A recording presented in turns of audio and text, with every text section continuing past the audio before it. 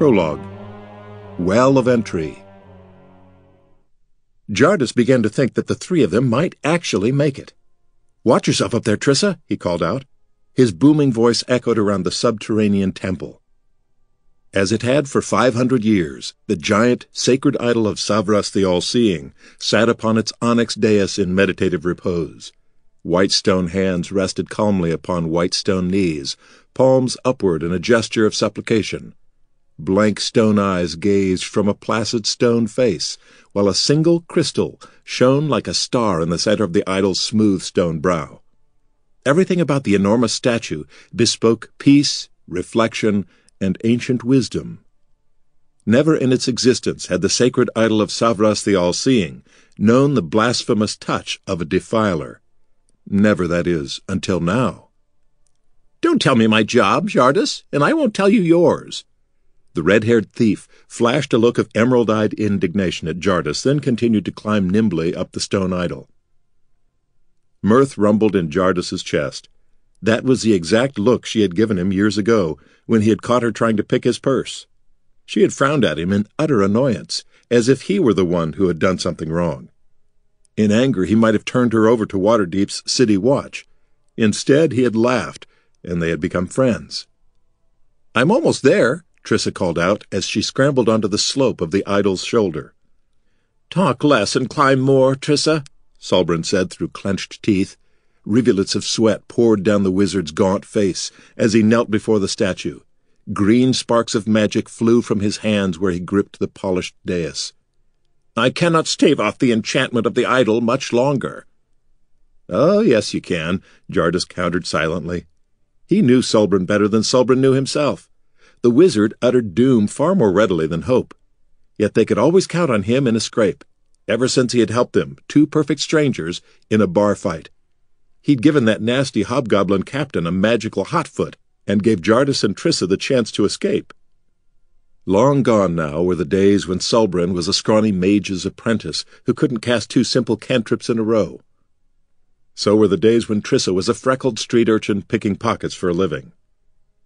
Though Solbrin was more spare than ever inside his drab gray robe, he radiated an aura of power.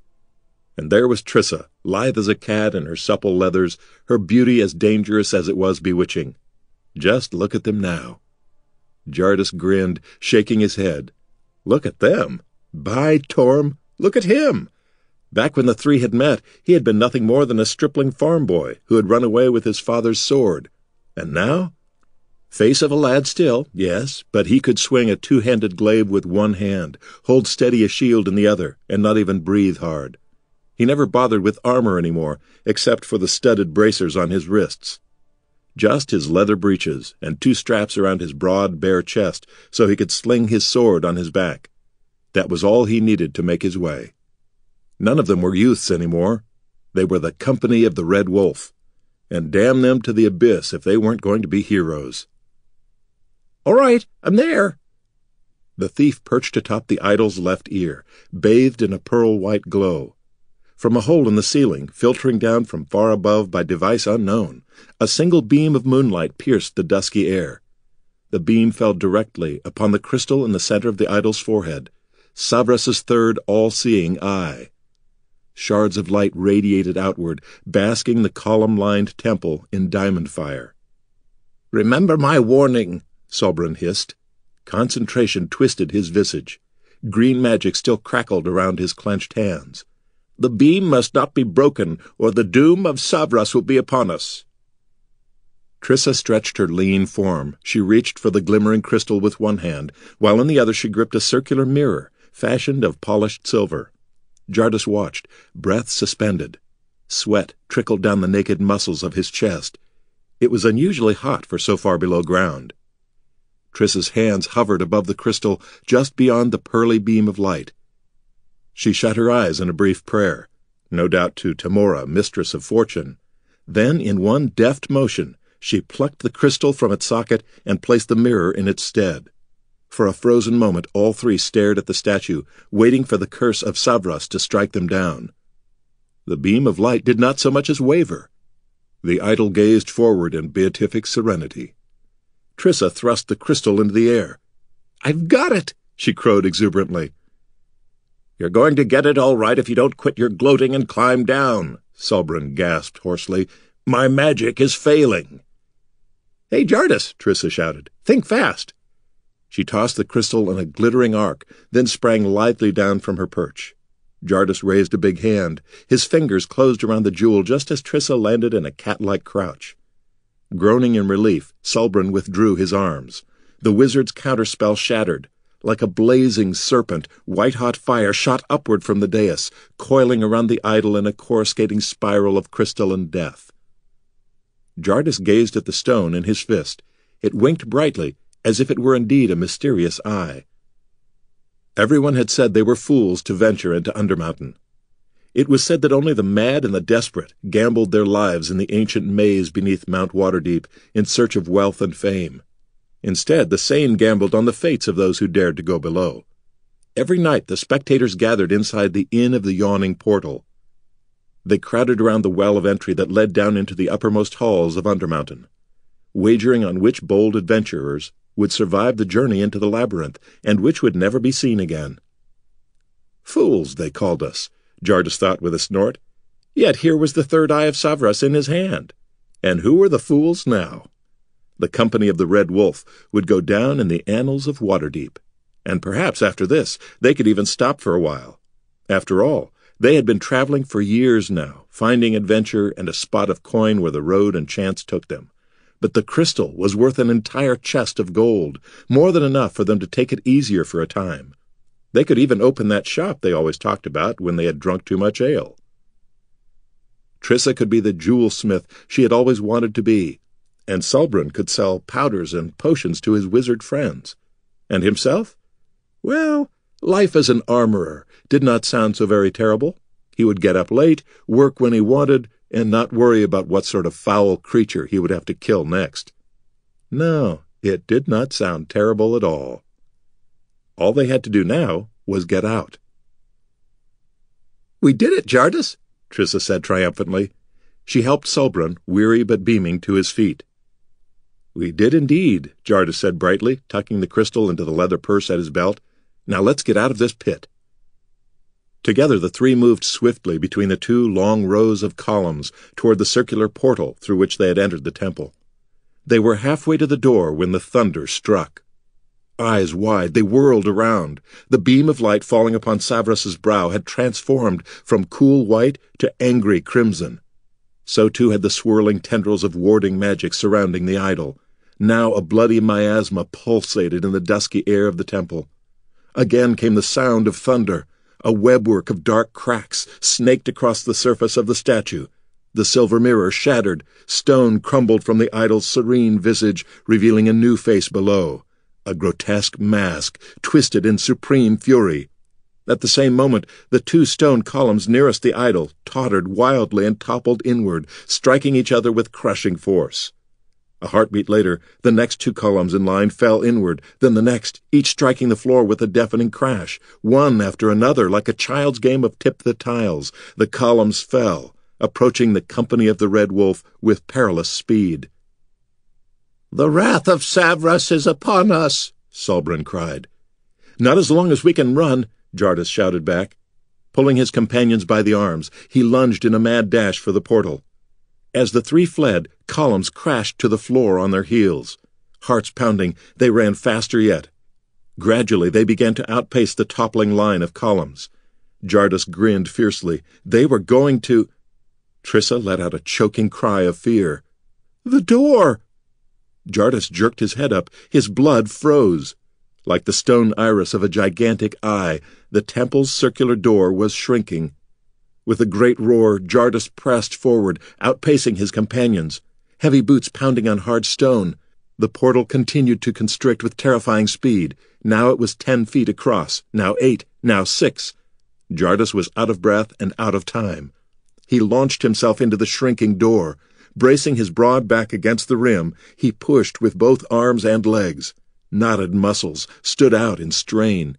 The rate of closure slowed, but did not cease. In seconds, the door would shear his body in two. Run, red wolves! Gasping, Trissa reached the door. She scrambled nimbly over Jardis. Sulbrin followed her a heartbeat after. Jardis glanced up, face pale to see the last two columns toppling directly toward him. With a cry, he heaved himself over the edge of the door and through. The portal shut with a sharp snick. A second later came a great crash as the columns shattered against the inside of the portal. But the door held. The noise faded into an echo. Pale green light flared to life, revealing their three faces. A cool wisp of mage light danced on the palm of Sulbrin's hand. They stared at each other, panting. Then, as one, they grinned. They had made it. Shall we? the wizard asked wryly. Let's, Trissa said merrily, dusting herself off. I think I've had my fill of Undermountain for a long time to come. Jardis laughed in agreement. Together they sped swiftly through the gloomy maze of halls and corridors, retracing the steps that had brought them to the shrine of Savras. They passed through a crypt lined with dusty stone sarcophagi. Next was the chamber filled with candles, all mysteriously ever burning. And here was the hall of many pillars. They were close now. A few more twists and turns, and they would be at the well of entry. There waited the rope to take them back up to the inn of the yawning portal and to fame everlasting. Nothing could stop them now. We're the company of the Red Wolf, Jardis shouted in jubilation. Our names will never be forgotten, Sulbrin rasped exultantly. Trissa howled with glee. We're the greatest heroes that ever... A shaggy gray form leapt squealing from the shadows, knocking the thief to the ground. Long yellow teeth flashed in the gloom. Jardis drew his glaive and skewered the thing. It let out a shrill shriek, then died. With a boot he shoved the creature aside, gagging in disgust. It was an enormous rat, the size of a small pig. Yet a rat was still a rat, nothing to fret about. He reached down to help Trissa up. Suddenly he froze. The thief stared upward with blank, green eyes. Blood spattered her face and clothes. Her throat had been torn out. Trissa? Jardis whispered in puzzlement. She couldn't be dead. How could she be dead? What about their shop? He knelt and roughly shook her shoulder. Trissa! Dim shapes scuttled just beyond the circle of Sulbrin's mage light. A hungry chittering rose on the dank air, along with a foul stench. Countless pairs of blood-red eyes winked in the dark. We have to go, Jardis, the wizard said in a choking voice. It's too late for Trissa. Dazed, Jardis lurched to his feet. Then hunger won out over fear of light, and the rats attacked. With a shout of rage, Jardis swung his massive glaive, cleaving several of the rabid creatures in twain. Sulbrin spoke a guttural word of magic, and the wisp of mage light in his hand flared into a ball of green fire. He heaved it at the undulating gray mass. In seconds, a half dozen rats squealed as emerald flames licked at their mangy pelts. They scurried frantically around the hall, setting others ablaze.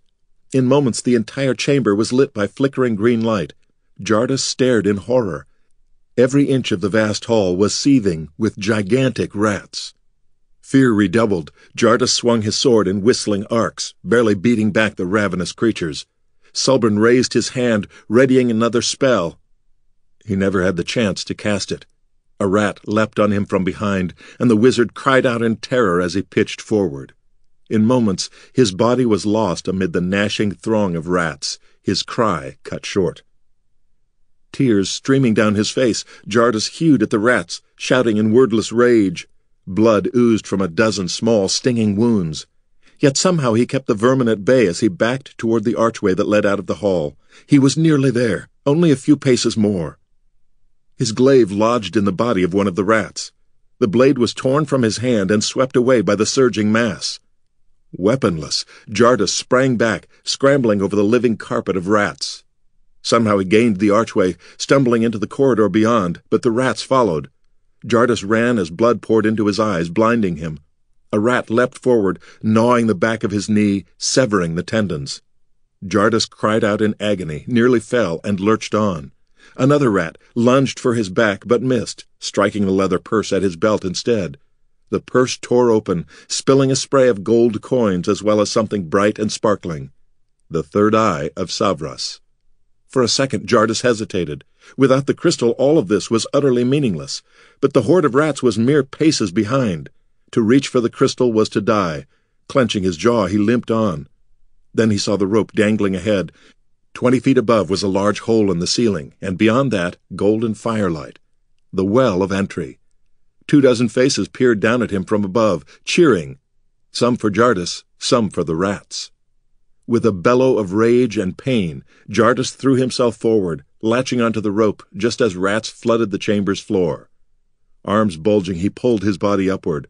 A moment later, he blinked the blood from his eyes. He had reached the top. Gripping the rope with one hand, he stretched the other toward the rim of the well. Wait just a minute, friend, said a grizzled man who leaned over the edge of the well, blocking him. You know the Durnan's toll. One gold piece to go down, and one to come up. That's the rule. With his free hand, Jardis clutched at the purse at his belt. His fingers found torn, empty leather. He looked up in terror. I've lost it all, but but I can get more, please. I The grizzled man stared down at him with cold eyes. Cut the rope, he ordered. No! Jardis cried in horror. A knife flashed. The rope parted. A scream ripped itself from Jardis's throat as he plummeted downward. But we were supposed to be heroes! His scream ended as he plunged into the roiling sea of slavering rats. So this is how the rabble lives, Lord Thal thought in vaguely fascinated disgust. From his table in the shadowed corner of the yawning portal, he gazed with heavy-lidded green eyes at the crowd that filled the smoky tavern. A great shout went up from the throng gathered around the stone-ringed well in the center of the common room. Gold changed hands, and the gamblers grumbled or gloated as best suited their luck. Apparently some poor idiot had just met his demise in the dungeon below. No doubt the fool had been ill-equipped and ill-prepared to meet the perils that lurked in the labyrinth beneath Mount Waterdeep. Why couldn't these commoners understand that venturing into Undermountain was a sport best left to the nobility? But no, it was ever the compulsion of the poor to ape the wealthy and if they had to throw away their lives in the process, well, they were meager enough, so what did it matter? With his left hand, Darian raised the dented pewter goblet that a serving maid had plunked down before him. His nose wrinkled in distaste. This swill passed for wine? He thrust the goblet back down, then noticed a ruffle of purple velvet peeking out from beneath the heavy black cloak in which he had wrapped himself. Hastily, he tucked the bit of velvet back beneath the cloak, then adjusted the deep hood that concealed his visage. It would not do to be revealed as a member of one of Waterdeep's noble families. Commoners would be too wary to speak to a lord. And speaking with the inn's coarse clientele was exactly what Darian needed to do this night. A curious excitement coursed through him. There was always a certain lurid thrill to slumming. A black beetle scuttled before him across the knife-scarred wooden table, Darian withdrew his right arm from beneath his cloak. The arm ended, not in a hand, but in a cap of polished steel that fit over the stump of his wrist. It was cylindrical in shape, without mark or adornment, save for a single slit on the end. Darian called it the device. He considered his choices for a brief moment, then nodded to himself. The stiletto would do. With a click, a wickedly thin blade sprang from the slit in the device. In one swift motion, Darian lashed out and skewered the beetle. He raised the blade, staring in fascination at the insect wriggling on the point. Its vain struggle made him think of the hapless commoners who sought glory in the depths below, fighting on when they were already dead. With a sigh, Darian flung the beetle into a corner. Retracting the stiletto, he concealed the device beneath his cloak once more. He supposed he was being too hard on these poor people. They had little enough to brighten their drab lives. Why begrudge them what small entertainments they could find? Certainly Undermountain was more than vast enough for nobles and commoners alike. It was only in recent years that venturing into the depths beneath Mount Waterdeep had become a fashionable, if perilous, sport. Yet it was well known that the maze was far older than Waterdeep itself.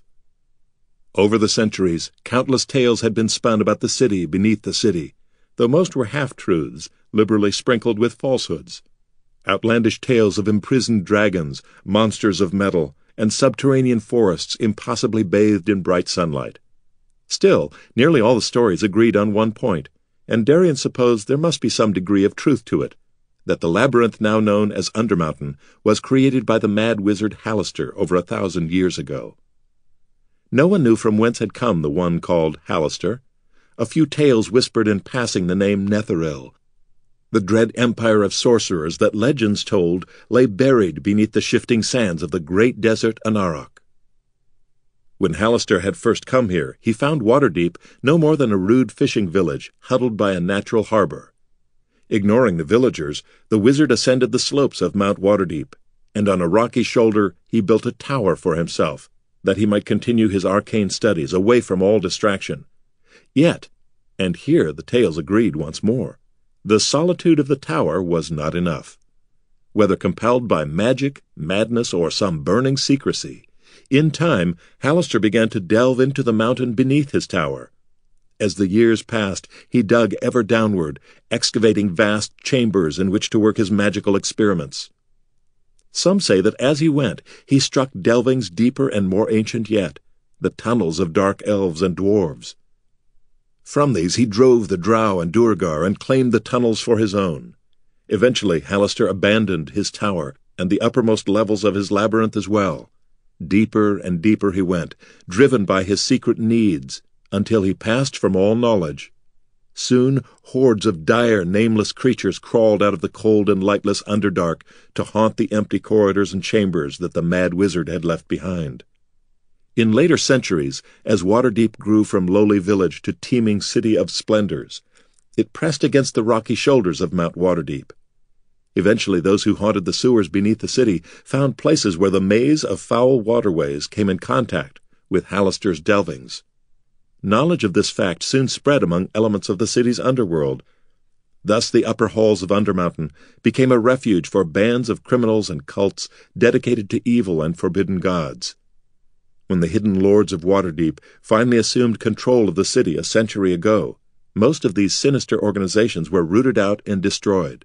After that, Undermountain was left to brood in its own silent darkness. That is, until Durnan the Wanderer ventured below. Durnan was the first to descend into Undermountain in recent times and return bearing tales of wonder and the riches to prove them. Seven times Durnan journeyed beneath Mount Waterdeep, and seven times he returned triumphant. At last he retired from the adventuring life and built his inn, the yawning portal, right over the entrance into Undermountain he had discovered. Some whispered that it was upon this very spot that the Tower of Halaster once stood. All that was nearly twenty years ago, now Durnan was a gruff innkeeper, not a hero, yet he kept the well of entry ever open.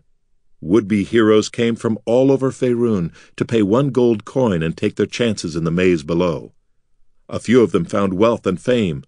Most of them found death. Either way, lucre changed hands in the tavern above as bets concerning the adventurers' fates were settled.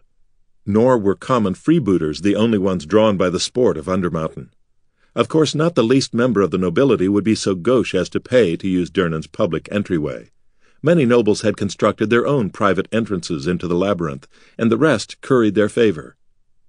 To the nobility of Waterdeep, venturing into Undermountain to hunt trophies of kobold or goblin was no different than the manner in which country lords rode into their greenwoods in search of hart or stag.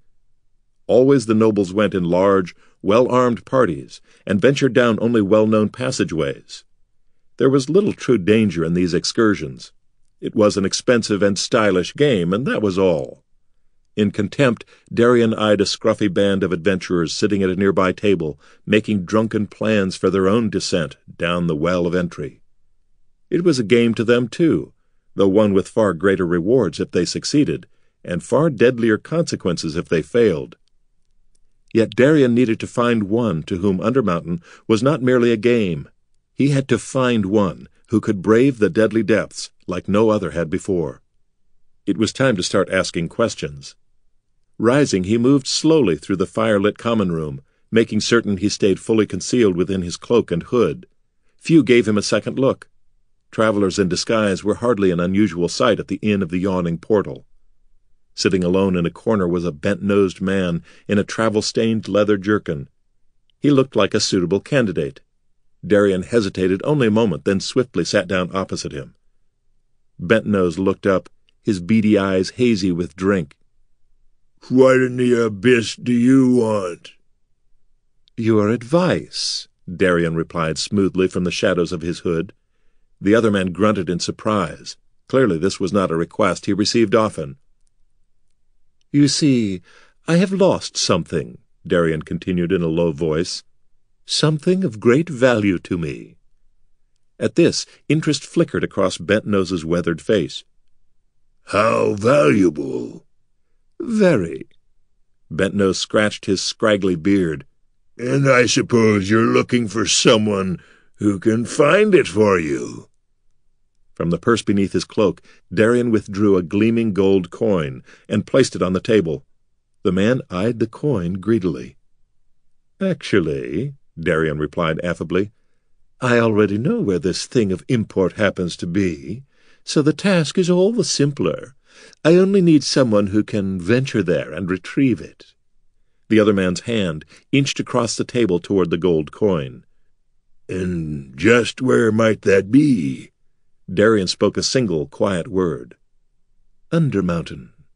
Bent-Nose's hand began to tremble. Hastily, he snatched it back. I can be of no help to you, stranger, he gasped hoarsely. I'll not go back down there. His eyes went distant with remembered fear. Do you hear me? I'll not go down there again. Darian watched the trembling man with a mixture of pity and curiosity. He had seen something below, something to break a man's will and send him seeking forgetfulness in drink, something horrible. The pathetic wretch. Fear not, friend, Darian said in a disdainful mirth. I would hardly ask you to undertake this task for me. He tapped the gold piece with a finger. But tell me, who shall I send on this crucial errand? Are any of these worth the price? He gestured subtly toward the various road-worn freebooters and adventurers who filled the inn. A strangled laugh escaped the other man's throat. Those fools? Bah! None of them are worth the coin Durnan charges them to go down below. They'll come back mad and penniless, if they come back at all. His voice dropped to a mysterious whisper. No, there's only one who might help you, stranger. Only one who could go down into a place like that, find what he's looking for, and come out whole. But you'll not get him. Darian pushed the coin across the table. His voice resonated with intensity. Tell me. For a long moment, Bent-Nose eyed the gold piece and his empty ale pot in turn. At last he reached out with still shaking hand and closed it around the coin. Within the shadows of his hood, Darian smiled. He leaned forward to hear the other man's whispered words.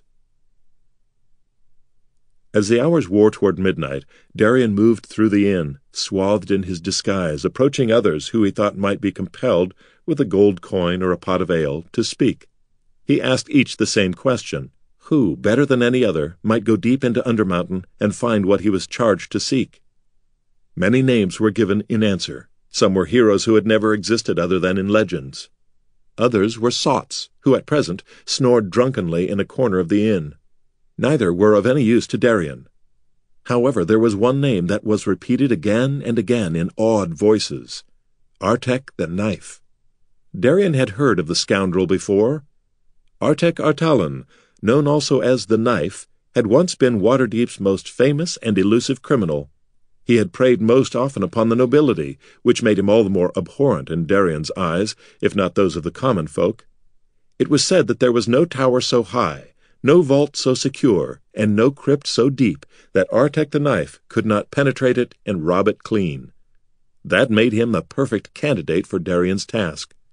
There was only one complication. Artek the Knife had mysteriously vanished over a year ago. At last, Darian found one who knew why. The city watch finally caught him, the woman said, quaffing the ale Darian had bought her. By her leather garb and the myriad knives at her hip, she styled herself some sort of rogue. I guess Artek wasn't as slippery as the stories claimed. The magisters have him locked up in their prison. She clenched a hand into a fist. And he can rot in there forever. Let me guess, Darian replied musingly. Artalan enlisted your help in a robbery, promising to cut you in on the take, only to disappear with all the loot. Anger twisted her face, and by this he knew he had hit close to the mark. He won't do you any good either, she spat. The Magisters will never let you near him. I wouldn't be so certain, Darian purred. I am rather accustomed to getting what I want. Just then a burly freebooter careened drunkenly into Darian. The noble swore hotly, but the man only lurched onward to join several compatriots at a nearby table. Darian turned back to the woman to see that her eyes had narrowed in sudden suspicion. Too late, he noticed the silken ruffle now revealed where his cloak had been knocked aside. She grabbed the cloak, ripping it away. Even to one who did not know his identity, his high forehead and striking features clearly marked him as a noble, as did his long coat of rich purple velvet and his ruffled shirt of silvery silk. The rogue hissed the words like venom. A nobleman! Instantly a deathly silence settled over the common room. All eyes turned toward Darian. Inwardly he cursed the insolent woman. I have no quarrel with you, he said coolly. Yet, he added to himself. She drew dangerously close to him. No? Well, I have one with you. You and all your kind. I was only a child at the time, but I will never forget the day a nobleman cast my family into the street. He took everything we owned. Then he had my parents hauled away by the city watch. They were thrown into prison, and they died there. I remember standing in the gutter, crying. I didn't understand what was happening. And do you know what the nobleman said? Do forgive me. She shook with seething fury. As if that could bring my parents back. Darian stared at her flatly. You must understand, my dear, he said in a bored voice. A lord can hardly be expected to indulge a tenant who fails to pay his rent. You see, if one allows but a single maggot into his meat, he will soon find it putrid with flies. For a frozen moment the woman stared at him in pale-faced rage. Then she reached for one of the curved knives at her belt. But Darian was faster and raised his right arm. Three barbed steel prongs sprang from the end of the device. They spun rapidly, emitting a high-pitched whine. With a fluid, casual motion, Darian stepped forward and thrust the whirling prongs deep into the rogue's gut. He let them spin there a moment, then withdrew his arm. With a click, the blood-smeared barbs slid back into the device. Her eyes wide with shock, the rogue sank to the floor. There she writhed in soundless agony as she slowly died. Just as the insect had on the end of the device. With a fey smile, Darian whispered, Do forgive me. He spun on a boot heel and strode through the silent common room toward the tavern's door. The rabble made no move to stop him, and it did not matter that his disguise had been revealed. He had already gotten everything he needed. So you have managed to land yourself in prison, Artek Artalan, he murmured to himself. Well, that is a small enough problem. For me, if not for you. Laughing softly, Lord Darian Thal stepped out into the balmy spring night. Chapter 1 Heir to Darkness What a fool he had been to think that he could truly change. With your fingers, trace every crack and crevice in the walls of your prison cell. A dampness may signify weakened mortar, a puff of air an opening beyond. Notice how insects and other vermin come and go. Their paths may lead you to freedom, my son. He had thought it would be such an easy thing, like shedding an old cloak to don one of new cloth. After all, he didn't choose the course for his life. Since childhood, he had simply known nothing else. For a time it had seemed enough, though not because of the gold coins pilfered from velvet-lined purses or the rings slipped from slender, noble fingers, or the jewels spirited from guarded stone vaults. Money had always been the least of the rewards of his nightly work. Far more intoxicating had been the thrill. It flowed through his body like fine wine as he stole through darkened windows crept down shadowed streets, or strode boldly across brilliant candlelit ballrooms toward his next unwitting quarry. Dissatisfaction had come upon him so gradually that for a long time he had scarcely noticed it.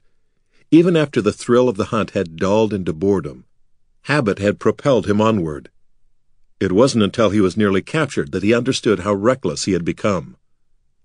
One moonlit night he had strolled along the silent avenues of Waterdeep's City of the Dead, wearing the expensive silken robes he had just lifted from a recently deceased nobleman. Only when the hue and cry sounded on the air did he realize that he had not even bothered to conceal himself as he walked. Struck by sudden terror, he had cowered in the embrace of a decomposing corpse in a half-filled grave as the city watch ran past. He had escaped them for the moment. Yet he knew it was only a matter of time before he grew so careless that even he could not elude the watch when the alarm sounded. The truth was, part of him wanted to get caught. He was weary, weary of scheming, of running, of watching dread flare in the eyes of others when they recognized who it was that stood before him. That night in the bottom of the muddy grave, wrapped in the rain-soaked garb of a dead man, he finally made a choice. From that moment on, he was a thief no longer. Now to the floor. Press your ear right against the stones. Then rap sharply with some hard object, a spoon, a pebble, even your bare knuckles if you have nothing left. Move a half pace to one side, then rap again. Listen well as you do. A change in sound may indicate a space below and a way out. He had not considered that nobody would believe him, but it made perfect sense, naturally. He had robbed the citizens of Waterdeep for years. What cause did they have to trust him? When the rumor spread across the city that he had given up his thieving ways, another rumor raced hot on its heels. It was all an elaborate ruse to lure the nobility into a false sense of security.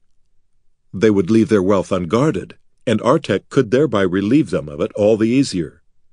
Finally, he had realized there was only one way to make the people of Waterdeep understand that he had truly changed. He had to show them. His chance arrived unexpectedly. He was gloomily pacing the night-darkened streets of the North Ward, pondering his dilemma, when he turned the corner of a narrow lane and saw a gilded carriage standing at a halt beneath a stone archway. Instinct pricked the back of his neck, and he melted soundlessly into a pool of shadow. Then he saw them, two masked figures in black. One gripped the harness of the horses as the animals stamped nervous hooves against cobblestone. The other reached through the open window of the carriage, roughly jerking glittering rings from the hands of a middle-aged countess, while her heavily painted face cracked in terror. Artek knew this was his chance. Surely saving a countess would win him a pardon for his past crimes and prove himself reformed. He moved swiftly through the shadows, drawing a dagger from each of his boots. The man who held the horses was dead before he even felt the knife slip between his ribs, piercing his heart. The second looked up and managed to let out a cry of surprise before he was silenced by a knife in his throat. Kneeling, Artek retrieved the jewels from the dead thief's grip, then stood to hand them back to the Countess. Then matters took an unexpected turn. The Countess screamed. Artek tried to explain that he was returning her jewels, but she just continued to cry for help.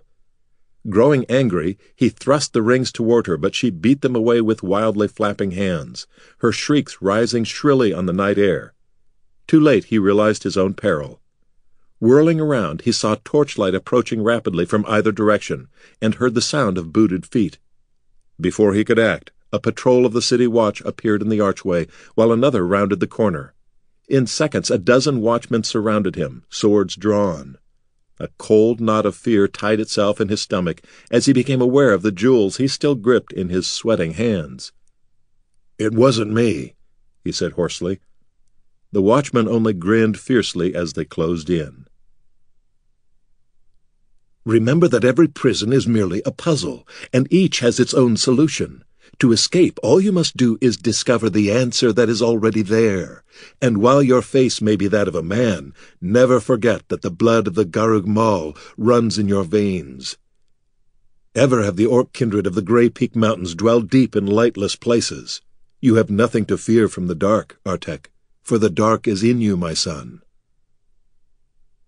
With a clinking of heavy chains, Artek Artalan shifted his body on the cold stone floor, trying to ease the chafing of the iron shackles where they dug painfully into his ankles and wrists. As always, the effort was futile. He stared into the impenetrable dark that filled the tiny cell. Once a thief, always a thief. That was what the magisters had said just before they sentenced him to spend the rest of his life in prison. On that day, Artek had finally realized that it was impossible to change. He would be whatever others thought him to be. Artek was not certain how long he had been in this place. Clay cups of foul water and bowls of maggoty gruel came rarely and at uneven intervals through a slit in the opposite wall, and could not be used to mark time reliably. Certainly it had been months, perhaps as many as six. In that time he had explored the cell as far as his chains allowed, recalling everything about prisons his father had taught him as a child, but he found no hope. The walls and floors were made of flawless stone, without crack or crevice, as if forged by sorcery rather than hewn by hand. Nor had his father's tricks worked upon the shackles or the bolts that bound the chains to the wall. I remember your words, father, he whispered through cracked lips, and damn your wretched half-orc soul to the abyss, for they have failed me now. With a groan, he slumped back against the wall. His father had been right about one thing. The dark was in him, and in the dark he would die. It might have been minutes later, or perhaps hours, or even days, when a metallic noise ground on the dank air of the cell. Artek cracked his eyes. Chains jingling, he stiffly sat up. Had the guards finally brought him some water? He ran a parched tongue across his blistered lips. It had been a long time. He eyed the place in the dark where the slit of faint light always appeared, and through which food and drink were pushed with a stick. Puzzled, he saw only unblemished darkness. Then the grinding sound ended with a sharp clang. All at once the perfect blackness of the cell was torn asunder. A tall rectangle of blazing fire appeared before Artek. With a low cry of pain, he shrank against the wall, shielding his face with his hands. Looks like our little friend here is afraid of the light, said a coarse voice. Isn't that just like a rat? A second wheedling voice laughed. At last Artek's brain grasped what had happened. For the first time since he had been locked in this cell, someone had opened the door. Blinking away stinging tears, he slowly lowered his hands, trying to force his eyes to adjust. Two hazy forms stood in the open portal. Guards, one with a smoking torch. Artek supposed the light it cast was in truth dim and murky, but to his eyes, so long in the dark, it seemed like a brilliant sun. Why? His lips formed the word soundlessly. Deliberately he swallowed, then tried again, straining to voice the sounds. This time the words came out as a croaking whisper. Why have you come for me? Somebody wants to see you, growled the first guard, a tall man with a dog's drooping face. What, what for? Rats don't ask questions, snapped the second guard, a corpulent man with beady eyes. They just do what their betters tell them if they don't want new smiles cut around their necks. With a large iron key, Dogface unlocked Artek's chains from the ring in the wall. He jerked on them, pulling the prisoner roughly to his feet. Artek cried out as blood rushed painfully into his cramped limbs. He staggered, but another harsh jerk on the chains kept him from falling. Gradually the fire in his legs dulled to pins and needles. After a moment he could stand on his own, though only in a hunched position. Before his imprisonment, thick muscles had knotted his short, compact frame. Now, beneath his filthy rags, bones stuck out plainly beneath sallow skin. Looks like prison food hasn't agreed with you, rat, Beady Eyes chuckled. Artek eyed the gut straining against the guard's food-stained jerkin. You might want to give it a try yourself, he said hoarsely. Beady Eyes glowered darkly, sucking in his stomach. Bring him out! Dogface pulled hard on the chain, and Artek stumbled forward, barely managing to keep his balance. I can't walk with my feet shackled, he gasped. He's right, Dogface said, and I'm not going to carry him. Beady Eyes scratched his stubbled jowl. All right, unlock his feet. But don't get any ideas about going anywhere, rat. He took the center of the chain that bound Artek's shackled wrists and locked it to an iron band he wore around his own thick wrist. A yellow-toothed grin split his face. You'll be staying close by me. In the corridor outside the cell, four more armed guards waited. They all looked to beady eyes. It was clear he was their captain. He gave the order, and they began marching down a long corridor. Two guards led the way. Next came Beady Eyes, who jerked cruelly at the chain binding Artek's wrists, followed by the remaining guards. Artek trudged silently, head bowed, shoulders slumped. It seems there's little spark left in you, Artek the Knife, Beady Eyes chortled in a bubbling voice. No one would mistake the wretch you are now for Waterdeep's most infamous rogue. It seems a year alone in the dark is enough to break even the greatest of scoundrels. Artek staggered dizzily. A year? A few months, he thought, perhaps even six. But an entire year of his life lost in that black pit? Deep inside, amid the hopelessness that had filled him during his confinement, there now ignited a single bright spark of rage. Remembered words, spoken by father to son, echoed in his mind. A good thief finds strength in weakness. Chains can be a weapon and sometimes a prisoner's bonds may be turned upon unwitting captors. The party rounded a corner. To the left, the wall fell away, and in its place was an iron rail. Beyond this was a vast chamber, its floor fifty feet below, the center of the prison of the Magisters, a place named the Pit by the city's criminals. Below Artek, five levels of cells lined the perimeter of the pit, each bordered by a narrow catwalk. In the far wall was a massive stone slab of a door, at present the door was raised, held up by a chain that passed through a ring in the ceiling and hooked to a large counterweight. A dozen armed guards stood before the open portal. Beady eyes tugged Artek's chains, leading him toward an opening to the right, away from the pit. The spark blazed more hotly inside the prisoner, burning away months of apathy and despair. This, he realized, would be his only chance. He took it. Lunging to the left, Artek jerked sharply on the chain that connected his shackled hands to the guard's wrist. With a cry of alarm, Beady Eyes stumbled toward him, giving Artek the slack in the chain he needed. The guards drew their swords, reaching for Artek, but they were too slow. With a shout, he threw himself past the iron railing and over the edge of the pit. For a second he plunged downward, then abruptly stopped short. Above, Beady Eyes shrieked in pain as he struck the iron railing. Arms above his head, Artek dangled in midair, suspended by the chain attached to the corpulent captain's wrist. My arm! Beady Eyes squealed, his pudgy face bright red. With his free hand, he clutched the iron rail to keep from being dragged over the edge. He's going to pull my arm out of its socket! Break the chain! The other guards stared at him. Break it! Beady Eyes wailed. Dogface hurried forward, raising his sword. The blade flashed downward in a whistling arc. At the same moment, Artek swung his body toward the wall. Another shrill scream sounded above just as the chain gave way. Artek's momentum carried him forward, and he landed in a crouch on the catwalk bordering the highest row of cells.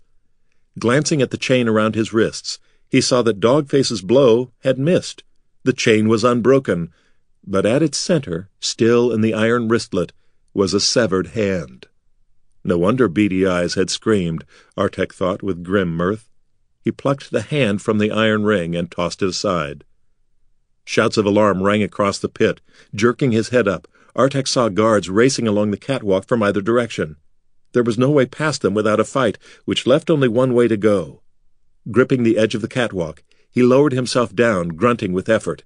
His body was no longer accustomed to such rigors. Drumming footfalls approached. Gritting his teeth, he swung himself forward and dropped to the catwalk bordering the fourth level. At least his body had not forgotten everything. Angry curses drifted downward. A moment later, a pair of black boots dangled over the edge of the catwalk above. A guard was climbing down after him. Artek grabbed the man's boots and pulled. With a scream, the guard lost his grip and plunged downward. A second later, he struck the hard stone floor forty feet below, and blood sprayed outward in a crimson starburst. The remaining guards above swore again, but did not attempt to follow their companion. Artek looked up. Across the pit, guards on each of the five cell levels raced in his direction. He leaned against the railing of the catwalk, his breath rattling in his gaunt chest. You may not have changed, Artek, he thought, but you're certainly not the man you used to be. Exhausted though he was, this was not the time to rest. He lowered himself over the edge of the catwalk and swung onto the third level. Emaciated arms reached out from iron barred cells, but he ignored them. They would have to find their own way out. Arms aching, he lowered himself to the second level, then finally dropped to the main floor of the pit. He staggered, then gained his feet. A few feet away, a grimy old man, pushing a wheelbarrow, looked up in surprise. The cart was filled with gray, lumpy slop, and the old fellow gripped a dripping wooden ladle in his hand. He had been making the rounds, flinging a ladleful of the fetid slop into every cell for the prisoners to eat off the floor. That looks appetizing, Artek said wryly. The old man only gaped at him. A dozen guards poured out of a nearby stairwell and rushed toward Artek. He glanced at the door of the pit. Another dozen guards stood before it. Now where? A good thief is imaginative, my son. If something seems impossible, consider it. The unexpected action is the hardest of all to counter. His black eyes drifted upward. A thrill coursed through him as he spied a way out. There was no time to consider it. The guards were almost upon him. Excuse me, Artek said, pushing the stunned old man aside. He gripped the handles of the cart and with a grunt heaved it over. Putrid gray gruel spilled across the stone floor, and the guards were running too fast to avoid it. Their boots skidded on the slimy swill, and they went down in a swearing tangle of arms, legs, and swords. Artek did not hesitate. He took the sword from the body of the guard who had fallen to his death then raced to a corner of the pit. A massive iron ball was tied with a rope to a ring in the wall. The ball was, in turn, attached to a long chain dangling from above, the counterweight to the door. Artek snaked his arm around the chain, then swung the sword, severing the rope from the ring. Instantly the counterweight rose into the air, taking Artek with it. Across the pit, the guards before the door dove forward to avoid being crushed by the ponderous slab of stone as it descended. The counterweight came to an abrupt halt as the door crashed to the ground. Artek kicked his legs, swinging at the end of the chain in wider and wider arcs. At the end of the widest arc, he let go, tucking himself into a ball.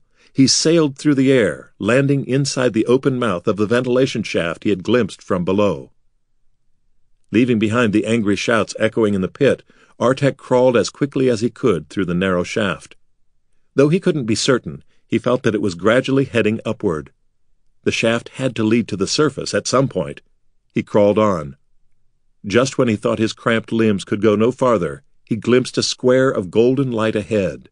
An opening. His heart pounded rapidly. Was that sunlight pouring through the hole? Artek couldn't remember what the rays of the sun looked like, and now freedom was mere yards away. In excitement, he pulled himself through the golden opening and suddenly felt himself tumble end over end through cold mists, no longer sure of where he was. After a moment of dizzying disorientation, Artek landed with a thud on a softly cushioned surface. I see that you're right on time, Artek Artalan. Artek blinked away the fog in his head and saw that he was lying on a thick, expensive-looking rug. A sharp stench of lightning hung in the air. Artek jumped up, but the action was never completed. Brilliant energy crackled through the air, and a blood-red aura sprang up around him, pinning his limbs to his sides and rooting his feet to the floor. He was not outside at all, but in a small chamber filled with rich tapestries, gilded wood, and many other ostentatious displays of wealth and taste. Artek choked for air, feeling as if the breath were being squeezed out of him. Struggling, he lifted his head to gaze upon the faces of his new captors. They were a curious duo a nobleman, and a wizard. Effort racked the wizard's face as he concentrated on the spell of binding. Between his dark robe, hooked nose, and bald head, he looked like a great vulture. In contrast, the nobleman was strikingly handsome, with sharp green eyes and dark hair tied back from his high brow with a black ribbon. He was clad all in purple velvet and silver silk, and in a sophisticated affectation had tucked his right hand beneath the breast of his long coat. He regarded Artek with calm but keen interest. Allow me to introduce myself, the nobleman said in a smooth voice. I am Lord Darien, scion of House Thal, High Adviser to the Circle of Nobles. He inclined his head ever so slightly.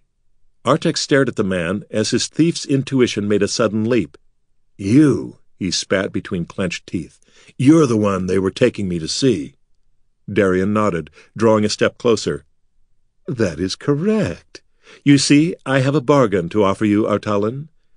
It would be a simple transaction, freedom from this prison, in exchange for your services. Are you interested to hear more? If not, don't hesitate to say so, and I will be happy to deliver you back into the hands of the guards. Artek swore inwardly. Why did nobles always enjoy playing such games, manipulating common people as if they were merely pieces on a lance board? Calling the guards won't be necessary, he said. And you can tell your hired vulture to call off his spell. I won't be going anywhere. You have my word. Darien turned to the wizard. You heard him, Melthus. Remove the spell of binding. The wizard gaped at him. But, my lord, surely it is unwise to trust this scoundrel. Sparks of ire flashed in Darien's eyes. Do you question my orders, Melthus? The wizard's face blanched. Uh, of course not, my lord, he said fawningly. Hastily, Melthus weaved his thin hands in an intricate gesture, and the shimmering aura surrounding Artek vanished. He staggered, then caught his balance, drawing in a deep breath of relief. Darien led the way to a table in the center of the small chamber. He sat in a cushioned chair and motioned for Artek to take the chair opposite him. Melthus hovered two paces behind his master, hands tucked into the sleeves of his robe. I imagine you are wondering how I brought you here, Darien began. Artek only gazed at him silently. That was exactly what he was wondering, but he did not want to give the Lord the satisfaction of hearing it. You see, I have made a study of your colorful career, Artalan, Darien went on. He pressed his shapely hands into a steeple before him. I learned all I could of your daring exploits, and by so doing, I have come to know you. I was certain that once you were outside your magically warded cell, you would attempt an escape. By plotting the course on which the guards would lead you, and by studying parallels in your past work, I predicted the route that you would take. From there, it was a simple matter to have Melthus bring you here. A smile coiled about his lips. I must say, I am gratified to see my prediction proved so accurate. This caught Artek entirely off guard. Was he really so simple that his actions could be guessed by one who had merely examined his past work? I don't know what you want of me, Darien, he growled angrily. If the nobleman noticed the omission of the honorific lord, he showed no sign of it. But you should know that I'm not the thief I used to be. I'm not sure if I'm even a thief at all any more. He plucked at the dirty rags that covered his emaciated frame. Either way, I'm certainly damaged goods. Darien shook his head, laughing softly. No, Artalan, you are not damaged. If anything, you are greater than you ever were before. For in being captured, you have finally known humility. You have learned that you have limits, and that knowledge will drive you to reach beyond those limits all the harder. Artek did not answer. Darien had been right about him so far, Perhaps he was correct in this as well. It was a disturbing thought, but one he could not quite dismiss. So what do you want me to steal? he asked darkly. Nothing, Darien replied. Rather, there is something I want you to find. Something of great value to me, and to all of Waterdeep as well. Darien motioned to Melthus, and the wizard filled two silver cups with crimson wine from a crystal decanter. Artek downed his in one gulp, then reached for the decanter to refill his goblet. It was expensive stuff, much better than prison swill. Darien sipped his own wine slowly as he spoke. Three days ago, in search of sport, a hunting party consisting of several nobles and their attendants ventured into the upper levels of Undermountain. By accident, one of the nobles, Lord Corin Silvertor, was separated from the rest of the party. Before the others could search for him, they were set upon by a vicious band of kobolds and forced to retreat to the private entrance through which they had entered the maze. Subsequent forays into the same areas of Undermountain have revealed no trace of Lord Silvertor, and it is feared that he is lost. Artek shrugged his shoulders. He had no sympathy for nobles whose stupidity put them in danger. And why isn't it feared that he found his way into the kobold's stew pot? This is why. Darian set a small blue crystal on the table. A faint light flickered inside the gem. This is a heart jewel, the Lord explained. They are magical stones, each linked to the one it is created for. This one belongs to Lord Silvertor. The light within pulses in time to his heart, and by that we know he yet lives. The nearer the jewel is to its master, the brighter the light. By the faintness of the light in this jewel, we know that Lord Silvertor is lost deep in Undermountain, deeper than any hunting party has ever ventured. Artek gazed thoughtfully at the pulsing jewel. And I suppose you want me to go down and find your missing little lord. Darian nodded gravely. It is imperative that we find him, Artalan. His voice dropped to a dire whisper. You see, in two days' time there is to be a vote among all the nobility of Waterdeep. The vote will determine who is to take the seventh seat in the circle of nobles, left vacant after the untimely death of Lord Rithalor Cole. Lord Corin Silvertor is the leading candidate for the seat, which is well, for among his rivals are those with dark ambitions. They see the circle as a means to rule over all the city's nobility, and as a position from which to launch an all-out assault against the hidden lords of Waterdeep. Darian's expression was grim. Such strife would certainly tear this city asunder. But Silvertor is loyal to the lords of Waterdeep. That is why it is crucial that he be found in time for the election. The fate of all Waterdeep depends on it. Artek considered these words. So if I go down into Undermountain and find this precious lord of yours, you'll give me my freedom. Is that the deal? No, it is more than that, Darien countered. I am authorized by the magisters to grant you a full pardon for all your past crimes. It would be as if you were never a thief, Artalan. Darien's sharp green eyes bore into Artek's own. All you must do is say yes. Artek glared at the Lord. Damn the smug bastard to the abyss. What choice did he really have? It was exactly what he wanted, to have his dark past forgotten. There was only one thing he could say. He clenched his hands into fists and spat the word like a curse. Yes! Darian leaned back, smiling toothily. Excellent. He eyed Artek's gaunt frame critically. But we must prepare you for your task. Imprisonment has left you ill fit for the rigors of this mission. He glanced at the red-robed wizard. You may cast the spell now, Malthus. Artek started to spring from his chair, but he was too slow. Malthus raised his hands and uttered a string of words in the weird tongue of magic. Searing pain arced through Artek's body, and he fell to the floor, writhing.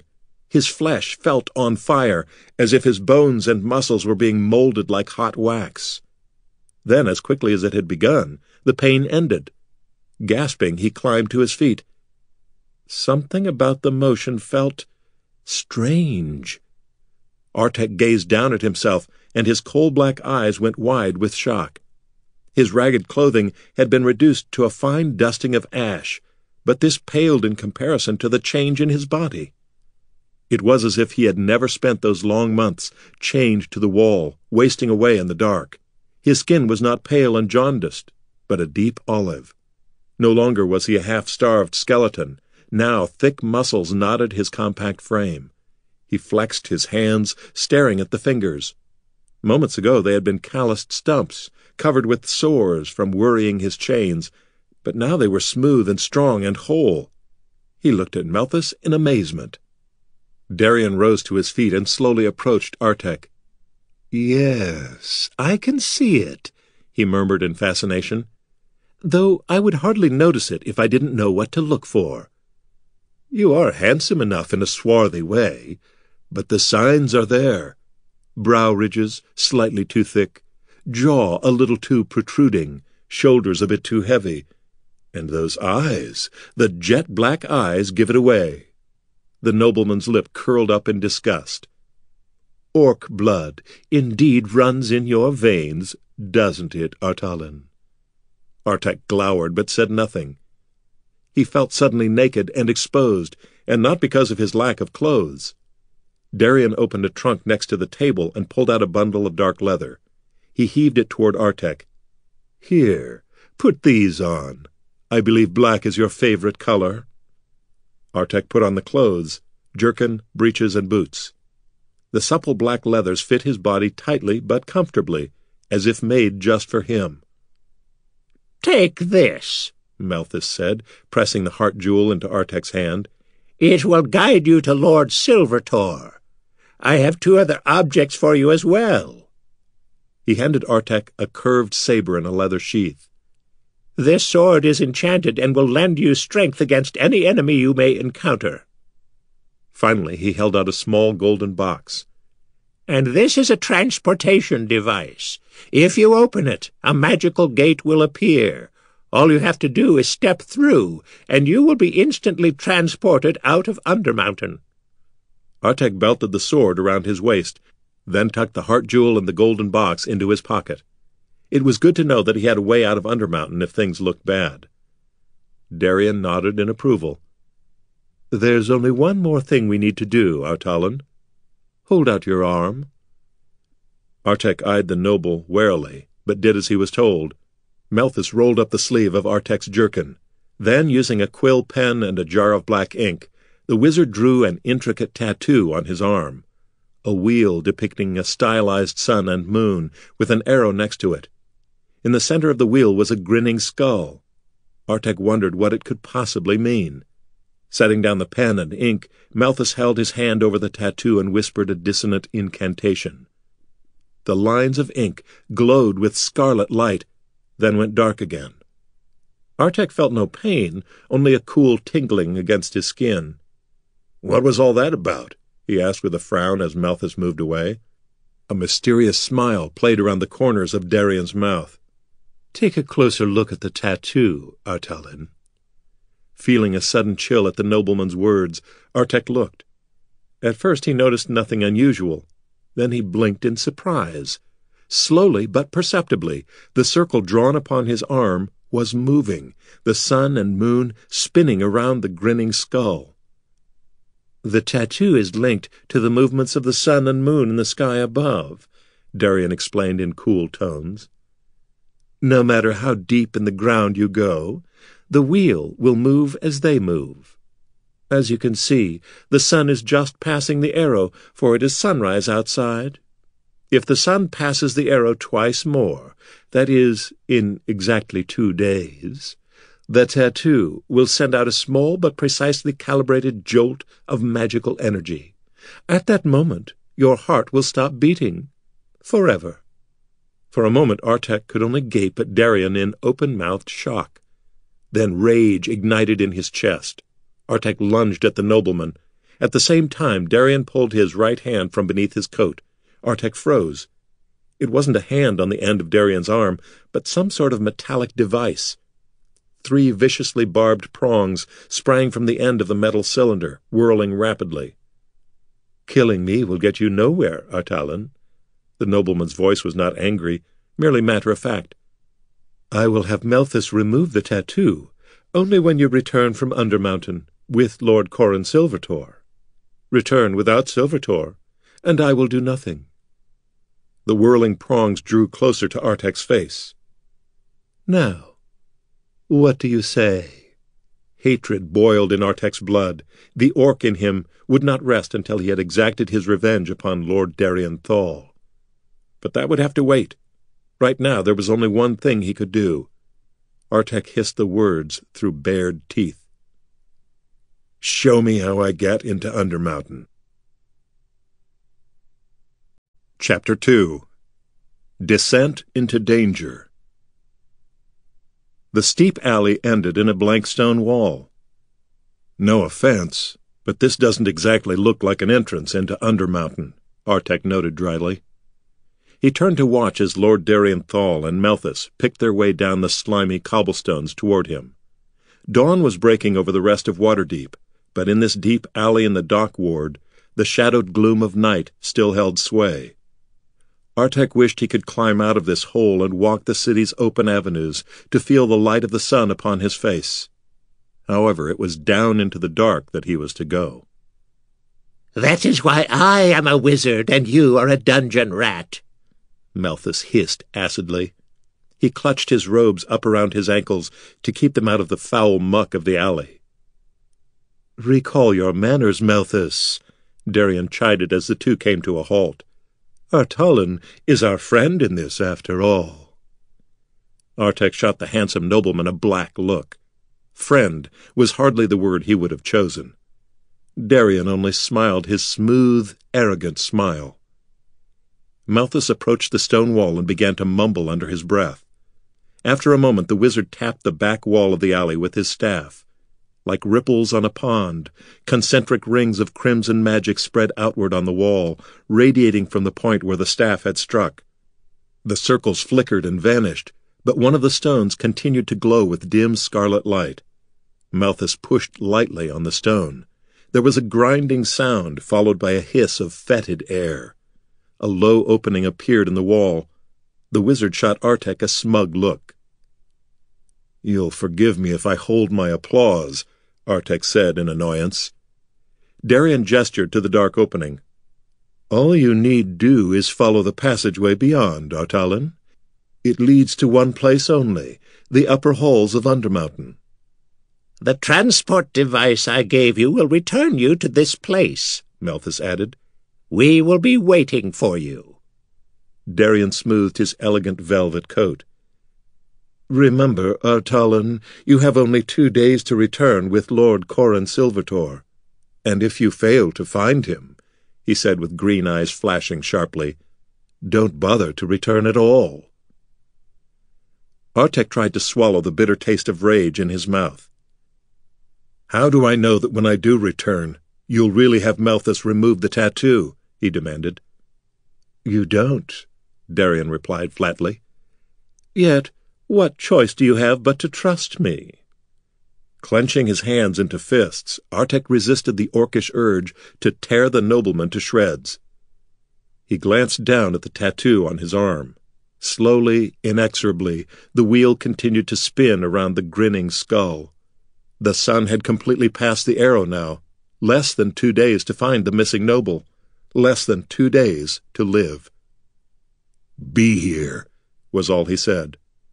Crouching, he passed through the opening in the wall into a cramped tunnel beyond.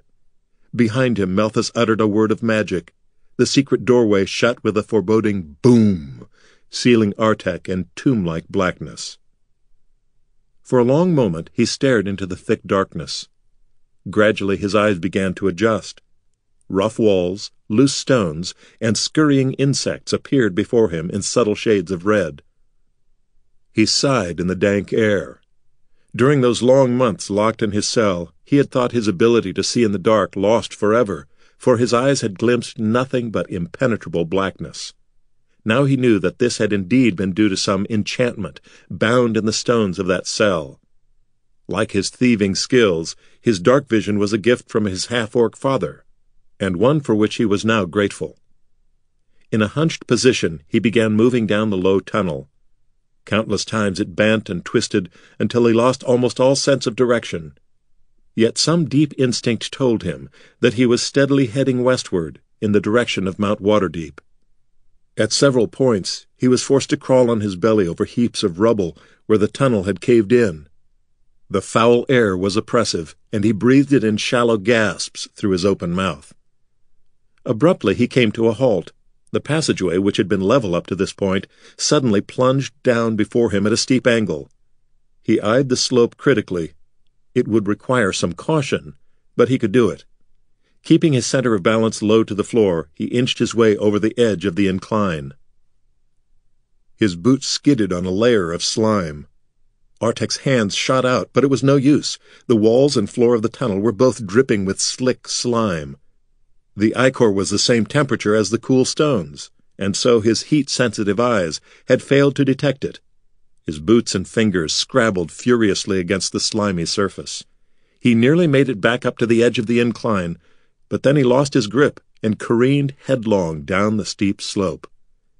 His curses rang off the walls of the tunnel as he slid rapidly downward.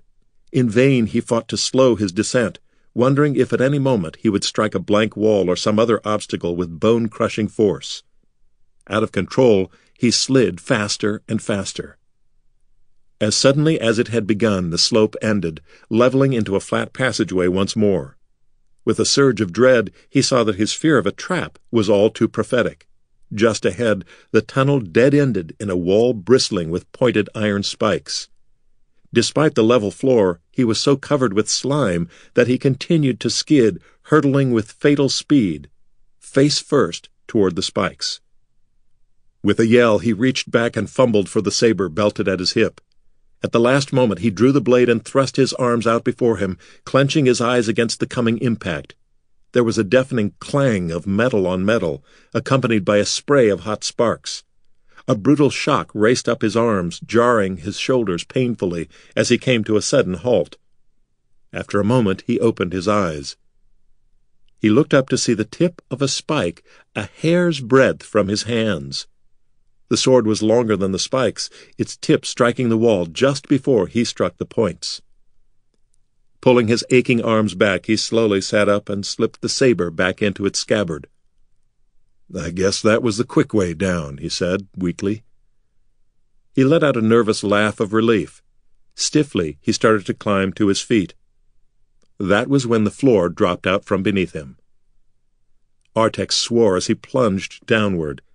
He had become stupid as well as rusty during his long imprisonment. Of course the spikes hadn't been the real trap. They were far too obvious. Their only purpose had been to distract him from the true trick, a weight-sensitive trapdoor. And it had worked perfectly. He flailed as he plummeted through cold air, wondering how many heartbeats he had until he struck bottom. Out of the corner of his eye, a large shape loomed beneath him. Instinct took command. Like a cat in mid-fall, he snapped his body around and reached out. His fingers brushed across hard stone, slipped, then caught in a sharp crevice. His descent abruptly halted. Once again, pain flared in his shoulders, but somehow he managed to keep his grip on the crack. Searching blindly with his boots, he found a toehold and took the pressure off his throbbing arms. He leaned his cheek against the cool stone, breathing hard. That had been close. Too close. How in the abyss did I do this blasted thieving stuff for so long? he groaned to himself.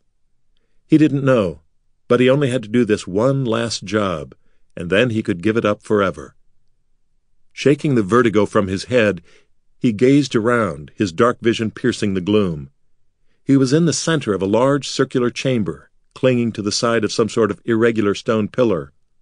Had he not managed to catch himself, he would now be lying on the floor over forty feet below, gruesomely wounded or, more likely, dead. Craning his neck, he gazed upward. He could just make out the trap door through which he had fallen, perhaps twenty feet above. It was still open, but utterly out of reach. Not that it mattered. His goal lay in the opposite direction, deeper into Undermountain. A peculiar odor hung in the air, sharp and metallic, like the scent of the air before a storm. The smell troubled him, though he was not certain why. The hair on the back of his neck prickled uncomfortably. However, there was nothing to do but start climbing. He glimpsed two stone doors on opposite sides of the chamber, both closed. Hoping that one of them might lead to his quarry, he felt for crevices and protrusions and started inching his way down the pillar. He had gone no more than five feet when the lightning struck.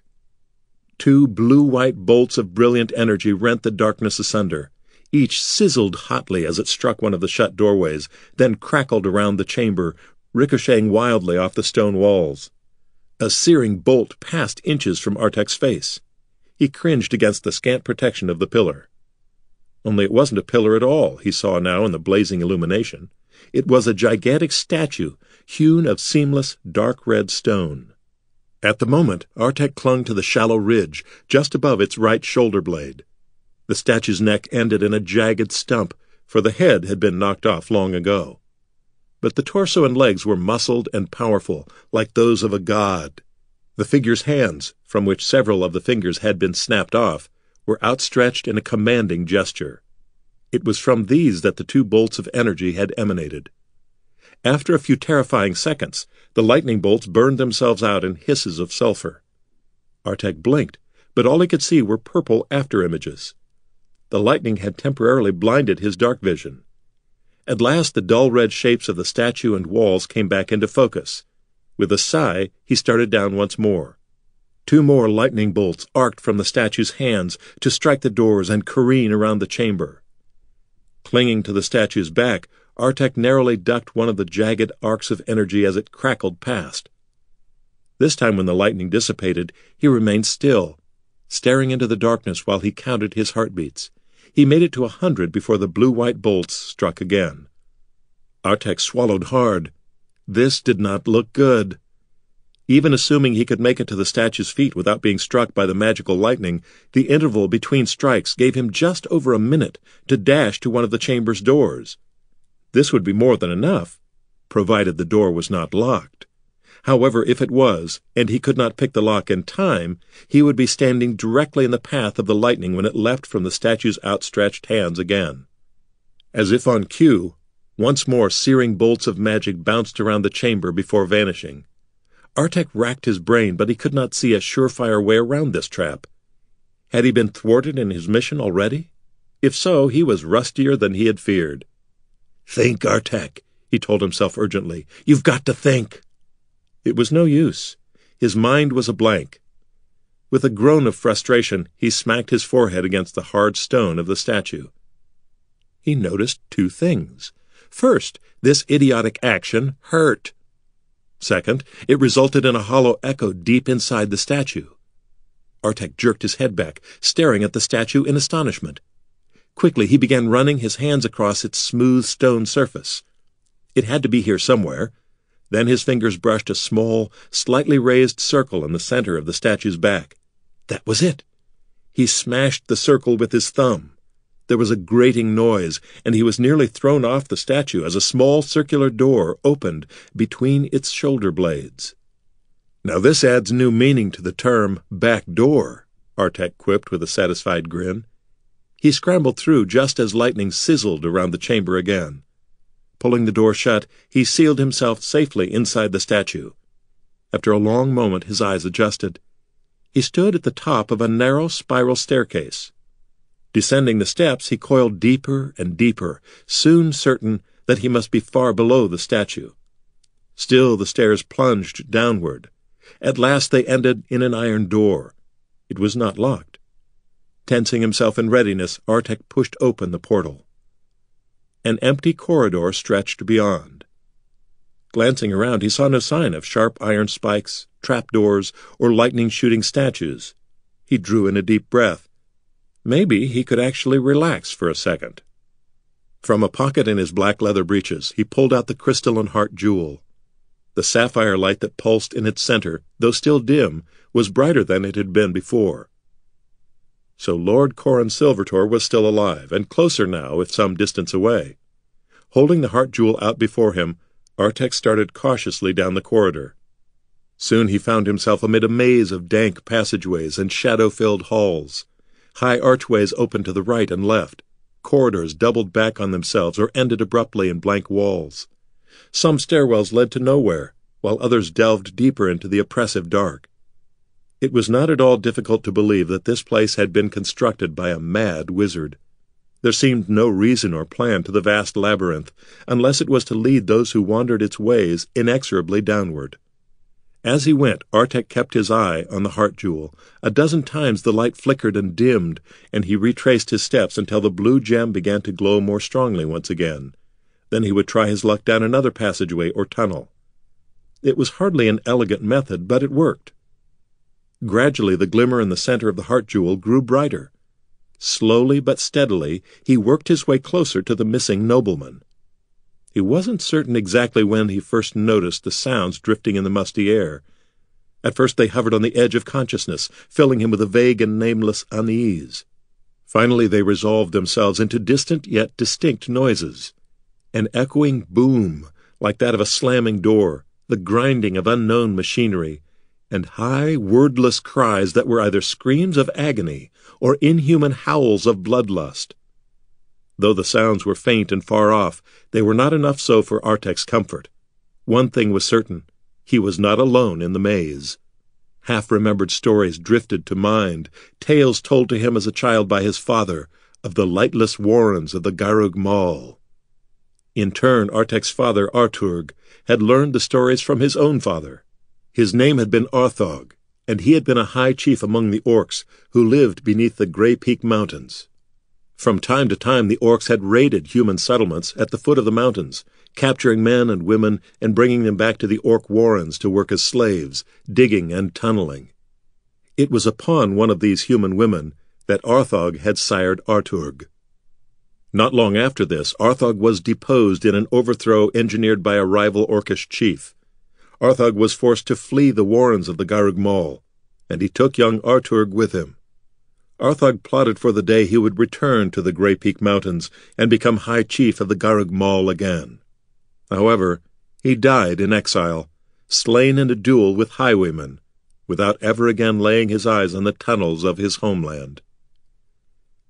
After his death, his half-orc son was left to fend for himself. Fully grown at the age of ten, Arturg was brutish in appearance. However, he could pass for a human man, at least in dim light. Remembering the power of the brigands who had killed his father, he made his way in the overworld as a rogue, though he never managed to rise far above petty theft. His companion was a human witch named Soraya, who died giving birth to Artek. Arturg raised Artek alone, teaching his son all that he knew of stealth and stealing. When Artek was seven, Arturg was caught robbing a rich merchant in Elturel. There he was beheaded, and with him died the dream of Arthog for Artek considered himself human, and he had no desire to return to the Grey Peak Mountains to claim rulership of the Garug. Yet it was not so easy for Artek to escape his inhuman legacy. Darkly handsome as he was, others still sometimes glimpsed the orcish blood that ran in his veins, and though in time he far surpassed Arturg in skill and success, he was still a thief, just like his father. In the end, his attempt to escape his heritage had been an utter failure, landing him in the prison of the Magisters. He had been stupid to think he could ever change. He would not make that mistake again. This is what I am, he growled under his breath. Gripping the hilt of his saber, he prowled down the dusky corridors of Undermountain, forcing the old stories from his head. He had a nobleman to find. Following the gleaming heart jewel, he passed through an open archway into a long, high-ceilinged room. Immediately, his nose wrinkled in disgust. A vile odor hung thickly on the air. Something crunched beneath his boot. Kneeling, he peered at the object. It was a thin, papery tube, almost like a sheath of some sort. Examining it more closely, he saw dull green scales embedded in its surface. Alarm stirred in his chest. He had a bad feeling about this place. Hastily he tossed down the sheath. It came from behind, a rhythmic whirring sound along with a rasping hiss. Artek spun on a heel. In the air before him hovered a brilliant green snake, leathery wings sprouting from its back, flapping rapidly to keep the creature aloft. Crimson light gleamed in its dull reptilian eyes, and the thing opened its mouth, bearing long fangs. He dodged, barely in time to avoid the stream of vitriol that sprayed from the snake's mouth. The black liquid struck the wall behind him, smoking and sizzling as it burned deep pits into the hard rock. Artek stared at the melting stone in shock. There was another whirring noise to his left.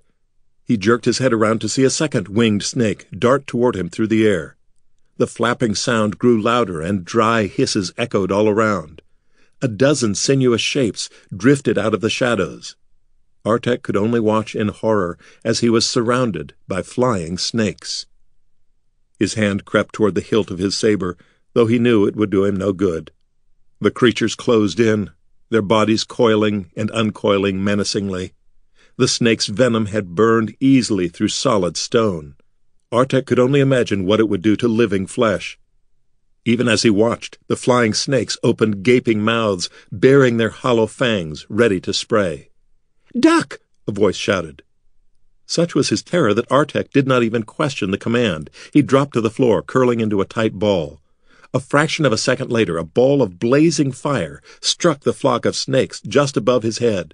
A blast of furnace-like air hit him.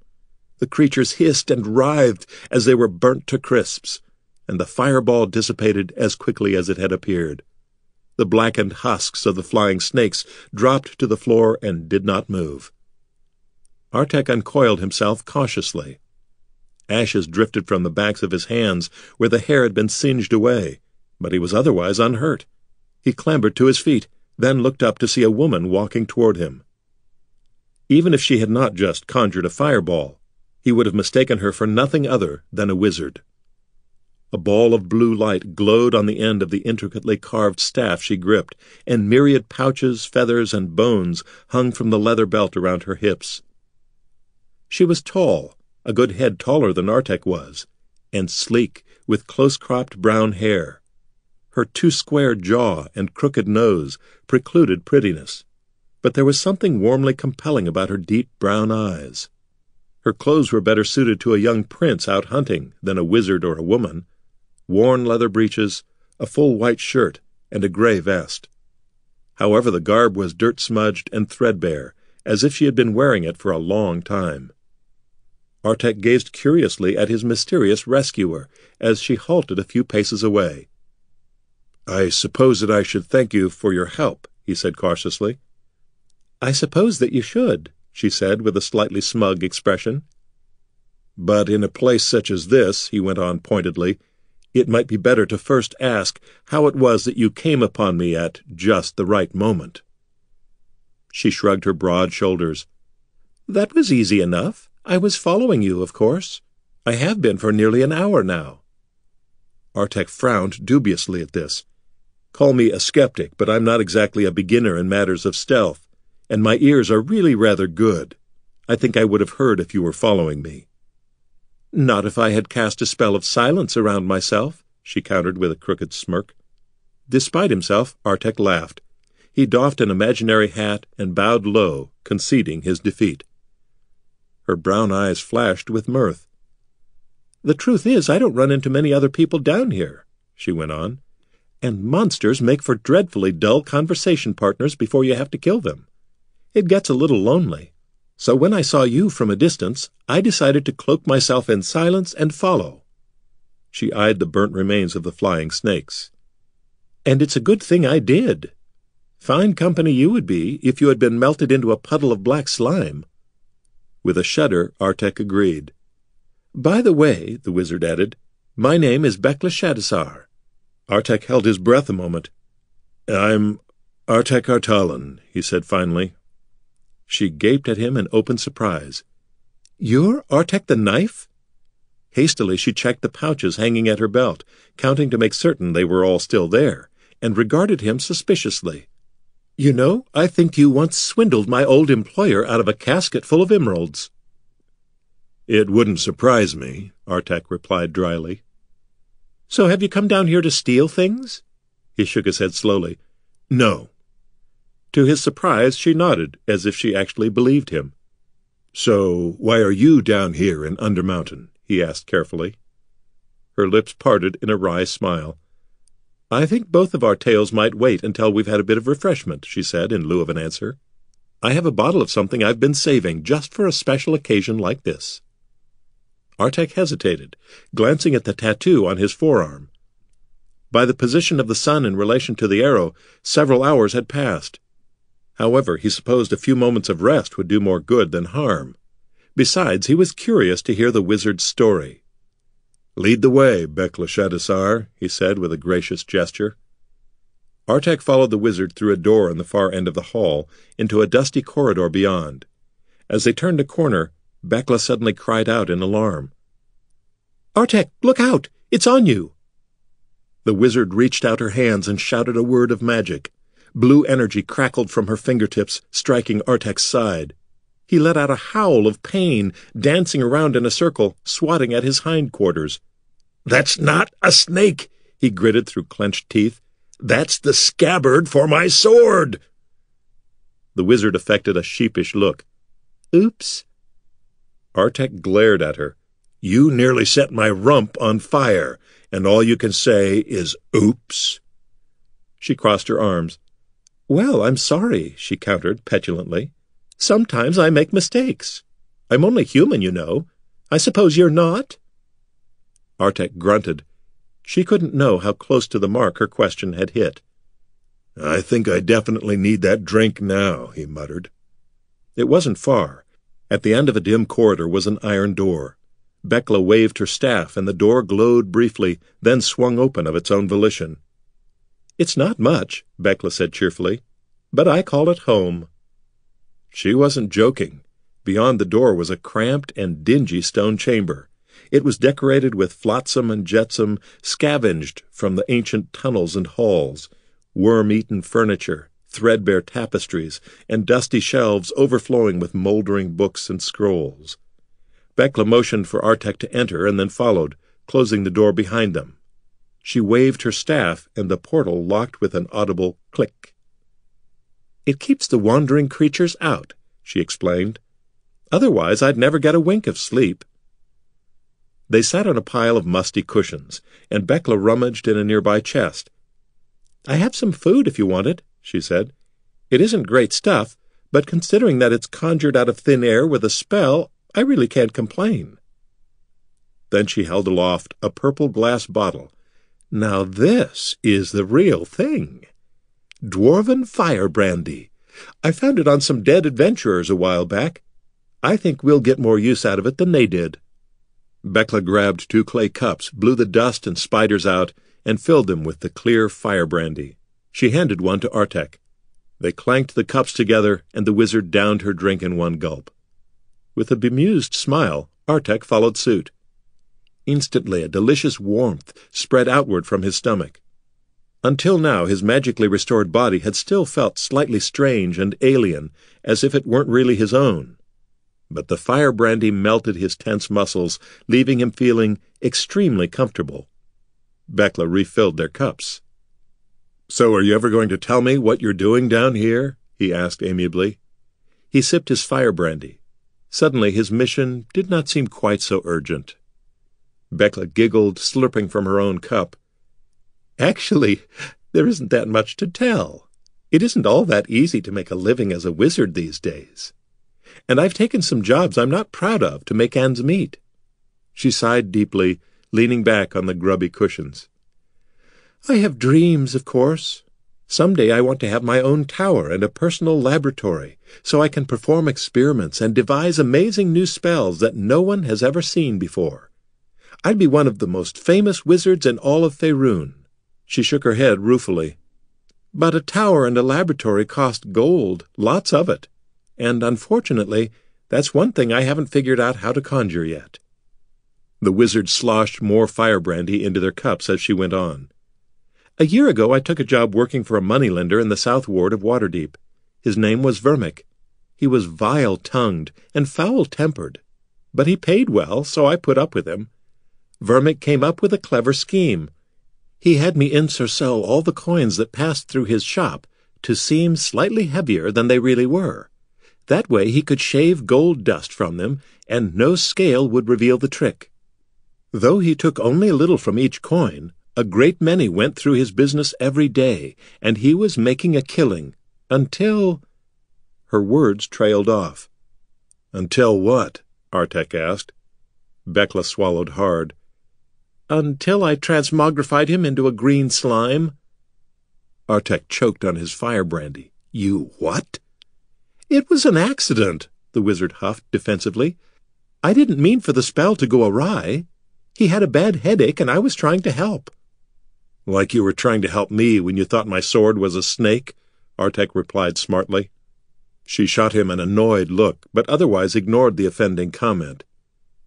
Anyway, I couldn't figure out how to change Vermic back. Personally, I think it simply brought his physical appearance in accord with the nature of his soul. Needless to say, his henchmen didn't appreciate the finer points of irony. In revenge, they came after my head. Because I'm rather partial to it myself, I decided it would be a good idea to look for a hiding place. I planned to lurk for a while in the sewers beneath Waterdeep. Then I stumbled on a way into Undermountain, and I figured there couldn't be a better hiding place. She held her arms out in a final gesture. And here I am. I can't say that I like living in this pit, but at least I am living. A year is a long time, Artek noted. I imagine Vermic has given up the chase by now. You could probably return to the surface. I would if I could, the wizard replied mournfully. What I wouldn't give to breathe real air again, not this wet, moldy stuff that passes for air down here. I've heard there's a well a few levels up that leads to a tavern, but I've never been able to find the way there. Of course, the nobles have their own entrances into this hole, but they're well hidden. Besides, they only open if your blood is bluer than sapphires. Then there are the sewers. According to the rumors, the city's sewers lead all the way down here. Maybe they do, but once I spent five days slogging through sludge, only to end up right back where I started. She let out a forlorn sigh. But that's the problem with Undermountain. It's a whole lot easier to get in than it is to get out, as you're bound to discover yourself. Artek reached into his pocket, fidgeting with the small gold box Melthus had given him. I suppose now it's my turn to tell you what I'm doing here, he said jovially. Dimly he noticed that his words were rather slurred. His tongue seemed oddly thick. He took a deep swig of his fire brandy, hoping that would improve things, then began his story. By the time he finished, Bekla gripped her cup, staring at him in astonishment. You were locked in the pit? she said incredulously. After a second, she burst into a fit of wild laughter. That must have been terrible. It was Absolutely awful, Artek agreed, snorting with mirth. He tried to bring his cup to his lips, but his hand wouldn't seem to behave properly. They served us gruel with live maggots. and that was on good days. Bekla let out a howl of glee. She tried to refill Artek's cup from the purple bottle, but missed altogether, spilling dwarven fire brandy on the floor. The volatile liquid quickly evaporated. So, how are you supposed to find this missing nobleman anyway? Bekla managed to gasp. With this. Artek pulled out the heart jewel and tossed it to the wizard. She fumbled with the glowing stone and finally managed to clutch it. But he could be almost anywhere in this labyrinth. Even with the jewel, it could take weeks to find him. He thrust out his arm, pointing to the magical tattoo, grinning broadly. And if I don't get back out in two days, this thing will kill me. This statement sent them both into breathless paroxysms of laughter.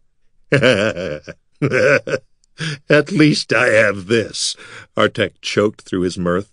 He showed her the golden box. When I find the nobleman, all I have to do is open this, and a magical gate will appear, leading back to the surface. Bekla gazed at the box with wide eyes. Ooh, that's very nice. She looked from side to side, then giggled mischievously. Listen, I have a secret to tell you. Artek leaned dizzily closer. What is it? She bit her lip, then smiled crookedly, speaking in an exaggerated whisper. I know where he is. Your lost lord. He's not far. I could take you right to him. Artek sat up straight. Instantly the giddiness drained from him. That was the advantage of dwarven firebrandy, and the reason it was such a rare and expensive commodity. Its highly intoxicating effects ceased the moment one wished them to. He stared at her, his black eyes deadly serious. You know where Lord Corin Silvertor is? The wizard's face quickly grew solemn as she too willed away the effects of the firebrandy. I do. Artek bore into her with his black eyes. He could see her pulse fluttering in the hollow of her throat but she did not look away. Thief's instinct warned him that she was not telling him everything. But she was not lying. Of that he was certain. She did indeed know where to find the lost lord. Take me to him, he said intently. Take me with you, she replied in an even voice. For a silent moment the two gazed at each other. Then a reluctant smile spread across Artek's face. This time it was not from the firebrandy. It looks like we have a deal, wizard. Bekla beamed brightly in reply. She stood gripping her wizard's staff. All right, then, she said crisply. Let's go rescue us a nobleman. Chapter 3 Outcasts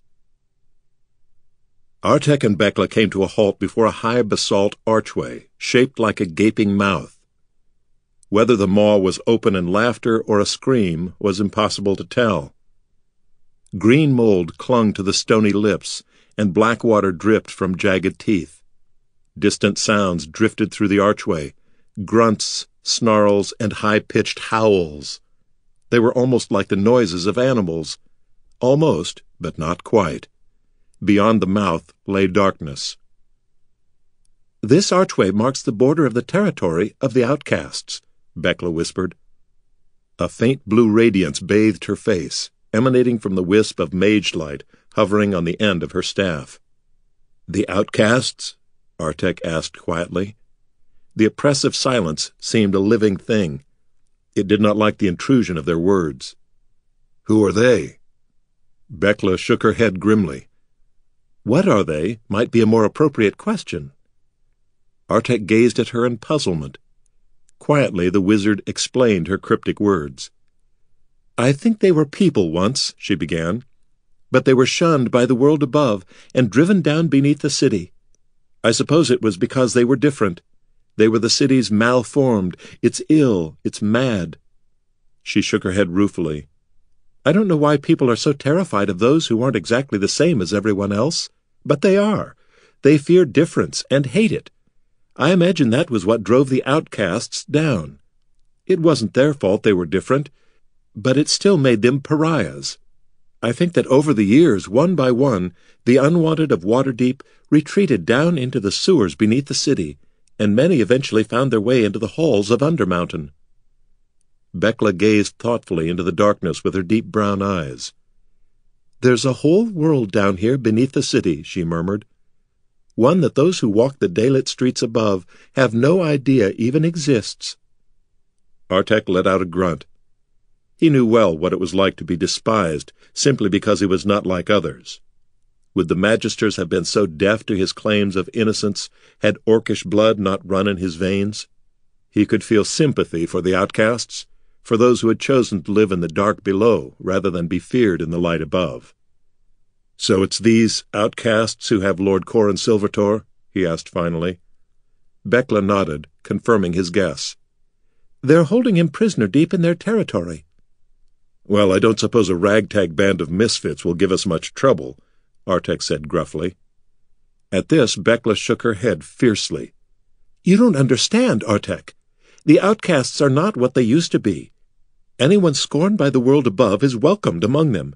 But they hate those who are whole, those like us, and over the years that hatred has changed them. A chill snaked down Artek's back. Change them? he said slowly. How? She gripped her staff with white-knuckled hands. I think their hatred melded with some dark magic that lingers in these corridors even now, so long after Halaster created them. The very stones exude an evil enchantment like a foul odor. The outcasts fled the world above because they were perceived as monsters, and over time, down here in the darkness, they have become just that. The atmosphere of Undermountain has twisted them. I've never laid eyes on any of the outcasts myself. Few who do so survive. But according to the stories, they're not human anymore. Bekla could not suppress a shiver. Artek stared at her in grisly astonishment. So, why wouldn't they just kill Lord Silvertor? he asked. From the description I got, Silvertor is young and handsome, if what you've said about the outcasts is true, they would loathe him. Yes, they would, the wizard agreed solemnly. But you don't know the whole story. The outcasts don't kill those who intrude upon their territory. Revulsion choked her voice. Instead, they twist their bodies and minds, turning the intruders into outcasts like themselves. This time it was Artek who shivered. It was a horrible image. How do you know all this, Bekla? The wizard flashed a wan smile in his direction. I have my ways. He frowned at this enigmatic answer, and she let out a soft laugh. Actually, it's no mystery, she explained. I'm not the only one hiding out down here, and rumors tend to travel pretty swiftly through these dreary tunnels. Artek nodded, temporarily satisfied with her answer. An uneasy feeling gathered in his stomach. He glanced down at the dark ink tattoo on his arm. The arrow was now halfway between sun and moon. Already six hours had passed. He didn't like the idea of meeting up with the outcasts, but he had little choice. If he wanted to live, he had to venture into their territory. He shot the wizard a questioning look. Are you certain you still want to come with me, Bekla? That little golden box of yours might be the only way I'm ever going to get out of here. She crossed her arms, fixing him with an even gaze. You could just kill me and take it, you know. Her lips parted in a crooked grin. If I was going to do that, wouldn't I have done it by now? Despite his fear, he let out a laugh. I suppose so. Together they stepped through the archway's gaping mouth. While elsewhere the dank air of Undermountain had been oppressive, here it was downright menacing. As they went, the darkness parted sluggishly before Bekla's flickering ball of mage light and closed turgidly behind them, like oily water in the wake of a ship. Artek found himself taking shallow breaths. He was reluctant to draw the noxious atmosphere into his lungs, as if once inside his body it might fester, filling him with its dark disease. He knew that they were not welcome here. The two walked down a twisting tunnel. Its walls were strangely curved and ridged. A dark, glistening mucus covered them, dripping onto the floor, which was nauseatingly soft and spongy under their feet. In all, the tunnel seemed as if it had not been hewn of stone, but was alive. Artek felt as if they had been swallowed by a gigantic creature and were now moving down its long, sinuous esophagus. Hot bile rose in his own throat, he tried to force the queasy image from his mind, but had little success. They had gone only a short way when the moist tunnel divided. They paused, and Artek pulled the heart jewel out of his pocket. The blue light glimmering in the center was stronger now. He moved a few paces down the right-hand passageway. The gem flickered. He retraced his steps, then padded down the left-hand tunnel. The glow inside the heart jewel steadied and strengthened. This way, Artek whispered. Bekla followed after him, and the two moved down the slime-covered passage. Before long the tunnel forked again and again. Each time, Artek used the glowing heart jewel to determine which way they should take. Soon they found themselves in a labyrinth of networking tunnels, branching and rejoining countless times in a chaotically braided pattern. Artek began to wonder if they could ever find their way back out if they needed to. He did not voice his fear. A distant thrum vibrated in the air. It was so low that they felt it more than they heard it, reverberating beneath their feet almost like the sound of a beating heart. Otherwise, the winding tunnels were utterly silent. The grunts and howls that had drifted out of the mouth arch had ceased. The quiet was even more disturbing. Where are the outcasts? Artek hissed when the silence became almost unbearable. Bekla bit her lip nervously. I don't know but I almost wish they would just show themselves. I don't think facing them could be any more horrible than wondering and waiting. There was nothing to do but keep moving. The tunnel opened up before them, and they found themselves in a smooth-walled chamber. Glossy shapes were embedded in the wall, livid and throbbing like huge organs. Sickened, they hurried across the squelching floor and moved through a circular opening in the far wall.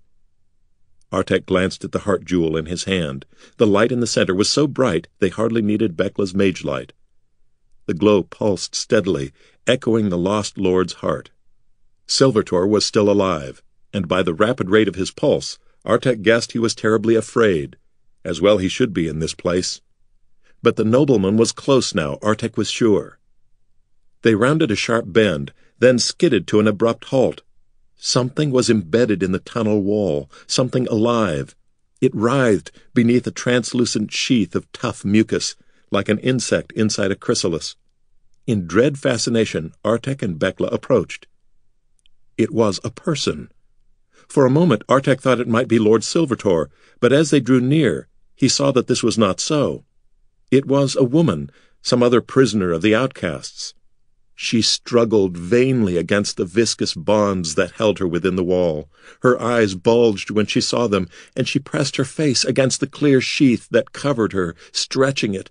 She opened her mouth, screaming. No sound came out, but Artek could understand her words by the movement of her lips. Help me, she was screaming. Please, by all the gods, help me. We've got to cut her free, Bekla cried. Artek reached for the saber at his hip. In horror, he froze. It was too late.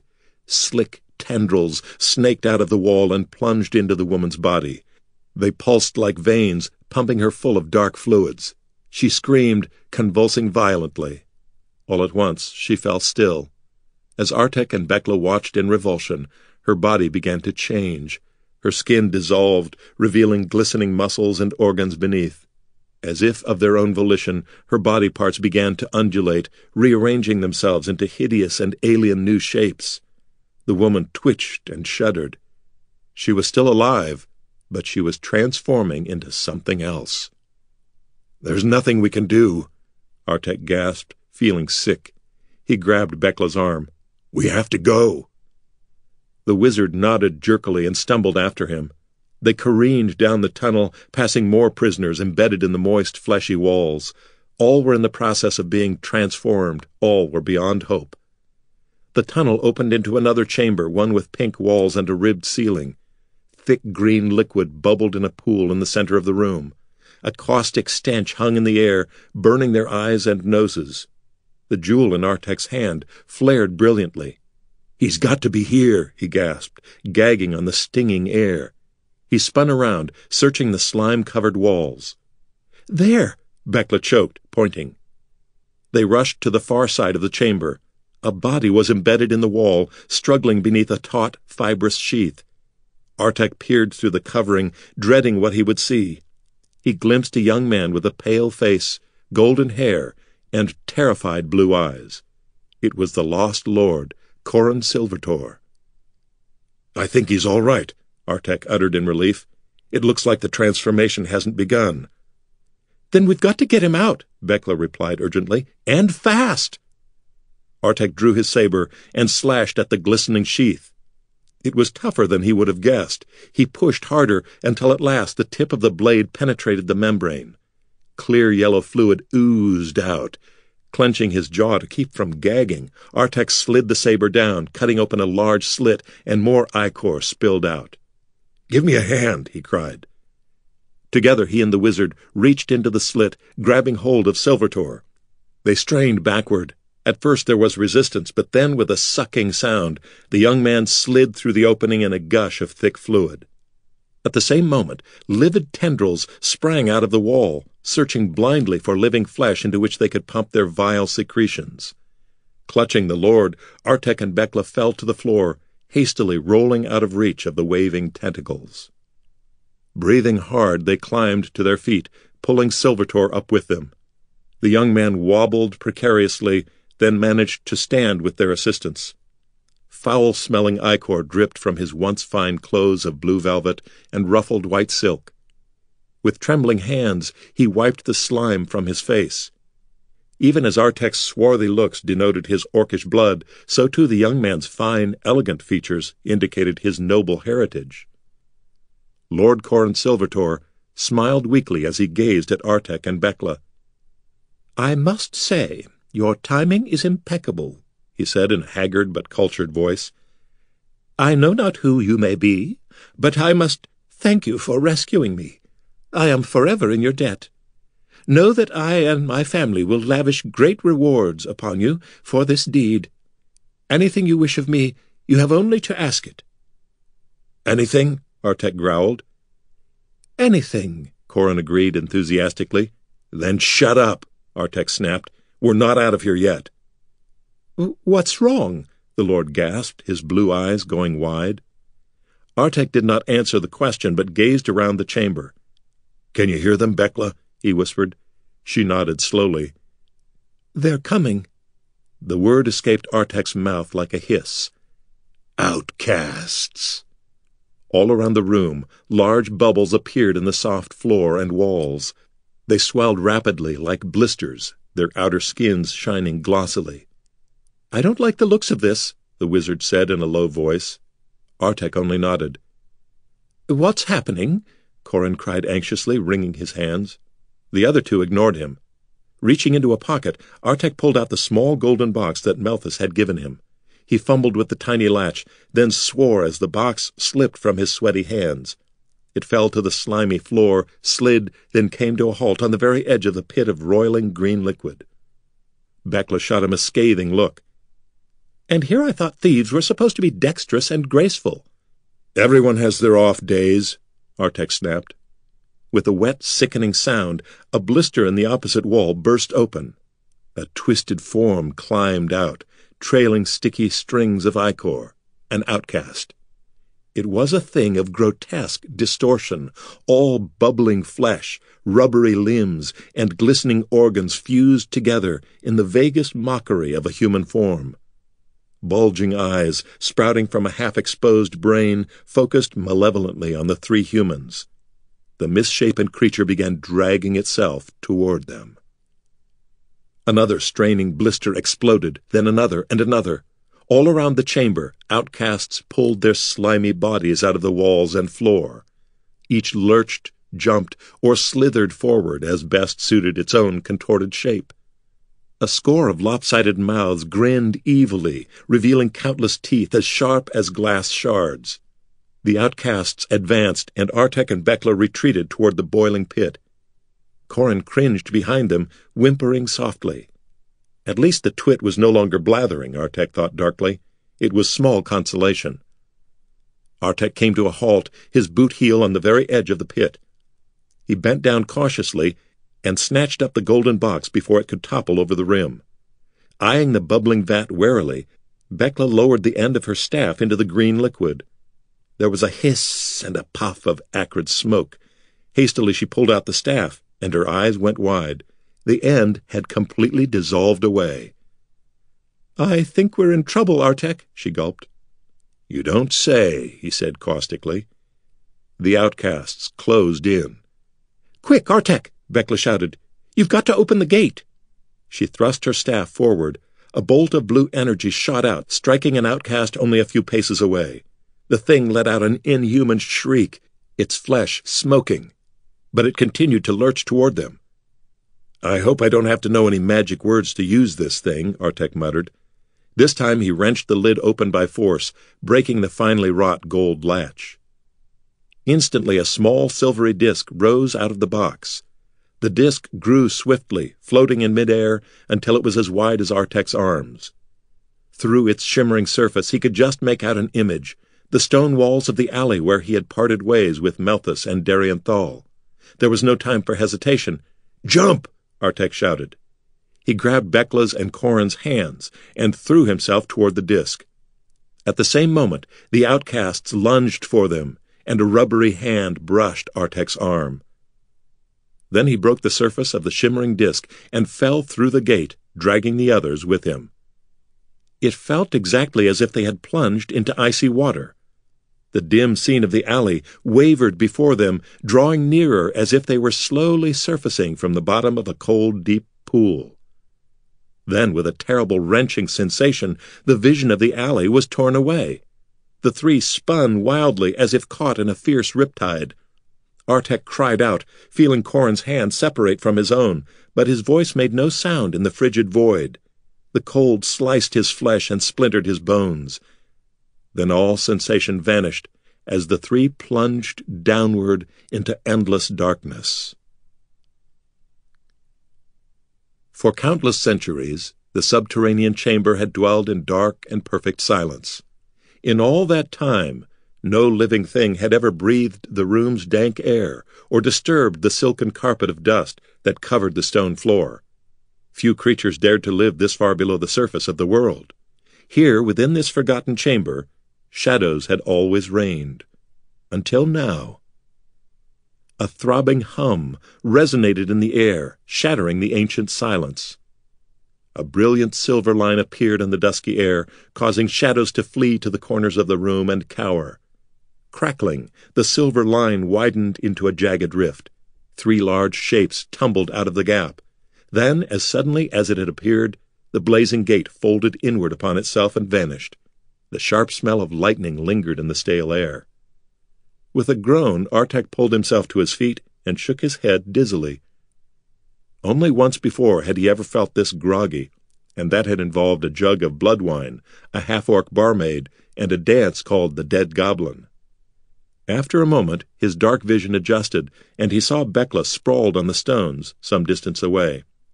Hastily he moved to the wizard, fearing that the fall had injured her, but his sharp ears caught a muttered string of strikingly graphic curses and oaths. He grinned, his slightly pointed teeth glowing in the darkness. Bekla was just fine. Gripping the wizard's hand, he hauled her to her feet. Wavering blue light flared to life on the end of her staff, illuminating the chamber. Nightmarish friezes covered the walls, and grotesque statues lurked in the corners. Artek shuddered. Whatever this place was, it had been created by a mad and evil genius. Bekla spoke with a frown. Granted, it's been a while since I've been to the surface, but this doesn't exactly look like the streets of Waterdeep to me. I don't understand, Artek replied in confusion. When I opened the gate, I saw the alley where I left Darien Thal. We were heading right toward it, and then... He shook his head, trying to remember the disorienting seconds after they had jumped through the gate. Bekla gazed at one of the friezes. The stone relief depicted a tangled mass of writhing bodies tumbling into a jagged pit. Nervously, she looked away. I have a very bad feeling about this, she said grimly. You're not the only one, Artek gulped. Bekla looked around in the dim light. So what happened to the lump? I mean, the Lord? Artek glanced about. Silvertor let go of my hand as we passed through the gate, he said. The fool could have landed anywhere nearby. Suddenly a cry of fear emanated from one of the shadowed corners of the chamber. Help! Help! a voice wailed piteously. I've been caught by a terrible monster. It's going to eat me. Please, somebody, help! Artek and Bekla exchanged looks of alarm, then dashed toward the corner. Artek's hand dropped to the hilt of his saber, while Bekla gripped her staff tightly. Artek swore inwardly. That foppish young lord was his one ticket to freedom, and to continued life. If the fool had managed to get into trouble already, Artek was going to... Well, he wasn't going to kill Silvertor, he needed the Lord alive, but he would come up with something extremely unpleasant. Artek and Bekla reached the opposite corner of the chamber. The wizard's mage light pierced the gloom to reveal Lord Corin Silvertor flailing wildly in midair, hanging by his coat from the jaws of a huge beast. His pale face was agape with terror, in the shadows behind him loomed a terrifying, evil shape that looked like a cross between a lizard and a wolf. For a frozen second, Artek stared in horror. Then laughter rumbled in his chest. Next to him, Bekla burst into peals of mirth. What's wrong with you two? Corin cried fearfully. Can't you see that the dastardly monster has got me? So far I've been able to hold the foul beast at bay with my bare hands, but I don't think that I can stave it off much longer. You've got to help me, please. This was too much for Artek and Bekla. They leaned against each other, shoulders shaking, howling with laughter. Corin gaped at them in terror and confusion. Then, aided by Bekla's glowing blue mage light, realization gradually dawned on him. The monster was made of stone. In the soft light emanating from Bekla's staff, the thing was clearly revealed to be a statue. Cracks covered its dusty shape, and one of its gnarled legs had been snapped off and lay nearby. The collar of Corin's velvet coat had snagged on a sharp tooth in the statue's gaping lower jaw, suspending the nobleman in midair. Apparently, it had caught him when he tumbled out of the gate. Well, isn't this awkward? Corin said sheepishly. For you, at least, Bekla snorted. The nobleman gave her a wounded look, but said nothing. Artek scrambled up the basalt statue and perched on its flat skull. He drew a dagger from his boot and cut the fold of blue velvet that had snagged the stone tooth. With a yelp, Corin fell to the floor, and Bekla helped the stunned lord to his feet. The nobleman did his best to arrange his expensive clothes, but they were torn and smeared with dark slime. He brushed his long, pale hair away from his high forehead. You could have warned me before you cut my coat, you know, he said indignantly as Artek lightly hopped down from the statue. I know, Artek said amiably, slipping the dagger back into his boot. Corin's blue eyes grew large at this impertinence. He stared at Artek and Bekla, then swallowed hard. You two aren't dangerous, are you? Bekla smiled nastily. As a matter of fact, we are. Fear blanched Corin's boyishly handsome face. Artek shot Bekla an annoyed look, then turned back toward the nobleman. Don't worry, Silvertor. We may be dangerous, but we came here to rescue you. This is Bekla Shadisar. You can tell she's a wizard by her peculiar notion of humor. She's on the run from her old master, who she turned into a green slime. And I'm... He licked his lips nervously. Why didn't this ever get any easier? I'm Artek Artalan.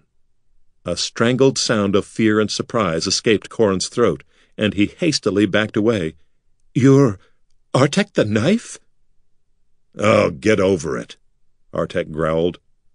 Apparently this was easier said than done.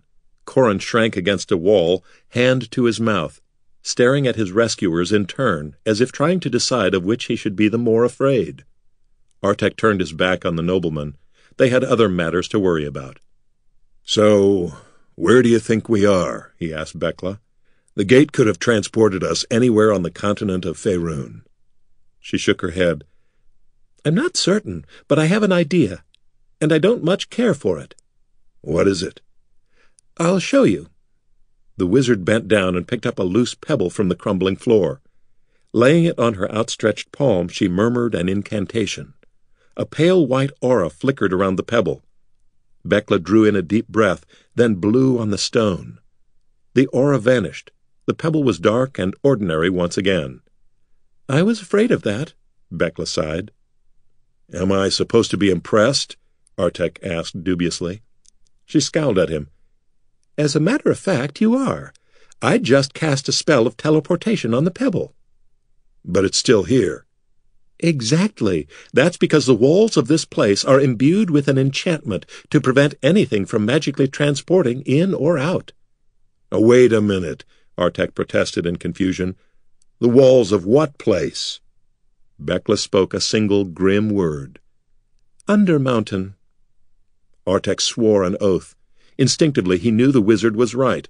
This place had the same oppressive feel as the rest of Undermountain.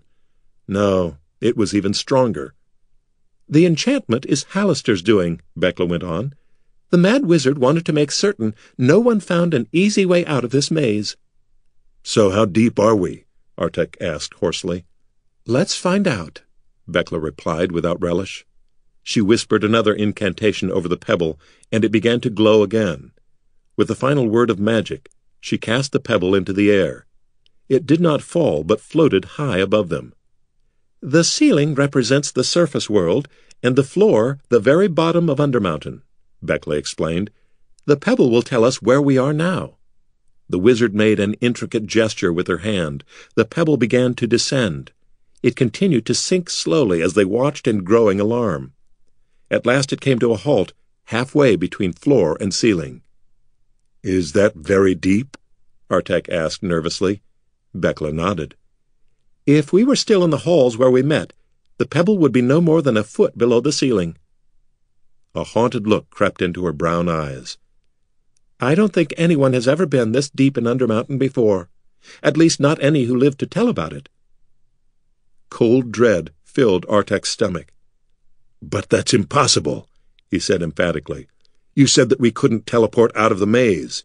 You didn't say that a gate would fail as well. A gate is different from a teleport spell, Artek. Bekla fixed him with a piercing look. It should have worked. What did you do? It wasn't me, he said defensively. Well, somebody did something. At this, Artek nodded, scratching his chin. You're right and there's only one person who might be able to help us understand exactly what happened. As one, Artek and Bekla turned to glare at Corin. What?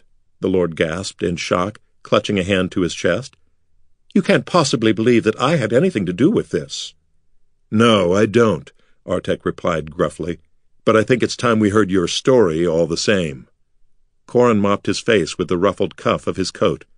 The effort did little besides smear around the grime, but the nobleman was oblivious to this fact. Let's see, Corin began.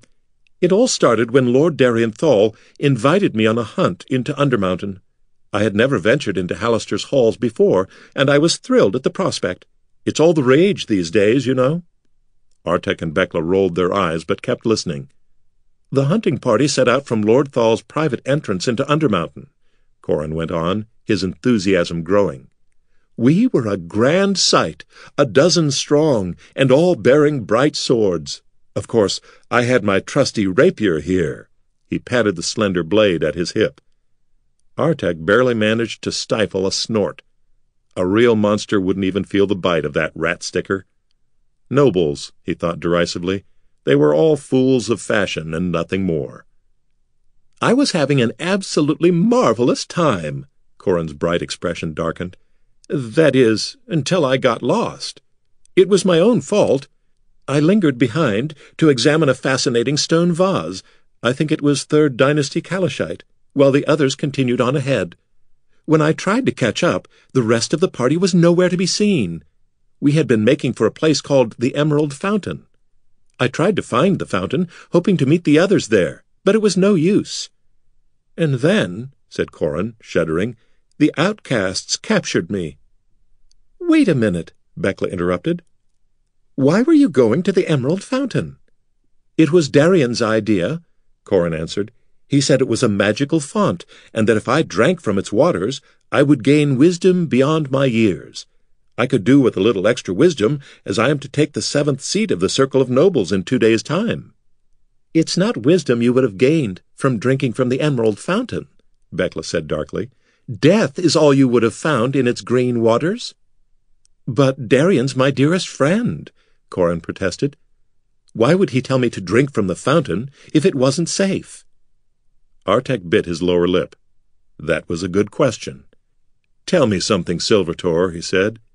If you were not present when the vote was held, who would ascend to the circle of nobles in your stead? Corin shrugged. Why, I imagine Lord Thal is the next in line, but what does that... Oh...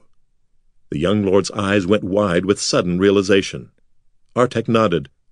This was all starting to make sense. He plied Corin with more questions about Darien Thal and the hunting trip, and soon pieced together a story. While he wasn't certain if it was exactly right, he knew it couldn't be far from the truth. Without doubt, Lord Darien Thal wanted the vacant seat on the Circle of Nobles for himself.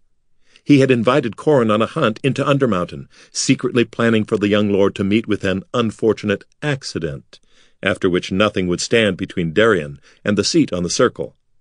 Yet Darien had not counted on Corin getting lost before the foolish young lord could be disposed of. That's where I came in, Artek thought angrily. Darien did not want to take the chance that Corin would somehow manage to stumble on a way out of Undermountain in time for the vote. He needed someone to go below and finish the job. All along it had been Artek's task not to rescue Corin, but to make certain that he never returned from Undermountain. The golden box from Melthus had not malfunctioned at all. The gate had taken them exactly where Darien had intended, deeper into Undermountain. Gurgnoth, Artek swore. It was an orcish oath learned from his father. Rage boiled in his blood at the one possible conclusion. Lord Darien Thal had betrayed him. Chapter 4 Webs of Deceit Arms crossed over her chest, Bekla paced in agitation before a leering statue of some nameless beast. Corin watched, apprehension written plainly across his boyish face. This is just wonderful, the wizard said acidly. I thought you were going to get me out of this dump, Artalan, and now I'm deeper than ever. She let out a sharp sigh of exasperation. I suppose that will teach me to trust a thief. Artek slumped against a wall. He stared blankly at the bas-relief carving of lost souls falling into the dark void of the abyss. So this is how the line of Arthog ends, he thought bitterly. Not in glory, ruling over the Garug Mall once more, but in ignominy, alone and forgotten in a hole in the ground. Artek sighed dejectedly. He had been wrong to turn his back on the darkness within him, and this was the punishment that deed had wrought. I'm sorry to have led you to a bad end, Bekla, he said hoarsely. I didn't mean for it to turn out this way. The wizard paused in her pacing to glare hotly at him. Oh, that's just great, she said disgustedly. First you get me into this mess, and then you decide to just lie down and give up. You know, I don't think you're half the thief all the stories made you out to be, Artek Artalan.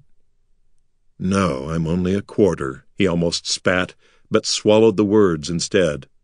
You said it yourself, Bekla, he said grimly.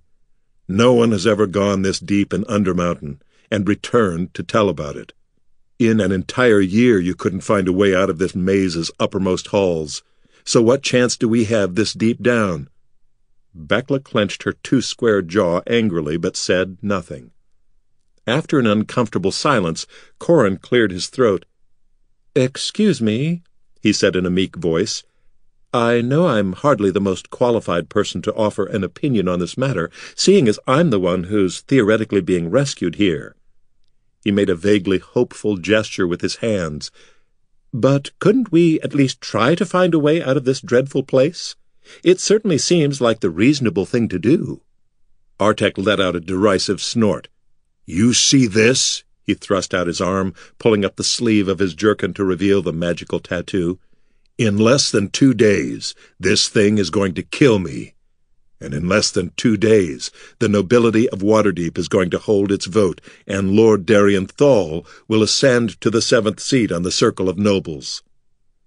He jerked the sleeve back down, covering the tattoo. Don't you understand? There's no point in trying to escape. Even if we could find a way out of this hole, it would certainly take us more than two days, and by that time I'd be dead. And if you managed to get out, Corin, I'm sure the first thing Darien would do in his new position of power would be to find a way to dispose of you.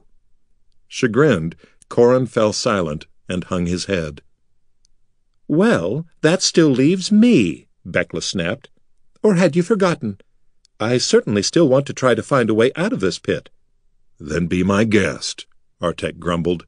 He turned his back on the wizard. Anger burned in her brown eyes. She ran a frustrated hand through her close-cropped brown hair. For a moment she bit her lip, considering something.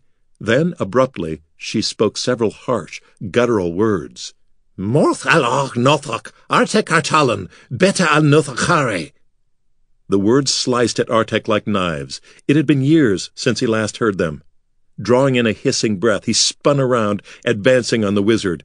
Where did you learn to speak that? He demanded fiercely. Bekla stepped backward, momentarily startled by the fury blazing in his black eyes. Corin stared at the two in open alarm. Then, visibly, the wizard steeled herself. I once traded spells with an orcish sorcerer, she said evenly, a sly smile on her lips. Of course, I learned a few things other than spells from him, and I heard him use that oath once or twice. Artek shook with rage. Old memories surfaced in his mind of a father berating his child for being too afraid to pick a rich merchant's purse. Do you know what those words mean? he choked. Bekla nodded solemnly. Your heart is not that of an orc, it is that of a goblin. I think that's an accurate translation, don't you? She clucked her tongue at his shocked expression. Come now, Artalan, don't be so surprised. All the stories say that orcish blood runs in your veins. Artek opened his mouth, but he could find no reply. Only once had Arturg used those words with him, but once had been enough. There was no greater insult among orc kindred than to have one's heart compared to a goblin's. It was an accusation of cowardice, a brand of worthlessness. As a child, Artek had done everything he could to please his father in order to make certain that he never heard those hateful words again.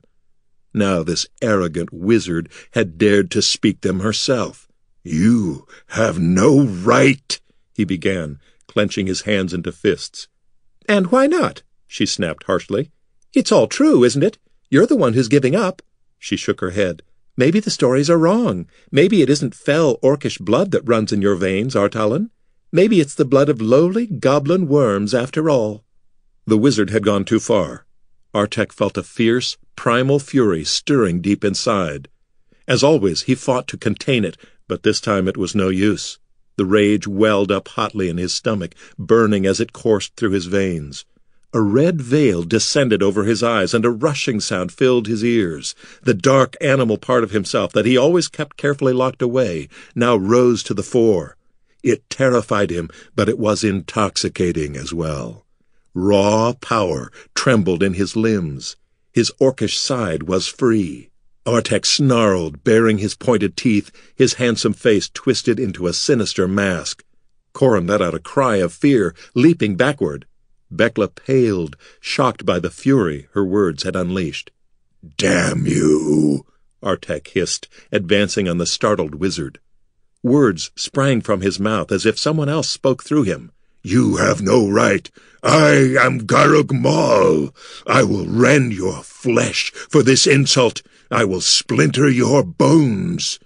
Artek grabbed Bekla and shoved her roughly against a stone wall. His hands encircled her throat. The desire to kill seared his mind.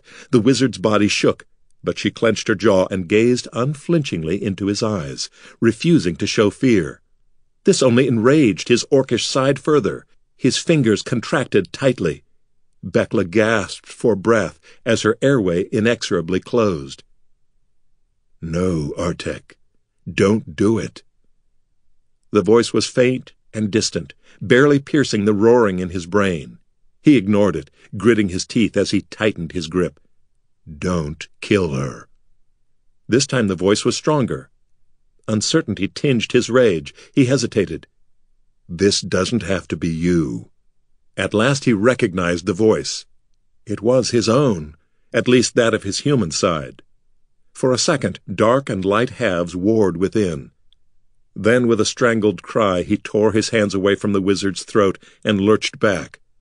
Bekla stumbled forward, clutching her throat, gulping in ragged breaths. Artek shuddered, staring at his clenched hands, sickened at how close to killing they had come. He looked up. Though her lips were tinged with blue, the wizard was grinning. That was dangerous, Bekla, he said, his voice low and grim. I could have killed you. I almost did. You took a foolish gamble. But it worked, didn't it? she rasped smugly. Corin and I need you, Artalan. We have to stick together if we're to have any hope of getting out of here. I guessed that only a little orcish anger would burn through your stupid self-pity, and I was right. Artek scowled at her. Well, you don't have to act so pleased about it. Oh, and why not? He had no answer to that and settled for a sullen grunt instead. Risky as it had been, the wizard's plan had worked as intended. Despair and hopelessness had been burned away by his rage. Artek wanted nothing more now than to have his revenge on Lord Darien Thal, and the only way he could achieve that was to escape from Undermountain. He found himself returning Bekla's grin. As violent as his orcish side was, it had its uses. Corin gasped as he realized what the wizard had done. Oh, bravo, Bekla, he exclaimed, clapping his hands together tattered lace cuffs fluttering. That was simply brilliant. A virtuoso performance. He snapped his fingers as an idea occurred to him.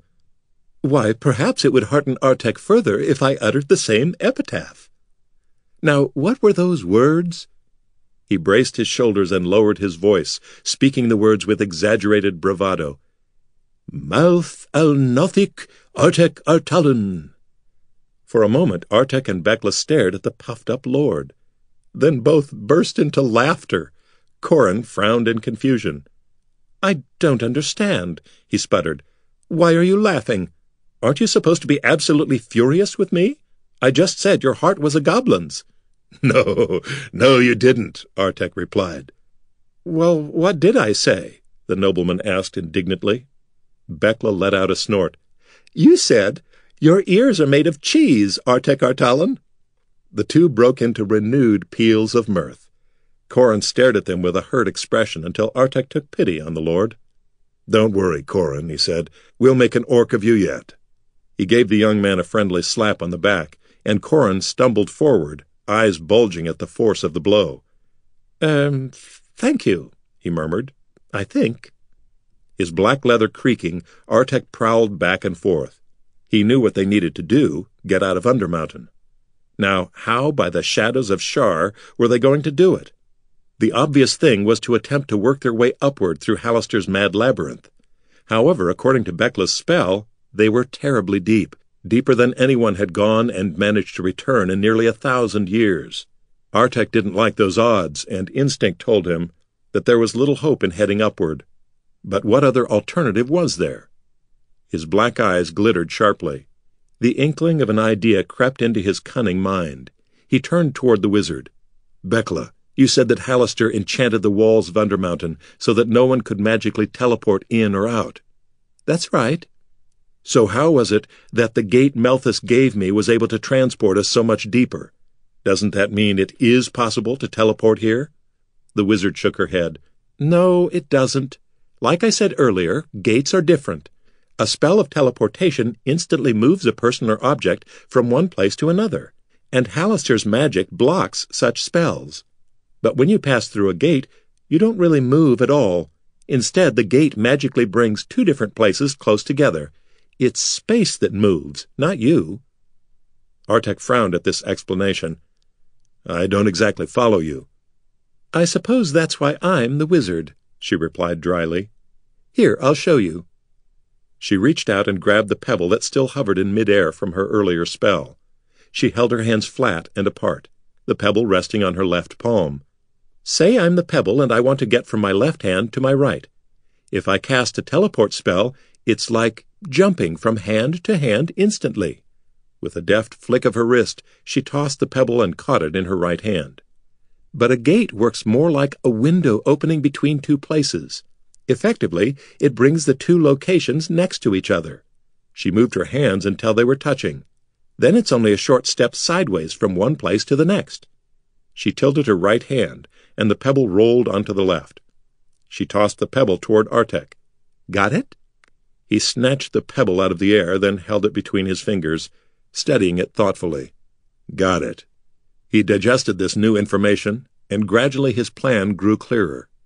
So instead of trying to find our way up through an endless maze, all we need to do is find another one of these gates. If there are any others, Bekla amended cautiously. There have to be others, Artek replied. All the stories tell how Halaster abducted living things, people and monsters alike, for use in his magical experiments.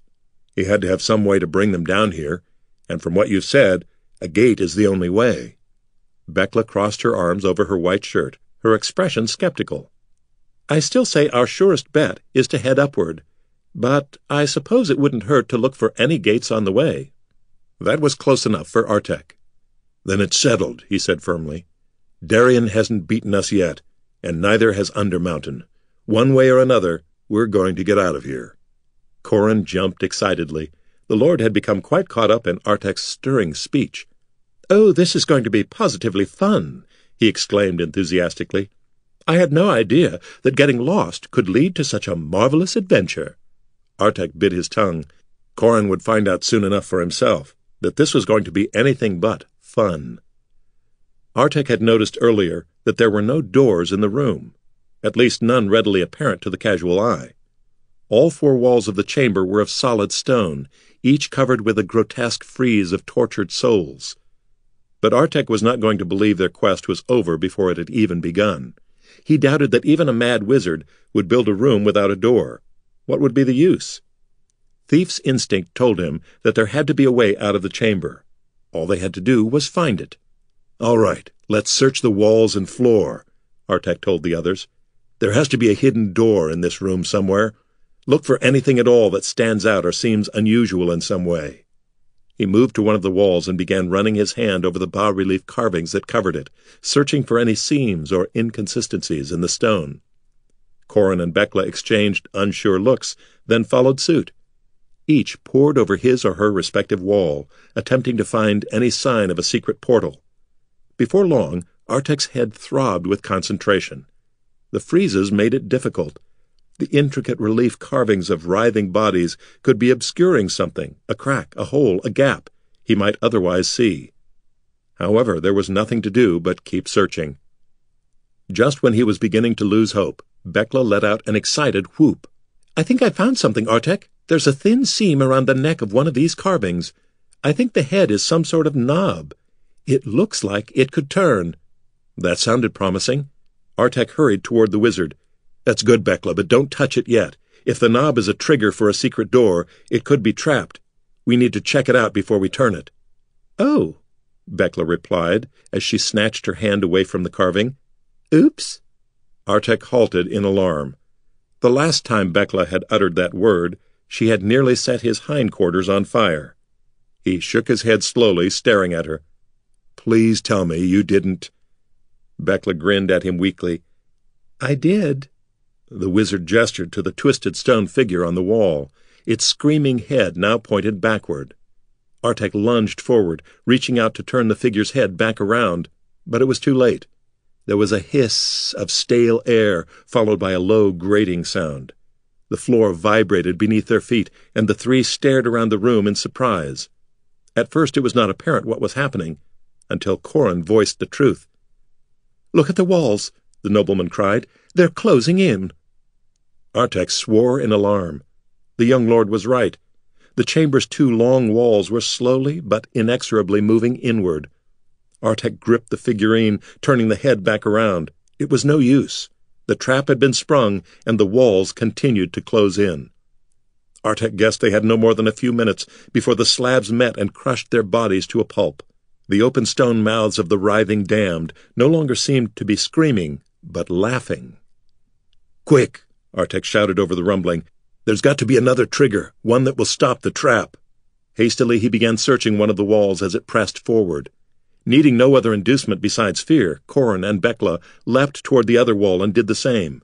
As they searched, they were forced to keep stepping backwards as the walls closed in. There were fifteen paces between them, then ten, then five. Frantically, Artek kept searching. He felt something brush his back. Glancing over his shoulder, he saw Bekla staring at him with wide eyes. The walls were no more than two arms' lengths apart. That's odd, Corin announced. The arm on this figurine looks almost like a lever. Well, then pull it, Bekla cried urgently. Corin put his hands behind his back. Oh, no, not before Artek checks it. You heard what he said before. Artek craned his neck, gazing with wild eyes at the nobleman. Pull it, Corin, he shouted. The Lord shook his head.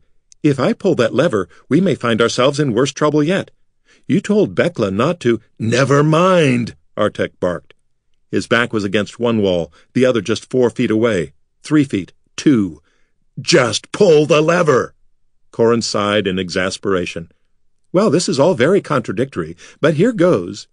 He gripped the stone arm and pulled the lever. The floor dropped out from beneath their feet, and the three plunged downward, screaming. The two walls met with a clap of thunder above their heads, grinding together with bone-crushing force. For a moment more they continued to fall through darkness, then with three grunts they struck a hard stone floor. Artek groaned as he sat up. Magically restored though it was, his body still wasn't used to all this falling and landing, if it ever had been. He probed gently with his fingers, wincing as he found numerous tender spots. However, nothing seemed to be broken pale blue mage light flared into being. Bekla slumped against a wall, gripping her staff, grimacing but whole. With painful effort, Artek turned around, wondering how Corin had fared. He stared in amazement as the nobleman leapt easily to his feet, briskly dusting off his tattered finery. That was positively thrilling, Corin said exuberantly. The danger, the excitement, the narrow escape. His blue eyes shone brightly. I don't suppose we could do it again. Are you sure we can't kill him, Artalan? Bekla grumbled, slowly pulling herself to her feet with the help of her staff. Don't tempt me. Joints and muscles protesting, Artek stood. Corin eyed the others speculatively. You know, I'm beginning to get the distinct impression that neither of you likes me very much. Wherever would you get such an idea? Artek replied facetiously. Oh, I don't know, Corin mused. I suppose it's all this talk about wanting to kill me. One might construe that as an indication of dislike.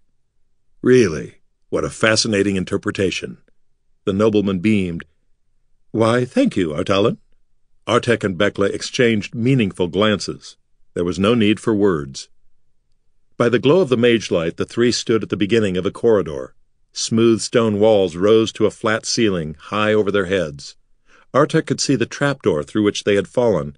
It was now blocked by the bases of the thick stone walls that had nearly crushed them in the room above.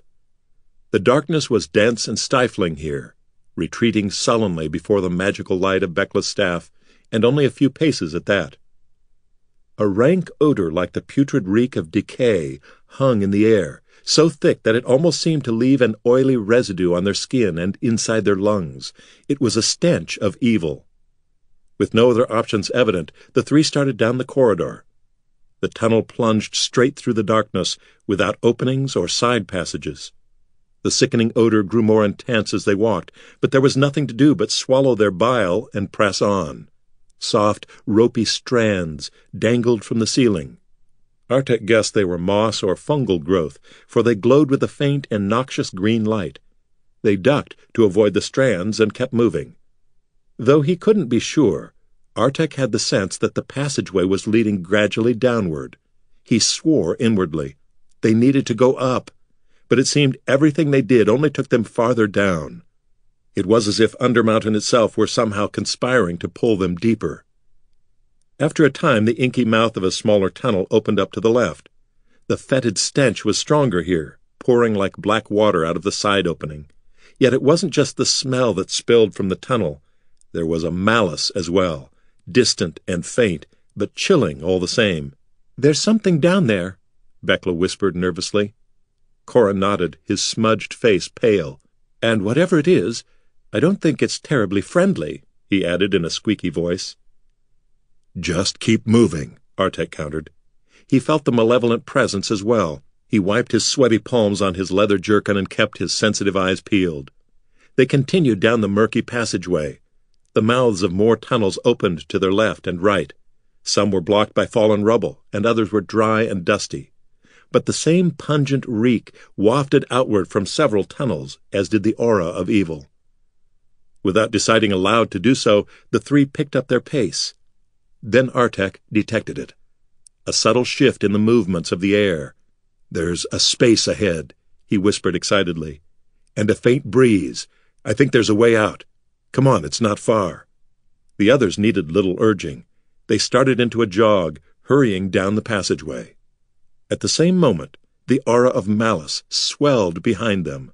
They reeled, nearly overwhelmed by the vile emanations of hatred. Something was following them, and it was gaining. Run! Artek yelled. Gasping, they hurled themselves down the tunnel, the darkness following thickly on their heels. An eerie, whispering sound echoed all around. Lungs burning, the three kept running. All at once the walls of the tunnel fell away, and they found themselves dashing across a cavernous chamber. Strange white shapes littered the floor, crunching brittlely underfoot. Dense clumps of the same strands that had filled the tunnel hung from the high ceiling like a weird inverted forest, filling the room with a ghastly green glow. Artek caught another wisp of fresh air, stronger now. Then he saw it on the far side of the hall, a faint rectangle glowing amid the gloom. A doorway. Hurry! he shouted, heedless of what might hear his voice. The eerie whispering grew louder, filling the chamber. Thick blackness poured out of the opening behind them like a putrid flood. Legs pounding, Artek outpaced the others. As he neared the doorway, he saw that it was covered with more of the same green, glowing strands. With a cry, he hurled himself at the portal. Instantly his cry became one of pain as bitterly cold threads burned the skin on his hands and face. The silken material stretched under the force of his impact, then abruptly snapped back, throwing him roughly to the ground. He stared up at the door in surprise, rubbing his throbbing hands. Then he leapt to his feet, drew a knife from his boot, and slashed at the chaotic weave that covered the door. The blade bounced back, jarring his wrist painfully. He had not so much as damaged one of the cords. What is this stuff? he said in hoarse amazement as the others came to a halt behind him. Bekla drew in a sharp breath, staring upward. I think I know. The strange whispering grew to a maddening din. The threads hanging from the ceiling stirred. Ghostly shapes scuttled down the glowing strands. Webs, Corin gasped. They're spider webs. As they watched in horror, half a dozen bloated forms dropped down from the tangle of webs above, while several more scurried from the opening through which they had entered the chamber. They were spiders, but like none Artek had ever seen. They were huge, each the size of a dog. Their bulging bodies, as pale and waxy as corpses, were eerily translucent, and their long gray legs trailed off into dim tendrils of gray mist. Dark saliva bubbled from their vague pincer mouths, and their multifaceted eyes shone malevolently, like flame reflected off black jewels. Whatever these things were, it was clear they were not truly alive, but wraiths in hideous spider form. As they drew near, Artek realized the nature of the white shapes littering the chamber's floor. They were bones. Together the three backed toward the web-covered doorway. So are we having fun yet, Silvertor? Artek said darkly. Actually, this is a little more fun than I had anticipated, the Lord answered with a gulp. Mistress, save us, Bekla breathed. The spiders advanced on their misty legs. Artek drew the curved saber Melthus had given him. The hilt tingled in his hand. It was the first time he had drawn it in combat. Warm energy flowed up his arms as red fire glimmered along the edge of the blade. A wraith spider lunged forward, and Artek swung the saber. The creature let out a mind-piercing shriek as two of its legs fell to the floor. For a moment they twitched of their own volition, then evaporated into wisps of fog. The spider lurched backward. Bekla uttered an arcane incantation. Blue energy crackled from her fingertips. It struck two of the wraith spiders, but passed through their ghostly bodies. They continued to scurry forward. My magic has no effect on them, the wizard shouted in terror. Nor does my rapier, Corin cried as he thrust without result at one of the creatures. He retreated hastily. Then work on freeing the door, Artek gritted through clenched teeth. I'll try to hold the spiders back as long as I can. He swung the saber in whistling arcs, and a dozen more many-jointed legs fell to the floor, turning to mist. The spiders advanced more slowly now, wary of Artek's crimson sword. The plan was working for the moment, but there were too many of the wraiths. It was only a matter of time until one got through. I don't want to tell you your job, he growled, but you might want to hurry, Bekla. Quiet, the wizard snapped. I'm thinking. She studied the webs that crisscrossed the door. After a moment, she nodded. All right, if my magic won't work on these things, let's see what some good old-fashioned mundane fire will do. Bekla uttered a command, and the end of her wooden staff burst into scarlet flame. She thrust the blazing brand at the webs. Instantly the sticky strands ignited, engulfed by brilliant fire. In seconds they were burned to fine ashes, clearing the doorway. It worked, Corin cried excitedly. Come on, Artek, let's go. Artek started to back away from the spiders toward the now open door. Then he suddenly froze. The saber in his hands jerked violently. As if imbued with a life of its own, the blade danced forward, pulling Artek roughly with it. He tried to release the sword, but his hands were suddenly glued to the hilt. Seemingly of its own will, the saber swung at one of the wraith spiders. Artek stumbled wildly, trying to keep his balance as he was carried along by the blade. What are you doing, Artalan? Bekla demanded frantically. The door's open. We've got to go. I can't let go of the sword, he gasped. It won't let me retreat. He lurched as the sword thrust itself at a spider, pulling him along with it. With a surge of rage, he realized the truth. Damn Darien to the abyss! This thing must be cursed! Bekla let out a fierce oath. All right, I'll see if I can use my magic to remove the... The wizard's words turned into a scream as a pale form dropped down from above, landing on her back. Her cry was cut short as ghostly pincers dug into the back of her neck. Her body went limp, and she fell to the floor. The still burning staff slipped from her fingers, rolling away. Out of the corner of his eye, Artek saw Bekla fall. He strained against the dancing blade in his hands, face twisted in effort, then managed to turn it on the spider that clung to the wizard. The saber sliced through the thing's bloated abdomen. It waved its thin legs, then exploded into a puff of foul vapor. Grim satisfaction turned to cold terror as Artek realized that his back was now toward the other wraith spiders. Sensing their prey's vulnerability, they chittered hatefully, closing in. Artek knew he had mere moments to live. His eyes fell upon Bekla's burning staff, and an idea struck him. But he could not let go of the cursed saber. There was only one chance. Corin, he shouted, grab the staff and hold it over your head. The Lord stared at the approaching spiders, frozen in horror. He did not move. Now, Corin, Artek screamed. If there is any drop of truly noble blood in your veins, do it! The young lord blinked. Mechanically, he obeyed Artek's orders. He gripped the staff, then thrust the blazing end over his head just as the wraith spiders closed in. Flame licked the bottom of a clump of pale webs dangling from the ceiling. For a terrible second, Artek thought his plan had failed. Then crimson fire snaked up the hanging strands and all at once the chamber's entire ceiling burst into roaring flame. Gobs of burning web dropped down, landing on the wraith spiders. They shrieked and writhed as they were engulfed in crackling fire. As his enemies were consumed, Artek felt the cursed saber release his arms. He thrust the blade back into its sheath, then bent down to scoop up Bekla's motionless form. He threw the limp wizard over his shoulder. Run, Corin! he shouted over the roar of the flames. This time the Lord obeyed. They dodged falling clumps of blazing spiderweb and dashed through the door. Leaving behind the blazing inferno of death, they ran into cool darkness. Chapter 5 Ancient Footsteps When they no longer heard the roar of flames and the echoing shrieks of the wraith spiders, Artek slowed to a halt, still balancing the motionless wizard over his broad shoulders. A second later, Corin, unable to see in the thick gloom, collided with Artek's back. The nobleman stumbled, caught himself, then leaned against a slimy wall, clutching his chest and gasping for breath. Artek glanced down at Bekla's face. Her eyes were closed, her skin deathly pale. He couldn't tell if she was breathing or not. They needed to stop and rest, but not here, not in this open stone corridor. There was no telling what things might wander by and catch them unaware. They needed someplace out of the way, someplace safe. Then something caught Artek's eye. Set as it was into a deep alcove, he almost didn't notice it, even with the aid of his dark vision. It was a small wooden door.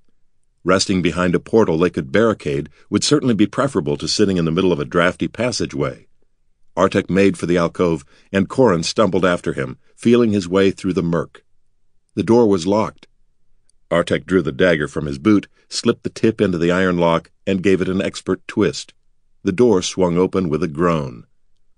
Beyond was a small chamber bathed in leprous green light that emanated from phosphorescent fungus clinging to the room's damp walls. It was not a wholesome light, but at least Corin would be able to see. They entered the room, and Artek shut and relocked the door behind them. I must say I've had better accommodations, Corin noted in a quavering voice. But you can't beat the price, Artek replied dryly. There was little in the room but a few heaps of rusted metal and rotted wood. Atop one of the piles of refuse was a yellowed human skull. A drooping, frayed tapestry hung on one wall, and Artek yanked it down and spread it on the cold floor. As gently as he could, he laid the limp wizard down on the worm-eaten cloth. How... how is she? Corin asked quietly, hovering over them. Artek shook his head. It didn't look good. He had a hand on Bekla's throat. Her flesh was as cold as ice, and he could feel no pulse. He held his dagger before her mouth, but the cool steel did not fog. She was not breathing. Artek turned her head, and on the side of her neck were a pair of small, dark wounds. The wraith spider bit her, he said grimly. I suppose the thing was poisonous. A tightness filled his chest, and his eyes stung. He had only just met the wizard, but she had helped him when he was alone, and he considered her a friend. Bekla is dead, Corin, he said hoarsely. No, she isn't. Artek glared up at the nobleman. This really isn't the time for your boundless optimism, you know. Corin looked at him in surprise. But I didn't say that, he gulped. Artek frowned. Well, if you didn't say it, then who did? Hello there, called a cheery voice. It was me. I said it. Artek leapt to his feet and Corin spun around. Both stared in confusion. There was nobody else with them in the chamber. Over here. It was the voice again, odd and hollow, almost like the sound of a low flute. On the rubbish heap. No, not that one. This one. Artek and Corin blinked in shock as their eyes finally fell on the mysterious speaker. A yellowed skull. Lower jaw working excitedly, it hopped and spun atop the pile of refuse. Surprised, eh? The fleshless skull gloated. You could say that, Artek said cautiously, wondering if they were again in danger. The skull clattered its teeth happily. Good, I like surprises. My name is Murach, Murach Brilstag. At least that was my name when I was alive. Of course, I'm not half the man I used to be. By Lathander, I'm more like an eighth. Some fool soldier cut my body away, and then went and threw my head in the harbor. The fish had a good time with me. Do you know what it's like to have your eyeballs eaten by eels and your brain sucked out by starfish? The skull rattled its jaw as if shuddering. Let me assure you, it isn't much fun. Maybe the thing wasn't dangerous, Artek decided, but it certainly was talkative. He approached the skull. You said that our friend isn't dead, Murach. What makes you think so? I don't think so, the skull replied smugly. I know so. And arrogant as well, Artek amended inwardly. The wraith spiders may not be alive themselves, but they don't like to feed on the dead, the skull explained in a reedy voice. Their venom only stuns. That way they can wrap their prey in webs and snack at their leisure. A chill ran down Artek's spine. The skull's words conjured a grisly image. He glanced back at the still form of the wizard. So how long will it take for the effects of the venom to wear off? Uh, not long, Mira replied. No more than three or four. Hours? Artek interrupted hopefully. Days, the skull said. Artek's heart sank. He couldn't simply leave Bekla here for three days with no one to protect her but a talking skull. It was too much of a betrayal, and that would make him no better than Darien Thal. But in three days he would be long dead. Wait a minute, Corin piped up. I think I have something that might help. The nobleman fumbled about his grimy velvet coat, searching the pockets. Aha! he exclaimed, pulling out a small object. Here it is. He held up the item, a glass vial filled with a thick purplish fluid. What is that? Artek asked dubiously. A healing potion, Corin replied. My family's healer gave it to me before I embarked on the hunt. I hadn't thought of it before. It wouldn't do much good if Bekla were dead, but if she's only injured... Hope surged in Artek's heart. Give me that, he snapped, snatching the vial from Corin's hand. Kneeling beside Bekla, he unstopped the cork and carefully poured the purple potion into her mouth. For an agonizing moment, nothing happened. Then the wizard swallowed and coughed, her chest heaving as she drew in a ragged breath. Her eyes flew open, and she sat bolt upright. The spider! she screamed. Artek gripped her shoulders tightly, looking her directly in the eyes. It's all right, Bekla. It's over. We're safe now. For a moment she continued to stare in terror, then she sighed deeply and nodded, indicating she understood. She winced abruptly and lifted a hand to her brow. My head hurts, she groaned. Spider venom hangover, Artek said with a wry grin. It will pass. That's easy for you to say, she grumbled petulantly. The complaint, more than anything, assured Artek that the wizard was indeed well. I think you had better meet our new friend, Bekla, he said. Something tells me you're going to find him very interesting. Hello, wizard, Mura exclaimed. The yellowed skull hopped up and down while Bekla gawked in astonishment.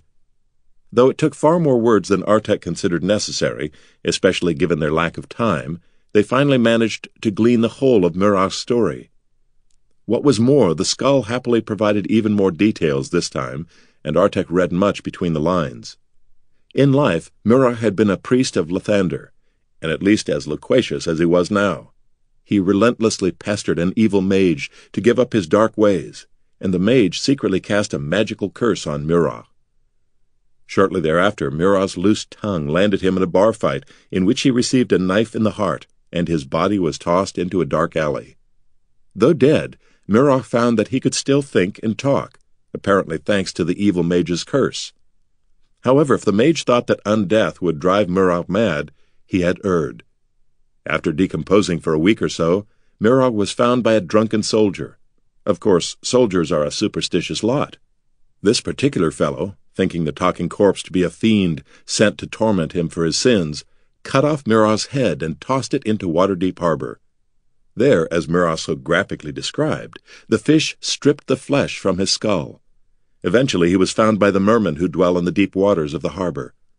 Annoyed with his constant prattling, they took the skull to Waterdeep's city watch, where Murrogh fell into the hands of the duty wizard. For a time the wizard kept Murrogh, using him as a watch skull to protect his library. However, when thieves broke into the wizard's tower, they stole Murrogh, thinking him to be a thing of value. That was a mistake. They soon found that no one would pay good gold for a chatterbox skull and tossed Murrogh into the sewers. In time, the waters flowing beneath the city carried Murrogh into Undermountain, and the skull had rattled around Halaster's labyrinth ever since. Occasionally, wandering creatures picked him up out of curiosity and carried him for a time, only to drop him before long in some new place. Eventually, he came into the possession of someone named Muiral, Though Murrogh was extremely vague on this point, it seemed that Muiral grew weary of his incessant talking and locked him in this chamber. Here he had dwelled alone, until Artek and Corin discovered him. I can't tell you how wonderful it is to have company again, Murrogh exclaimed. Though his ivory cranium was nearly devoid of flesh, a few wisps of rotted hair still fluttered atop his crown. Mouldy stone walls don't make for great conversation partners, and even I get tired of hearing my own voice after a dozen years. There's a surprise, Artek murmured wryly. So now you know what I'm doing down here, the skull finished. What about you three? After a moment's thought, Artek decided that it could do little harm to tell Murrogh their tale. If the skull had truly dwelled for so long in Undermountain, perhaps he would know something of use. Artek quickly explained all that had happened, and ended by describing his plan to find a gate out. Absolutely amazing, Murrogh exclaimed. Our story? Artek asked. No, your plan. It's the stupidest thing I've ever heard. Artek's eyes narrowed at this insult. And I suppose you could come up with a better idea? Of course, Murrogh replied smartly. A Thayan rock slug could come up with a better plan than that. Artek crossed his arms, fixing the skull with a dubious look. I'm waiting. Murrogh did not need to be asked twice to talk. Finding a gate out of here on your own is about as likely as growing wings and flying. Murrogh cackled with laughter at this, teeth clacking. Not that there aren't gates that lead out of Undermountain. There are. But you could hardly expect Halaster to simply leave them sitting around in plain sight. He was mad, not stupid. The only ones who might be able to tell you where you could find a gate out are the old wizard's apprentices, and that means you'll have to find one of the seven first. The three gathered closer, listening as Murrogh told of Halaster's seven apprentices. Nearly a thousand years ago, the wizard forsook his tower on the slopes of Mount Waterdeep and descended into the vast labyrinth he had created below. When he did not return from Undermountain, the seven, powerful mages in their own right, boldly ventured into the dark depths in search of him. There they found magical tricks and deadly obstacles, and the deeper they went, the more difficult grew the riddles, the more perilous became the traps. The seven soon realized that this was a test set for them by their master. Believing that whoever reached Halaster first would become his most favored, and thus heir to his most powerful magic, the seven strove against each other, each tried to go deeper than the rest and be the first to find their mysterious master. Whether or not the apprentices ever succeeded in finding Halaster, no one knew.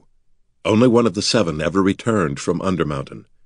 Jhesiyra Kestellharp, who became the Magister of Myth Drannor, an ancient kingdom whose ruins lay far to the east, near the realm of Cormyr. The other six apprentices remained in Undermountain, and whether they still searched, granted a naturally long life by their magic, the histories did not tell. It sounds as if these apprentices have the power to help us, all right, Bekla said when Murrogh had finished his tale. If any of them are still alive, Artek added. Murrogh, old boy, Corin said, addressing the skull as one might a servant. You seem to know a great deal about this place. Can you take us to one of the seven? As a matter of fact, I can, the skull replied glibly, but I won't. Only by great force of will did Artek restrain himself from grabbing the insolent skull and heaving it against one of the stone walls. Are you playing games with us, Murrogh? he said. No, no, the skull said hastily. Believe me, you really don't want to meet Muiral. Wasn't that the person who had locked Murrogh in this room? Artek picked up the skull and glared into its empty eye sockets. Let me get this straight, he said angrily.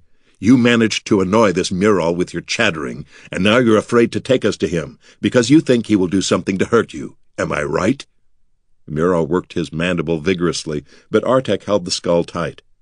You don't understand, Murrogh whined fearfully. Muiral won't just hurt me, he'll hurt you, too. Don't you see? He's the one who created the wraith spiders, and I guarantee you that there are more of them than you encountered in that chamber. Muiral loves spiders. He's part spider himself. I don't know how he did it, but he fused himself onto the body of a giant spider. He won't help you. Murrogh shook pitifully in Artek's hands. Please, don't take me to Muiral. Please. Bekla bit her lower lip. I think he's telling the truth, Artek. Have a pity on the poor chap, Artalan, Corin added worriedly. He's been through a great deal. Artek glowered at the skull. At last he sighed in exasperation. All right, I believe you, Murrogh. We won't go looking for Muiral. The truth is, I really don't care to face any more of those wraith spiders. He shook his head. But if we can't go to Muiral for help, where are we going to find another one of Halaster's apprentices? Actually, I have an idea, Murrogh said cheerfully. The skull leapt from Artek's hands, fell to the floor, and rolled toward the doorway. Well, don't just stand there, he said in annoyance. Open the door. In case you hadn't noticed, I don't have hands. The three exchanged dubious looks. At last Artek shrugged. Following a talking skull seemed an unlikely way to escape from this maze, but he supposed they had little choice. He unlocked the door, then scooped Murrogh into his arms as they headed out into the corridor. We need to be very careful here, Murrogh said in a hollow whisper. Right now we're on the edge of Muiral's gauntlet. Muiral's gauntlet? Artek asked softly. Is there an echo in here? Murrogh replied acidly. Yes, Muiral's gauntlet. The room where you encountered the wraith spiders is part of it, but only a small part, and not the worst, not by far. The skull whistled sadly through his teeth. Muiral's quite mad, of course. Searching for his master and failing addled his brain.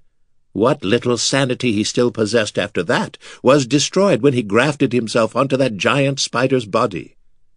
These days his only pleasure comes from toying with the victims he gates down from the surface. He sends them into his gauntlet and watches to see how far they can get through the maze of dangers he's created. Let me guess, Bekla said uncomfortably. No one ever makes it out of Muiral's gauntlet alive. Murrogh grinned, despite his lack of flesh. Well, Muiral certainly wouldn't think it very much fun if they did. So where are we going, if not into the gauntlet? Artek asked nervously. This way, the skull tugged at Artek's hands, leading him toward the mouth of a side tunnel. Before I ended up here, I got caught inside a gelatinous cube. Not a fun experience, by the way, very cold and slimy. It was the cube that brought me into Muiral's gauntlet. I remember the path by which it slithered here, and I recall seeing something very interesting along the way. Artek glanced sharply at the skull. Something interesting? What is it? You'll see, Murrogh replied mysteriously. After this, the skull became unusually reticent. Artek decided not to press for more answers, but rather to enjoy the quiet. His ears were ringing from Murrogh's previous chatter. He walked stealthily down the narrow passageway, following the tugs and jerks of the skull in his hands, as Bekla and Corin came behind. Unfortunately, after the acid pit and the fire in the spider room, the wizard's staff was a lost cause. However, it seemed she could make do without it, for a wisp of blue mage light danced on her outstretched hand, lighting the way for the group. Guided by Murrogh's tugging, they traveled through a tortuous series of dank corridors and murky chambers. Before long, Artek lost all sense of direction. At first, here and there, they encountered glowing wisps of green webs dangling from the ceiling, and from time to time they caught a whiff of the same evil scent that had permeated the wraith spider lair. However, as they progressed, they soon left all traces of the eerie webs and spiders behind. Though still dark and stifling, the air here was no longer so oppressive and menacing. The three humans found themselves breathing a little easier. It seemed Murrogh knew what he was doing. Artek glanced down at the tattoo on his arm. The moon had passed the arrow now. In the world above, night had fallen. Not that it really mattered. It was always night down here. How much further, Murrogh? Artek asked quietly. We're close now, the skull piped up brightly. And you can quit whispering, you know. We left Muiral's territory behind ages ago. Maybe I like whispering, Artek replied.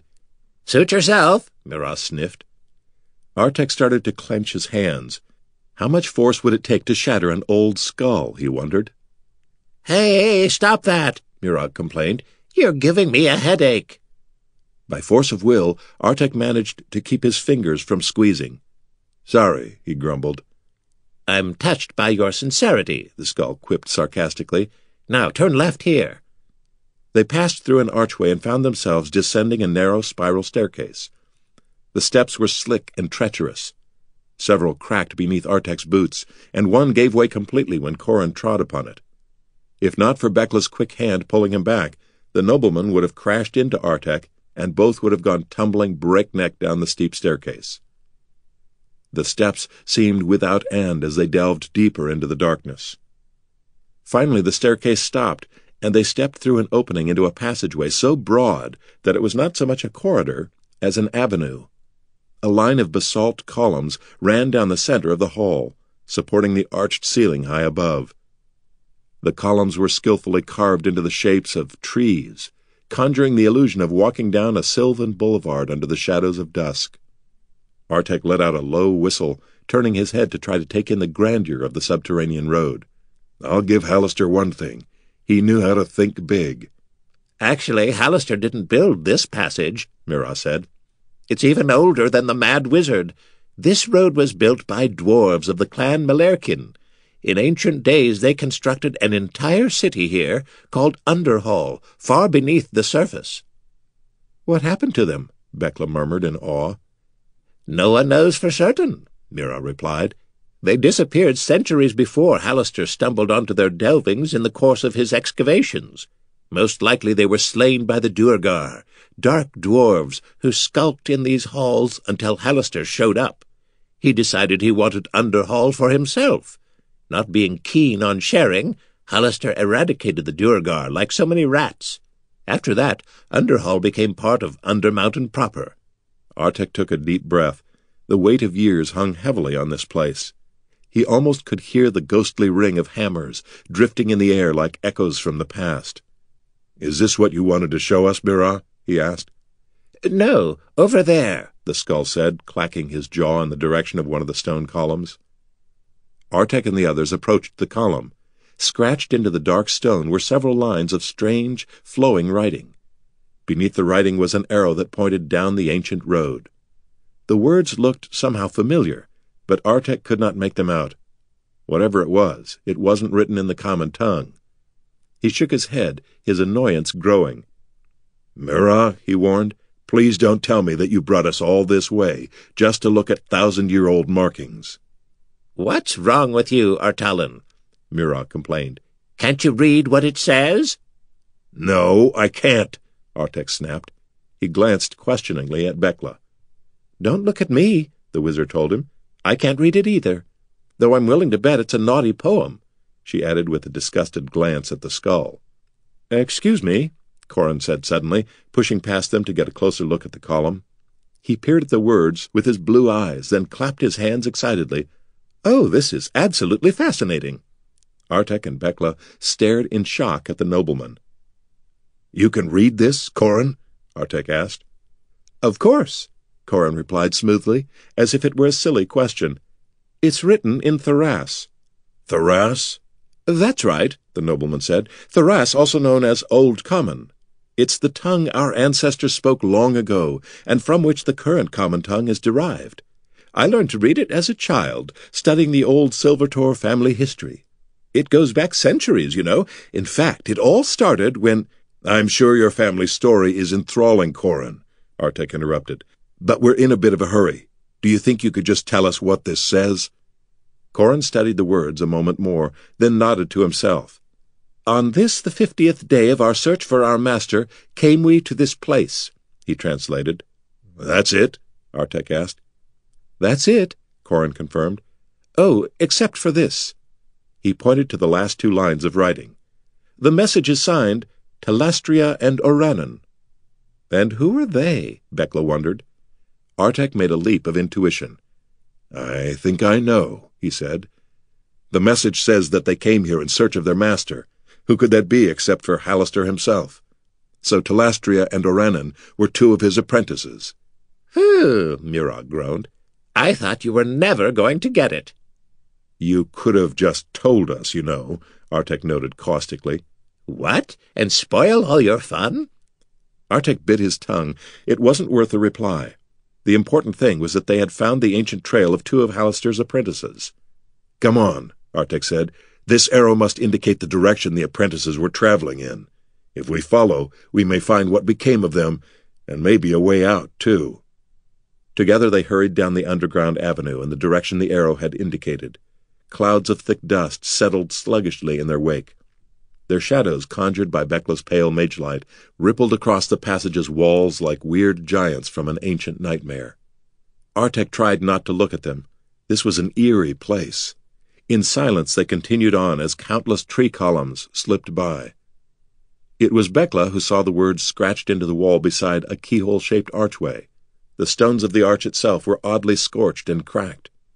It took us many days to destroy the fire elementals that barred this door, Corin translated slowly. But now the way is clear, and our search continues on this the fifty-sixth day of our quest.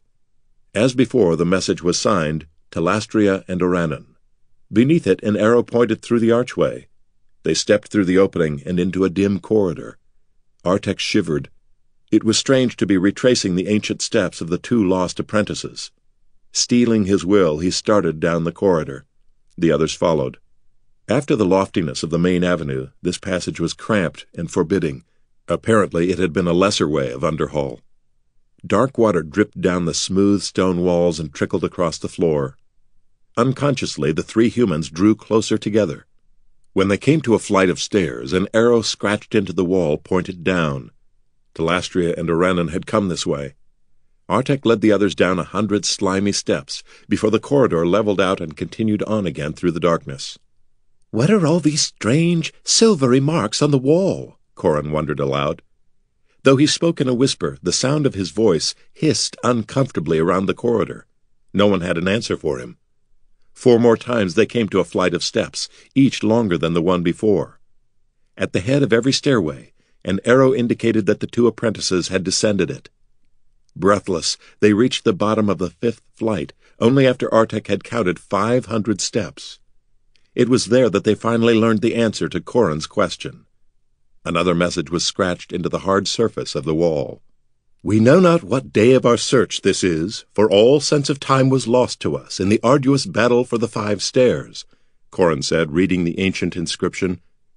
Upon every step of every stair, waited a fiend of the underworld, conjured by our master's magic. To gain but a single step, we were forced to slay a slavering fiend. We destroyed a hundred on the first stair, two hundred on the next. Never did we stop, save to rest briefly and restore our magic, until we destroyed the five hundredth fiend on the fifth and final stair. We are both gravely wounded from the ordeal, yet surely only something of the greatest worth could lie beyond such a terrible barrier. It is our belief that the end of our search is near at last. And surely, once we find our master, he will make us whole once more. A fiend on every step, Bekla echoed with a shudder. It must have taken the apprentices years to get past these stairs. The silvery marks on the walls must be scars left from the spells they cast to destroy the creatures. Artek nodded grimly. Let's see what they found at the end of their search. It was not much farther. After a hundred paces, the corridor ended in a pair of massive stone doors. Emblazoned on the door were letters of gold. The letters spelled out two words that they all now easily recognized Telastria and Oranin. The group exchanged uneasy looks, and Artek pushed on the doors. They swung open easily. Bekla held out her hand, and the flickering mage light illuminated the long chamber beyond. The sides of the chamber were littered with countless fragments of stone. Only after a moment did Artek realize that some of the fragments were shaped like clawed hands, others like leathery wings, and still others like grotesque heads. They were parts of gargoyles. Dozens of them had once lined the chamber, but now they were smashed to bits. At the far end of the room was a dais of dark stone, and on the dais rested two oblong boxes hewn of porphyry. No, not boxes, Artek realized. Sarcophagi. It's a tomb, Artek said softly as he sensed the truth. Telastria and Oranin thought they would find their master at the end of the stairs on the other side of the fiends. Instead, all they found was their own tomb, no doubt created for them by Halaster himself. That's a cruel joke, Corin said, aghast.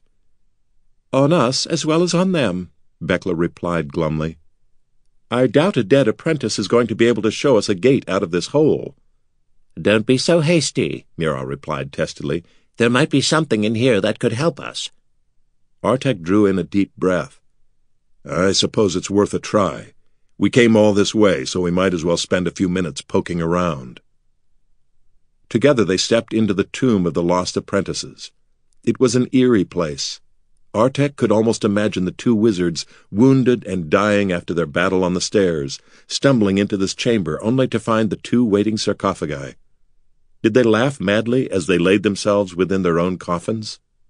Artek did his best to shake the disturbing image from his mind.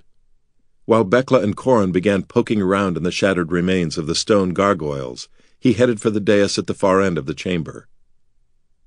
All at once, an icy wind rushed through the tomb. With an ominous boom, the stone doors swung shut. Artek spun on a heel, staring back at Bekla and Corin in surprise. As one, the wizard and the nobleman gasped. A chill danced up Artek's back. What is it? he whispered, clutching Murrogh tightly. I think you'd better turn back around, Artek, Bekla gulped. Dread rising in his throat, Artek did as the wizard suggested. His heart froze. Even as he watched, the heavy stone lid that covered one sarcophagus slid to the side and fell to the dais with a crash. A moment later, the lid atop the other stone coffin followed suit. A dry, musty odor drifted on the air, the scent of ancient decay. Then, with majestic and malevolent slowness, a form rose out of each sarcophagus. Tattered robes of black cloth fluttered around withered forms, parchment-like skin peeled from gaunt faces, and gold bracelets clinked coldly on shriveled arms. By all the blackest gods, Artek murmured in a mixture of awe and terror, they're still alive. No, Murrogh countered weakly, not alive. Crimson flames flared into being in the hollow pits of their eyes as Telastria and Oranin reached out their undead hands toward the defilers of their tomb. Chapter 6 Beauty Perilous Run! Artek tried to shout the word, but it escaped his lips only as a strangled whisper.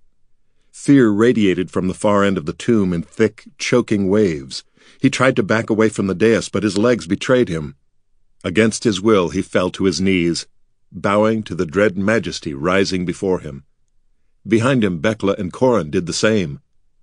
Icy wind shrieked through the ancient chamber. Crimson mist poured down the steps of the dark dais, filling the air with a bloody miasma. Trailing tattered funereal garb and yellowed wisps of dried flesh, the long-dead wizards climbed from their sarcophagi. They stood before the stone coffins, orbless eyes blazing, pointing accusing fingers at the humans. Two keening voices rose in shrill chorus. Defilers! Trespassers! Foolishly have ye dared to transgress upon our domain. The words pierced Artek's skull, flaying his mind. He clutched his hands to his ears, but he could not shut out the deafening shrieks. Accursed breathing ones! Our guardians may be no more, but still ye shall not profane our tomb. Ye shall pay for this violation with your throbbing hearts. The undead apprentices stretched out their leathery hands, and scarlet energy crackled on the tips of their claw-like fingers. Artek grunted in fear as he felt a tugging deep in his chest. With a stiff, terrible slowness, the mummified wizards took a lurching step forward. They reached their ragged arms out still further, hands blazing with fell magic. Artek screamed in pain. He threw his head back, arching his spine. His heart leapt wildly, straining against the inside of his rib cage, as if at any moment it would burst from his chest and hurtle through the air to the waiting hand of Talastria or Oranin.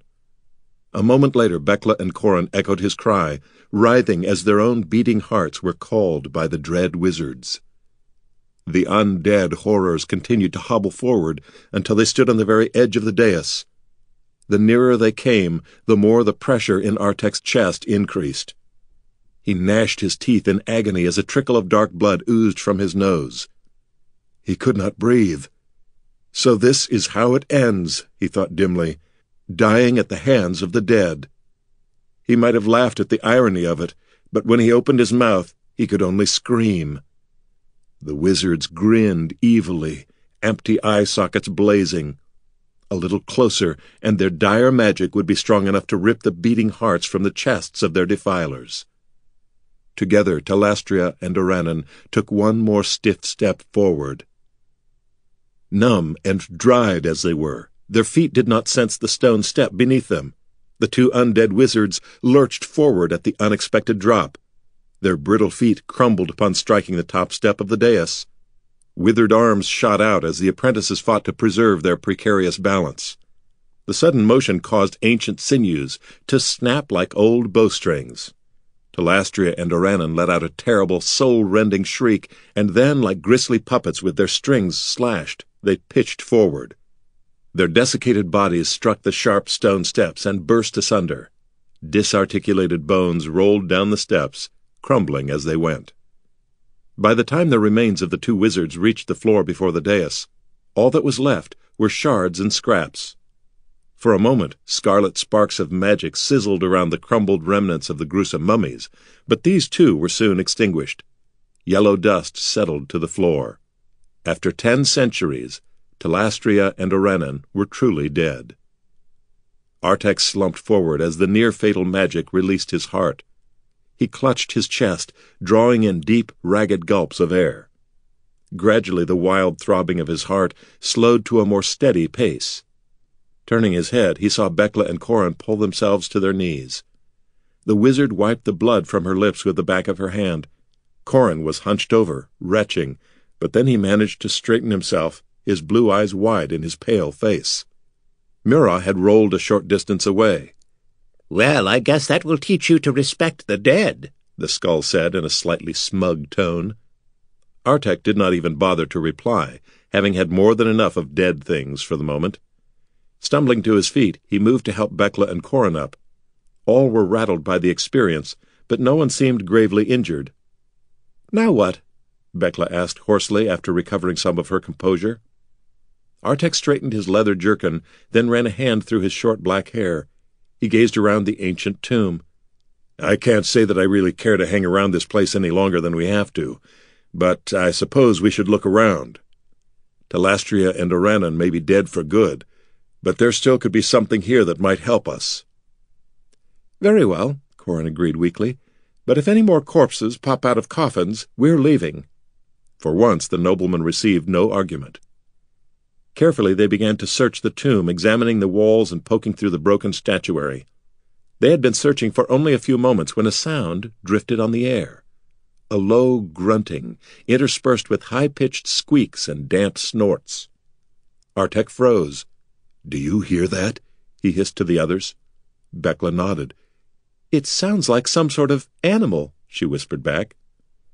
Corin stared at them in alarm. I really think we ought to be going now, he gulped. Artek shook his head grimly. Not without knowing what's likely to be following us when we do.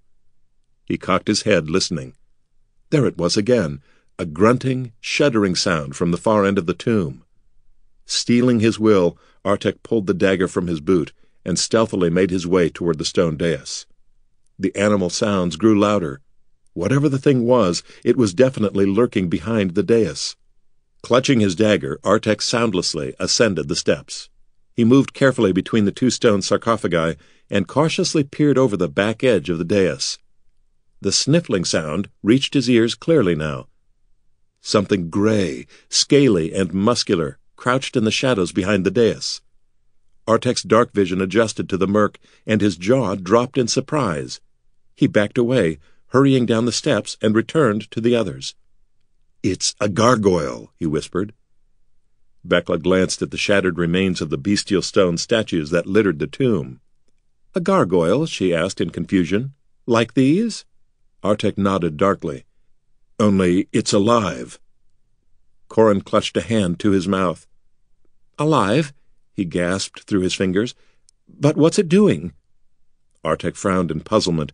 I'm not entirely sure, but I think that it's crying. Bekla and Corin traded startled looks. Crying? They echoed as one. Maybe you'd better come look for yourselves, Artek told the others. I can't be certain, but I don't think it's too dangerous. If it was, it probably would have attacked us by now. Bekla was game to try, but Corin had to be tugged along forcefully. Hey, Mura piped up. Don't forget me. I should be so lucky, Artek grumbled, picking up the enchanted skull. Keeping close together, they ascended the dais and peered over the back edge. Bekla held out her hand. Blue mage light drove away the shadows, revealing the creature below. In the light, Artek saw that it was indeed a gargoyle. The creature huddled on the floor with its back turned toward them. Its scaly hide was rough and gray as stone, and rock-like muscles knotted its powerful frame. Stubby bat wings protruded from its broad back, and onyx horns sprang from its knobby head. The gargoyle's gigantic shoulders shook as it grunted and sniffled. The poor thing, Bekla sighed. Artek and Corin stared at her. The poor thing? Artek repeated in disbelief. The wizard glared at him. It's sad, she replied in annoyance. At the sound of their voices, the gargoyle let out a snort and looked up. Both Artek and Corin jumped back, but Bekla did not so much as flinch. Somehow the creature's dog-like face was more endearing than frightful. Sorrow shone in its glowing green eyes. What's wrong with you? The gargoyle growled in a gravelly voice. Why are you just standing there? Aren't you terrified of me? Trembling, Corin opened his mouth to speak, but Bekla elbowed him sharply in the side. The nobleman's mouth promptly snapped shut. No, we're not, the wizard answered seriously. The gargoyle let out a dejected sigh, wings drooping. I was afraid of that. Not that I'm surprised. I never was any good at guarding the tomb. Now I'm the last. And an utter failure. The gargoyle sniffed, wiping the dampness from its scaly cheeks with a clawed hand. Corin, Bekla asked, do you have a handkerchief? Of course, the nobleman replied in confusion. He pulled a slime-covered silk cloth from the pocket of his velvet coat. But what do you... Bekla snatched the handkerchief from his hand, then hopped down from the dais. She held the cloth out toward the gargoyle. Here, she said gently. The gargoyle stared at her in surprise, then hesitantly accepted the handkerchief. The creature lifted the grubby cloth to its long muzzle, then let out a trumpeting snort. When it finished, it politely offered the dripping handkerchief back to Corin. The nobleman accepted it reluctantly, looking vaguely queasy. Artek watched all this with growing fascination.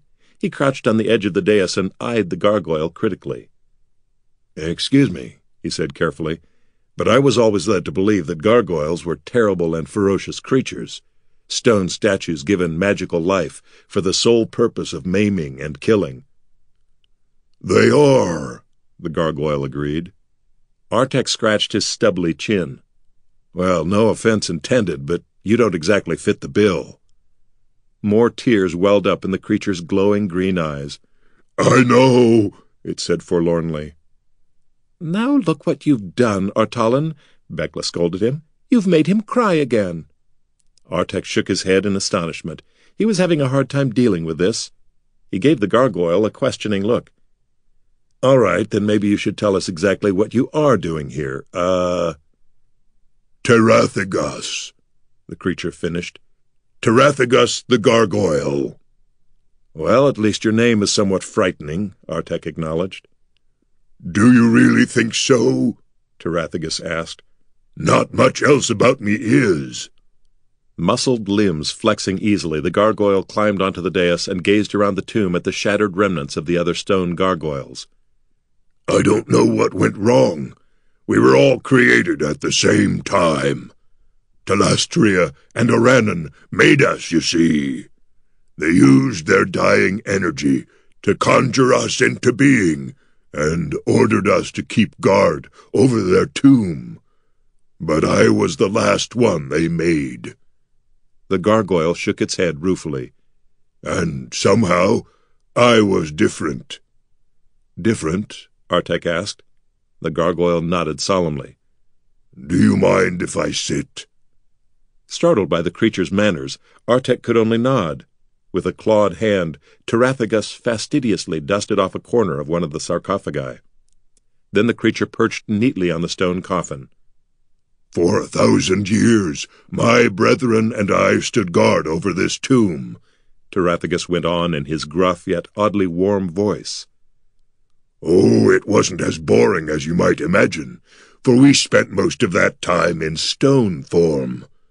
Time passes very quickly for us when we stand as statues. I suppose it's rather like sleeping for a living creature, though I can only guess. The gargoyle shrugged its massive shoulders. Anyway, we became flesh only when interlopers entered the tomb, and then we promptly tore the defilers to shreds. Terathagos shook his head sadly. At least my brethren tore the defilers to shreds. At first I joined them, but before long I realized that it wasn't the same for me as for the other gargoyles. They seemed to truly enjoy rending hapless adventurers limb from limb. They would laugh loudly and always fought over who got to eviscerate the last screaming victim. During the first century or two, I tried killing a few adventurers myself, but I only felt sorry for them, and I dispatched them as quickly and painlessly as I could. The gargoyle rested its knobby chin on a clawed hand. As time went on, I took to just hiding behind the dais and letting the others do all the work. My brethren never seemed to notice. They were always too busy having fun. But what happened to the others? Bekla asked, glancing at the broken statues. I'm not sure exactly, Terathagos replied. None of us were. One day we woke up from our stony sleep to find that one of our brethren had cracked and crumbled during our slumber. After that, every time we awoke, we saw that another one or two had fallen to ruin while we were sleeping. I suppose it was simply age. Even enchanted stone can crack with time, and even magical creatures can die. So you're the last? Corin asked breathlessly. Caught up in the creature's tail, he had forgotten his fear. I'm afraid so, the gargoyle said glumly. I woke when you first entered the tomb, and I hid behind the dais. Now I see that I was the only one to wake. There were three others besides me when last we became stone. All must have crumbled since then. The gargoyle's voice turned into a sob. What a cruel joke that I am the last. I should have attacked you when you entered the tomb. I should have protected my creators. Instead, I hid like a coward, and now Telastria and Oranan are no more. I suppose I will crumble too, now that they are destroyed. Bekla tapped her cheek thoughtfully. I'm not so certain. It seems to me that if you were still under their power, you would have turned back to stone with their destruction. But you're still flesh. I think that perhaps you are free of them. The gargoyle glanced up at Bekla in surprise. Free? A look of wonder crossed his dog-like face. The green light in his eyes flashed. Free. He murmured the word again in amazement. As the gargoyle contemplated the wizard's words, Artek drew the others aside. So what are we going to do with it? he asked quietly. It's not an it, Bekla replied testily. It's a him. I'm going to call him Gus. Whatever for? Artek asked. Tarathagus is too long, Bekla explained, and it really doesn't suit him. He's much too nice to have that kind of a name. Artek shook his head, trying to follow her reasoning. But why call it, I mean, him, anything at all? Because we're adopting him, Bekla said crisply. Oh, how delightful, Corin exclaimed happily. Are you insane, wizard? Artek hissed. In case you hadn't noticed, he's a gargoyle. We are not adopting him. Quiet, Artalan, Bekla said crossly. You'll hurt his feelings. Sputtering, Artek tried to come up with a sensible reply to this madness. Bekla breezed by him, approaching the gargoyle. It's decided, Tarathagus, she said cheerfully. We're trying to get out of Undermountain, and you're welcome to come with us. I would like to call you Gus, too. It's a much nicer name for you, but it's all up to you, of course. The gargoyle leapt to his feet in surprise. Well, I like Gus just fine, he gasped. But do you really mean the rest? You want me to come with you? Bekla nodded solemnly. We do. All of you? Gus asked. He looked hopefully at Artek. Artek opened his mouth, but a sharp glance from Bekla made him rethink his reply. Yes, he grumbled darkly. All of us. You might be sorry, you know, Gus said gravely. I was created by dark wizards as a creature of destruction. I am evil by nature. Bekla smiled. I rather doubt that. The gargoyle grinned back at her, displaying row upon row of sharp teeth. Somehow the expression was more charming than terrible. Artek was forced to admit to himself that Gus did seem friendly, and it couldn't hurt to have a gargoyle on their side. Look at this, Corin said suddenly. The nobleman had been rummaging inside one of the stone coffins, and his eager face was covered with dust. He gripped a tattered book in his hand. The others gathered around Corin as he opened the tome. The brittle yellow pages were covered with the same spidery writing as the messages the two apprentices had scratched on the walls. I think it's their diary, Corin exclaimed excitedly, thumbing through the book. Artek peered more closely at the tome, but he could not make out the ancient writing. Can you read it? Corin frowned, squinting at the murky text, then shook his head. It's written in Thorass, all right, but I'm afraid the ink is too faded to make out more than a word or two. Perhaps I could. Wait a minute, what's this? The nobleman flipped back to the page that had caught his eye. It displayed a map showing twisting halls joining myriad chambers. I think this is the great avenue of Underhall we were in before, Corin said, pointing to a broad passage. What's this? Bekla asked, pointing to a chamber with an X marked inside it and a line of text scrawled beneath it. Corin studied the words for a moment. I think I can make this out, he murmured, then nodded. Yes, to the lair of our sister Arcturia. Artek looked up in interest. Their sister? What does that mean? Murrogh bounced up and down in his hands. Are you an idiot? The skull piped up urgently. Who else could be the sister of Telastria and Oranan besides... Another apprentice, Artek finished in amazement. He rubbed the top of the skull with his knuckles. Good thinking, Murrogh, especially for someone who doesn't have a brain. Thanks, the skull huffed in annoyance, squirming but unable to escape Artek's grip. Well, what are we waiting for? Bekla demanded, hopping off the dais. Let's go find this Arcturia. At first, Gus was reluctant to step outside the door of the ancient tomb, fearing he would turn to stone. But Bekla gripped his clawed hand and coaxed him through the portal. Finally, he crossed the threshold, then cringed, eyes clenched shut, waiting for doom to fall upon him. Nothing happened. When he opened his glowing green eyes and looked down at his hands, they were still scaly flesh. He looked up at Bekla in wonder, then gave her a toothy grin. Following the map, they made their way back up the five sets of stairs and down the broad, dusty boulevard hewn by the Melairkyn dwarves. Turning down a side passage, they wended their way through a maze of corridors until at last they came to the chamber marked on the map. There was nothing inside the small stone room but a round pool of dark water. Don't tell me this is a wild goblin chase, Artek said glumly. Bekla cautiously approached the pool, held out her hands, and spoke several words of magic. The dark water suddenly shone with a radiant blue light. Bekla nodded in satisfaction, then withdrew her hands, and the light faded. The pool is enchanted, she said, turning to the others. Well, I can't be entirely certain. I think it's a gate.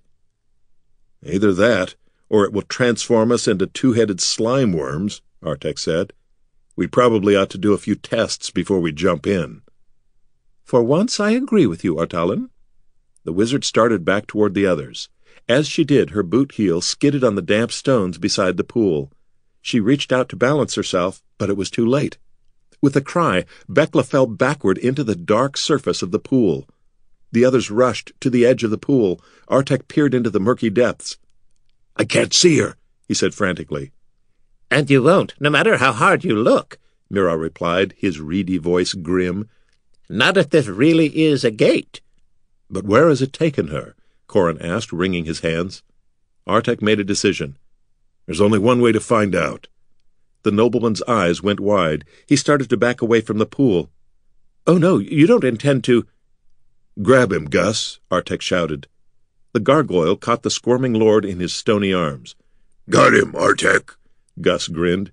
Ready? Artek gave a sharp nod. As I'll ever be. He tightened his grip on Mira.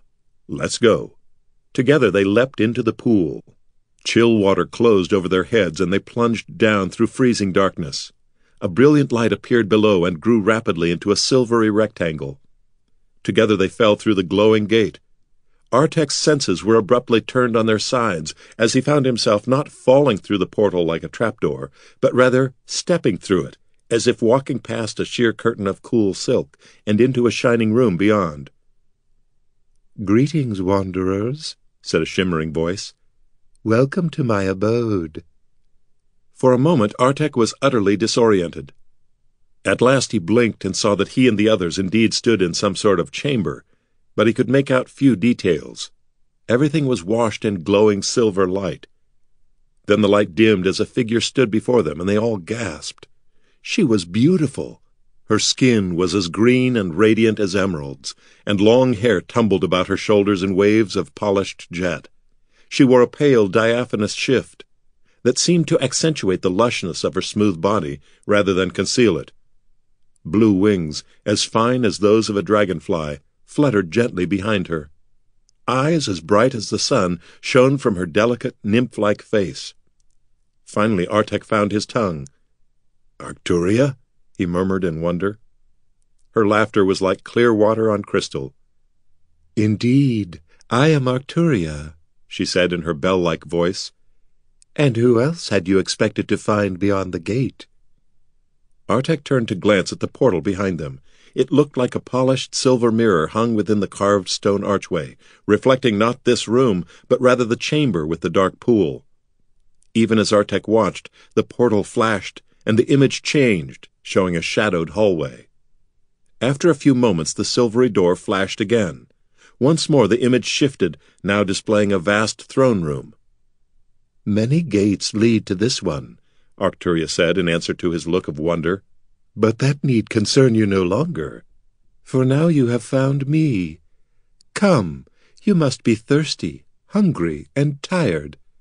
I will take you each to a place where you may find rest and peace.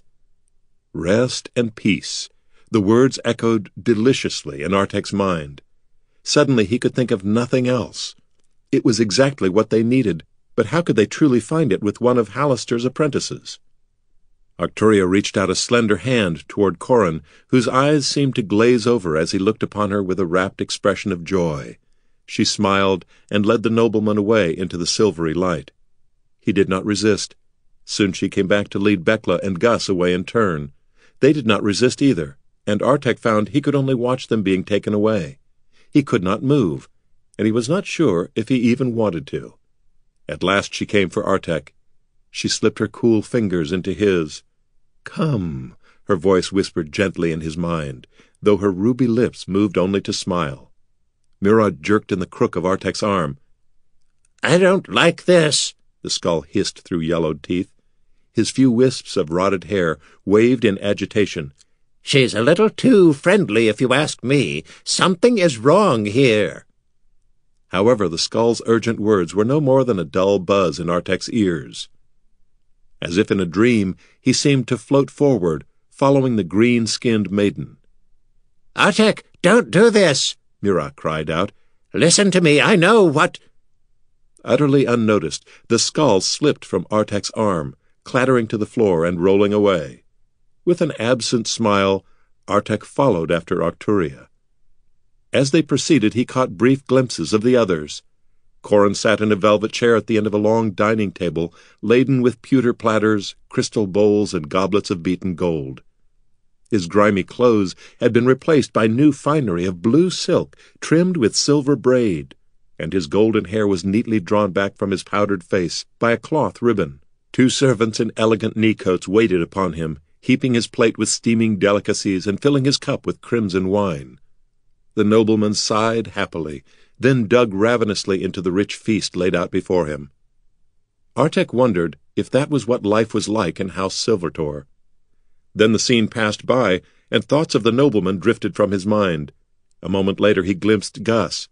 The gargoyle sat upon a greensward, surrounded by wildflowers. Bathed in the warm light of an unseen sun, Gus leaned contentedly against an oak tree. He plucked a purple flower and held it beneath his muzzle, closing his eyes in bliss as he breathed deeply.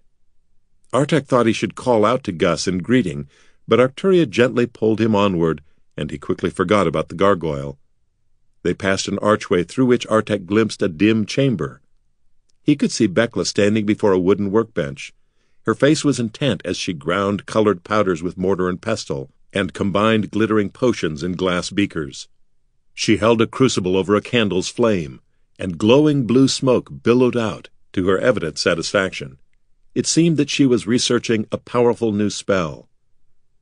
At last Arcturia brought him to a halt in front of a wooden door. Again her voice whispered in his mind, though her lips did not move. Beyond this door you will find all that you desire, Artek. Open it. The emerald-skinned woman seemed to fade away into the silvery light, leaving Artek alone. He gripped the brass doorknob. For a moment he hesitated, but it was as if he could not control his hand. A force was pulling him from the other side of the door. He opened it and stepped through. Father! a clear voice cried. You're home! A small form raced across the cozy, firelit room and flew into his arms. It all seemed so familiar. Artek found himself lifting the dark-haired boy into the air. You're getting big, Arneth, he said. He was not sure how he knew the boy's name, but he was certain that the boy knew him. Yes, I am, the boy replied seriously. What did you bring me? Artek reached into his pocket and pulled out a brown paper packet, though he could not remember putting it there. I hope this will do. Arneth took the packet and opened it. Candy! he exclaimed happily. Thank you, father. The boy dashed away with his new treasure. A pretty woman in a green dress set a steaming bowl down on a wooden table. She looked up and smiled, her sun-gold eyes glowing. Your supper is ready, Artek. Artek caught the woman in his arms and held her tightly. He felt lucky to have this warm home, bright sun, and beautiful wife. It was all he had ever wanted in life. Why question things? He was going to enjoy it to the fullest. He glanced at the door through which Arneth had disappeared, then grinned broadly. It's not stew I'm hungry for, he said wickedly, squeezing the woman tight. She laughed, filling the air with a tinkling sound like the ringing of a crystal bell. Very well, husband, she said, but there is something I must do first. Wait just a moment, and I will return. She pushed him gently into a chair, brushed a soft finger against his lips, and disappeared through the door he had entered. Artek leaned back, sighing contentedly, dreaming of the pleasure that was to come. Artek, a distant voice said. Artek, pick me up, please. The voice was so faint and hazy that he thought he had imagined it. He started to slip into his daydreams once more, but something nudged his foot. He looked down in surprise to see a skull on the floor, its jaw working frantically. For a moment he stared at the thing in amazement, but soon found himself bending down to pick it up. Artek! The skull hopped madly in his hands. It's me, Mira! Wake up, you fool! Memory flooded back into Artek's mind. Mira, he gasped in surprise. What are we doing here? Where are the others? They're trapped in illusions just like you are, the skull said urgently. And let me tell you, rolling all the way here to warn you was not easy. You're all in terrible danger. Danger? Artek asked. What do you mean? And what's all this about illusions? Look through my eyes, the skull said. Then you'll understand. What do you mean? I'm not alive. Illusions don't work on me, Mira explained hastily. There's a crack in the back of my skull. If you look through it, you can see out of the holes in my eye sockets. The magic in my skull will filter out the illusions you perceive. Hurry! Artek still found himself unable to think clearly. He lifted the skull and, squinting, peered through the crack in the back of Mira's cranium. Artek stood in shock. Still gazing through the skull, he looked all around. No longer was he in a warm, firelit chamber. It was a room, all right, but the walls were covered with mold. There was no fireplace, no door in the wall through which Arneth had run. There was a table and chair, but both were rickety and worm-eaten. The chill truth crashed over him in a wave, and a pang of loss clutched his heart. It was an illusion. The house, the fire, Arneth, all of it. All of it, perhaps, except the woman. You said we were in danger, Mira, he whispered intently. Arcturia isn't what she seems, the skull replied. She plans to use you and the others as subjects for her experiments. Experiments? Yes, I heard her talking to herself after she left you here. She plans to... The skull was interrupted by a clear voice from outside the door. Here I come, husband, the voice purred. I hope that you are ready. Artek stared at Mira in terror as the door began to open. Chapter 7 The Black Dart The beautiful woman with sun-gold eyes stepped through the door, her green dress swishing softly. Artek smiled nervously, folding his hands behind his head and trying to lean back casually in the chair. Something sharp dug into the small of his back, and he grimaced in pain. A faint shadow touched her smooth brow. Is something wrong, my love? He forced a smile. No, dearest, only a passing sadness that you were away. But it is gone now that you have returned. Her red lips coiled into a pleased smile, and she turned to shut the door. As she did, Artek whispered quietly out of the corner of his mouth. Quit squirming, Mira! You'll give us away! As Artek leaned against the skull to conceal it from view, Mira's pointed jaw dug painfully into his spine. I can't help it, came the skull's muffled reply. Keep still, Artek hissed. Did you say something, my love? the woman asked, turning around. Uh, no, he said loudly. Good, she murmured in a sultry voice, moving toward him. Talking is not what I had in mind. Sitting on the edge of the table, she leaned toward him and lifted a slender hand to the bodice of her gown, as if to untie the leathern laces. Then, with startling swiftness, she reached into the cleft of her bosom, drew out a shimmering green object, and thrust it toward Artek's face. It was a tiny serpent with ruby eyes and emerald scales. Artek grabbed her wrist and held it fast. The snake hissed, baring its fangs, mere inches from his face. Why do you resist me, my love? the woman crooned, straining against his grip. Evil light flashed in her golden eyes. Because I do not care for poison snakes, Artek said through clenched teeth. He tightened his grip on her wrist. You judge me wrongly, my love, she countered. This is a dream serpent. Its bite will bring you only sleep, so that you will not feel pain as I transform your exquisite body. Transform? Artek asked. How? Strange exultation twisted her beautiful face. You are strong, my love. She ran the fingers of her free hand down his cheek, his throat, his chest. I could do much with you. You could bear it. I would give you the arms of an ogre, the claws of a lion, the scaled armor of a dragon, and the poisoned stinger of a scorpion. She trembled with excitement. You would be utterly magnificent. She would make him a monster? Little did she know that he was already part monster. Crimson rage flared in his brain. I will be nothing for you, Arcturia, he cried. He leapt to his feet and slammed her hand, still clutching the dream serpent, against the table. In one swift motion he drew his dagger and plunged it downward. A shrill, inhuman scream pierced the air as Artek pinned the woman's hand to the table. Then the illusions that masked the chamber wavered and vanished, revealing the true nature of all within. The beautiful woman was gone. Her skin was still emerald, but now it was composed of overlying scales like those of the serpent. Wicked spurs of bone protruded from her elbows, her shoulders, and her knees. Instead of hair, a writhing mass of slimy black tentacles sprang from her head. Her wings were not of fairies, but rather of foul insects, and they buzzed spastically as she tugged to free her wounded hand. She shrieked again, baring long yellow fangs. Apparently, Arcturia had made herself the subject of her own experiments. Grabbing Murrogh, Artek hurried through the door. No longer was the space beyond bathed in silvery radiance. The air was dank and murky, and fetid water streamed down the bare stone walls. The others were there, and they all looked up at Artek in shock and confusion. Bekla had not been experimenting with vials and beakers, but with broken sticks and dirty stones. Gus sat upon a heap of festering garbage, holding a clump of worms in his hand, and still in his grimy attire, Corin sat before a rickety table littered with cracked clay plates.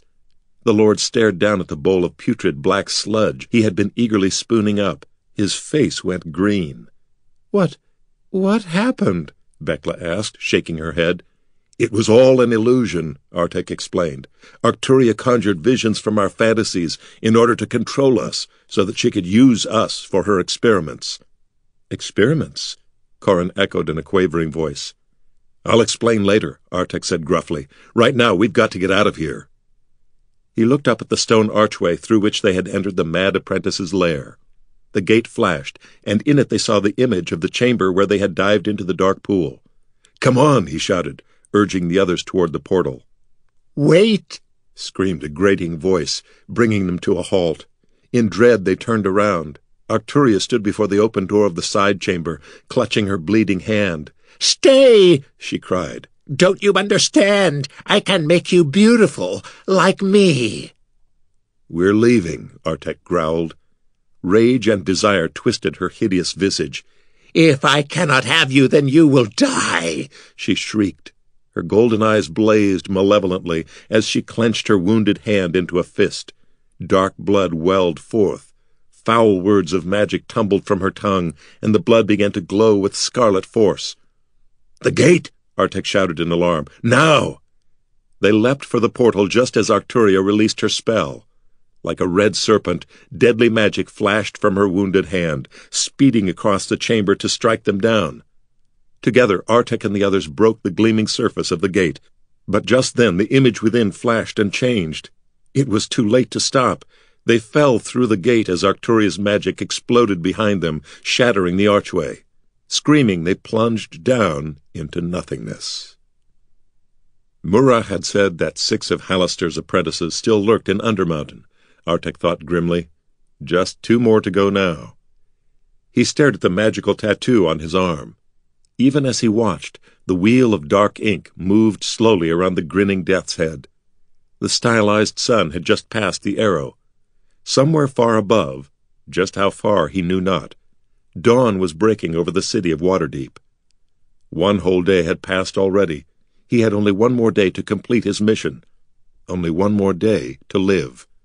He had found Corin Silvertor. That was something, at least. But they still had to escape from Undermountain and it seemed they were farther from finding a way out than ever. A part of him wanted to give up, to lie down and die here in the darkness. But he was filled with rage at Darien Thal's betrayal. He could not quit, not now. The desire for revenge was too hot, too strong. It would drive him on to the bitter end. He supposed he should be thankful for his orcish side, but it was that dark and feral part of him that had got him into this mess in the first place. He pulled down the sleeve of his jerkin, concealing the tattoo. Artek surveyed his surroundings. Despite the murk, his dark vision let him see the rough walls of damp stone. The gate had dropped them into a natural tunnel of some sort, hewn by time and the flow of water. As quickly as it had appeared in midair, the sizzling gate had closed behind them. Neither Arcturia nor her crimson magic had followed them through the portal, but there was no telling where the gate had deposited them. For all they knew, they were deeper than ever in Undermountain. In the darkness he could make out the shapes of the others nearby. Corin lay curled in a ball, hands pillowing his head, snoring blissfully. Artek shook his head, wondering if the young nobleman truly understood the danger they were in. Maybe to Corin, this was all simply a grand adventure, like the fantastic tales told by a wandering minstrel. Artek almost envied the lord. Would that he himself had lived such a sheltered life and knew the calm of such ignorance. But he had not, and he knew better. Not far off, Gus kept watch in one direction down the tunnel, while Mira rested on a rock facing the other direction. The gargoyle had cheerfully offered to stand sentry. I've just woken up from a two-century long nap, he had explained. Mira, in contrast, had been less than cooperative. I won't be able to talk to you if I'm that far away, the skull had complained. That was precisely the idea. Artek had ignored Mira's protests and set him down on a rocky perch to keep watch. He could hear the skull faintly now, muttering to himself in wounded tones. In truth, Artek did not care for the idea of stopping to rest, but after the ordeal in Arcturia's lair, Corin had been swaying on his feet, and Bekla's face had been drawn and haggard. Much as he hated to admit it, Artek needed rest as well. Time was precious, but all the time in the world would do them no good if they dropped from exhaustion. However, he had not been able to find sleep as easily as Corin. With a start, Artek realized that Bekla's sleeping form was no longer next to that of the nobleman. He heard a rustling sound behind him and turned to see the wizard approaching out of the shadows, a wisp of mage light bobbing above her head. She knelt beside him. I brought you some water, she said softly, and something to eat. He accepted both gratefully, only then realizing how thirsty and hungry he was. The water came from damp moss, which he squeezed over his open mouth. The moisture produced was musty and bitter, but cool against his parched tongue. Bekla broke a piece off of some sort of round loaf and handed it to Artek. The food was soft, rich, and slightly nutty. He ate it ravenously. Where did you find a loaf of bread? he asked in amazement after finishing the last morsel. Actually, it's not bread, the wizard replied. A weak grin touched her lips. It's fungus. Artek's eyes grew wide. He tried to spit out the last mouthful, but it was too late. Grimacing, he felt it slide down his throat and into his stomach. You could have told me, he grumbled. Would you have enjoyed it so much if I had? she asked. No, he was forced to admit. Bekla broke off a piece of the fungus and popped it into her mouth. It's really quite good. Besides, one can't be picky after living down here for a year. If it won't kill you, you eat it. Nice philosophy. They were quiet as Bekla finished eating. Eventually, Artek found himself gazing at Gus's dark form. The gargoyle stood as still as stone, gazing down the corridor. He can't be as good as he seems, Artek said quietly. Bekla looked up in surprise. You mean Gus? Artek nodded. Gus said it himself. He was created to be a creature of evil. How can we be certain he won't suddenly turn on us? Bekla sat cross-legged, arranging her tattered shirt and smudged vest. It's not how you're born that matters, the wizard replied firmly. It's what you do with yourself. That's all that really counts. Bitter laughter escaped Artek's throat. Is that so? he sneered. Then why did the magisters throw me in the pit for a crime I didn't commit? He did not let her answer, but went on. I'll tell you why. It was because they knew Orcish blood runs in my veins. In their eyes, I was born part monster, and thus a monster I am bound to be. He shook his head ruefully. And maybe they were right. Maybe I never will be anything else. Bekla was silent for a long moment. Finally, she gave his clothes a critical look. Have you ever considered wearing something besides black? she asked. What's the matter with black? he asked defensively. It's a very dignified color. It's a well-known fact that only evil people wear black, Bekla replied. You might consider trying white for a change. It could do wonders for your image. Artek let out a dubious snort. I'll keep it in mind, he muttered. So what about you? What's your unattainable dream? Back in Arcturia's realm, I saw you working happily with potions and powders. At least, you thought you were. Bekla was silent for a moment. At last she held out her hand. The shimmering wisp of mage light floated down to hover above her hand. She moved her fingers and the glowing puff danced, changing from blue to green to yellow and back to blue again.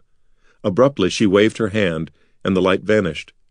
She reached out, motioning as if pulling something from behind Artek, and the wisp of mage light appeared in her hand once more. That's a fancy trick, Artek said, impressed. Bekla released the light, and it floated above her head once more. But that's all it is, she said ruefully. A trick, a ruse to entertain commoners and simpletons, and nothing more. She bit her lower lip, staring away into the darkness, then finally turned to regard Artek with her deep brown eyes. I'm a small-time wizard, Artalan. I know a few real spells, and I can fake a dozen more.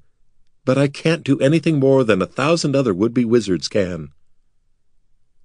Do you know what real mages, so mighty in their high towers and mystic laboratories, call people like me? She shook her head in disgust. Runts. That's what they say when they see us, if they bother to look our way at all. You're good enough to have survived in this maze for a year, Artek offered. But Bekla's eyes grew distant, as if she had not heard. Just once I'd like to be the mage in the tower, she whispered. I would learn the deepest, most powerful spells, discover the mysteries of the most ancient artifacts, and create new magic the like of which no one has ever seen. She shook her head fiercely. But even if I dwelled in the highest tower, I would not look down on those outside. I would open my doors to all the so-called runts. I would welcome them into my study and teach them real magic, so they would never again have to hang their heads in shame when another mage walked by. Only then did she realize that she had clenched her hands into fists. She fell silent, forcing her fingers to relax. You'd give anything for that, wouldn't you? Artek asked softly. She swallowed hard and suddenly looked away, as if his words had cut her somehow. We should be going, she said. I'll wake Corin. She swiftly stood and walked away, leaving Artek to stare after her.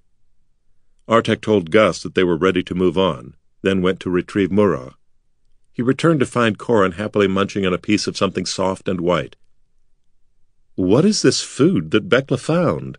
the Lord asked with his mouth full. It's absolutely delicious. Artek held in a smile. I think it's some kind of bread. I'll have to get the recipe, Corin said as he popped the last bite into his mouth. They were all ready, and Artek considered which way to go. The tunnel looked the same in either direction, jagged stone walls, damp floor, and stalactites hanging like teeth from the ceiling. It was Gus who had an answer. Can't you hear it? the gargoyle asked, cupping a clawed hand to his pointed ear. There must be an underground river down there somewhere. Artek took a few steps forward and cocked his head, listening. He could barely hear a faint rushing noise, and new hope glimmered in his heart. All rivers, even those underground, must eventually run into the sea.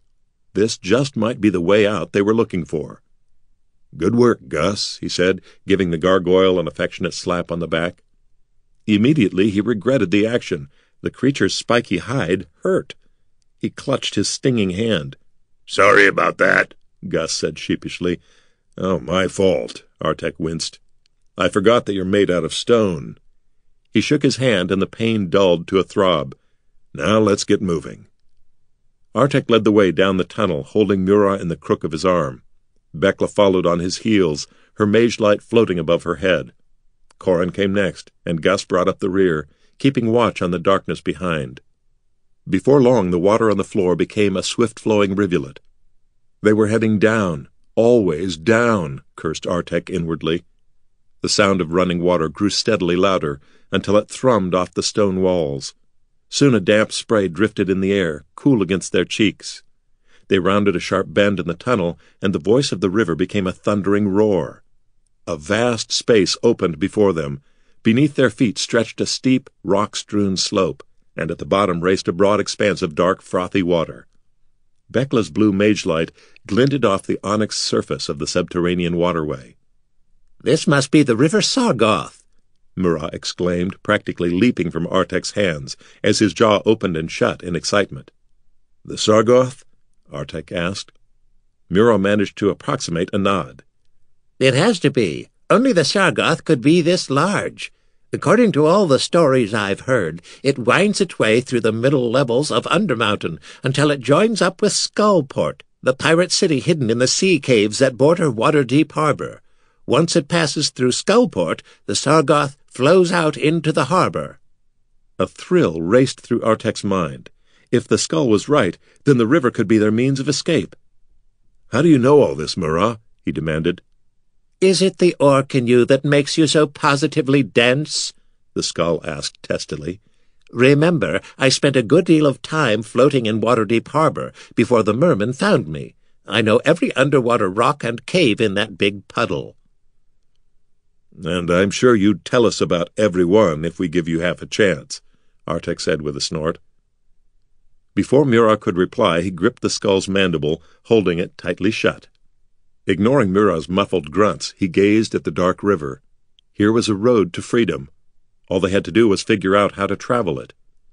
We need to find a way to float on the river, to let it carry us out of this maze, he murmured, more to himself than the others. Apparently Corin heard his words. Um, how about if we use that? the nobleman asked tentatively. As one, the others followed Corin's pointing hand. Bekla quickly raised her mage light higher. Artek let out an oath. It was a ship. The ship rested by the shore of the river nearest to them, caught on a jagged spur of rock that jutted up from the dark waters of the Sargauth. It was a two-masted schooner, small, sleek, and highly maneuverable. Such crafts were a common and much feared sight along the Sword Coast, for they were favored by pirates for their speed and agility.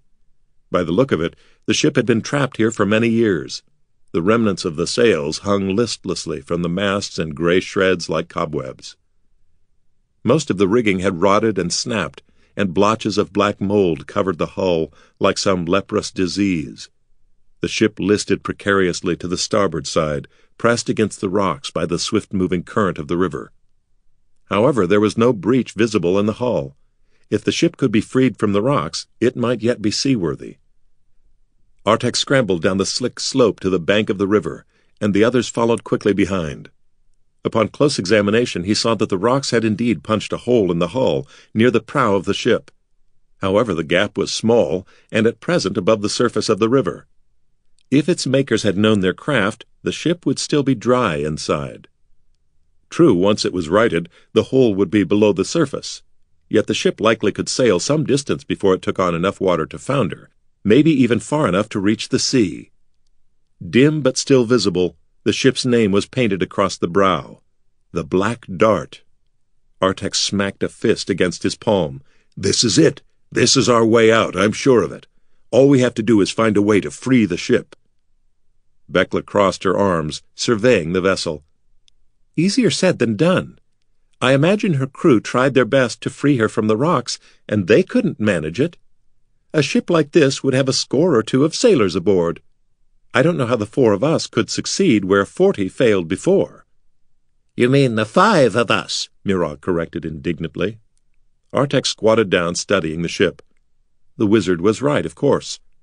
No doubt the Black Dart's crew had indeed tried to free her. An image drifted to mind of the pirate schooner laden with booty, its crew rough and merry, as it evaded the tall ships of Waterdeep's harbor watch. It sailed into a cave, meaning to hide in the underground waterways until the coast was clear. When the captain finally ordered them to sail back down the Sargauth, they found they were caught on the dark rocks, which their lookout had missed in the gloom. Despite their struggles, the ship remained caught between river and rock, like a piece of metal between hammer and anvil. Artek wondered what had become of the crew. Had they jumped ship, hoping the chill waters of the Sargauth would carry them back to lighted lands? Or had they remained here in the dark, dying slowly of starvation and madness? He shivered, forcing the latter thought from his mind. No crew of sailors would choose to remain here, he told himself. Not unless they were ordered to by their captain. And even then, they would probably mutiny. But it hardly mattered. Artek saw no point in exploring the ship. They probably would never be able to free it. He stood up with a sigh. Maybe there's no use in wasting our time here, he said glumly.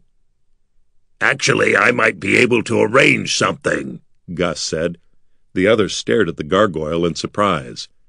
I have a way with stone, the monster explained with a toothy grin. I was conjured from it after all. He pointed to the boulders that trapped the ship. I'll go have a talk with those rocks over there. The rest of you get ready just in case it works. The others exchanged curious looks as Gus wandered over toward the rocks. The aft section of the Black Dart lay only a few feet from the shore, and its deck was tilted in their direction. With a running leap, Artek launched himself into the air and managed to grab the edge of the deck. With a grunt, he flexed his arms, heaving himself up and onto the deck. He searched until he found a bit of rope that seemed only slightly rotted. Looping it around the aft mast, he threw the end over the side to haul Bekla and Corin up. Moments later, the two stood beside him on the slanted deck, Murrogh clutched tightly in Corin's white-knuckled hands. Neither nobleman nor skull had appreciated being hauled up like so much cargo. Hold on, Gus, Artek called out above the roar of the river. We should look around first before we try anything. The gargoyle, squatting on the jagged spur of rock that trapped the black dart, waved up at the others on the deck. Figuring that Gus had heard and understood, they turned to look for an entrance into the ship's hold. But the din of the river had drowned out Artek's words, and Gus mistook his call as a signal to proceed. He knelt atop the slick heap of boulders and stroked the rocks with a hand, almost an affectionate gesture. He seemed to whisper to the stones. All at once the massive boulders shifted. Leathery wings flapping, Gus rose into the air, hovering above the outcrop. There was a low groan, and a shudder vibrated through the schooner. Gus gestured toward the bank, and the rocks shifted again, rolling toward the edge of the river. As they did, the ship gave a violent jerk. Artek, Bekla, and Corin stumbled wildly, grabbing at railing, mast, or post to keep from being flung overboard. Timbers creaking, the ship began to right itself. The deck rose beneath their feet, became level, and continued to roll, tilting alarmingly to the port side. They screamed as they were tossed again. Artek feared the schooner was going to capsize, throwing them into the icy waters of the river. However, a moment later the ship rebounded, rolling back in the other direction. When it became level again, the schooner wobbled, then finally stabilized on its keel. With a grating sound, the ship slid past the rocks that had blocked its way. Dark water swirled around its hull as the schooner drifted out into the swift center current of the river. A damp breeze tugged at the tattered sails. Artek let out a cry of surprise. They were moving. Gus, he called as the gargoyle settled onto the deck, stubby wings flapping. I told you to wait. The gargoyle slumped. Oh dear, I must have misunderstood. I'm sorry. Bekla smiled. Oh, it's all right. We're moving now, and that's what counts. How did you get those stones to shift, anyway? Gus shrugged his massive shoulders. I just asked them if they would mind moving a few feet to the side, that's all. Rocks are really very cooperative as long as you're polite. Bekla stared with mouth agape, clearly unsure how to respond. For his part, Artek didn't really care how Gus had managed to move the rocks, or even that the gargoyle hadn't listened. Bekla was right. The ship was free, and that was all that mattered. Bekla tossed her glowing mage light into the air. The blue wisp rose to the top of the foremast, hovering there to cast its light over the ship. Rough walls of stone slipped rapidly by as the schooner sailed down the Sargauth. Do you think the crew drowned? Bekla asked. The deck was empty except for a few weathered crates and barrels, with no sign of the pirates who had once manned the schooner. They must have abandoned the ship once it got stuck, Artek said. I certainly would have. Maybe their bodies are strewn about the maze, or maybe they're at the bottom of the Sargauth. Now this is an adventure, Corin exclaimed merrily. Without warning, the schooner lurched roughly to one side. Artek grabbed for a worm-eaten railing, barely managing to keep his feet. He turned around, then swore hotly. Corin stood at the prow of the schooner, hands on the ship's wheel. As Artek watched, the nobleman whistled cheerfully and spun the wheel around. The ship lurched in the other direction, drifting dangerously near the cavern wall. Artek stumbled forward. Give me that, he said, pushing the surprised lord away. Artek carefully turned the wheel, bringing the rudder back to center. The ship steadied, sailing down the middle of the river once more. Were you actively trying to dash this ship against the walls of the cavern? Artek growled angrily. I was only trying to steer, Corin replied in a small voice. Leave the wheel alone. Go over to those old crates and sit down, and don't touch anything else. The nobleman nodded silently, then hung his head. He trudged toward the crates and sat with a sigh, staring at the deck. For a moment, Artek wondered if he had been too harsh with Corin. The Lord was young, after all, and had only meant to help. Finally, Artek shook his head. He had other things to worry about. Moving to the rear of the ship, he examined the aft mast. The sails were rotted and rent with holes, but they might manage to hold some air. A stiff wind blew down the cavern in the same direction as the river's current. If they could position the sails right, they might add a little of the wind's speed to the rivers, making their progress swifter. Bekla, come help me for a moment, Artek said. As she approached, he pointed to a horizontal beam. If we move this cross mast, we might be able to catch some wind in the sails. Bekla nodded and gripped the boom. Artek turned around to untie a frayed rope. Now push when I say. His words turned into a cry as the boom struck the back of his head with a resounding crack. Oops, said Bekla. Artek spun around to glare at the wizard, rubbing the back of his head. A painful lump was already starting to rise. You know, I'm really starting to get tired of hearing you say that. Before she could reply, the ship suddenly tilted to the side again, nearly sending them sprawling to the deck. Artek looked up to see a figure standing before the ship's wheel. Corin, he shouted angrily, marching forward. Didn't I tell you to keep your hands off that wheel? Now get away from the... His words faltered as he saw the Lord look up in pale-faced surprise from his seat on the old crates. If Corin wasn't steering the ship, who stood at the wheel? As if to answer the question, the figure turned around and grinned. Artek's blood froze. The thing was clad in grubby breeches and a loose, tattered shirt that once might have been white. A grimy red scarf covered its head, and a curved cutlass hung from its cracked leather belt. It was a pirate, clearly long dead. Its bloated flesh was wet and rotted, and one eyeball dangled loosely from the socket. The sickly reek of decay drifted thickly through the air. Even as Artek watched, a chunk of putrid flesh dropped from the pirate's arm, falling to the deck with a nauseating plop. Artek, I think you'd better turn around, Gus said grimly. Reluctantly, Artek tore his eyes from the undead pirate. He turned to see a trapdoor opening in the deck of the ship. More pirates climbed out, shambling as they spread across the deck. Artek counted ten of them, then twenty, then thirty, and still they kept coming. All wore rusted cutlasses at their hips, and all of them were quite dead. The crew of the Black Dart had not abandoned the ship after all. Chapter 8 River of Death Dropping stray gobbets of rotten flesh, the zombie pirates shuffled toward them. Artek heard a wet, squelching sound and glanced over his shoulder. Panic clutched at his heart. More half-decomposed zombies clambered out of a trapdoor near the prow of the schooner. The scent of decay wafted in the air, thick and choking.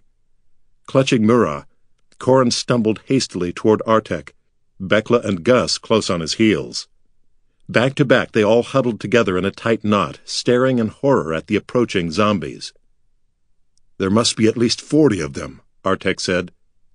Sometimes I hate being right, the wizard sighed. Well, this time your guess was dead on. Uh, must you use that word, Artalan? Corin asked in a squeaking voice. What word? Artek demanded. The nobleman swallowed hard. Dead. There was no time to reply.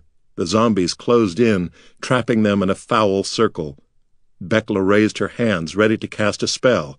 Gus extended sharp onyx claws. Corin tossed down Murrogh and drew his slim rapier in trembling hands. Artek's fingers brushed the hilt of the saber at his hip. He hated to draw the cursed weapon, knowing that once he did, he would not be able to stop fighting until all the zombies were destroyed, or he joined them in death. The pirates shuffled to a halt not a half dozen paces away, exuding a noisome reek, and then one of their number shambled forward. By its tattered red knee coat and the gold earring dangling from its moldy ear, Artek guessed that this zombie had been in life the captain of the Black Dart. A decomposed parrot, missing most of its feathers, still perched on the captain's shoulder, clinging with skeletal claws to the tarnished epaulets of the captain's coat. Hark! the bird gurgled. Stowaways, Captain! Aye, so they be, the captain replied in a slurred voice. Writhing worms dropped from the zombie's festering lips. And you know what we do with such landlubbers? Walk, the parrot cried again. Walk the plank, walk the plank, walk the plank. The bird's bubbling cries ended abruptly as its rotted beak fell off. The captain pointed a bloated arm toward a group of about ten pirates. You take these stowaways to the plank. The rest of you louts man stations. Artek and the others watched in grisly fascination as the zombie pirates shuffled off to reenact the tasks they had performed in life. A dozen pirates climbed clumsily into the ship's rigging. Several promptly fell back down to the deck, landing with wet, nauseating thuds, then lurched to their feet to try again. Other zombies began swabbing the deck with ragged mops. They made little progress, for every time they cleaned an area to their satisfaction, a gobbet of their own putrid flesh dropped to the deck and had to be wiped up. Still other undead pirates manned the schooner's booms and lines. Look out! Corin cried in terror. They ducked just in time to avoid a whistling boom as it swung overhead. One of the nearby zombies was not so quick. The crossmast struck it in the forehead, and its cranium burst apart like an overripe melon. That's got to hurt, Mira winced. The zombie captain shambled toward the ship's wheel. Out of me way, it groaned to the pirate who had been piloting the ship. The sailor tried to let go of the wheel, but was too slow. The captain pushed it roughly aside. With a rending sound, the sailor's arms tore off at the shoulder and dangled from the wheel by their still gripping hands. The armless zombie tottered away, its shoulders dripping yellow ichor. Disregarding the severed limbs, the captain grabbed the wheel and began steering. The schooner lurched wildly to the left, then gave a violent jerk, hull groaning, as the heel scraped against an underwater boulder. Bekla and Corin both grabbed hold of Artek to keep from being thrown to the deck. Is that thing deliberately trying to run this ship onto the rocks? Bekla cried. Probably, Artek answered grimly. But I don't think it's just the captain. Can't you hear it? The roar of the river is getting louder. I think we're approaching rapids of some sort. Oh, wonderful, Bekla groaned. This creaky old ship will be dashed to bits. I think we have an even more immediate concern, Corin gulped. The ten zombies that had remained surrounded them, grabbing them with cold, damp hands. To the plank, one of them moaned its breath a fetid exhalation of rot. Get your clammy paws off me, Bekla snapped. I'll walk on my own. She jerked her arm away from the zombie that held her, then gagged. The zombie's hand had broken off and continued to clutch her arm. With a cry of disgust, she shook off the putrid hand. It fell to the deck and scuttled away like a drunken spider. The zombies shoved them forward, leading them toward the port side of the ship. They stopped before a rickety wooden plank that protruded from the deck over the rushing waters of the Sargauth. Artek saw that the river was indeed giving way to rapids. The swift waters broke and frothed upon the sharp spurs of stone. Once again the schooner jerked and shuddered, its timbers groaning alarmingly. They stood in a tight knot before the plank. Behind them, the zombie pirates drew corroded cutlasses, barring any avenue of escape. Maybe we'll be better off in the river than aboard the ship, Corin murmured hopefully. Bekla eyed the violent waters below, then shook her head. We'd never survive the river. If we didn't freeze to death first, we'd be dashed against the rocks. Excuse me, Gus whispered. I have a plan. I know it's terribly rude of me, but would you mind if I went first to the plank? These fellows don't seem very bright, what with their rotten brains and all. I don't think they've noticed my wings. Artek stared at Gus in astonishment. Even in an emergency, the gargoyle was exceedingly polite. However, he had time for nothing more than a nod. One of the zombies brandished its cutlass menacingly. All right, the pirate droned in its mushy voice. Who's first? Gus raised a clawed hand. That'll be me, he said cheerfully. Be ready, he whispered to the others, then stepped onto the plank. The undead pirates followed after him, poking him with the cutlass, urging the gargoyle on. Finally, Gus ran out of plank. With a cry, he dropped down and disappeared into the gloom below. The pirate slowly turned around, grinning. Several yellowed teeth dropped from its rotting gums. Next? the pirate asked. Before the others could react, a dark form rose suddenly from below and struck the underside of the plank. With a dull look of surprise, the zombie pirate bounced into the air, then plunged downward to be swallowed by the roaring waters of the Sargauth. Wings beating frantically, Gus rose higher into the air. Now! the gargoyle cried to the others, green eyes glowing ferally. Artek did not need to be told twice. While the remaining zombies gaped in dim-witted astonishment, he drew his saber and leapt forward, swinging. The sharp blade bit deeply into rotten meat, cleaving a pirate in twain. The two halves of the zombie fell wetly to the deck, twitched, then ceased moving. Directly behind him, Bekla shouted a harsh word of magic. Blue energy sprang from her fingertips and engulfed one of the zombies. It let out a shrill scream as its putrid flesh sizzled and bubbled, then it exploded in a spray of foul gobbets. I think you overcooked that one, Bekla, Artek said in disgust, wiping bits of rotten meat from his face. Uh, sorry, the wizard replied, shaking shreds of zombie from her clothes. Though slow of thought, the seven remaining pirates had finally realized they were under attack. Raising their rusty cutlasses, they lurched forward. Artek raised the cursed saber, suddenly finding himself facing three of the creatures. Their blows were slow and clumsy, but they outnumbered him, and he was barely able to counter their swings. Two zombies trudged toward Bekla. She managed to roast one with another spell, then the other closed in. There was no more time for magic. She drew a small knife from her belt and dodged the swing of the pirate's notched blade. With a roar, Gus swooped down, plucked up one of the zombies assailing Artek, and tore it to shreds in midair. Artek momentarily froze, startled by the gargoyle's sudden ferocity. Then a cry of fear caught his attention. Artek parried several blows, then turned his head and saw Corin backing toward the rickety railing of the deck as a pair of zombies advanced on him. Artek tried to dodge the two pirates before him, but they blocked the way. He couldn't get to Corin. If the foolish lord died, then their battle was in vain. Corin nudged against the ship's railing and could go no farther. Leering hatefully, the two shambling corpses closed in on the nobleman. Shaking in fear, Corin thrust his rapier before him, gripping the hilt with both hands. He squeezed his eyes shut, clenched his jaw, then proceeded to wave the sword in a fancy and ridiculously embellished maneuver, no doubt learned from some foppish fencing master who had never faced a real enemy in his life. The slim rapier whistled through the air, nearly invisible as Corin slashed, circled, and thrust with a bad actor's flamboyance. Finally, he lowered the sword and cracked his eyes. The zombies only grinned, apparently unaffected by his efforts. They raised their cutlasses. As they did, the sword hand of one of the zombies fell off, sliced clean at the wrist. The undead pirate gaped at the oozing stump in mindless confusion. A moment later, its entire arm fell off at the shoulder. Then its nose slipped from its face, followed by an ear. Then, all at once, the zombie fell apart into a score of neatly sliced pieces that tumbled quivering to the deck. Corin stared at his rapier in amazement. Though only four zombies remained, things still looked ill.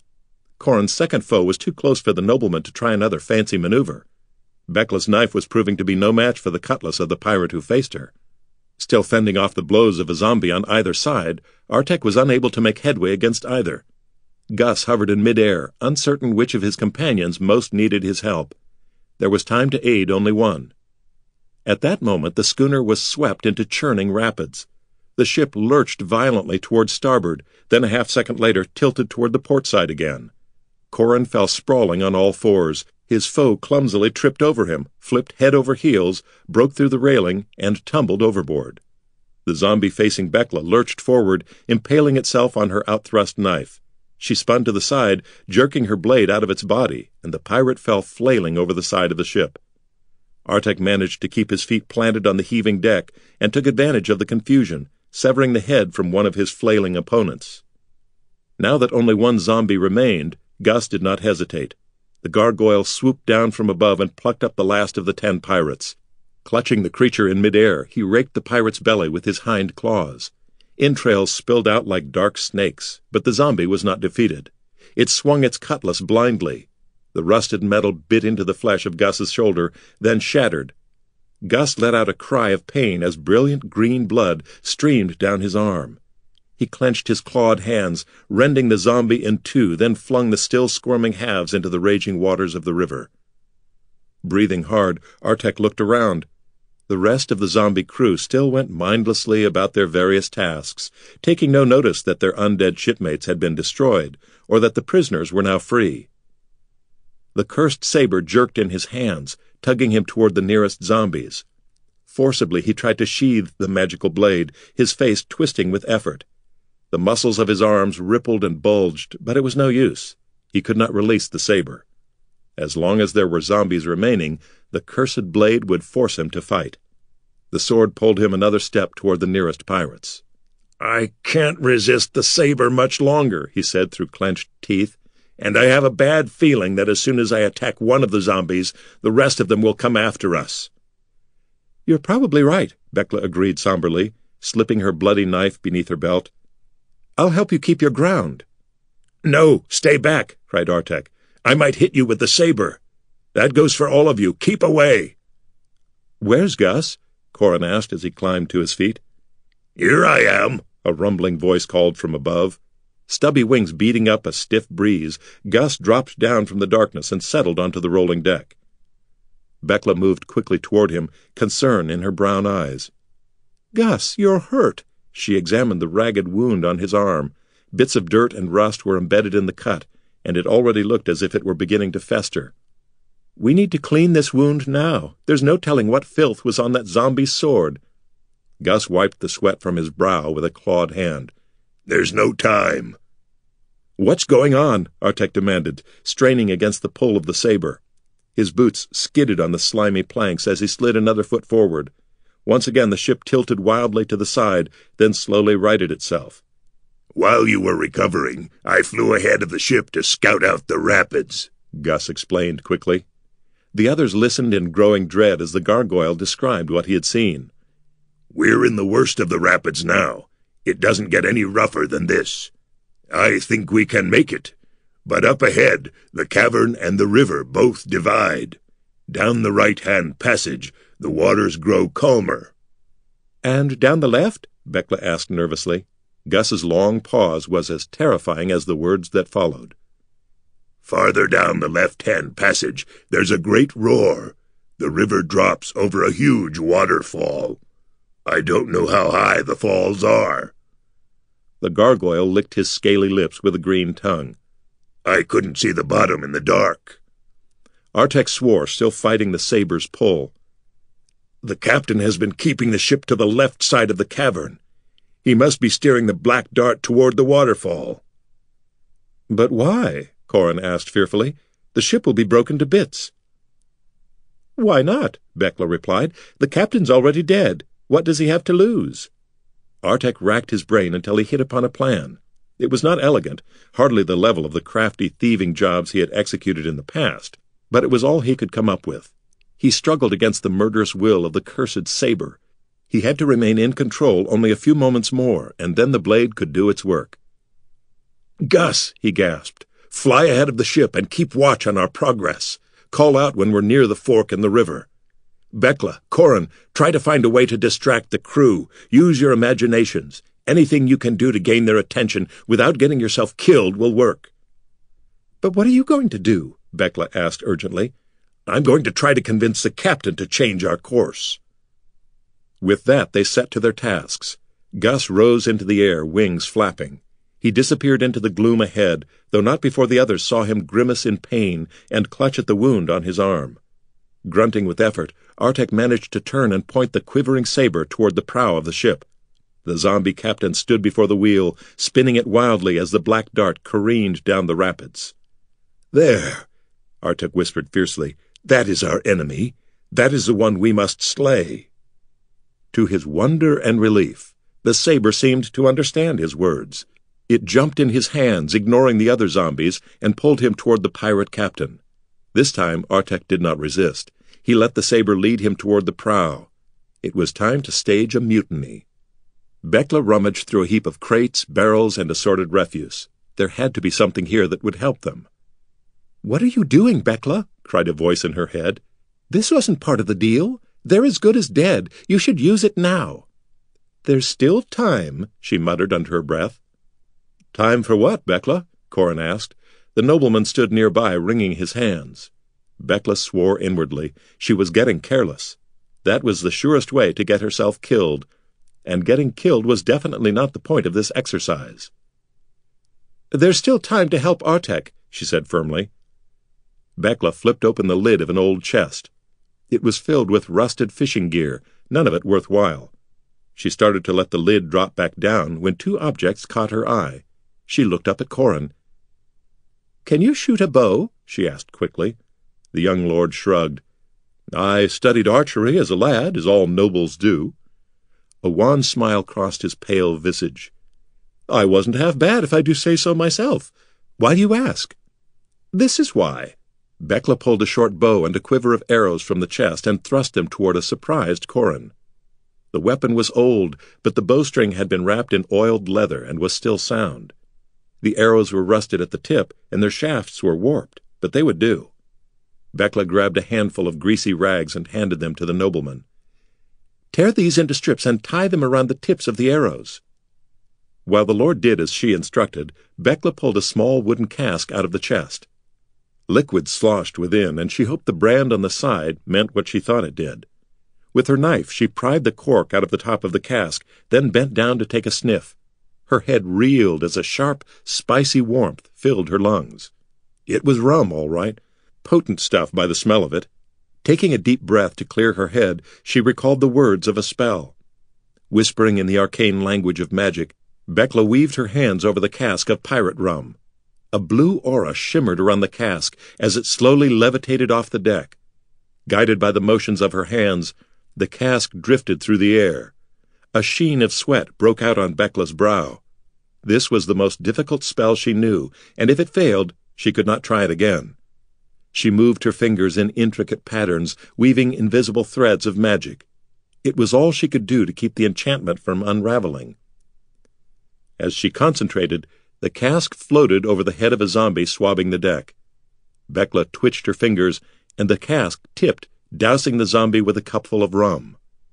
Heedless of the liquid, the mindless creature continued to lurch about its task. Bekla weaved her hands, and the cask floated toward another zombie.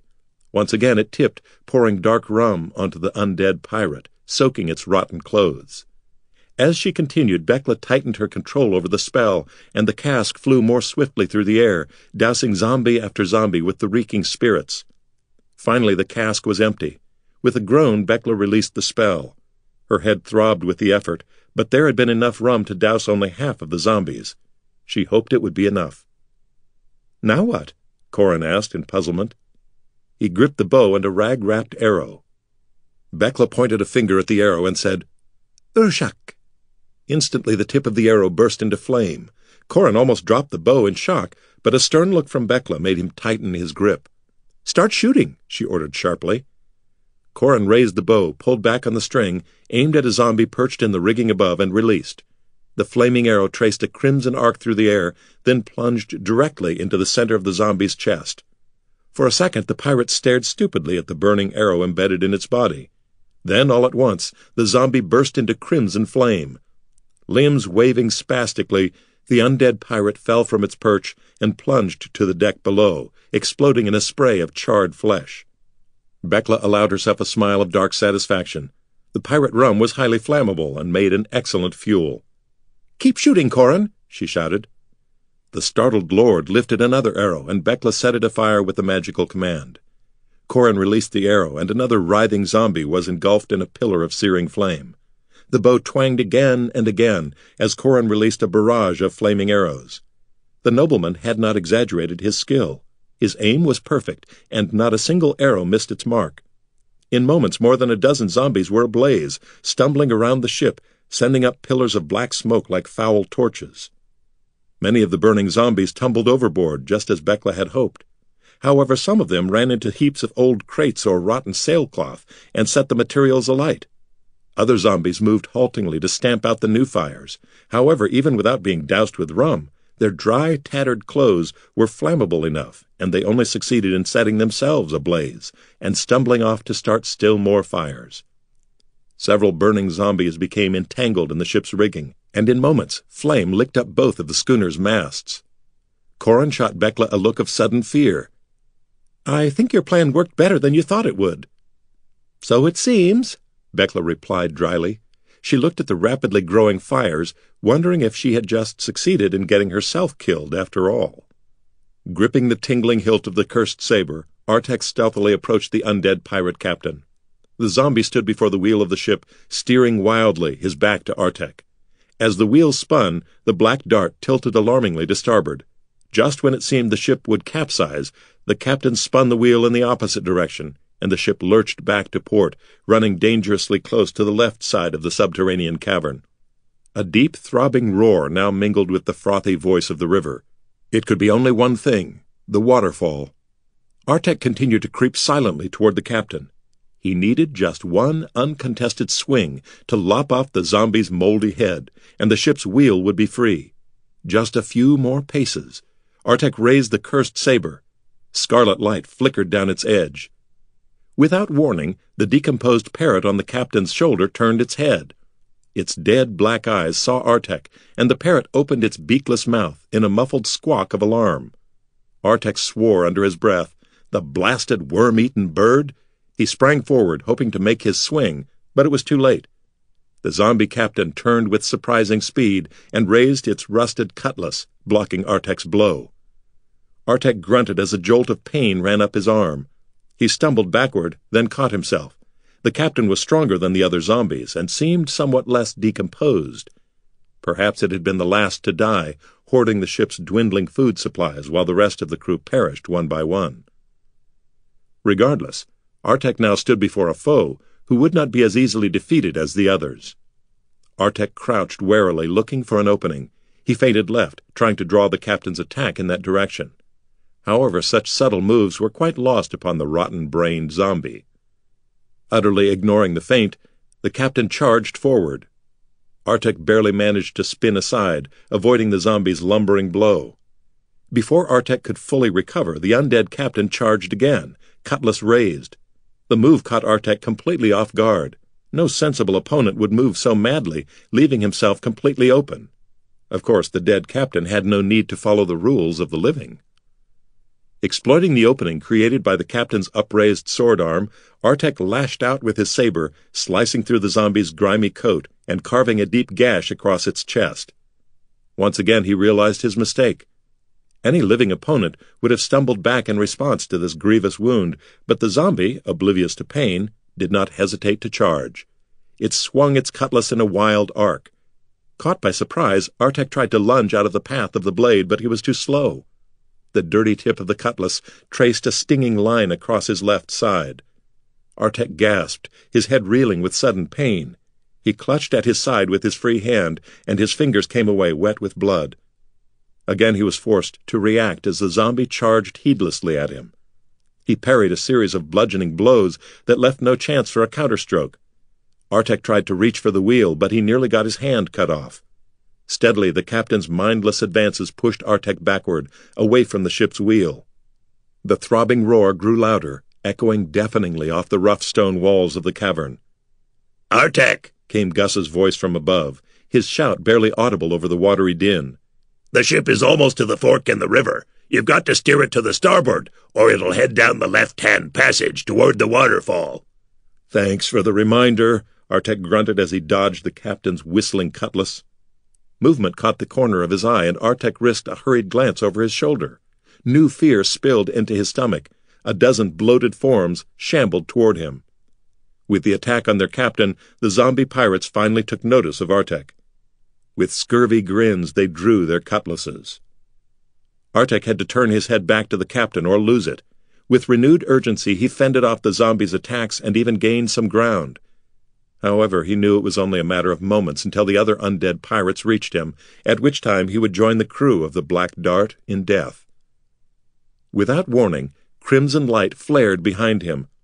Artek risked a second glance over his shoulder, and what he saw almost made him drop his sword in surprise. One of the approaching zombies had burst into flame. Writhing and burning, it stumbled away. Even as he watched, scarlet fire engulfed another zombie. All over the ship, pirates were being transformed into undead torches. The remaining zombies hesitated, then turned to try to stamp out the resultant fires with their clammy feet. Despite his predicament, Artek could not suppress a sharp-toothed smile. Bekla and Corin had done their work. Once again, Gus's voice called from above. Artek, you're almost out of time. The fork in the river is just ahead. Ignoring the searing pain in his side, Artek attacked the captain with redoubled vigor, driving the zombie back toward the wheel. The schooner's keel grated against a submerged rock, and the ship gave a jarring shudder. Somewhere timbers cracked like old bones. Decayed limbs unable to keep their balance, the zombie captain stumbled backward against the ship's wheel. It was now or never. Artek sprang forward, letting the cursed saber have free rein. The blade struck once, hewing off the captain's sword arm. Then it swung again, severing the zombie's other arm. Finally, the magical saber pulled Artek forward in a mighty thrust. The blade pierced the pirate captain's heart, pinning the zombie to the center of the ship's wheel. Artek, now! Gus cried out from above. With all his strength, Artek grabbed the ship's wheel and spun it, along with the feebly flopping zombie captain, to the right. At the same moment, a sharp angle of stone loomed in the darkness before the schooner. The dark waters of the Sargauth broke and divided upon the rocky wedge, half going right and half going left. With a shout, Artek turned the wheel farther. For a terrified moment, he thought the schooner was going to run directly into the sharp wedge of stone before them. Then, at the last moment, the rushing waters swept the schooner into the right-hand passage. There was a horrible splintering sound as the port side of the hull grated against the rough stone wall. Artek was tossed to his knees as the ship convulsed violently. Then the grating noise ceased and the shaking ended as the Black Dart sailed down calmer waters. Artek climbed to his feet, gazing in amazement at the placid river ahead. They had done it. Artalin, Corin cried behind him, I think that we're in a spot of trouble. Artek turned to see Corin and Bekla hurrying toward him, Behind them, the entire aft section of the ship was in flames, thick smoke drifting in the air. Bekla's face was smudged with soot. All the zombies are destroyed, she said breathlessly. But we couldn't put out the fires. The ship is going to burn up. Not if it sinks first, Gus countered, landing on the deck before them. The hull has been taking on water the whole time from the small hole in the starboard side, and when we struck the cavern wall, a large rip was torn along the port side of the brow. In a few minutes, this ship is going to be on the bottom of the river. Artek ran a hand through his sweat-soaked hair. Death by fire and drowning? They had fought too hard for this victory to give up now. With an angry motion, he jammed the cursed saber into its sheath. The blade did not resist the action, confirming that, indeed, the zombies were no more. As Artek madly considered their options, the walls of the cavern suddenly fell away. There was a queer, green-gold cast to the air. and Artek had the sense that they had just passed into some far vaster space. However, he could not see through the hazy curtain of smoke that hung above the schooner. We'll have to abandon ship, he shouted. The river is calmer here, so we should have a chance. Make for the right bank. He grinned fiercely. I sure hope everyone knows how to swim. Hey, don't forget me, a dry voice called out. As the deck listed, an off-white shape rolled toward them. It was Murrogh. Gus snatched up the skull. There was a sound like thunder as the schooner's foremast cracked and fell flaming toward the deck.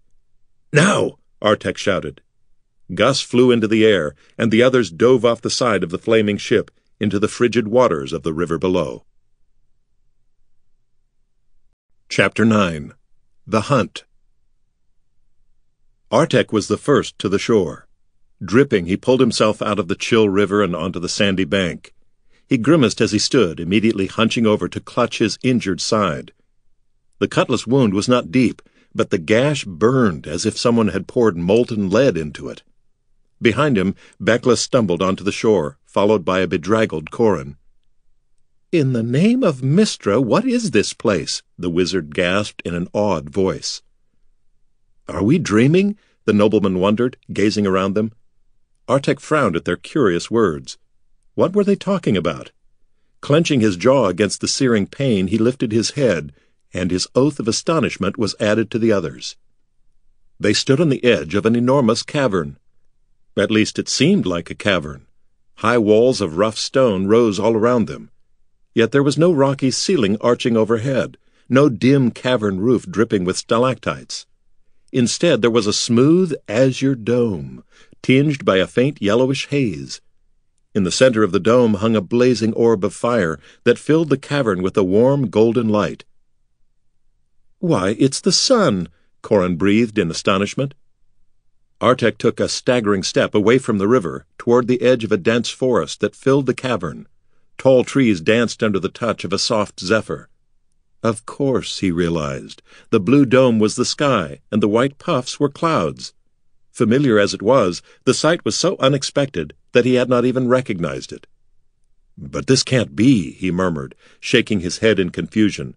The river Sargauth keeps flowing from here. We haven't made it to the ocean yet, and that means we're still underground, beneath Mount Waterdeep. He shot an uncertain look at Bekla. Aren't we? The wizard nodded slowly. I think so. There's no ocean in sight, and I would have noticed if we had passed through another gate.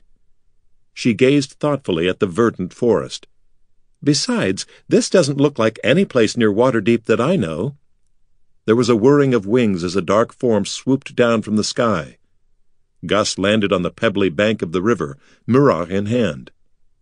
The gargoyle staggered dizzily and dropped the skull. Hey, Murrogh cried indignantly. Try to be a little more gentle next time. These old bones are very delicate, you know. Gus paid no heed to the skull's complaints. He lifted a clawed hand, rubbing his skull. What's going on, Gus? Artek asked. Pain made him limp as he approached the gargoyle, and Artek was frustrated. The cutlass wound in his side was shallow. It shouldn't be hurting so much. I bumped my head, Gus said in a groggy voice. You did what? Artek demanded incredulously. Gus swayed on his sharp taloned feet. When I saw all that space, I became terribly excited, the gargoyle explained. I wanted to fly up into it, but when I got as high as the cavern's walls, I cracked my skull on something. I couldn't see it, but believe me, it was hard as stone. The gargoyle groaned and, still gripping his head, sat down hard on his tail. Curiosity flashed in Bekla's brown eyes. She opened her mouth to ask a question, but was interrupted by a loud cracking sound. They all turned around. On the river, the hull of the Black Dart had broken in twain. The burning halves of the ship sank swiftly into the water, hissing as they submerged. In moments, the old pirate schooner vanished from sight beneath the dark surface of the river, sunk at last to its watery grave. Artek wanted to ask Gus more about the sky, but a wave of nausea suddenly crashed over him, and he sat too hard on the ground. Both he and Gus moaned in pain. The gargoyle let go of his head and clutched the oozing wound on his arm. Concerned, Bekla knelt beside them. Both of you are burning up, the wizard gasped as she felt their foreheads. Murrogh rolled toward them, coming to a halt on a small heap of gravel. It's the zombie wounds, the skull said grimly. It's begun. What's begun? Corin asked. The transformation, Murrogh replied, his mandible working. A wound tainted with the filth of a zombie will fester. Gradually the victim's body will start to die. But he won't stop moving. Instead, the victim will become a zombie himself. The others stared at Murrogh in horror. Artek shook his head weakly. All his life he had been part monster. He had resigned himself to that fact. But to become a zombie was a fate he could not bear. Kill me, he begged hoarsely. Kill me before it's too late. At last Bekla regained her senses. Not so fast, Artalan, she said crisply. I'm not going to give you two up for dead, er, undead, just yet. Where's that vial of healing potion, the one you used to cure me of the wraith spider venom? Artek tried to move, but he was too weak. His skin was burning as if on fire. Sweat poured down his face, but he felt terribly cold. It's... it's in my pocket. I don't usually do this sort of thing until I've known a gent for a while, but... The wizard reached into the pocket of Artek's black leather breeches and pulled out the glass vial. It was empty except for a few purple drops at the bottom. Corin, do you have another one of these? she asked the nobleman. He shook his head sadly. I'm afraid that was the only one I had. Bekla tilted the vial, eyeing the residue critically. I guess we'll just have to hope this is enough. The wizard unstopped the vial and poured a drop of the precious fluid on the angry scratch on Gus's arm. She spread the potion over the wound with a finger, then turned to Artek. With Corin's help, she managed to pull off Artek's leather jerkin. Are you wearing a fur undershirt, or does all that belong to you? she asked dryly. Very funny, Artek growled. You'd be her suit yourself if you had orc blood in you. And let me say that I think it looks a lot better on me than it would on you. I won't argue with you there. Perhaps because his flesh had been forged from stone, Gus's wound had only begun to fester. Artek's looked far worse. The shallow cut ran along his left side onto his muscular chest. The center of the wound was bright red, but the edges were disturbingly dark and gray, the color of a corpse's skin. Three drops remained in the vial, and Bekla used them all on Artek, spreading them carefully to cover the entire wound. Now what? Artek gasped. We wait, Bekla replied gravely. If it's going to work, it shouldn't take long. Even as she said this, Gus let out a grunt of surprise. Though still open and bleeding, the wound on his upper arm no longer oozed ichor, and the signs of festering had vanished. It appeared no more than a normal scrape. I think something's happening, Artek said. A violet radiance glowed around the wound on his side, then abruptly vanished. Like Gus's injury, the scratch was not healed and still bled freely, but the alarming grayness was gone. Artek breathed a sigh of relief. His sweating ceased and the preternatural chill left his bones. He shrugged his jerkin back on over his broad shoulders and stood. Corin clapped his hands together. I'm so terribly glad that you two aren't going to become zombies, he exclaimed happily. I believe I received my fill of battling undead on the pirate ship. The nobleman glanced in Artek's direction, and Artek had the sudden feeling that the young man was looking at him expectantly. What in the abyss could Corin possibly want? Artek shifted uncomfortably, searching for something to say. Well, you did a good job against the zombies, Corin, he muttered finally. That was some fancy swordplay you used back on the ship. Corin's face lit up brightly at this compliment. He puffed out his chest and opened his mouth to reply. Next time you might even want to try fighting with your eyes open, Artek added sharply before the Lord could speak. Corin's mouth snapped shut and his shoulders slumped. A crestfallen expression replaced the look of pride on his boyish face. Artek swore inwardly. Once again he wondered if he had been too harsh on the nobleman, but he couldn't concern himself every moment with Corin's sensitive feelings. He had more pressing concerns, like getting them out of this place alive, Grumbling to himself, he turned away. Well, we can't follow the Sargauth any longer, Artek said. It loses its banks just past this shore. So we'd better start exploring, he said. leading the way toward the edge of the forest. If we're going to find a way out of this place, we have to figure out where and what it is first. Maybe we could build a raft from these trees and keep sailing down the river, Bekla suggested hopefully. Not unless you can cast a spell and turn our hands into axes, Artek replied, eyeing the towering trees. The only blade among us is this damned cursed saber. It would take me a year to cut down one of these trees with a sword, and in case you've forgotten, I have considerably less time than that before this thing stops my heart. He glanced down at the tattoo on his arm. After a moment, something odd struck him, and he gazed up at the sky. That's strange, he said with a puzzled expression. What's strange? Murrogh piped up. Other than myself, of course. Artek pointed to his tattoo. The arrow was now midway along the circle between sun and moon. According to this, it's high noon up above, on the surface. The sun should be directly overhead in Waterdeep. But here the sun is more than halfway past its zenith and sinking. Reckoning by the sun here, it's a good four or five hours after midday. Maybe something's gone wrong with the tattoo, said Bekla. Maybe, Artek answered skeptically. But that's not the only thing. Right now it's spring in Waterdeep, but the heat of this sun feels more like midsummer to me. Bekla did not have a response to this, and Artek decided it did not truly matter. His life was tied to the magical tattoo, and so it was all that mattered. According to the tattoo, he had half a day and a night to live. It was time to get moving. Leading the way, he plunged into the thicket of trees. The forest was even denser than it had looked from the outside, Trees grew close together, spreading their branches into a thick green canopy high above. In the dappled shadows below grew myriad vines and bushes, some covered with alien-looking blooms. Pale mushrooms grew from the rotting bodies of fallen trees. None of the plants were any that Artek or the others recognized. The air was damp and muggy, and soon all of the humans were sweating profusely. Tiny, bothersome insects danced in the air, flying into their ears and up their noses, making them sneeze. As always, Murrogh chattered ceaselessly as they went. However, Corin was unusually silent.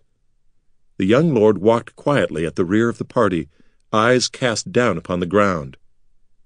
So tell me, Murrogh went on in his reedy voice, if we are really still underground, how is it that this forest can survive here? For a change, someone actually answered the skull's question. I don't know, Bekla said, shaking her head as she lowered a glowing hand. However, as far as I can tell with my magic, nothing about these woods is enchanted. These are all perfectly normal, mundane trees. Somehow they must be getting all the light and water they need to...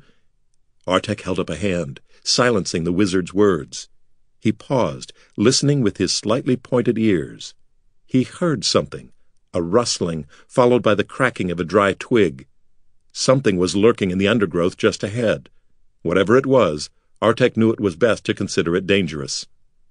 Whispering, he explained what he had heard to the others. They quickly formed a plan, and in moments were ready to act. Bekla pointed a finger at the bushes ahead and intoned the words of a spell. Shimmering darts of energy sprang from her fingertips and struck the tops of the bushes, instantly vaporizing them. That was Gus's cue. Snarling as Artek had instructed him, the gargoyle swooped down from a high branch where he had perched, diving toward the bushes. There was a hoarse cry of fear, and a shabby form leapt out of the bushes. Artek jumped from behind a tree, tackling the running form. His quarry struggled wildly, but Artek was the stronger, and he pinned the other to the ground. No, don't take me to him, cried a cracked and terrified voice. Joachim, save me! I saw what happened to all the others. My heart! His tooth will pierce my heart, and his eyes! Too bright his eyes! They burn as he crushes them in his jaws. They'll crush me, too! So terrified was the voice that Artek was startled and moved to pity. He loosened his grip, though not so much as to lose control, and leaned back, gazing at his quarry. It was what was left of a man, he was clad in strange, flowing clothes that might once have been fine, but now were filthy and tattered. His tangled hair was matted with leaves, and a scraggly beard clung to his chin. His gaunt body was half starved, and dark eyes stared madly from his twisted face. Artek gazed at the broken man. We're not going to hurt you, he said, gripping the man's shoulders firmly but gently. For a moment the madman struggled, then went limp. A look of wonder crept onto his haggard face. You're not on the hunt, are you? Artek shook his head. The hunt? What do you mean? The hunters from the temple, the man said, licking his lips fearfully. Have you not seen them yet? Ah, but you will, you will! Their god is a beast, and a master of beasts, and beasts we are to him. Weird laughter bubbled deep in his throat. The others approached cautiously and gathered around the madman. Artek allowed him to sit and studied his twisted face. Certainly this ragged fellow had seen something that had frightened him out of his wits. Artek wondered what it could be, and also how this man, and these hunters he spoke of, had come to be here in this strange forest. The answer might give them a clue to a way out. Can you tell me more about this hunt? Artek asked quietly. He gestured to the trees around them. Or what this place is? The madman looked warily from side to side. They'll be coming soon. We can't stay here. Please, Artek urged gently. It won't take long and then we'll let you go free. You have my word. The other man's dark gaze bore into Artek. He spoke in an eerie voice. No one is free in Willowwood. Not for long, anyway. I am the last. I know. The madman then began to speak in a chant-like voice. His tale was difficult to follow, for he spoke in disjointed sentences and often interrupted himself with broken laughter or moaning sobs. From what Artek could piece together, the man's name was Solthar, and he had been a merchant of some sort. While Solthar was traveling, a sudden storm had come upon his caravan. Seeking shelter, he and the rest of the party had entered a cave, only to find themselves in this forest. They had searched for a means of escape, but to no avail. Once you find yourself in Willowwood, there is no escape, Solthar said. Unless you throw yourself in the icy river. Some did, Yes, some did, and they drowned. I cannot will myself to follow them. Soon, perhaps, soon, but not yet. But what about the rest of your traveling companions, Solthar? Artek asked intently. Did they all cast themselves into the river? Solthar shook his shaggy head. Oh, no, the hunt took most of them. The hunters will take you, too. Into the jaws of the beast they'll throw you, and then, snap! He clamped his hands together like a mouth closing, then trembled in fear. After this, Solthar spoke only in unintelligible fragments. They had learned all they could from the mad merchant. Knowing there was no use in keeping him, Artek told Solthar he could go. The madman shot them one last queer look, then scurried away, disappearing into the undergrowth. Artek rubbed his chin thoughtfully. It sounds like a gate, doesn't it? he asked the cave that Solthar and the others stumbled through. Bekla gave a vague shrug. Maybe. It's hard to say from his tale alone. Yet, for some reason, Artek was sure. Perhaps it was thief's instinct. I think we should at least check it out. If we can find the cave, that is. He gazed expectantly at Bekla. Finally she sighed and nodded. All right. If it is a gate, my magic should be able to home in on it. But if it isn't, we'll be wandering in circles, you know. Bekla spoke in the language of magic, and once again her hand glowed with a faint blue light. For a moment she shut her eyes, letting her hand float before her. It drifted slowly toward the right. This way, she said, walking off into the forest. She ran headlong into a tree. Ouch! Maybe you should consider opening your eyes first, Artek suggested. Really, Artalan? she replied acidly. Why, you're absolutely brilliant. The wizard opened her eyes and, muttering under her breath, marched onward, this time avoiding the trees in their path. The sun above had sunk only a short way more in the sky when the trees thinned, and they found themselves on the edge of a glade. The short hairs on the back of Artek's hands and neck prickled. There was danger here. With a quick gesture, he brought the others to a halt. Cautiously, he peered through a tangle of branches into the glade beyond. In the center, next to a small lake, was a compound of low buildings ringed by a wall of ruddy stone. Soaring above the other structures was a great dome painted bright crimson. Dark smoke rose from within the compound, and the reek of charred meat drifted in the air. It was an evil smell. Artek realized this place could only be the temple of which Solthar had spoken in dread. Artek watched men enter from the opposite side of the glade. They wore crimson cloaks and rode toward the temple on black horses. They passed through an archway in the wall and vanished within. I think we would do well to circle around this place, Artek whispered to the others. Plunging back into the depths of the forest, they gave the temple a wide berth. The trees drew nearer together, and the undergrowth thickened.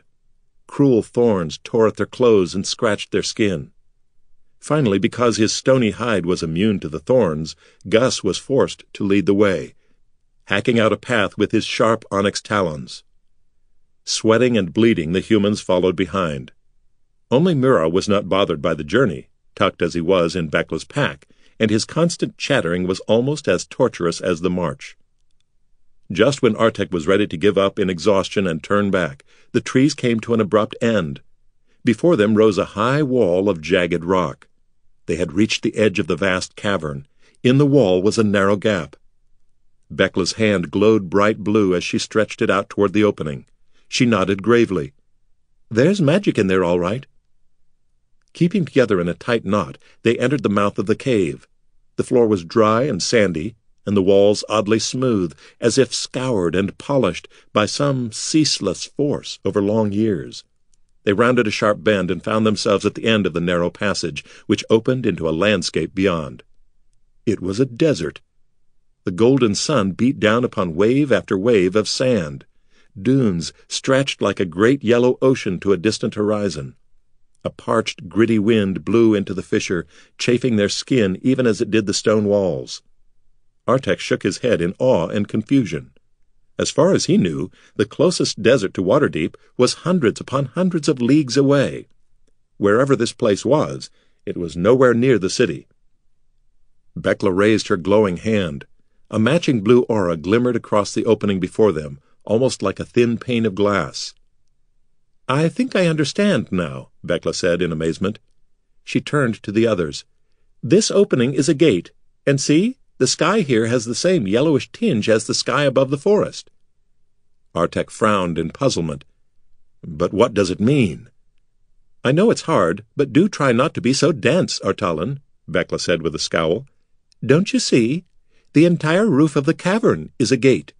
The gate opens onto this desert. That's how the forest gets the light it needs to survive so far below ground. I suppose the necessary water comes from the river and the lake. Gus scratched his head. So when I cracked my skull in the sky, that was really the cavern roof? Bekla nodded in agreement. That's right. Uh, wait a minute, Artek protested. This doesn't make any sense. If the entire sky is a gate that lets through sunlight, why didn't Gus simply fly through into the desert beyond? The wizard tapped her cheek with a finger. I think I know the answer to that, she said finally. Gus, why don't you try to step through the gate here? Oh, after you, the gargoyle said hurriedly. Bekla sighed in exasperation. This is just a test, Gus. You don't have to be polite, you know. Oh, the gargoyle said sheepishly. He shrugged his massive shoulders, then stepped through the gap. At least he tried to step through. There was a blue flash, and he was roughly thrown backward into the others. That's what I was afraid of, Bekla said glumly. What? Artek grunted. That I would get crushed by a gargoyle? Sorry, Gus apologized, leaping off Artek and helping him to his feet. Not you, Artalan, Bekla said in annoyance. The gate. It obviously works in only one direction. People and sunlight can pass through to the forest, but they can't go back out, just like Solthar said. Artek felt his hopes evaporate like water in the hot desert sun. It really doesn't matter. This gate couldn't have helped me, or Corin.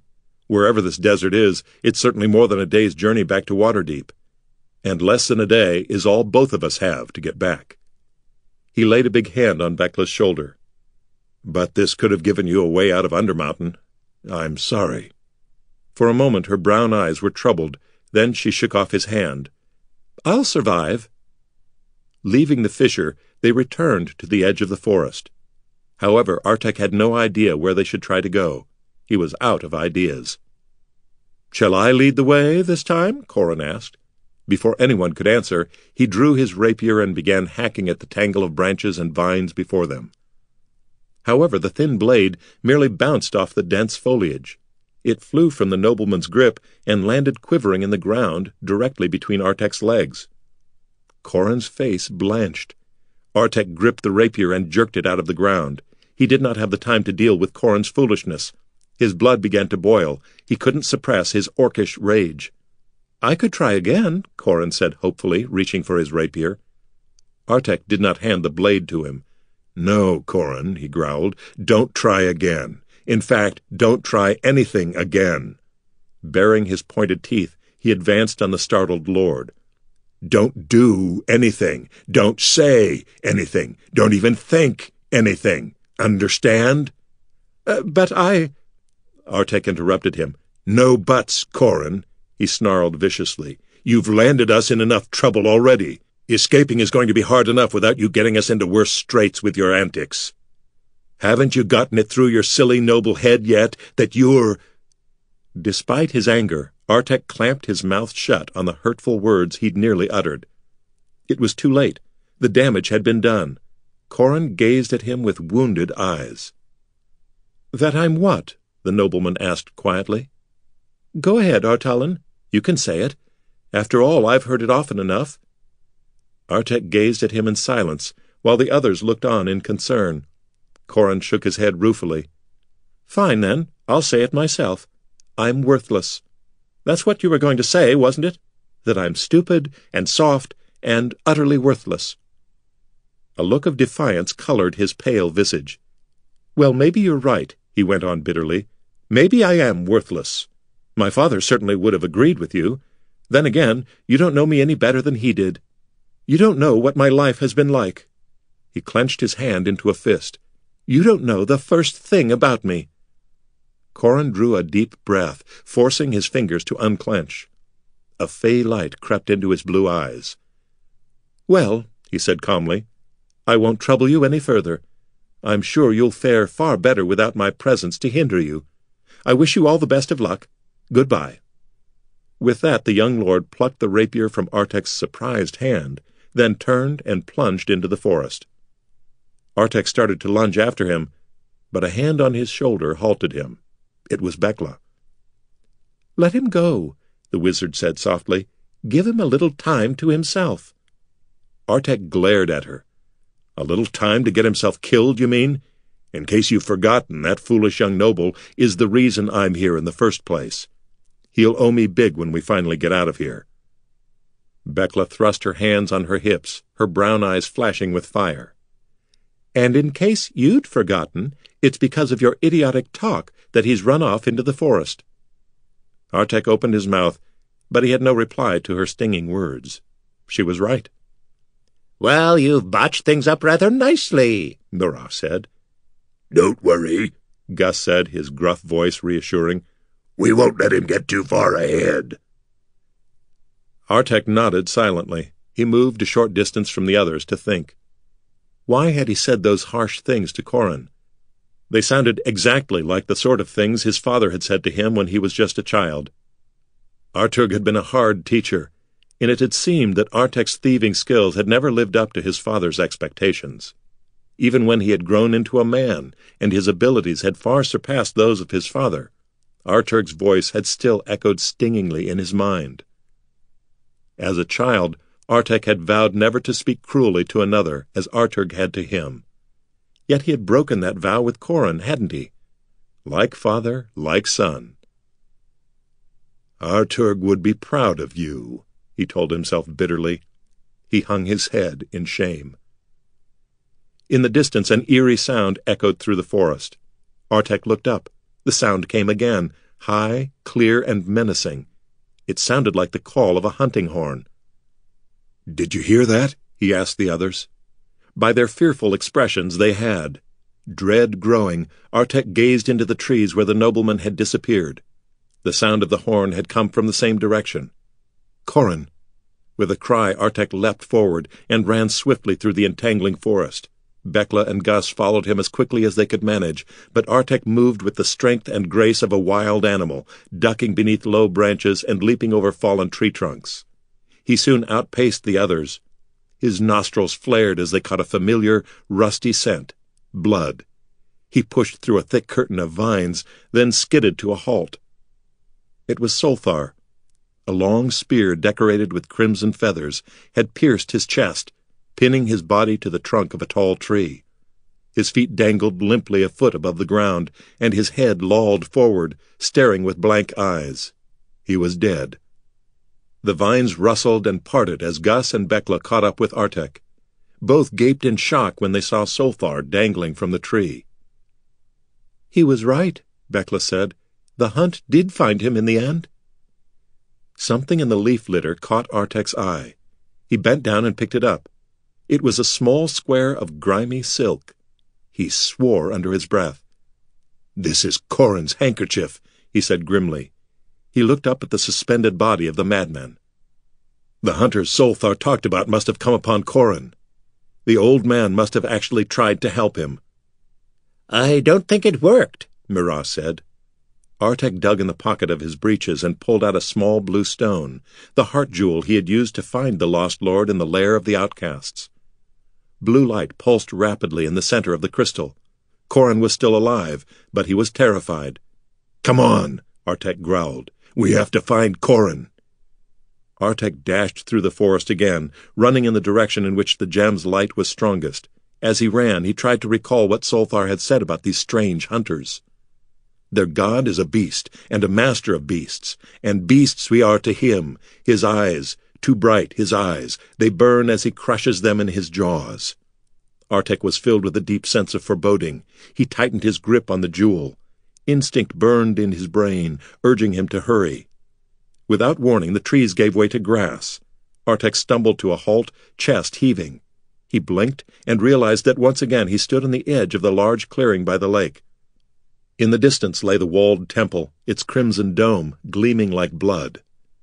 A moment later, Bekla and Gus crashed out of the underbrush to stand beside him.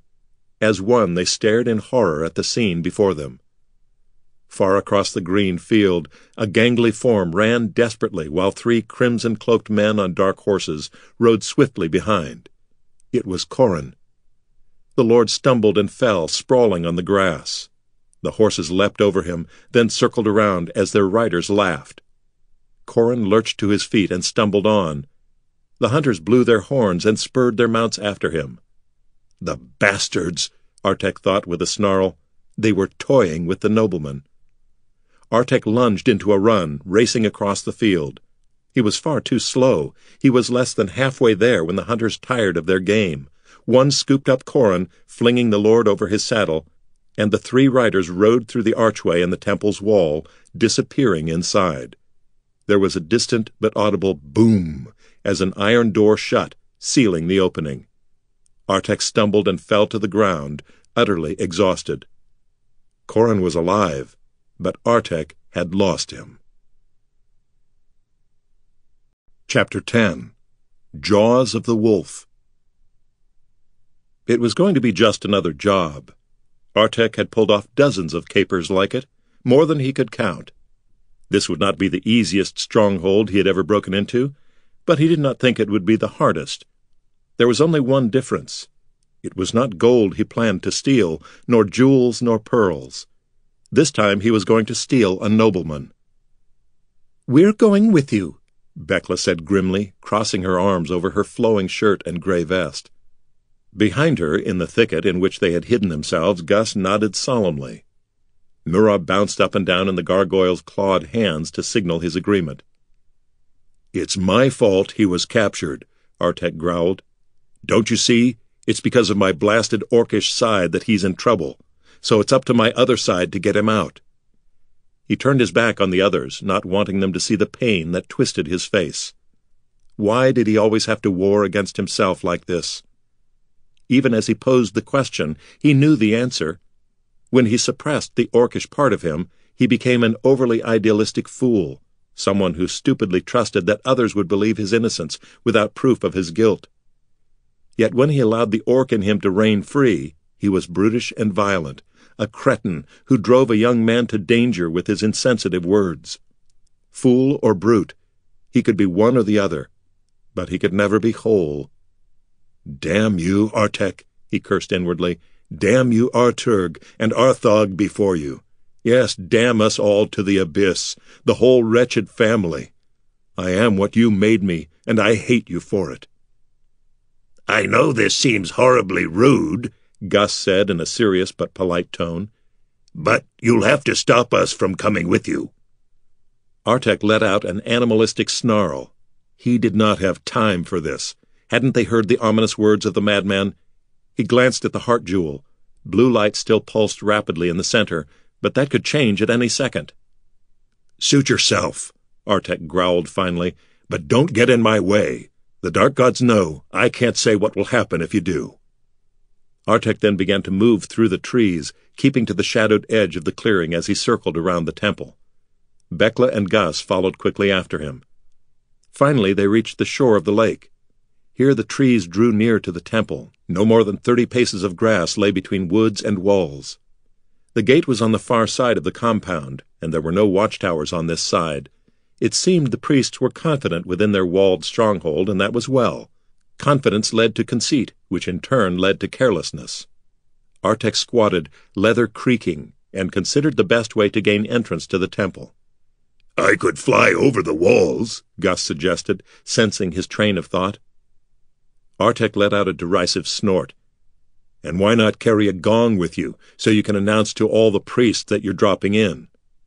Gus's wings drooped, and his toothy smile turned to a look of chagrin. What about you, wizard? Artek whispered acidly. Do you know any spells that can whisk us inside the temple? She fixed him with a sharp look. I can cast a spell of teleportation, but you know as well as I that only a great mage could transport the three of us. Given my level of ability, I could probably teleport a dead vole into the temple. Would that be a help? That last question hardly needed the caustic irony she lavished upon it. Artek grunted. He had thought as much. The temple stood directly on the edge of the lake, and water lapped against the rear wall of the compound. Artek made a decision. Without warning the others of his intention, he moved swiftly through the trees to the shore and dove into the icy lake. With swift, strong strokes, he swam underwater until surfacing before the pinkish stone wall. Moments later, Bekla and Gus rose from the lake beside him. Both gasped for breath, though Murrogh seemed unfazed. Of course, the skull was used to long submersion. Not needing to breathe helped, too. Gritting his teeth, Artek began pulling himself up the wall.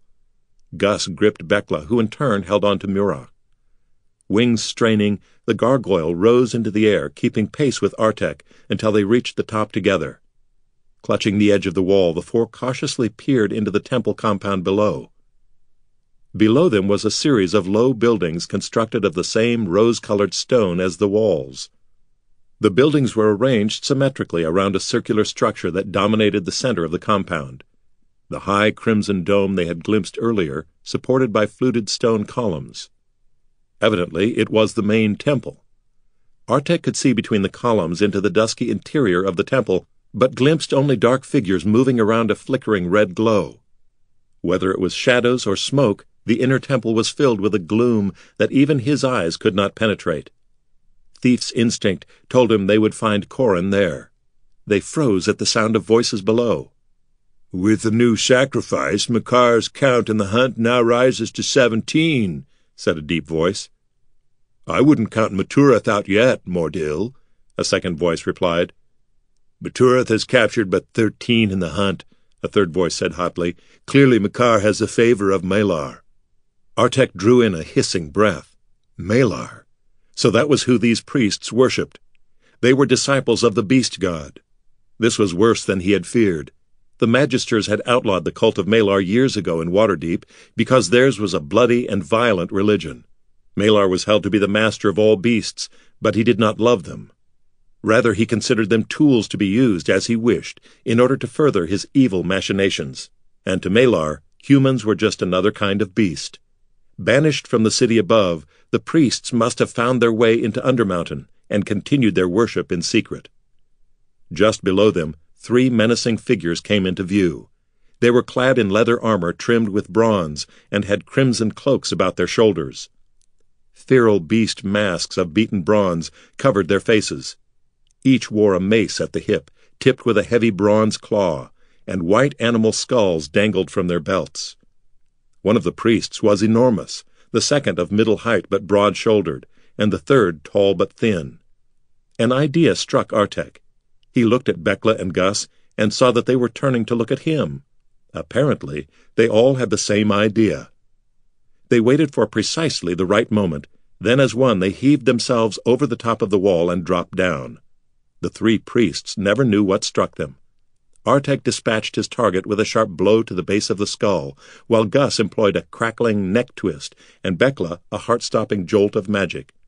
They quickly dragged the three bodies behind one of the low buildings. Moments later, three priests strode from behind the building, one short but broad, one tall and lean, and one large all over. A human skull now dangled among the animal skulls attached to the shorter priest's belt. Hee hee, Murrogh giggled. This is fun. Be quiet, Artek hissed. He adjusted his bronze mask, making certain it covered his face. While he knew little of the cult of Malar, he did know one thing.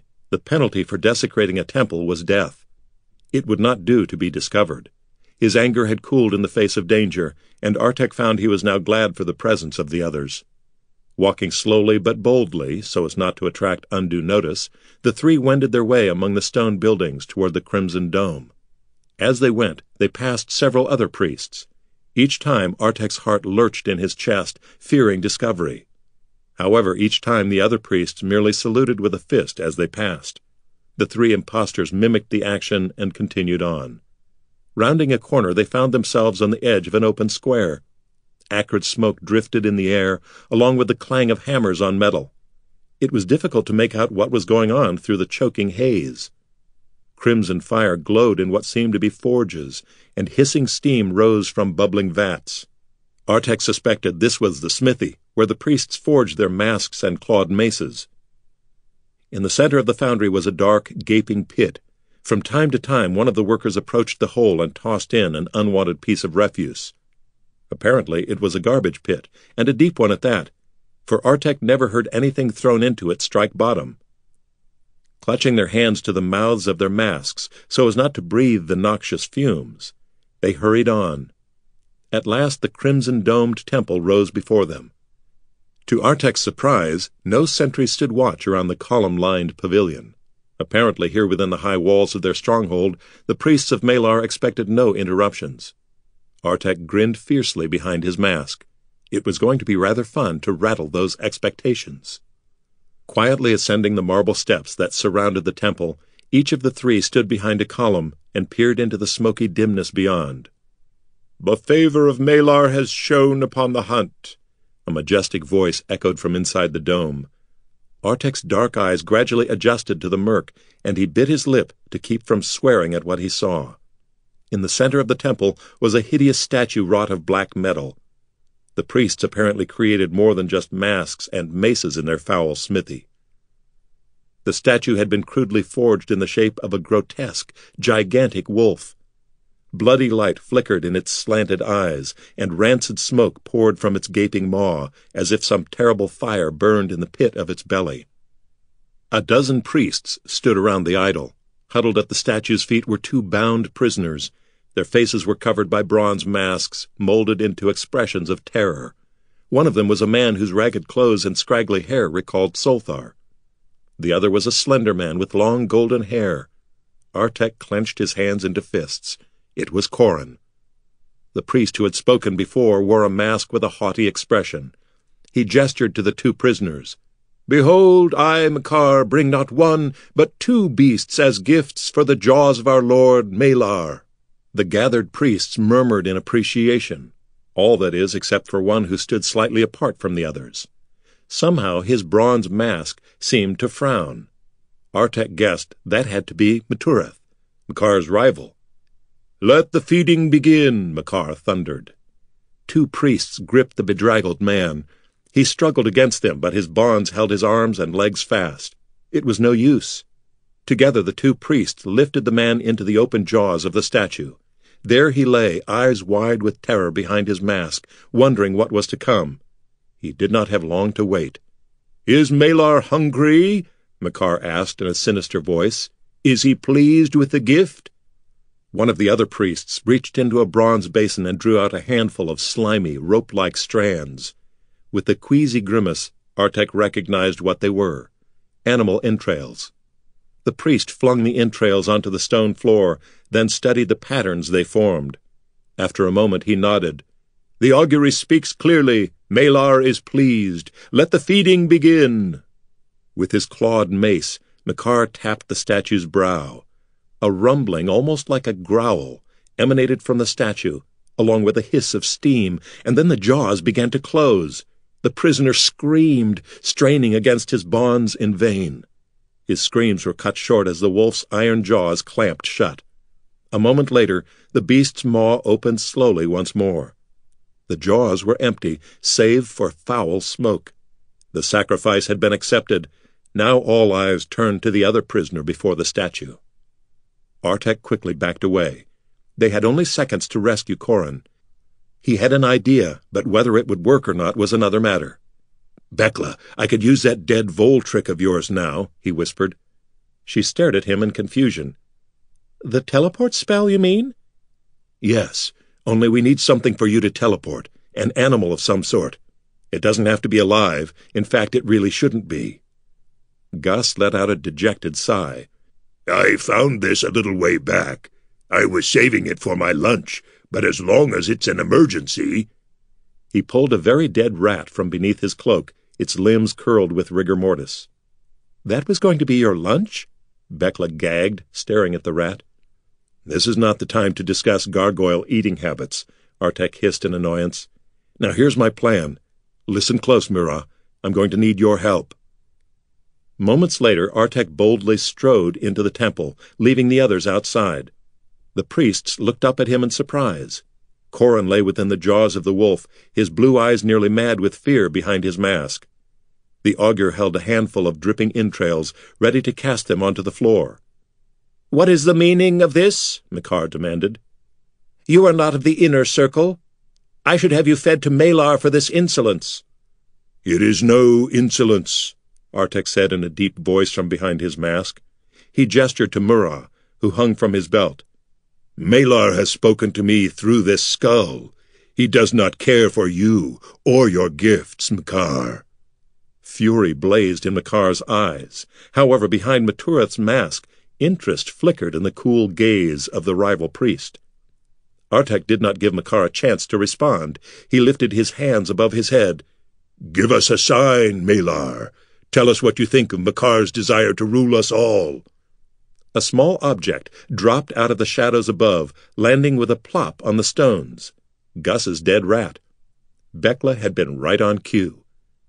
Malar has spoken, the skull intoned in an eerie voice. Heed the sign. Malar has spoken. The priests gaped in horror at the skull. Behold, it is a rat, Artek intoned, while he had their rapt attention. So that is what Malar thinks of you, Makar. Murmurs of shock rose from the gathered priests, while wicked chuckles issued from Matureth's bronze mask. Makar glared at the laughing priest. Did you arrange this little travesty, Matureth? he demanded in rage. No, Makar, Matureth crooned. It seems Malar has found a way to ridicule you himself. Clearly your gifts have won you no favor. We shall see, Makar spat. The priest moved faster than Artek had thought possible. Before Artek could spring away, Makar swung his clawed mace and roughly knocked aside Artek's mask. The mask clattered to the floor, spinning away. The priests stared at Artek in astonishment. An impostor! Makar cried. Now! Artek shouted. At that signal, a winged form flew between two columns, crimson cloak fluttering, snatching Corin from the jaws of the wolf. Gus flew back out while the priests stared in confusion.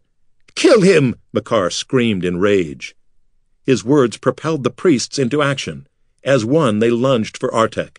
In desperation, he grabbed the bronze vessel filled with entrails and heaved it toward the feet of the oncoming priests, spilling the contents of the bowl across the floor. The priests skidded upon the slimy entrails and went down in a tangled heap. Artek did not waste the chance. He ran out of the temple, and the others met him on the steps. Gus slashed Corin's bonds with his sharp talons. That was fun, Murrogh giggled. I like being a prophet of Malar. You're going to be a snack of Malar if we don't get out of here, Bekla said breathlessly. May I suggest that we run for it? Gus proposed. You may, Corin agreed weakly. A deafening noise rose from the temple. Someone was beating a gong of alarm. Come on, Artek yelled. They dashed in the direction of the gate, but were brought up short by a dozen priests who had answered the alarm. Hastily they turned and ran in the other direction, with the disciples of Malar on their heels. They careened into the smoke-filled foundry and abruptly came to a halt. On the far side of the square stood a score of priests, all gripping clawed maces. Behind them the other priests approached at a run. They were surrounded. There's nowhere left to go, Bekla cried. Artek's eyes locked on something in the center of the smithy. Yes, there is, he shouted. Grabbing the others, he lunged for the open garbage pit. The priests swung their clawed maces, but the weapons only whistled through empty air. Artek leapt into the hole, pulling the others along with him. He could only hope that the pit was as deep as he had thought it was. As it turned out, it was deeper. Artek sat up with a groan. Bits of garbage tumbled from his shoulders. It felt as if his body had been trampled by a stampeding herd of Vossen thunderhooves. Where, where are we? asked a tremulous voice. It was Murrogh. The skull still dangled from the belt of Artek's priestly garb. Good question, Artek said hoarsely. His dark vision adjusted, piercing the perfect blackness around them. They were in a small, rough-hewn cave. Beneath them was a heap of rotting refuse and rusting junk that had been tossed in the garbage pit so far above. Sudden panic clutched his heart. Where were the others? He shook his head, trying to clear away the disorientation of the nightmarish fall. Then he remembered. After they had leapt into the pit, leaving behind the bloodthirsty priests of Malar, the hole had angled, and they had slid wildly down a steep stone slope, unable to stop their descent. Once again, Undermountain had pulled them deeper. Even Gus had been trapped, for the passage was too narrow for him to spread his leathery wings. It seemed they had slid for hours, plunging ever deeper into the bowels of the world. Then, without warning, the tunnel had divided. Bekla, Corin, and Gus had fallen to the left, while Artek and Murrogh had bounced to the right. The screams of the others had vanished in an instant. A few moments later, the harrowing ride had come to a jarring end. The tunnel had ended, and for a moment Artek had fallen through empty air. Then he had landed atop the garbage heap. Foul as the refuse was, he knew he should be grateful, for it had cushioned his fall, leaving him with bruises instead of broken bones. Artek half climbed, half slid off the midden heap and stood stiffly. Sweat beaded on his brow. The darkness was hot and oppressive here.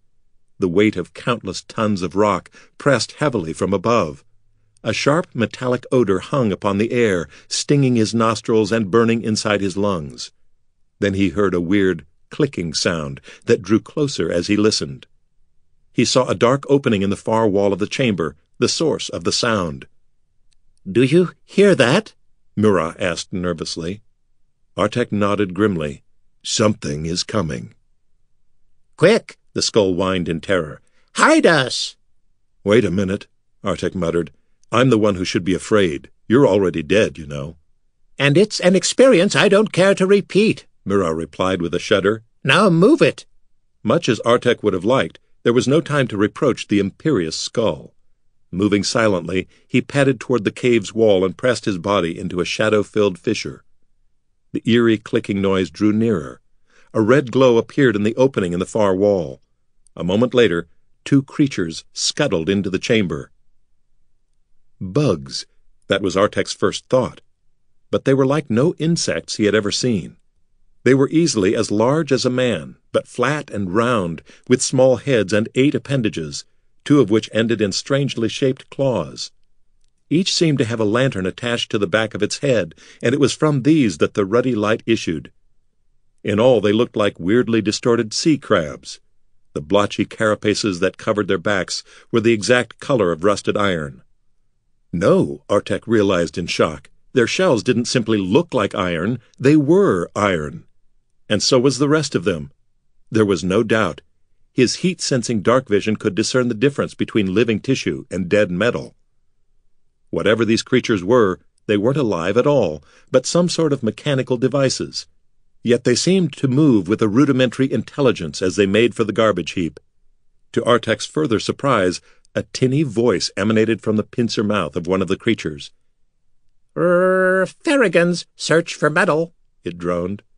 Good Farragans, click, click. Yes, search fallings from above, the other creature echoed in a metallic buzz. Skrrr, find metal. Skrrr, be happy. Bzzzt. Good, good Farragans. The crab-like creatures, which were evidently called Farragans, scrabbled onto the garbage pile. Artek now saw that each bore two different types of claws, one shaped like a broad hammerhead, the other like a pincer with three multi-jointed prongs. With this latter claw, obviously designed for gripping, the Farragans began picking through the rubbish heap. When one found a piece of scrap metal, it reached back and placed it in a wire basket attached to its carapace, emitted a high-pitched clicking that sounded almost like gleeful laughter, and then continued searching. Finally, their baskets full, the two creatures clambered off the pile. Click, click, good Farragans, they droned in mindless monotones. Found metal. Good, good Farragans. The creatures scuttled from the chamber and were gone. Artek crept from his hiding place. He considered following the Farragans, then decided against it. What would be the point? Where could they lead him that would be any better than this pit? Either way, he had lost the others, and himself. There was no telling how deep below the surface they were now. The darkness seemed to creep into his heart, snuffing out his wan hopes. He would never get back to the city in time now. In disgust, he cast off the priestly garb of Malar. With a desolate sigh, he sat down on the foot of the garbage heap, setting Murrogh beside him. Why are you just sitting here, Artek? Murrogh said in puzzlement. What's the matter with you? He did not answer the skull, Instead, he stared at the tattoo on his arm. The sun had just passed the arrow. In the world above, night had fallen. Just twelve more hours, and all of this would be over. I wish it would just happen now, so I could get it over with, he whispered bitterly. You wish what would happen now? Murrogh asked. This, Artek growled, striking the tattoo with his opposite hand. What's the point in waiting to die? He shook his head grimly. I wish I were already dead. Don't say that. Artek stared at the skull in surprise. Murrogh's reedy voice had dropped to a grim whisper. His lipless mouth no longer seemed to be grinning, but clenched in anger. His orbless eyes bore into Artek. Don't ever say that, Murrogh repeated darkly. You don't know what it's like. You can't know. You can't. The skull shuddered, though whether in terror or rage, or perhaps both, Artek could not tell. He shook his head, unsure what to say. Isn't this just perfect? Murrogh asked with bitter mirth. Here you want to throw away your life, and I would give anything to have mine back, even for just twelve hours. Whatever time I had left, even if it was only a minute, I wouldn't squander it. I would enjoy every second of it and be grateful for what I had. Despite his lack of flesh, Murrogh's expression was somehow rueful. Life is always most wasted upon the living. The gods sure have a twisted sense of humor. Shamed, Artek hung his head. Again he had proven himself utterly thoughtless. He might as well have been a rich man throwing away a loaf of bread in front of a starving beggar. Finally he looked at the skull. What is. what is it like to. What is it like to be dead? The skull finished for him. Is that what you want to know? Artek nodded. For a long moment he thought Murrogh was not going to answer. Then the enchanted skull spoke in a low, eerie voice. It's horrible. That's what it's like. It's cold and dark and empty, utterly empty. Maybe it's better for those who have truly departed. Maybe they manage to find some kind of peace. I wouldn't know. I'm half in the world of the dead and half out of it. I dwell in the chill of the grave, but I still gaze upon the land of the living.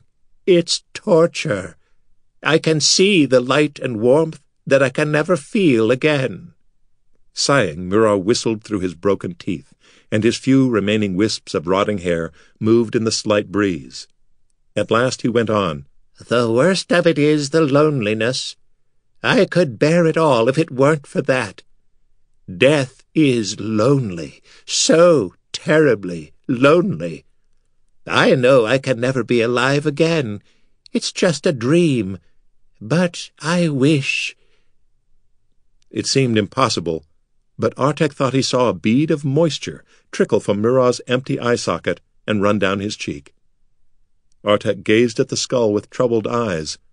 All this time he had been wallowing in his own self-pity, cursing the lot fate had drawn for him. Yet here was one to whom fate had dealt a far crueler hand, and he bore it far more stoically than Artek ever had. Artek felt ashamed and knew he should. He could learn a lesson from the skull. Even if he had only a short time left, he would not simply throw it away. I can't pretend to know what you've gone through, Murrogh, Artek said. He laid a hand gently on the skull's yellowed cranium. But I want you to know that you aren't alone. Not any more. Murrogh worked his fleshless jaw, but for once the enchanted skull was speechless. Artek laughed softly, then scooped up the skull. Come on. I don't know how far away the others are, but they had to land somewhere. No matter how far it is, we'll find them. His orcish eyes piercing the gloom, he moved stealthily through the opening, through which the Farragans had disappeared, and into a twisting tunnel beyond. He had gone only a short distance down the passage when Murrogh found his voice. Wait a minute, Artek, the skull said. There's something I need to tell you. I think I know where we are. Artek stopped and stared at the skull. Well, why didn't you say so before? I didn't want to interrupt our touching moment, Murrogh quipped. Artek had no reply. Anyway, the skull went on, I've never been here before, but if the rumors I've heard are even half true, then the name of this place is almost certainly Trobriand's Graveyard. Artek sighed, hoping this wasn't a waste of time. Now that he had shaken off his despair, every second counted. And just who is this Trobriand person? He's one of Halaster's apprentices. Artek swore. Didn't your father ever teach you a lesson about using foul language? Murrogh asked dryly. Of course, Artek replied. Where do you think I learned all these curses? Ignoring the skull's groans, he thought about the implications of this new knowledge. Between the mad voyage of the pirate ship and the perils of the hunt in Willowwood, he had all but forgotten their quest to locate one of Halaster's apprentices. If they could find Trobriand, maybe they could convince him to show them a gate out of Undermountain. Tell me more, Artek said, his excitement growing. In the darkness he listened as Murrogh told all that he knew of Trobriand. There was not much. Trobriand was also called the Metal Mage, for his ultimate goal was to create mechanical beings that were stronger, faster, and smarter than any living creature. Over the centuries, this pursuit had both consumed and eluded him. While he constructed countless metal horrors that were swift and powerful, none approached the level of intelligence he desired. According to the rumors, the metal mage cast the failed results of his experiments down into a pit deep in Undermountain, a place thus known as Trobriand's graveyard. It doesn't sound hopeful, Artek said when Murrogh finished, but there must be some way we can contact Trobriand. I can't believe that he doesn't keep an eye on his old creations just to see what they're up to down here. But first we must find the others. Gripping Murrogh, he continued down the tunnel. Before long, a ruddy glow crept into the air. Clanging sounds echoed off the stone walls. Finally, Artek came upon an opening in the left side of the passage and cautiously peered within. In the chamber beyond, a pair of Farragans was busily at work. Artek could not tell if they were the same two he had seen earlier. They all seemed to look the same. One operated the bellows of a glowing forge, while the other hammered pieces of red-hot metal with its claw. In the corner sat a third Farragan, who was missing several of its legs. Click! emanated a sound from the broken Farragan's pincer mouth. New legs! Good! Evidently, Artek was witnessing a repair job in action. He moved quickly past the opening. No alarm went up. No Farragan scuttled in pursuit. They had not seen him. He continued soundlessly down the tunnel. More chambers opened up to either side, and in several others, Farragans went about their tasks, unloading wire baskets of junk, sorting through stray bits of metal, and forging new body parts. What these mechanical creatures lacked in wits, they certainly made up for in industriousness. A shout suddenly echoed down the tunnel. It was not the drone of a Farragan, but a human voice. Get your rusty hands off me!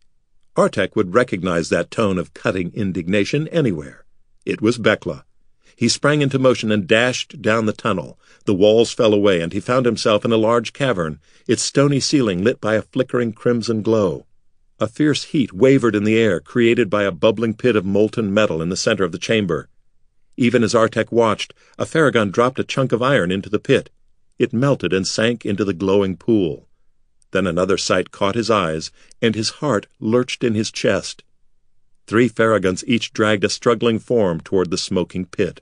Two of the forms wore crimson cloaks, and all three wore masks of beaten bronze. Artek was surprised that the masks had not come loose in the fall down the pit. Unhand us immediately, the figure without a cloak cried imperiously. Corin. One of the Farragans said, This metal is reluctant. Must not resist, another iron creature droned.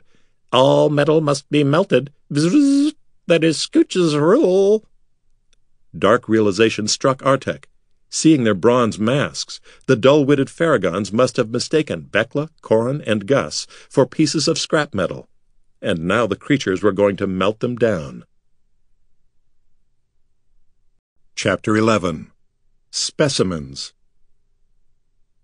Wizard, noble, and gargoyle fought against the pincers that held them, but living muscles, even those forged from stone, were of no use against hard iron. The Farragans clambered near the bubbling pit and raised their jointed appendages, preparing to cast their struggling burdens toward the vat of molten liquid. Bekla, Corin, and Gus would be burned alive. Artek had to do something. But what? Before he could think of an answer, a piercing sound, high and keening like an alarm, filled the air of the cavern. The Farragans abruptly froze. In what seemed like terror, they stared at an opening in the far wall of the chamber, their glass eyes bobbing on the ends of wiry stalks. Clanking, a half dozen hulking forms appeared in the far opening and scuttled into the cavern on multiple legs. Their shells were as bright as polished steel, and they waved great serrated claws before them and dragged flat, razor-sharp tails behind. To Artek, they looked for all the world like gigantic steel lobsters. They surrounded the three Farragans cowering near the pit of liquid metal. Halt! one of the creatures ordered in a thrumming monotone. Drop! commanded another. Clicking in fear, the Farragans opened their pincers, releasing Bekla, Corin, and Gus. The three fell to the floor mere inches from the edge of the fiery pit. They tried to crawl away, but were stopped by the impenetrable line of lobster creatures. Prisoners, said one of the steel-shelled newcomers. Ours! Bekla tore off her bronze mask, and Gus and Corin did the same, staring at the creatures in horror. As they revealed their faces, pitiful squeaks and rattles rose from the three Farragans. Click! Not metal! They wailed in their buzzing voices. Bad Farragans! Prisoners for Thanatars only, not for Farragans! Must reforge Farragans! Bad! Bad! Evidently consumed by remorse at their mistake, and their apparent failure to be good Farragans, the three crab-like creatures lurched forward and heaved their rusty iron bodies into the pit of molten metal. They clicked and squealed, pincers waving, as their carapaces began to glow, first red, then orange, then white-hot. Melting, they sank into the pit and were gone. The remaining Farragans kept their distance, staring submissively at the lobster-like creatures that the others had called Thanatars. While the Farragans were workers, the Thanatars were obviously the police. Take, one Thanatar commanded, and several others reached their serrated claws toward the three captives near the pit. Artek gripped the hilt of the cursed saber at his hip, but he resisted the urge to leap into the room swinging. He wasn't certain he could kill, disassemble, even one of the steel-shelled Thanatars, let alone six of the things. Yet he couldn't let them simply drag the others off to some dark prison. Once again, Artek's dilemma was resolved as several more mechanical forms slithered into the chamber. Things are getting stranger by the second, he thought. The new creatures were sleeker than the others, as dark as polished jet, with sinuous, many-sectioned bodies and countless undulating legs. If the Farragans were crabs and the Thanatars lobsters, then these new metallic monsters were giant silverfish. They had no eyes, but dozens of wiry antennae sprouted from their heads, waving before them. Clearly, the antennae were their primary sensing organs. Silver Sands, one of the Thanatars intoned. Somehow the word resonated with derision. Not are these prisoners? Yes, one Silver Sand said in a hissing voice. Specimens they are. Specimens are they, added another. Study them we will. Take them not to prison, yes? The Thanatars glared at the silver sands, but they hesitated, their claws hovering over the prisoners. Artek sensed a rivalry between the strong-bodied Thanatars and the obviously more intelligent Silver Sands, and right now that rivalry was the only thing keeping the others alive. The largest of the Thanatars, and evidently their leader, advanced on the Silver Sands. Prisoners, the creature said again, ours. Have them when done with our studies. You may, yes? A silver sand replied. Study, yes? echoed another. It stroked Bekla with its feelers. The wizard recoiled in disgust. Scooch, the leader Thanatar said in protest. Prisoners, ours. Scooch. Artek had heard the Farragans utter that word earlier. It almost seemed like a name of some sort. It was as if the Thanatar were saying that this Scooch had granted them all prisoners.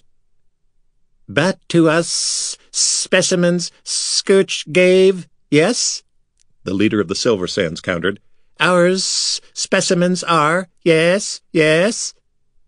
Artek shook his head. Evidently the Silver Sands thought this Scooch person had given the captives to them.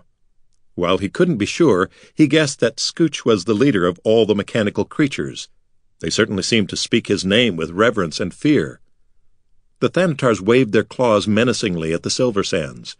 The slinky mechanicals cowered. Clearly they were not created for battle like the lobster creatures. But they did not give any ground. Fear rose in Artek's throat. If there was a fight, Bekla, Corin, and Gus would be caught in the middle, and likely torn apart. Quick, Mira hissed. Do something! I'm thinking, Artek muttered back.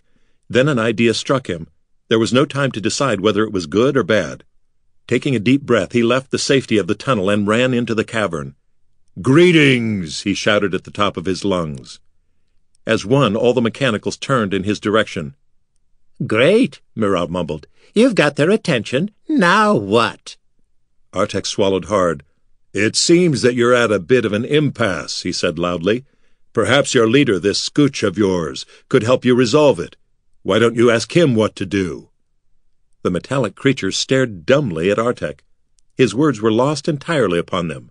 Only the silver sands seemed to grasp part of what he had said, their supple antennae waving uncertainly. You'd better speak to them in a language they can comprehend, Mira whispered. Artek nodded. He tried again, choosing his words carefully and speaking in his best imitation of their tinny voices. Prisoners? he asked, pointing to his companions and then himself. Specimens? He shook his head and shrugged his shoulders. Ask Scooch. Scooch knows. These words seemed to excite the mechanicals. The Thanatars emitted high-pitched whistles, clacking their claws. The Silver Sands hissed sibilantly, feelers whipping back and forth. Artek watched in growing alarm, wondering if he had angered them. Scooch, the Thanatars uttered. They seemed to nod their small steel heads. Scooch, tell! The Silver Sands rippled their sleek bodies. Yes, ask, must we, Scooch? Yes. Tell us, will Scooch, what to do, should we? Yes, yes. Three Thanatars picked up Bekla, Corin, and Gus, holding them securely, but not ungently, in their clawed appendages. Another Thanatar moved toward Artek, and he suppressed the instinct to run as it reached out and lifted him off the floor. The Farragans clicked submissively, scuttling out of the way as the Thanatars marched toward the opening through which they had entered. Antennae waving, the Silver Sands slithered behind them. It's good to see you, Artalan, Bekla said, her face drawn with fear. But I sure hope you know what you're doing. Artek did not answer. He hoped he did as well. Either way, it was a gamble. But if anyone knew how to contact Trobriand, it would probably be the leader of these creatures, and that was Scooch. The Thanatars carried them through a winding labyrinth of rough-walled tunnels and irregular chambers. Here and there, thin veins of silvery metal marbled the stone walls.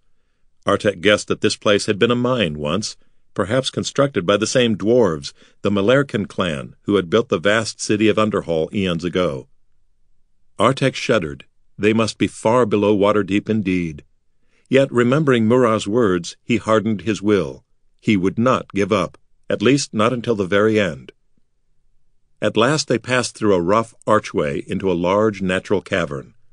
Here the stone walls were riddled with serpentine veins of silver metal. Lanterns like those that were attached to the heads of the Farragans lined the perimeter of the cavern. Their light was reflected and somehow amplified by the thin veins of metal, filling the air with a dazzling silver glow. It was breathtaking. The Thanatars came to a halt in the center of the cavern, the Silver Sands just behind them. Opening their claws, the steely creatures dropped their burdens. The three humans, the gargoyle, and the skull dropped to the floor with various exclamations of discomfort and indignation. Before them was a shadowed hole in the floor that filled Artek with a sense of dread. Behind them, the Thanatars and Silver Sands formed a half circle, falling into an expectant silence. Without warning, two red-hot pinpricks appeared in the dark circle of the hole. A shadow stirred within, and an eerie rattling emanated from the depths. Then, with menacing speed, something climbed out. It was silver, as silver as the brilliant metal that snaked through the walls of the cavern. It was not unlike the Thanatars, yet it was smaller, sleeker, and, Artek sensed, it was far more deadly. Its two clawed appendages were slender, even delicate, but gleamed sharply like polished knives. Six legs supported its shiny, multiplated abdomen. An armored tail curled up and over its back, ending in a cruelly barbed point. It was a scorpion, a gigantic silver scorpion. The Thanatars lowered their claws, and the Silver Sands drooped their antennae in gestures of submission. Scooch, they spoke in reverence. Scooch, yes, Scooch. What have you brought me? Scooch demanded, pincer mouth moving. Unlike that of the others, the scorpion's speech was surprisingly intelligible, though clearly inhuman. Prisoners, the Thanatars intoned. Specimens, are they? Yes, the Silver Sands contradicted. I will be the judge of that, Scooch snapped. Legs moving swiftly, the metallic scorpion scrambled forward. Artek reached out his arms, keeping the others from trying to get up and run. Yes, you are wise, soft one, Scooch said with a weird rattling that was almost like laughter. I am a Scaladar. To flee from me is a grave error. The Scaladar lowered its barbed stinger, brushing the point softly across Artek's cheek. The reek of venom filled his nose. He clenched his jaw to keep from flinching. To move was to die. The Scaladar laughed again and raised its stinger. We won't flee, Artek said gravely. You have my word. Why have you intruded upon my domain? Scooch demanded, crimson eyes flaring. Artek licked his lips nervously. It was now or never.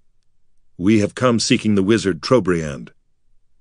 The Silver Sands hissed in terror, and the Thanatars clacked their claws in agitation. Scooch's stinger flicked forward, and the din instantly fell into silence. The Scaladar loomed threateningly above Artek. You dare to speak that name in my presence, soft one? Artek exchanged uncertain looks with the others, then slowly rose to his feet. What did they have to lose? Gazing into the burning eyes of the Scaladar, he told of their search for one of Halaster's apprentices and a gate out of Undermountain. When he finished, the Scaladar laughed its brittle laughter again.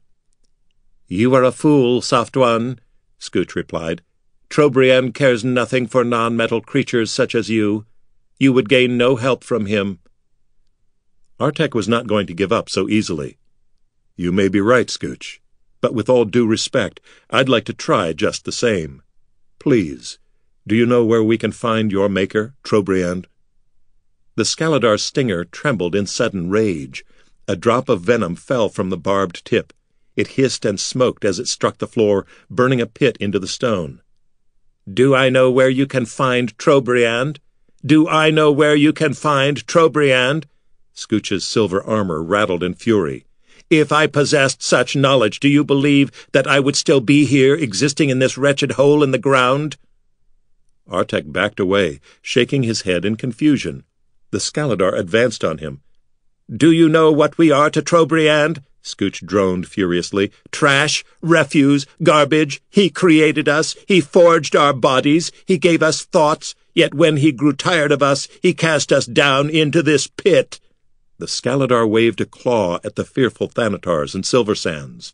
The metal mage discarded most of these walking scrap heaps for their stupidity. Oh, but not I. I was too clever, you see. That was my flaw.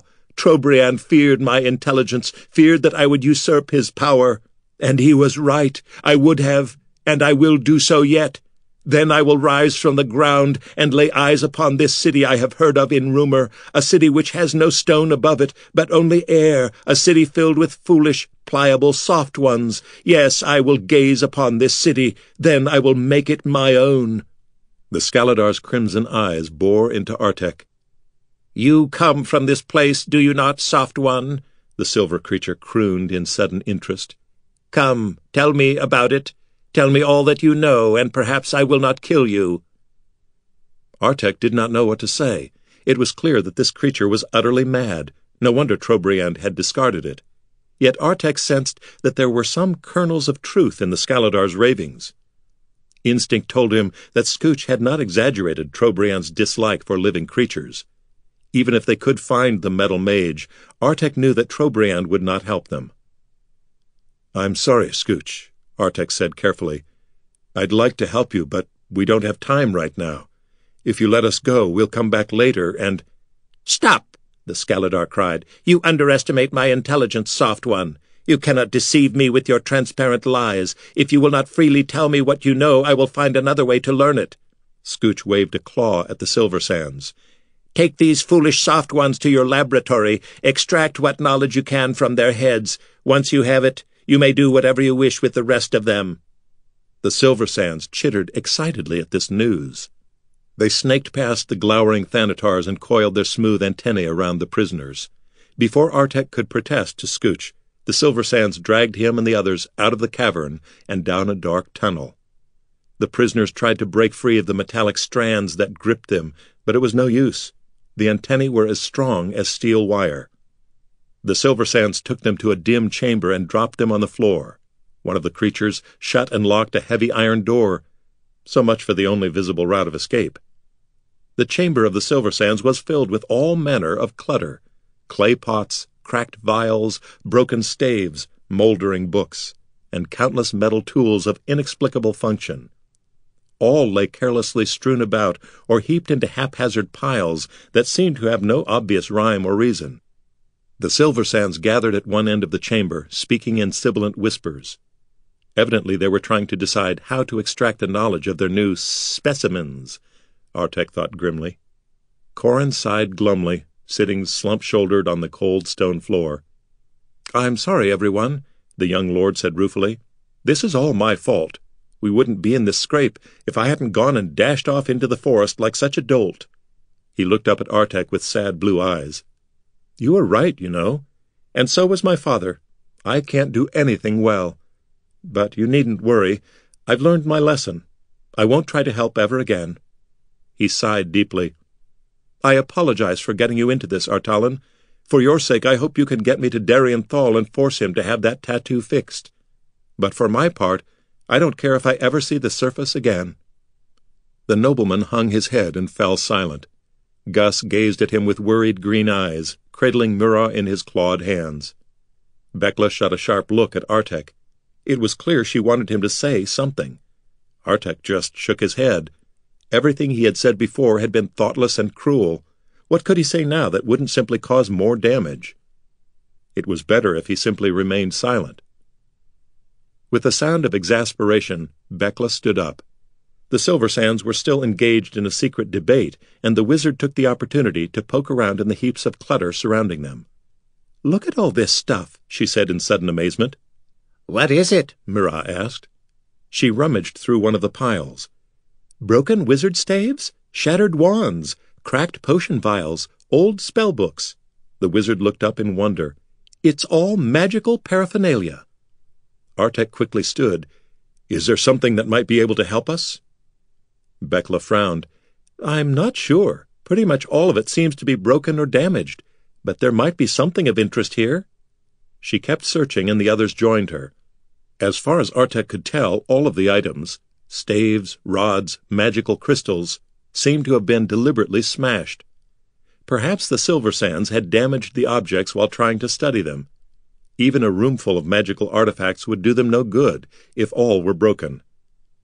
Just then Gus let out a grunt of surprise. With a claw he plucked something gold and glittering from one of the piles.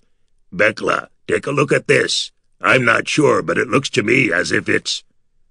At that moment the Silver Sands ended their debate and slithered toward them. Gus cut his words short, thrusting the object behind his back. The five prisoners stared apprehensively as the metallic creatures drew near. Decided then we are, yes? one of the Silver Sands asked the others, the small pit of its mouth dilating and contracting to form the syllables. Yes, yes, answered another. More learn we must. Before gain can we knowledge theirs. The first Silver Sand undulated forward, brushing Artek with its cold antennae. Let us, then, apart take them, yes. See we can how work they, yes, yes. Artek glared at them warily. What do you mean, take us apart? Take apart mean we, yes. The Silver Sand answered blithely. Disassemble your pieces. Mind you not, yes. Several Silver Sands pressed forward, each bearing weirdly shaped, sharp-edged tools in their antennae. Artek and the others exchanged looks of horror. They slowly backed away from the creatures. We most certainly do mind, Artek countered nervously. Worry not, yes, the leader of the Silver Sands hissed reassuringly. Put we back together your bodies. When done we are, yes, yes. The Silver Sands continued to close in, steel tools raised. Apparently, they didn't understand that living creatures couldn't simply be taken apart like machines, and once they discovered that they couldn't just put their specimens back together, it would be far too late. Artek gripped the hilt of his saber, wondering if the blade would have any effect against the hard plates that armored the creatures. One of the Silver Sands stretched a wicked-looking probe toward Bekla. Get back, you metal worm! The wizard cried. She shouted several arcane words, and blue magic crackled between her outstretched fingers. Get back or I'll melt you! The Silver Sands let out a chorus of shrill shrieks. For a second, Artek thought Bekla's threat had terrified them. Then, in astonishment, he realized that their shrieks were sounds of delight, not fear. Magic, yes, they cried excitedly, clustering around the wizard. How cast you did magic? Show us, yes, show us.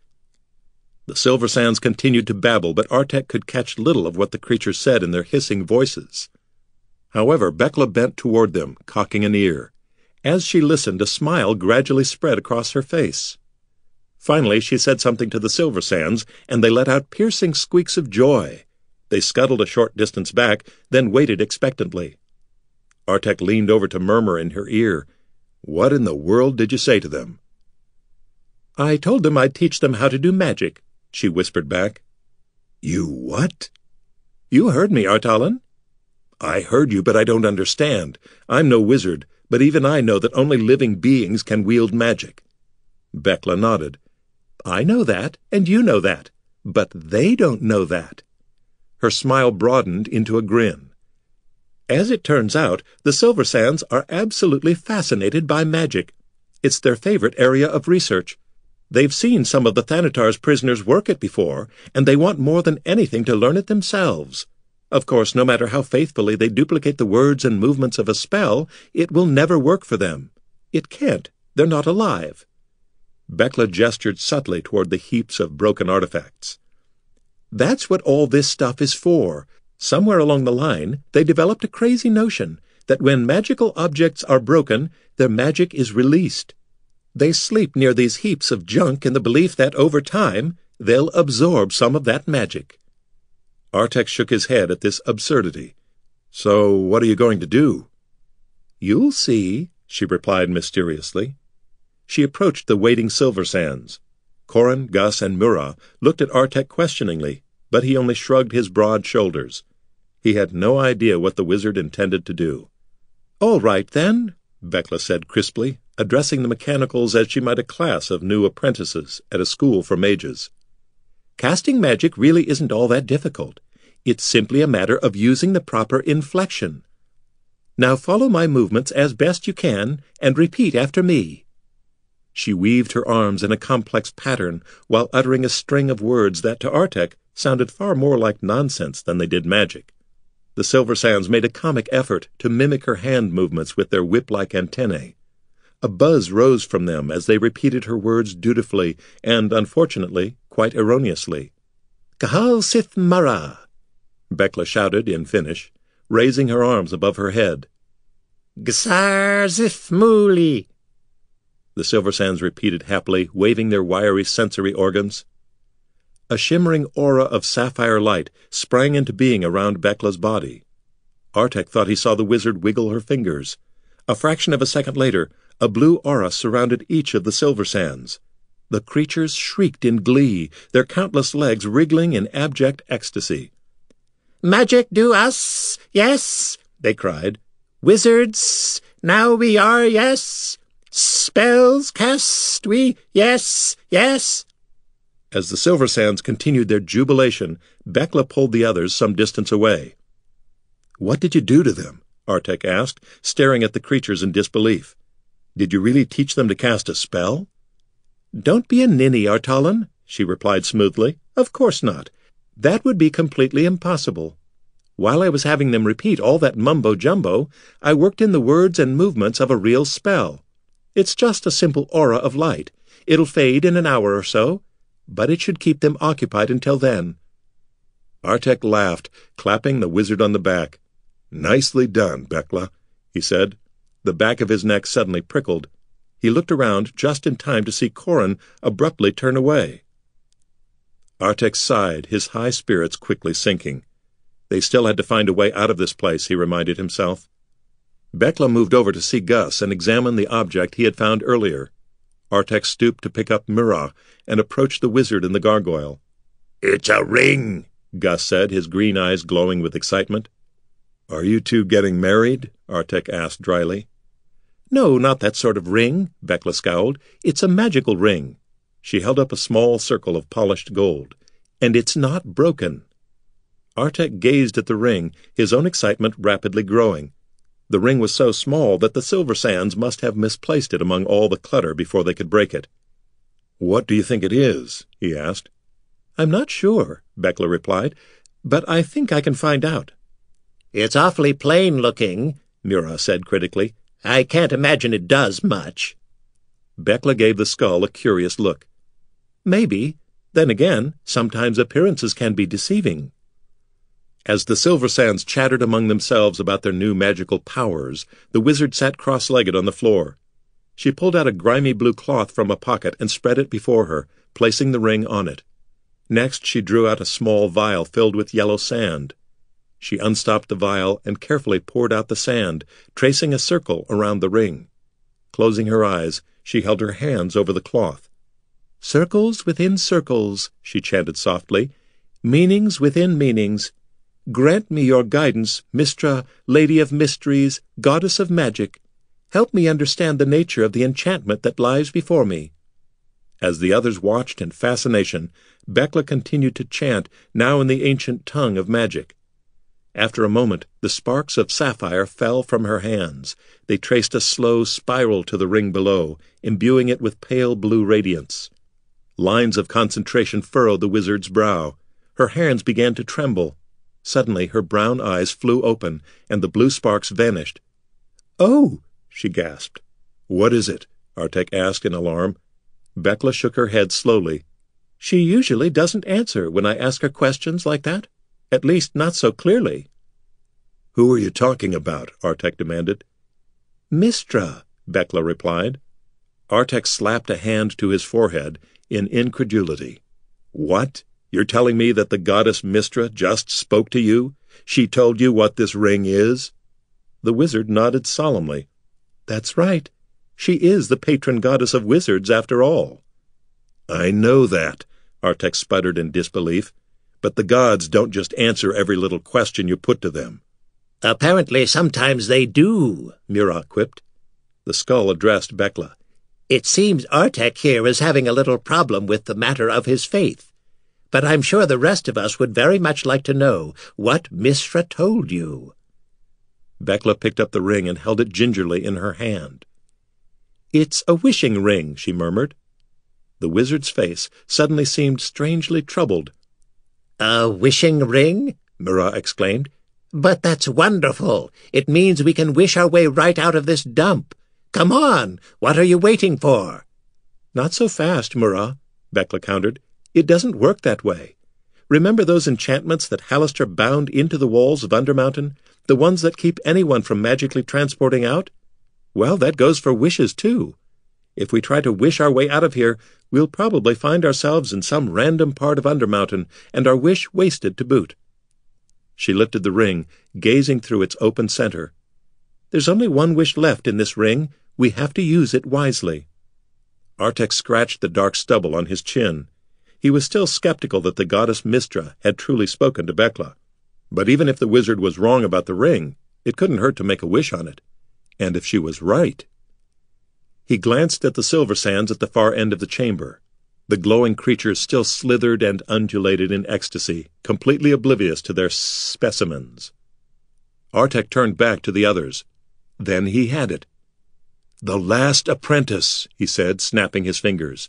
The ring can't transport us out of Undermountain, but it can take us to the last of Halaster's apprentices. It's our only hope. Bekla arched a single eyebrow. I thought you didn't believe that this is really a wishing ring. Have you changed your mind so soon?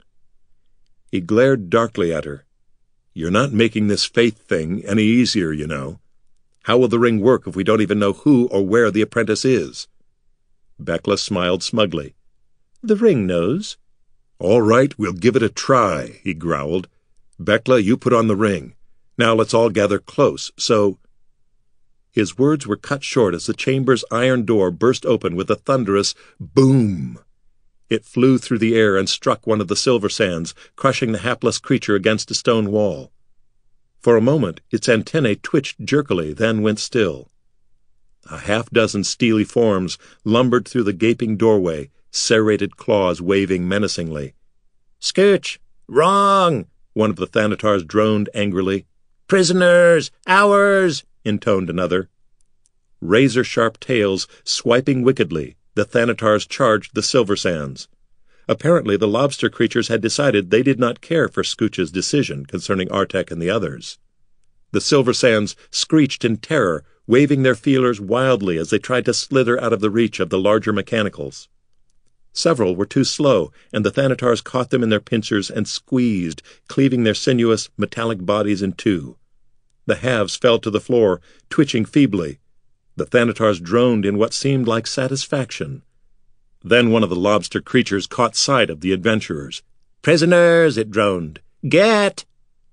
The Thanatars lunged forward, and the five companions gaped in horror. Now, Bekla! Artek cried. Jamming the ring on a finger of her left hand, the wizard opened her mouth. At first, nothing came out but a fearful croak. She took a deep breath, then tried again. This time, faint words escaped her lips. I wish. I wish we were in the lair of the last of Halaster's apprentices, she gasped. The Thanatars opened their jagged pincers, ready to snatch up the prisoners. But a sudden, brilliant flash of azure light sundered space.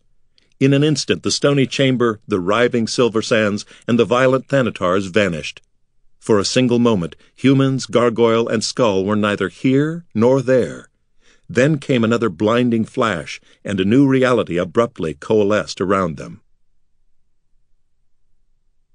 Chapter 12 Fatal Game Now where are we? Bekla asked in amazement. Near the end of our journey, Artek answered solemnly. They stood beneath a high stone archway. Behind them a corridor stretched into endless shadow. Before them lay their goal, the lair of the last apprentice still in Undermountain. It was glorious. Walls of pale marble flecked with gold soared upward in vault after dizzying vault. An intricate mosaic adorned the lofty ceiling, depicting a fantastic sky. Radiant day shone brilliantly upon one side, while night glittered with jewel-like stars upon the other. Light streamed down from the mosaic above, part of it sun gold, part moon pearl, refracting off the polished walls. It filled the chamber with shimmering luminescence. In keeping with the ceiling, the chamber's expansive floor was a patchwork of marble squares, alternating in a checked pattern between white gold noon and onyx midnight. Each of the squares was perhaps three paces across, and the floor was bordered on all sides by a swath of mottled green marble. On the far side of the hall, set into a shallow nave, was a door of gold. Instinct told Artek that, for good or for ill, they would find the last apprentice beyond it.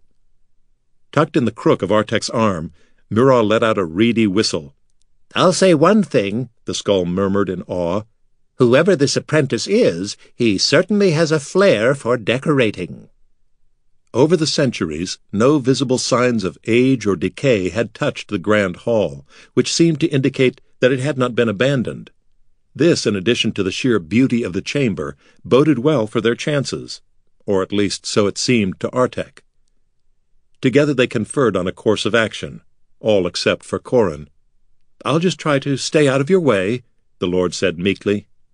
He huddled just inside the stone archway, his back to the wall, staring down at his scuffed shoes. Artek sighed quietly, but he reminded himself that there was nothing he could do. They had come here to seek the help of Halaster's apprentice, so it seemed best to approach the wizard's door directly, without stealth. However, so as not to alarm the apprentice, they decided Artek should go alone at first. Then he would signal the others when he deemed it appropriate for them to follow. Wish me luck, he said nervously. The others all did so, except for Corin. Taking a deep breath, Artek turned to stride boldly toward the golden door across the room. As he left behind the strip of mottled green marble where the others were gathered, his boot stepped first upon a square of black. He took another step forward onto a square of white. Then he ran face first into some sort of a wall. Like sunlight glancing off a clear window, a plane of white radiance flashed momentarily in front of him. With a cry of pain, he stumbled backward onto the black square. What in the abyss was that? he muttered in confusion, rubbing his throbbing nose. Whatever it was, it had hurt. Bekla stood up, a curious frown on her broad face. It looked like a magical barrier blocked your way, she said. Artek tried moving onto the white square to his left. Once again, a thin plane of white energy sprang into existence before him, blocking the way. The same thing happened when he tried to move to his right. Knowing what to expect, he did not smash his face against the magical barriers. Perplexed, he turned around and stepped back onto the swath of green marble that bordered the floor. Something very strange is going on here, he grumbled in annoyance. Bekla's eyes suddenly went wide with surprise, and Gus let out a low growl of shock. You aren't kidding, Muiral said with a low whistle. Artek turned back around, and an oath escaped his lips. As he watched, something appeared out of thin air on the far side of the room. Images flickered into existence, wavered like desert mirages, then grew solid. No, not solid, for Artek could still see dimly through their ghostly forms. They stood in two straight lines upon the two farthest rows of black and white squares, one creature per square, sixteen in all. The eight in the first rank looked to be dwarven soldiers of some sort, long-bearded, horn-helmed, mail-clad, and bearing shimmering half-moon axes. Standing behind them in the rear row, one to each side, were two tusked, long-armed ogres, two silvery knights mounted upon black steeds and bearing gleaming lances, and a pair of stern-faced sorcerers in pointed hats. These six flanked two tall, imposing figures in the center of the back row. Flowing mantles fell from wide shoulders, glimmering crowns rested upon high brows. Pale eyes gazed forward in steely authority. Proud they were and cruel, a king and a queen. With terrible certainty, Artek knew it was going to be no easy task getting to the gold door across the room. Even if he could find a way to avoid the glowing magical barriers between white and black squares, he now had an eerie army to contend with. At the moment, the ethereal figure stood motionless, gazing forward with impassive, unblinking eyes. Yet Artek suspected this would rapidly change if he drew near. He fixed Bekla with a piercing look. You had to wish us to the apprentice's lair, rather than to the apprentice himself. She shrugged her shoulders sheepishly. Oops. Artek let out a groan of exasperation. How did I know you were going to say that? Bekla drew her eyebrows together in a scowl. Look, Artalan, I was a little pressed for time. The Thanatars were about to chop us to bits, if you recall. We really didn't have the opportunity to debate whether I should wish for this or that.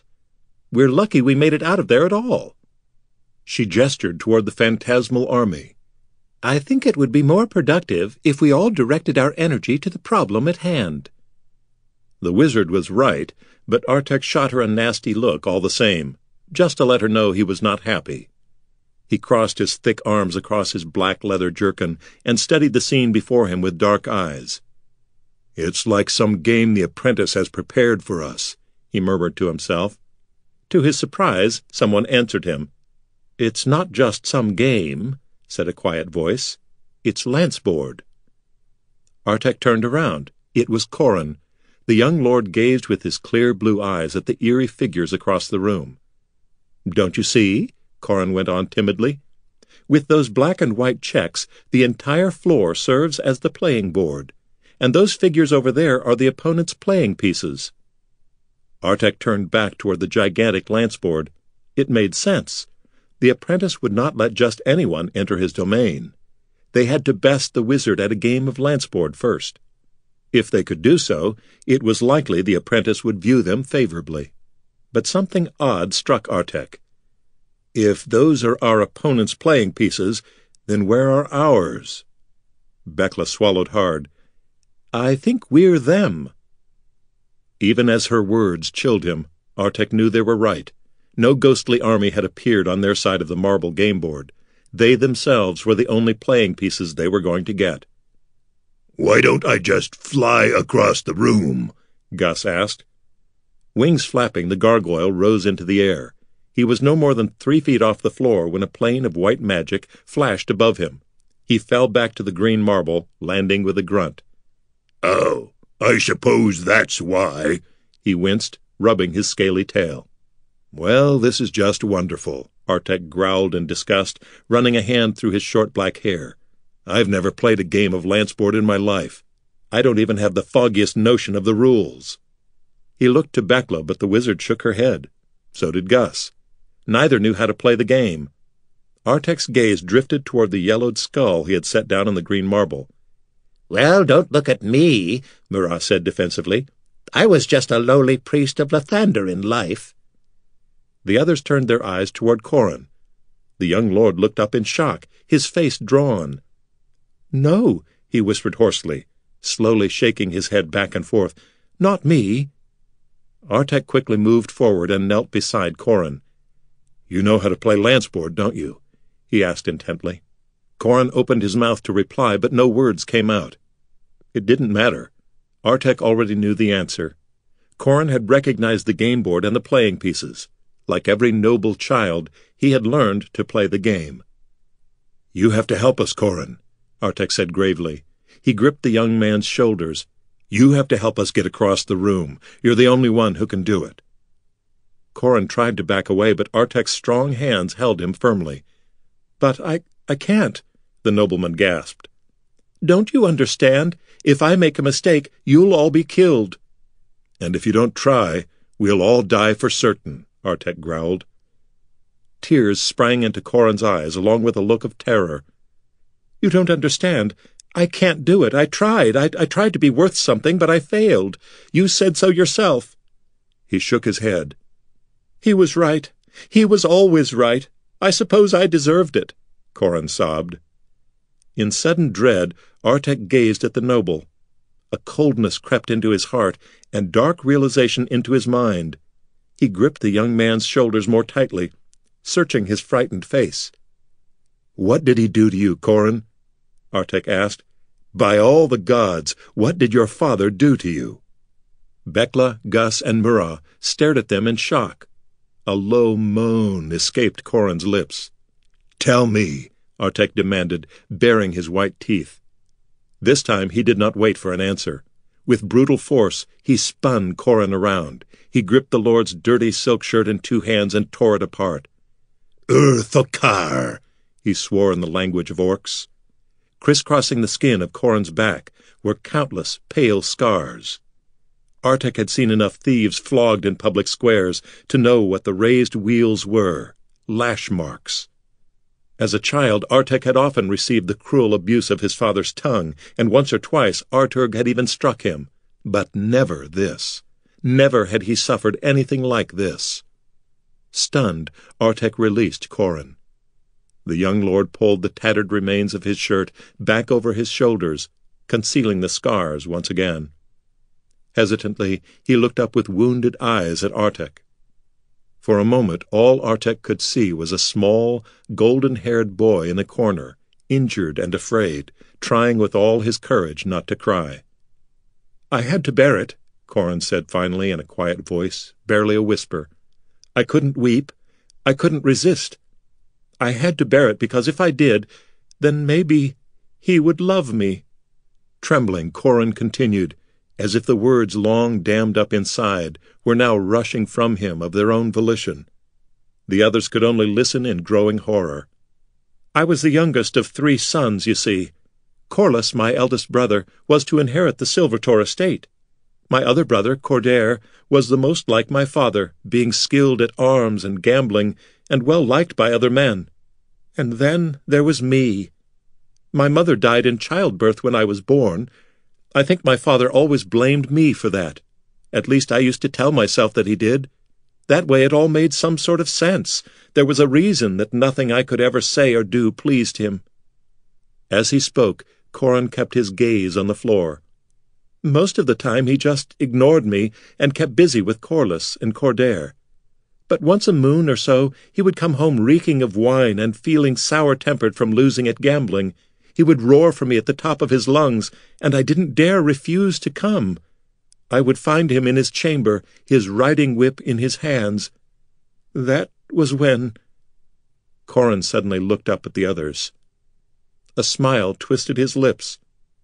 Fate is strange, isn't it?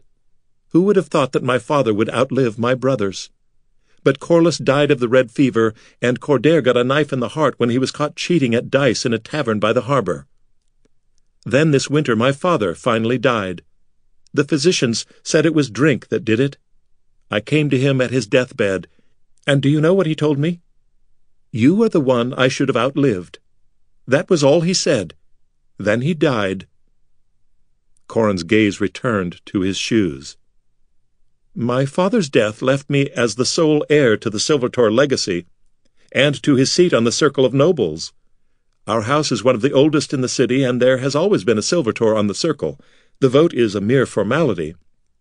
I suppose I should have been happy, but I wasn't. He clenched his hands into fists. I didn't want his house. I didn't want his blasted seat on the circle.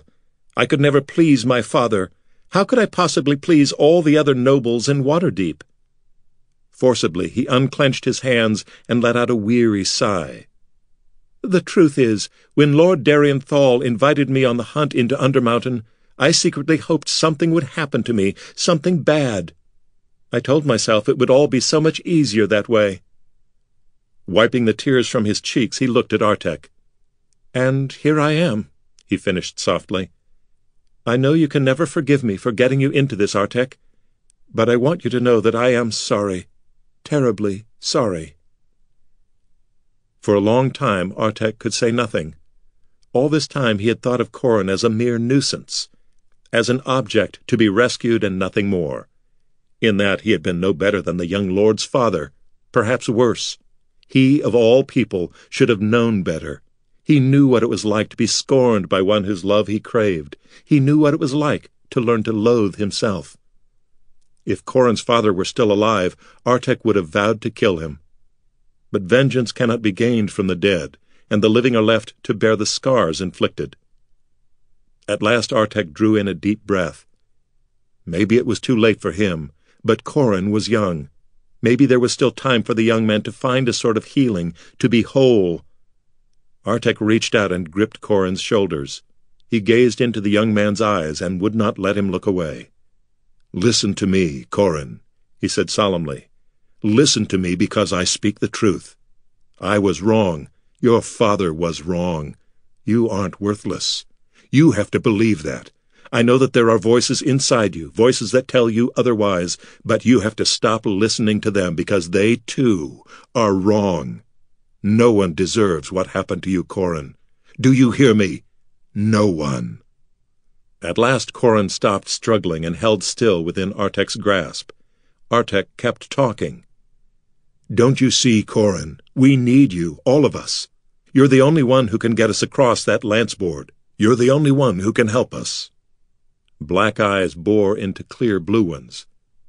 Please, he whispered, won't you try? For a long moment, Corin sat as if frozen, staring with unseeing eyes. Artek despaired, fearing his words had fallen upon deaf ears. Then Corin's pale visage seemed to melt, and he blinked, drawing in a shuddering breath. At last he nodded. I can't promise anything, he said in a hoarse voice, but I will try. Artek could not suppress a toothy grin. He encircled Corin in his strong arms, embracing him tightly. The young man stiffened, then, tentatively, he lifted his arms to return the embrace. Excuse me, Artek, Corin gasped after a time, but I'd like to breathe now. Oh, sorry, Artek exclaimed, releasing the young man from his grip. Corin stood, smiling shyly. Actually, you're all rather in luck, you know. Though my father never placed much stock in it, it wasn't a blood sport, you see. I was something of a champion at Lanceboard among my peers. He clapped his hands together. Now let's get started. We have a game to play. A new air of confidence and authority gradually crept into Corin's words and actions. For the first time since Artek had met him, the young man truly seemed like a lord. He surveyed the game board critically, forming a strategy. This isn't going to be simple, Corin murmured, his expression one of intent concentration. Our opponent has a full complement of playing pieces, and we are only four. Make that five, Muiral piped up, rolling toward the nobleman's feet. Corin actually laughed as he picked up the skull. Ah, then there is some hope after all, he said. With crisp commands, he directed the others to their starting locations on the first row of the game board. Artek took the king's position, and Bekla the queen's next to him. Corin placed Gus on the end, in the role of an ogre, and took a knight position for himself. Muiral, to his delight, was a sorcerer. After this, Corin instructed each of them on the manner of their movement. Artek, when you first stepped onto the board, it was where Muiral is now, on the starting square of a sorcerer, Corin explained. Sorcerers can only move along a diagonal. That's why you encountered the magical barrier when you tried to move forward and side to side. Artek nodded at the nobleman's words.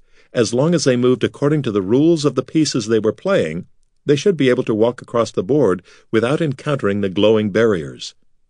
Corin continued to instruct them in the rules of their movement. As king, Artek could walk in any direction he chose, but only one square at a time. Bekla, acting as the queen, could also move in any direction. However, she could go as many spaces as she wished. Upon learning of this advantage, she flashed Artek a smug expression. Gus, the ogre, was informed that he could move as far as he wished along straight lines, but not along a diagonal, which was Muiral's sole ability as sorcerer. Corin had taken the most difficult role for himself, for a knight was forced to move in a curious pattern. Two squares in a straight line, then one more square to either side. Once they knew the rules, they were ready to begin. It looks like the starting move is up to us, Corin decided. We're playing from weakness, but that doesn't mean we can't act boldly. King, move one square forward. Artek stepped from his white starting square onto the black square before him. No magical barrier appeared to block his passage. He let out a sigh of relief. The moment Artek finished his move, an ethereal figure on the far side of the chamber abruptly began to move. One of the dimly transparent dwarves in the front row, soldiers, Corin called those pieces, stepped one square forward, then halted, standing as still as before. I was afraid of that, Corin said grimly. Afraid of what? Artek asked in growing dread. This really is just like a game of lance board, the nobleman replied. Every time one of us moves, one of our opponent's pieces gets to move as well. Artek shifted uncomfortably on the black square. Wait a minute, Corin. Isn't the point of this game to capture your opponent's pieces? The young lord nodded silently. All right, Artek went on. Then what happens to one of us if we're captured by another piece? Corin took a deep breath. All captured pieces are removed from the game board, he said evenly. The others shivered as the implication of these words registered upon them. A chill danced up Artek's spine, and he licked his lips nervously. Removed from the game board. It sounded very final. I guess we'll just have to keep from getting captured, won't we? Artek said, hoping he sounded more confident than he felt. It was their turn again. Sorcerer, Corin called out, diagonal to your left, two squares. Protect your king. His mandible working furiously, Muiral hopped and rolled into position. As he came to a halt on his square, one of the ghostly knights leapt to the soldier in front of it and sallied out onto the game board. Corin himself moved next, mirroring the enemy knight's position. The knight moved again.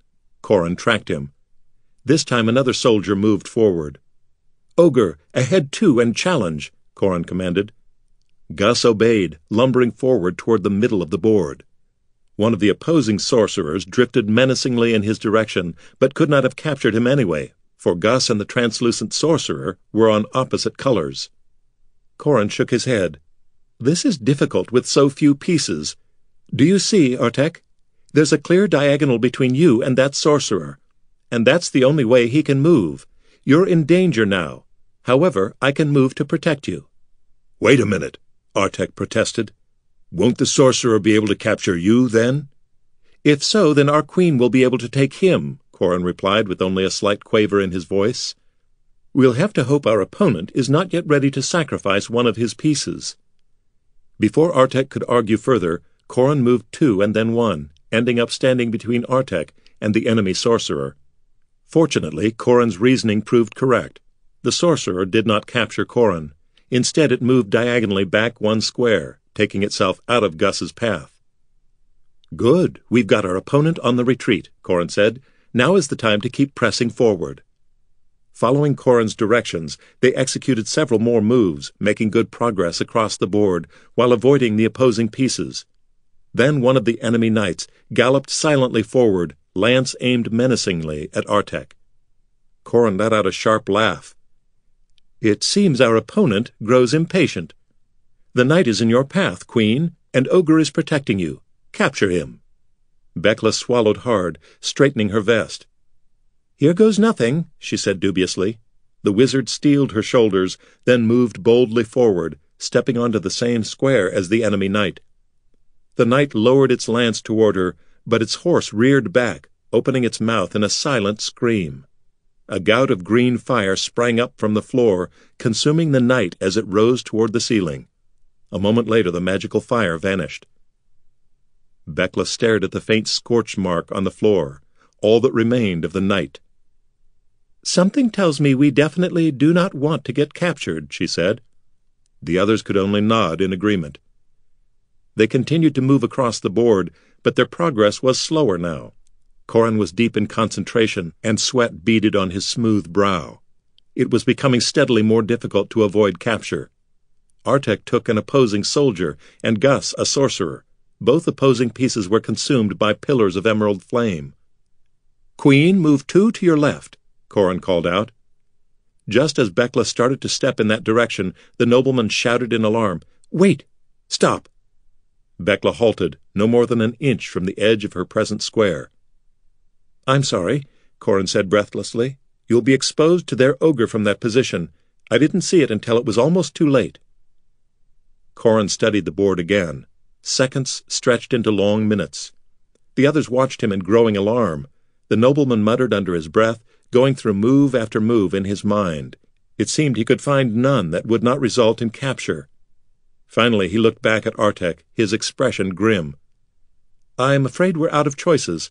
There's only one thing I can think of, and I'm afraid it's a rather risky gambit. If it fails, we're lost.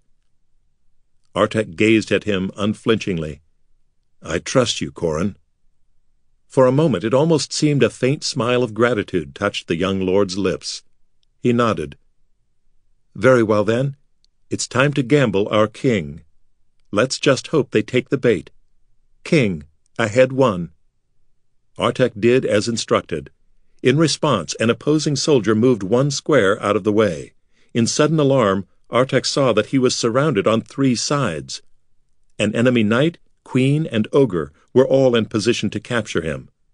It had been his last move. There would be no escaping. We've lost, he said, his hopes dying. Not yet, Corin cried out. It seems you've forgotten the same thing our opponent has. He pointed toward a small yellow object that for some time now had sat unnoticed near the side of the game board. Now, Muiral. Grinning toothily, the skull rolled forward, moving in an unobstructed diagonal line straight toward the enemy king. The ghostly king's mouth opened in a silent cry of surprise and fear, but it could not move aside.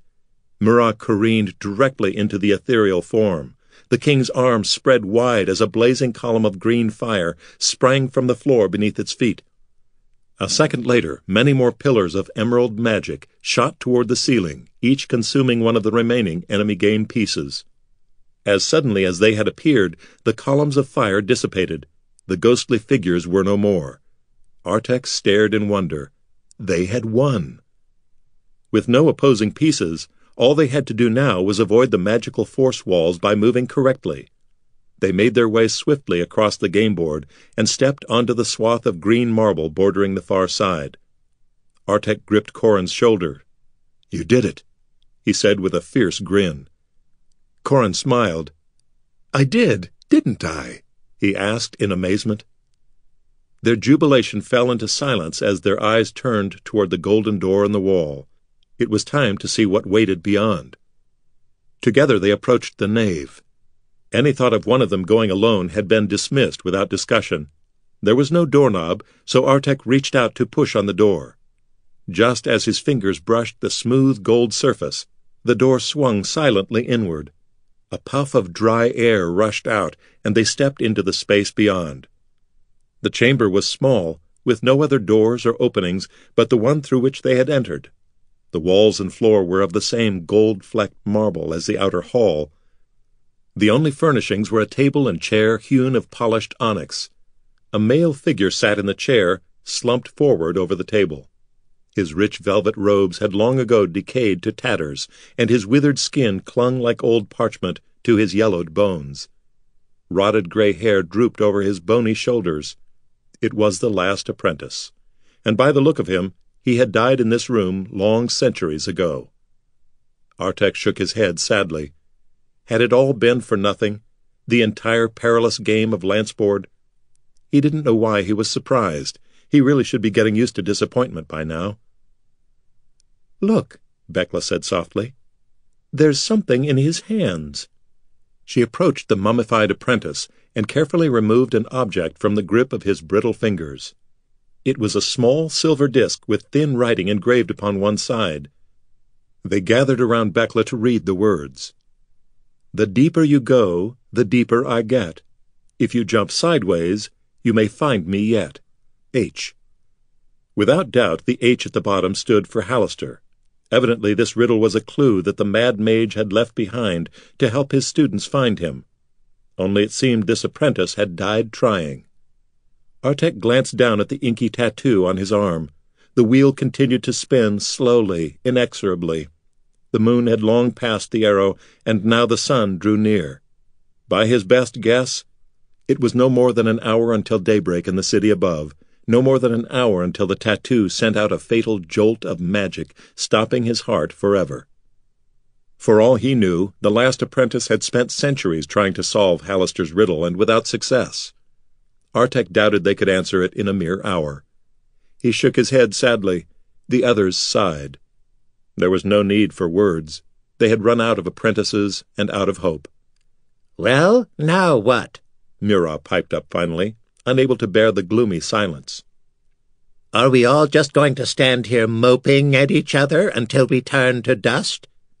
No, the rest of you shouldn't give up, Artek said solemnly. You may yet find a way out of Undermountain. You've still got a chance, but I'm afraid I don't have one much longer. Neither do we, really, Bekla replied darkly. She glanced at Corin, a strange sorrow in her eyes. I haven't seen much food or water in this part of Undermountain. We won't last for very long without both. After a moment, Artek nodded gravely. He respected the wizard too much to argue with her. She and Corin might be able to keep searching for a few more days before thirst and exhaustion overcame them, but only if they were lucky. Artek turned toward Gus and Muiral. The gargoyle gripped the skull tightly in his clawed hands, worry showing in his glowing green eyes. Even after the rest of us are gone, you two don't have to quit searching for a way out of here, Artek told them seriously. You can keep looking for as long as it takes. Eventually, you're bound to find a gate that will take you out of here. Bekla ran a hand through her close-cropped hair. I'm afraid that won't do them much good, she said sadly. Muiral and Gus aren't alive in the conventional sense of the word. Neither of them could pass through a gate without a living being accompanying them. Artek hung his head in sorrow. So they were all doomed together. He started to sink to the floor in despair. Then, like a bolt of lightning, it struck him. He stared at the wizard as if looking for an answer. Something was not right. Wait a minute, Bekla, he said in confusion. If Gus can't go through a gate all by himself, why did you send him to test the one we found in the cave in Willowwood? The question caught the wizard entirely off guard. Her mouth opened in surprise, and she stumbled backward. After a moment she tried to sputter an explanation, but Artek cut her off. All this time, something about the wizard had been bothering him. Something had been nagging at the back of his mind, but he had been too busy to really consider it. At last he knew what it was. That gate would have worked for some of us, wouldn't it? Don't lie to me any more, Bekla, he hissed, baring his pointed teeth in a feral snarl. I know now that you already have. Your hair gives you away. When we first met, you told me that you had lived in Undermountain for over a year, and your clothes look it. But your hair is short, as if it had been recently cut. Don't try to tell me that you did such a fine job with the edge of your dagger. Bekla did not deny his words. Instead, she braced her shoulders, gazing at him, deep remorse in her brown eyes. Damn it, Bekla, Artek snarled. Tell me what in the abyss is going on here. The wizard took a deep breath. I've betrayed you, she said. Chapter 13 Horned Ring Crimson rage surged in Artek's head, and blood pounded in his ears. His orcish side howled in silent fury at the utterance of the cursed word, betrayed. He gripped the edge of the onyx table, knuckles white, teeth clenched. He could not let go. He did not dare. There was no telling what violence his hands would commit if he did. He glared at Bekla with smoldering black eyes. Tell me, he commanded hoarsely. They were the only words he could manage. The others stared at Bekla in astonishment, trying to comprehend what was happening. At last the wizard nodded. Pain burned in her brown eyes, but her shoulders were straight, her too square jaw resolute. I'll explain everything, she said solemnly. I know now that I can't lie to you any more. Though once I tell the truth, I imagine that you'll most likely decide to kill me. Not that I could blame you. There's only one thing that I ask. Just let me finish before you deal with me. I think you owe me that much. No promises, Artek hissed. His arms trembled. He wished to let go of the stone and crush a living throat instead. Just talk. Bekla sighed. As you wish, she said simply. Not everything I told you was a lie. She shook her head ruefully. Some of it was all too true. I am indeed a small-time wizard. I've been kicked out of more mage schools than I can count, usually for lack of money. A sardonic smile twisted her lips. Though once or twice it was for telling the master mage just where he could stuff his wand. In case you hadn't noticed, I can be a little abrasive at times. Oh, I hadn't noticed, really, Gus murmured politely. Bekla winked at the gargoyle in gratitude. Then her expression grew grim. All right, here's the part you don't know, the wizard said, crossing her arms across her grubby shirt as she paced before the table. It wasn't by chance that I happened upon you in the upper halls of Undermountain, Artek. But it really was blind luck that I was there in time to help you with those flying snakes. The truth is, I haven't spent the last year in Undermountain. I came in by a private entrance no more than two hours before you entered the maze yourself. Before that, I had been informed of Corin's whereabouts. You see, it was my job all along to lead you to the Lost Lord. That's what I was hired to do. Hired? Artek asked. Hired by whom? Bekla paused and then spoke without emotion. Lord Darien Thal. An animalistic snarl ripped itself from deep in Artek's throat. Somehow he had known he was going to hear that foul name again. He let go of the table, bearing down on Bekla. Only by great effort did he keep his shaking hands at his sides. The others looked on, mouths agape. So what did he offer you? Artek hissed. A tower of your own? The finest tutors of magic? Money to purchase all you needed to research your precious spells? Was that it, wizard? Did he offer to buy your dreams for you? Yes, Bekla whispered. She gazed not at Artek, but into space, as if she could see a vision of all she had ever desired floating before her. He promised to make me a great wizard, a mage of renown. All I had to do was lead you to Corin. Then you would use the transportation device he gave you, which would take you deeper into Undermountain. Part of Artek's anger was lost to confusion. I don't understand. If your job was to get us lost deeper in Undermountain, then why did you come with us? And why did you help us every time we were attacked?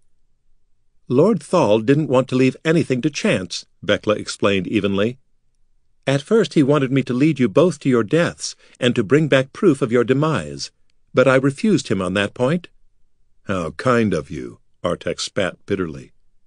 Bekla winced at his words, but went on. We decided that I would go with you through the gate to make certain you did not return to the surface before two days had passed. By then, the nobles would have held their vote, and Lord Thal would have been elected to the circle. And the reason I helped out in all those scrapes is easy enough. I was protecting my own neck. Corin stepped forward, his boyish face both worried and perplexed. But I still don't understand, Bekla. Why in the world would you agree to such a task?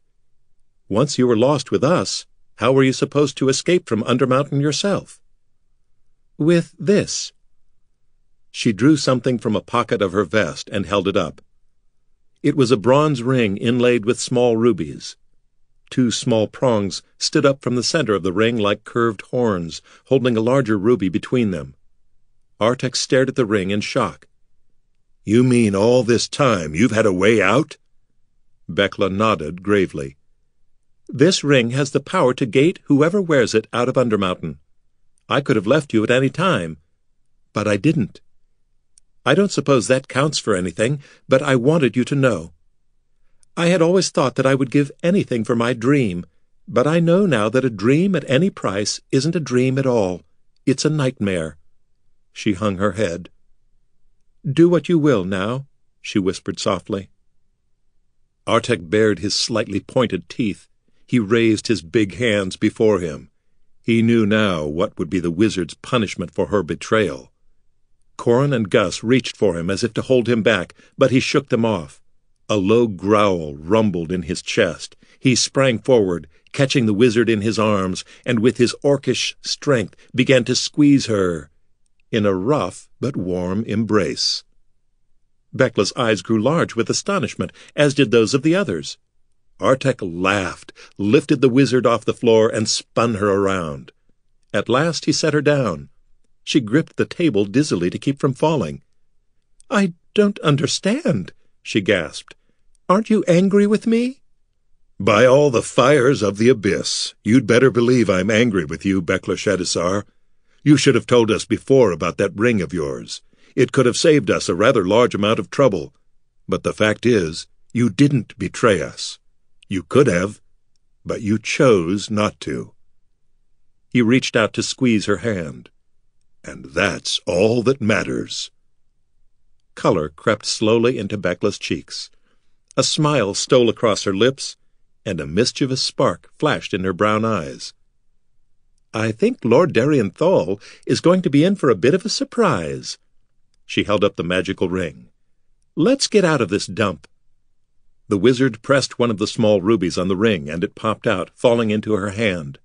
Thrice more she did this, then gave a ruby to each of the others, sticking Muiral's in his bony ear hole. Finally, Bekla put the ring on her right hand. They gathered close as she held up the ring and spoke in a commanding voice. Gate, open! The ring flashed. In the air before them appeared a glowing line. The line widened into a doorway filled with billowing gray mist. All right, everybody, Bekla cried. Hold on. Together they leapt through the misty portal and fell into the nothingness beyond. Once again, Artek felt the terrible, bodiless cold that gnawed at the very center of his being, but it lasted only a moment. There was another flash, and a crackling hole opened in midair, a gap in the very fabric of the world. The five tumbled through the hole and struck a hard stone floor. Can't you program these things for softer landings? Corin complained as they stood. I'm really not certain I can take much more. Oh. His words faltered as they gazed around. A rough-hewn corridor stretched into shadow in either direction. Pale fungus clung to the walls, and dark water trickled across the floor. Artek swore vehemently. I don't understand, Bekla said in confusion. The ring was supposed to take us to the surface, but this still looks like... Undermountain, Artek spat, finishing for her. He shook his head and almost laughed. Almost, but his chest was too tight with the bitter irony of it all. What fools they were! Don't you see, Bekla? Haven't you figured it out yet? He's betrayed you, too. The wizard's face blanched. Then anger ignited in her eyes. She spoke a single hateful word, as if it were a curse. Thal! Artek nodded grimly. It makes sense. He couldn't have allowed you to live. You knew that he had arranged Corin's demise. So he made certain that you would never escape from Undermountain either. A great heaviness came upon Artek, weighing him down. Well, it looks as if Darien has beaten us to our little surprise. He has defeated us after all. But I suppose it was well that we tried. He glanced at his tattoo. Less than an hour left. At least he would not have long to wait for his end to come. The others would not be so lucky. It was hard to believe now that the legacy of the Garug Mall truly ran in his blood, because the darkness held no comfort. It was cold and bleak and utterly empty. Wait just a second, Muiral piped up suddenly. Gus, pick me up. Bekla, hold up your hand. I need to take a look at that ring of yours. The others regarded Muiral in vague curiosity, but they did as he instructed. The skull peered at the ring with his empty eye sockets. Hmm, he muttered through his broken teeth. I was afraid of that, the skull pronounced finally. Afraid of what? Artek asked, not certain he had the energy to play the skull's guessing games any more. This is a horned ring, Muiral replied. Not a common find in Undermountain, but not so rare either. Halaster made quite a few of them. Wait a minute, Artek protested. You mean Halaster himself made this thing? Somehow the fleshless skull managed to look annoyed. Granted, I don't have lips, so sometimes I tend to mumble, but I'm pretty certain that's what I said. Bekla studied the ring with new interest. If it won't take us out of Undermountain, what will it do? take us down, Muiral replied. A horned ring will gate you anywhere you want to go in Undermountain, as long as it's below where you are at the moment. With every jump, it takes its wearer deeper. Artek looked at the skull in sudden shock. What did you say? he demanded hoarsely. Really, Artek, the skull grumbled. Why don't you clean the orc cheese out of your ears? I'm getting awfully tired of repeating myself. But Artek was no longer paying attention to the skull. He paced quickly over the damp stone floor, his mind working feverishly. Of course, he exclaimed, smacking his forehead with his hand. That's the answer. The answer to what? Bekla asked. Halaster's riddle, he replied in growing excitement. Remember, the deeper you go, the deeper I get. If you jump sideways, you may find me yet. I think maybe you've jumped a little too deep yourself, Muiral noted acerbically. Artek ignored him. Don't you see, Bekla? You said it yourself back when you were explaining to me the difference between teleporting and using a gate. Teleportation is a fast but direct journey between places. He brought his hands together. But using a gate is like jumping. Sideways, Bekla breathed. Artek snapped his fingers. Exactly. That's the key to finding Halaster. If every use of the horned ring takes you deeper, eventually you would have to reach the deepest part of Undermountain. And where else would the Mad Wizard be, except at the very bottom of his own maze? Do you think we really dare disturb Halaster himself? Corin asked, a startled expression on his smudged face. It's our only chance, Artek replied. He's the only one who could transport us out of here. What have we got to lose? You can count me in, Gus said with a grin. Me too, Muiral added. And me, Bekla said firmly. Corin smoothed his grimy, tattered silk shirt, then gripped the rapier at his side. Well, I'm not about to miss all the fun. Artek surveyed the determined faces of the others. He had entered Undermountain alone. Never had he expected to find such allies, such friends, in its dark depths. His heart swelled. Let's do it, he said. They gathered close together, making certain each still had a ruby. Then Bekla raised the ring. Gate, she ordered. Open! The misty portal appeared before them. Here goes nothing, Artek murmured. Together they jumped through. They fell sprawling to the floor of a great cavern. An acrid smell hung in the dank air. Artek heard a strange clinking sound and looked up. Glittering blue scales armored the vast, sinuous body of a blue dragon. Like sapphire sails, leathery wings spread open in a menacing display. Red eyes flaring hotly, the dragon stretched its serpentine neck, rising off the mountain of gold, silver, and jewels upon which it sprawled. Thieves! it shrieked in a deafening voice. The dragon opened its toothy maw, preparing to kill them with its deadly breath. Bekla, the gate, Artek cried. Open it. The wizard needed no prompting. She shouted the words. Instantly the glowing portal appeared in the air before them. They threw themselves toward the billowing mists, just as a terrible crackling filled the air. Blazing bolts of blue lightning emanated from the dragon's maw, sizzling toward them. Just before they were engulfed by searing, sapphire death, the magical fog swallowed them. Dragon, cavern, and lightning vanished. They quickly lost count of the jumps they made using the horned ring. Sometimes they landed in musty stone corridors and dim tombs. Other times they found themselves suddenly facing snarling abominations, ready to rip their throats out. Once they plunged into bone-chilling water, and another time they landed on a small basalt islet lost amid a sea of molten lava. Each time Bekla quickly resummoned the gate, and they leapt through, passing from one peril to another in dizzying succession. Then they landed on a stone floor. Thick clouds of dust billowed sluggishly around them. They were in a cobweb-filled antechamber. By the look of it, no one had set foot in this place in centuries. But there was no time to waste. They had to keep jumping. Gate open, Bekla called out. The portal appeared and they lunged through. They landed on a stone floor. Thick clouds of dust filled the air around them. Artek blinked in surprise. It was the same antechamber they had landed in a moment ago. The jump had taken them no deeper. Then he realized why. We're here, he said. This was it, the very bottom of Undermountain. As they stood, their eyes fell upon a small, nondescript wooden door set into one wall. There was no other exit.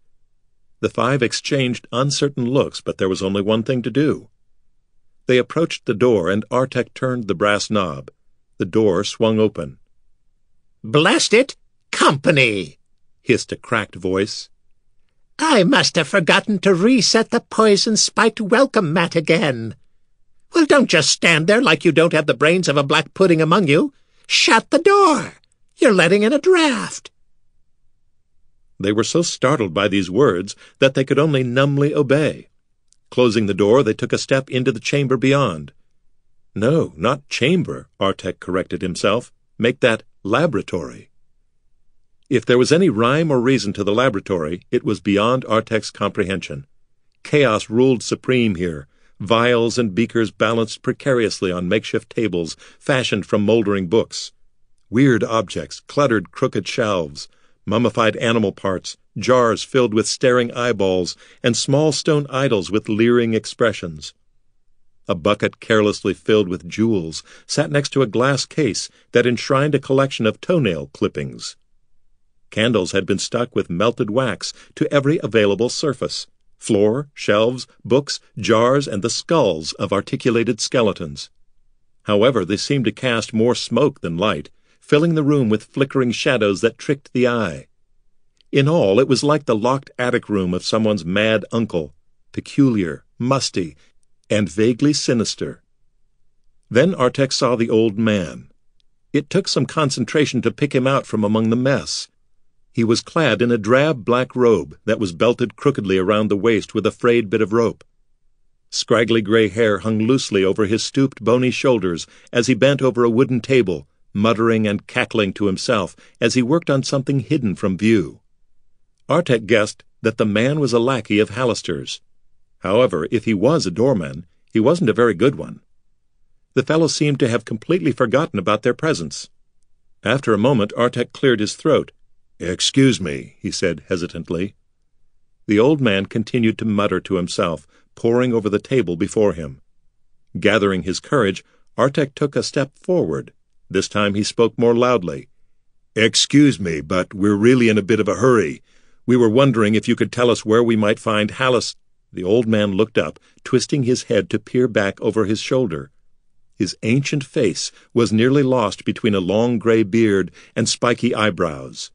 All Artek could make out was a blade-like nose and two colorless eyes, as cold and piercing as ice. What? the old man interrupted. You're still here? He blew a snort of disgust through his ratty mustache. I must have forgotten to oil the trigger on the boulder over the door as well. Well, if you're not going to have the decency to die, at least stop being such a nuisance with all your chatter. Can't you see that I'm working? Now make yourself useful and hand me that. He thrust a bony finger toward a small jar of black paint on a nearby shelf. Before Artek even knew what he was doing, he hopped forward to obey the command. Chagrined, he brought the jar of paint to the ancient man. Artek craned his neck, but could not quite glimpse what the other man was working on. It was something very small. After a moment, the old man cackled in glee. Done! Scooping up several tiny objects into a withered hand, he marched with surprising swiftness toward an opening in the far wall and disappeared beyond. Artek exchanged curious looks with the others. After a moment's hesitation, they followed after. Stepping through the opening, they found themselves not in another chamber, but on the edge of a vast cavern. A red gold light hung upon the dank air, but it appeared to have no source. Artek blinked in astonishment as the others gasped behind him. Arranged in haphazard fashion around the cavern were a score of tables, every one a dozen paces long and half again as wide. Sprawling atop each of the tables was what appeared to be an intricate maze. Artek approached one of the tables and shook his head in wonder. This wasn't just any maze, he realized. It was Undermountain. What in the name of all the gods is that? he asked in awe. From the center of the cavern came a shrill cackle of glee. It's my masterpiece! The old man cried. My most marvelous toy ever! Impressed, aren't you? Well, you should be. Rendered in tiny but perfect detail, every single one of the vast labyrinth's many subterranean levels lay before Artek. He had never seen anything so wondrous in his life. The model was roofless, so that he could gaze within, and every wall, every door, every minuscule stone had been fashioned with exquisite care from wood and clay and paint. Tiny figurines populated the miniature halls and chambers. Skilfully rendered monsters and adventurers, each no taller than the knuckle of a finger. So flawless was the model that Artek felt almost like some great god peering down upon the diminutive world of mortals below. Look, Bekla whispered in amazement. She and the others had wandered around, gazing at other levels, resting on other tables. The wizard pointed to a chamber filled with tiny trees, fashioned from bits of green moss. I think this is willow wood. And this must be the River Sargauth, Corin added from nearby, pointing to a thin strip of glittering blue, fashioned from crushed sapphire. And here's the tomb where you found me, Gus said excitedly, pointing to a small chamber at the end of another table.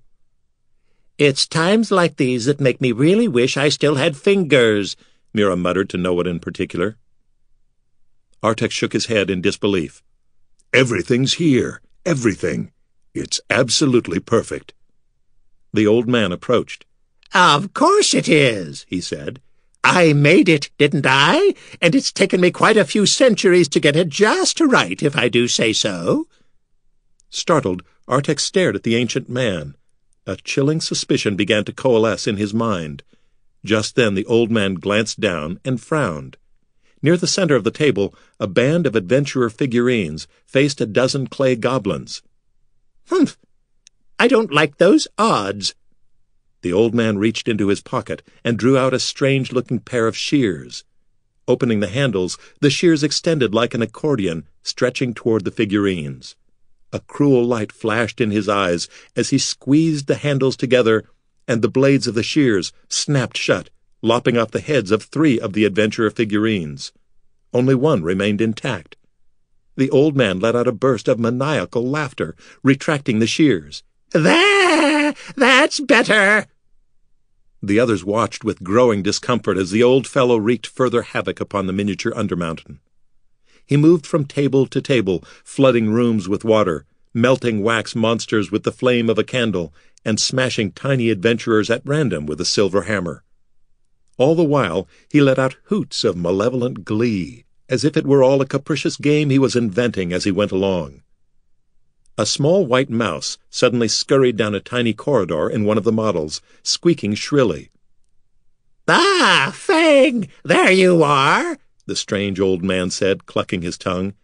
You've been hiding again, haven't you? You know I don't like it when you hide. Next time it may be bang with my silver hammer. The old man picked up the mouse and held out a tiny object. It was a miniature sword. Go give this to the warrior on level four, chamber 62. I don't want her to die just yet. She's been far too much fun. He set the mouse back down on the table. Now shoo, shoo! And don't hide the next time I'm looking for you. Fang let out a decidedly recalcitrant squeak, then took the sword in its mouth before scurrying away through the tabletop maze. Meanwhile, Corin had been studying the miniature labyrinth on a nearby table.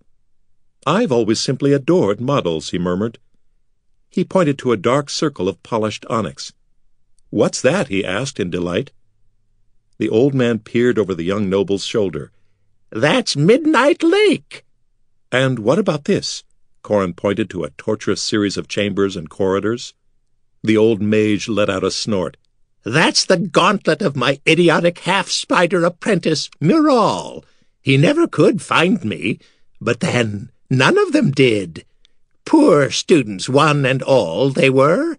Artek and Bekla exchanged shocked looks. However, Corin wasn't really listening. And how about this? He pointed to a small square that glowed with an eerie green light. The old man glowered at him. You're certainly full of questions, aren't you? That's Wish Gate.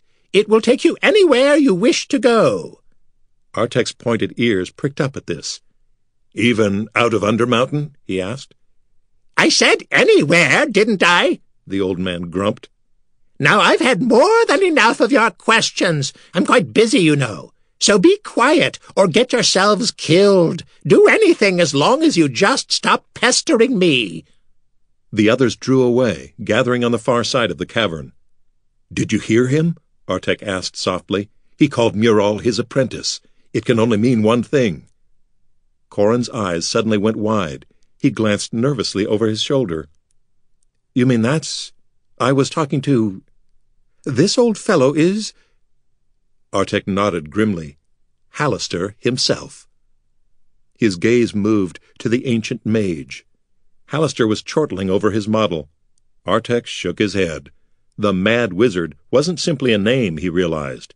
Halaster truly was mad, an old man playing a child's game his days of power and glory long forgotten. Murrogh let out a dejected sigh. If he's Halaster, then we're doomed. I think he's more than a little touched, and not particularly nice. He'll never help us. What about that wish gate? Gus suggested. Couldn't it take us out of Undermountain? Probably, Bekla answered, but only if we could get to it. Judging by the model, it looks to be miles away from here and it's much higher than we are now. The horned ring won't take us there. Artek made a decision. It doesn't seem Halaster much cares for company. I'm going to ask him if he'll transport us to Wishgate. He just might do it, if for no other reason than to get rid of us. It seemed they had little choice. Keeping close together, the five approached the ancient mage. Mad as he was, he was still a legendary wizard, and not a figure to be trifled with. Artek cleared his throat nervously. I'm sorry to disturb you again, he said as politely as he could manage. I know you're getting rather weary of us by now. The old man paused in the midst of pouring acid over a group of melting dwarf figurines. What clued you in? he snorted. Artek risked continuing. Well, there is a way you can be rid of us for good. All you have to do is transport us to Wishgate and... Bah! Halaster spat. I can come up with something far more interesting than that. But thank you for reminding me. It's about time I used these. From the pocket of his robe, he pulled out the small objects he had been working on earlier. They were figurines like the ones scattered throughout the various levels of the miniature Undermountain. Artek leaned closer, squinting. He saw now that one of them was a tiny man, broad-shouldered with black hair and black eyes, dressed all in black leather with a curved saber at his hip. Blinking in shock, he realized that the figurine was him. Four more diminutive figurines rested on Halaster's palm. A short-haired woman in a white shirt and gray vest, a willowy young man with golden hair, a bat-winged gargoyle, and a grinning skull no larger than a pea. How do you like my newest playthings? the mad wizard cackled. They're not bad likenesses, if I do say so myself. I'm going to have great fun with these. I'm rather sure of it. Before Artek could wonder what he meant, with two fingers the old man picked up the gargoyle figurine. He scanned the maze on the table before him, which depicted one of Undermountain's many levels. Ah, this will do. He placed the gargoyle figurine inside a small chamber, next to another figurine carved in the shape of a flame. Gus vanished. The others stared in astonishment. One moment the gargoyle was there, standing beside them, and the next moment he wasn't. There was no flash, no thunder, no sparkling magic. Gus had simply and completely disappeared. Humming an eerie tune under his breath, Halaster took the figurine of the golden-haired man and, stretching his arm, set it down in the model, on the edge of a chasm. This time it was Corin who vanished. This display before them was not merely a model of Undermountain's levels, it was Undermountain. By means of his vast magic, Halaster had bound the miniature and the real mazes inexorably together, and what happened in one labyrinth happened in the other. Given his madness, Halaster probably thought this no more than a game. He was like a cruel boy burning his toy soldiers for fun. But each of the figurines he manipulated represented real, living beings, animals, monsters, and men. And now he had created five new figurines to add to his amusing little playhouse. Artek lunged for the model to snatch up the likenesses of Gus and Corin, hoping that would return them to the laboratory. A thin sheet of crimson magic sprang into being between him and the table, throwing him violently backward. He clambered to his feet in time to see the mad wizard place the tiny skull figurine in a chamber next to a green pool. In the blink of an eye, Murrogh was gone. This time Artek lunged for the wizard himself. Once again, crimson magic flashed, tossing him backward like a rag doll.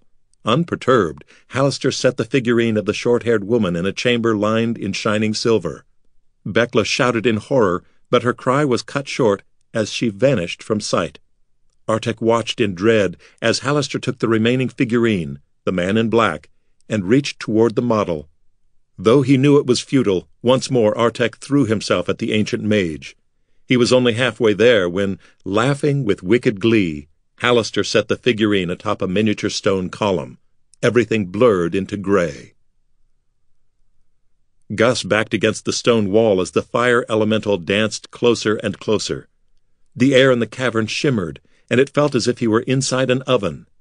Gus had tried to take flight, but he had been brutally buffeted against a wall by an updraft, spawned by the roaring heat.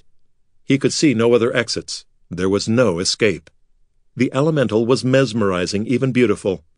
He almost thought he could see a lithe figure whirling in the center of the white-hot corona. He supposed it was better this way.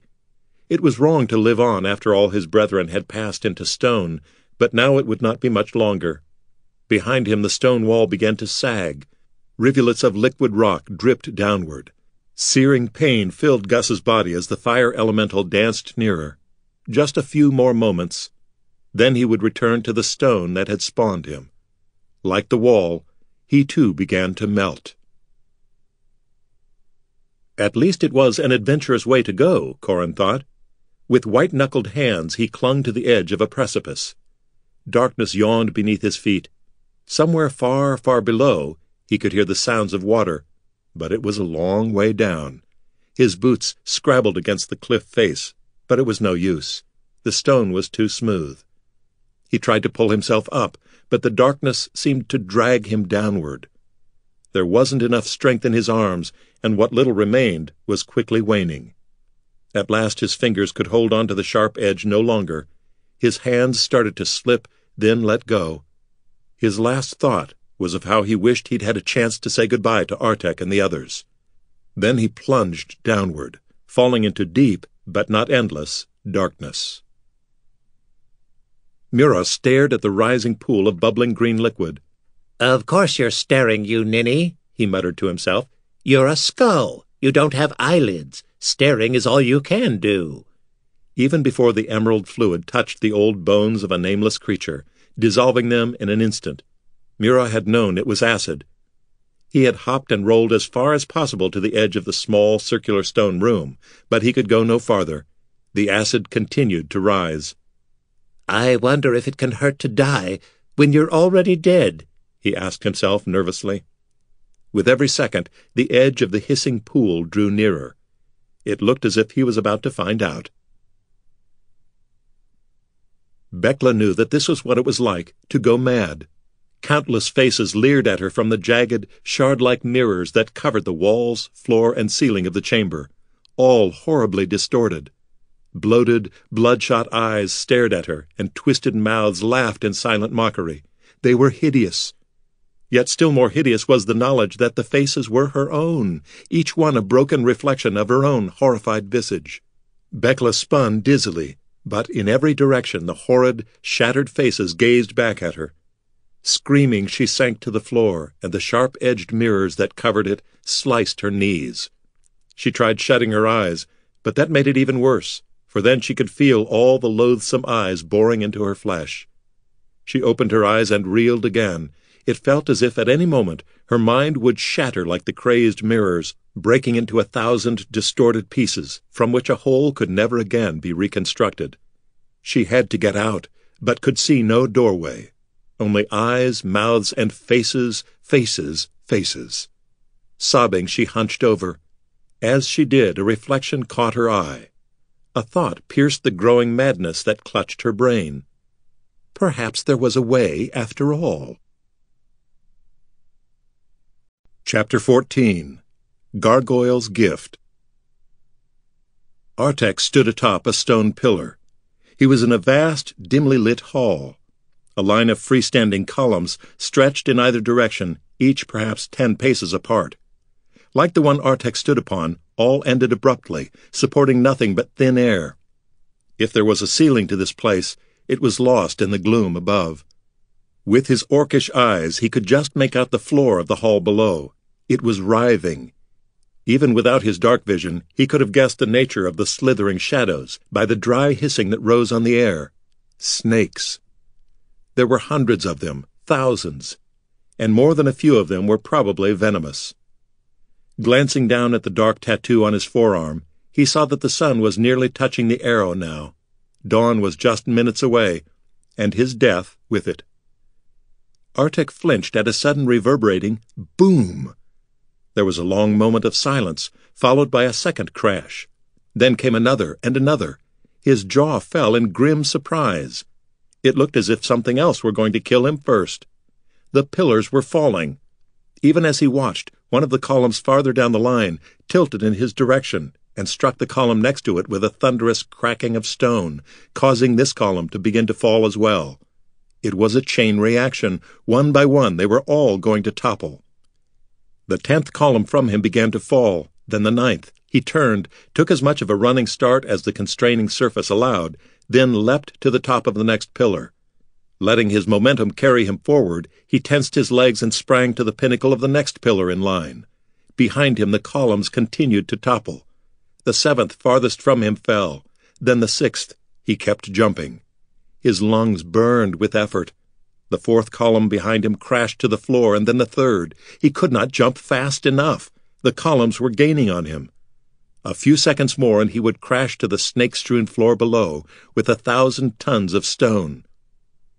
Then he saw it hovering in midair just ahead. A glowing square filled with billowing gray mist. He blinked in confusion. How could this be? There was a deafening crash, and the stone beneath his feet gave a violent shudder. He fell sprawling to the top of the pillar and nearly went flying over the side. He gripped the edge, hauling himself back up. As he did, the column tilted wildly, then began to trace a smooth, fatal arc toward the floor below. The pillar was falling. With a desperate cry, Artek sprang up and forward with all of his strength. For a terrified moment, he thought he wasn't going to make it. But then his body broke the surface of the gate, and he fell down into gray emptiness. As before, his body seemed to dissolve away. He had no substance, no flesh, only a naked, quivering consciousness to be flayed raw by the bitter cold. Thankfully, the horrible sensation lasted only a second. There was a flash. The reek of lightning filled his nostrils, and he fell hard to a stone floor. Groaning, he pulled himself to his feet. A trio of trolls stood before him. They reached out with long arms, bearing countless filthy, pointy teeth. With a cry of alarm, Artek fumbled for the cursed saber at his hip and drew it with a ring of steel. He did not wait for the trolls to attack first. He swung the saber, striking the arm of one of the creatures. The limb snapped with a brittle sound and fell to the floor. The troll did not so much as blink. Its companions were equally still. Artek stared in puzzlement. Cautiously he approached the creatures, tapping one with his saber. It tottered, then fell backward. As it struck the floor, it shattered. Clay, Artek realized in amazement. The trolls were made of clay. The cursed saber did not compel him to attack the harmless figures. As he stared down at the broken monster, he noticed that the floor looked odd. He scratched the stones with the point of the saber, and a thick line of gray curled up, revealing brown wood below. It was paint. What was going on here? Before Artek could think of an answer, there was a sizzling sound as a gate appeared in the air above. A form dropped through, landing on the floor with a soft oof. It was Bekla. He quickly helped the wizard to her feet as the gate flashed into non-existence. The wizard's brown eyes were wide and staring, almost mad. At last she shuddered and looked at Artek. Where are the others? she gasped. Even as she said this, three more gates crackled into existence. Each spat out a single figure before vanishing. Corin and Gus groggily picked themselves up. while Murrogh rolled in a dizzy circle.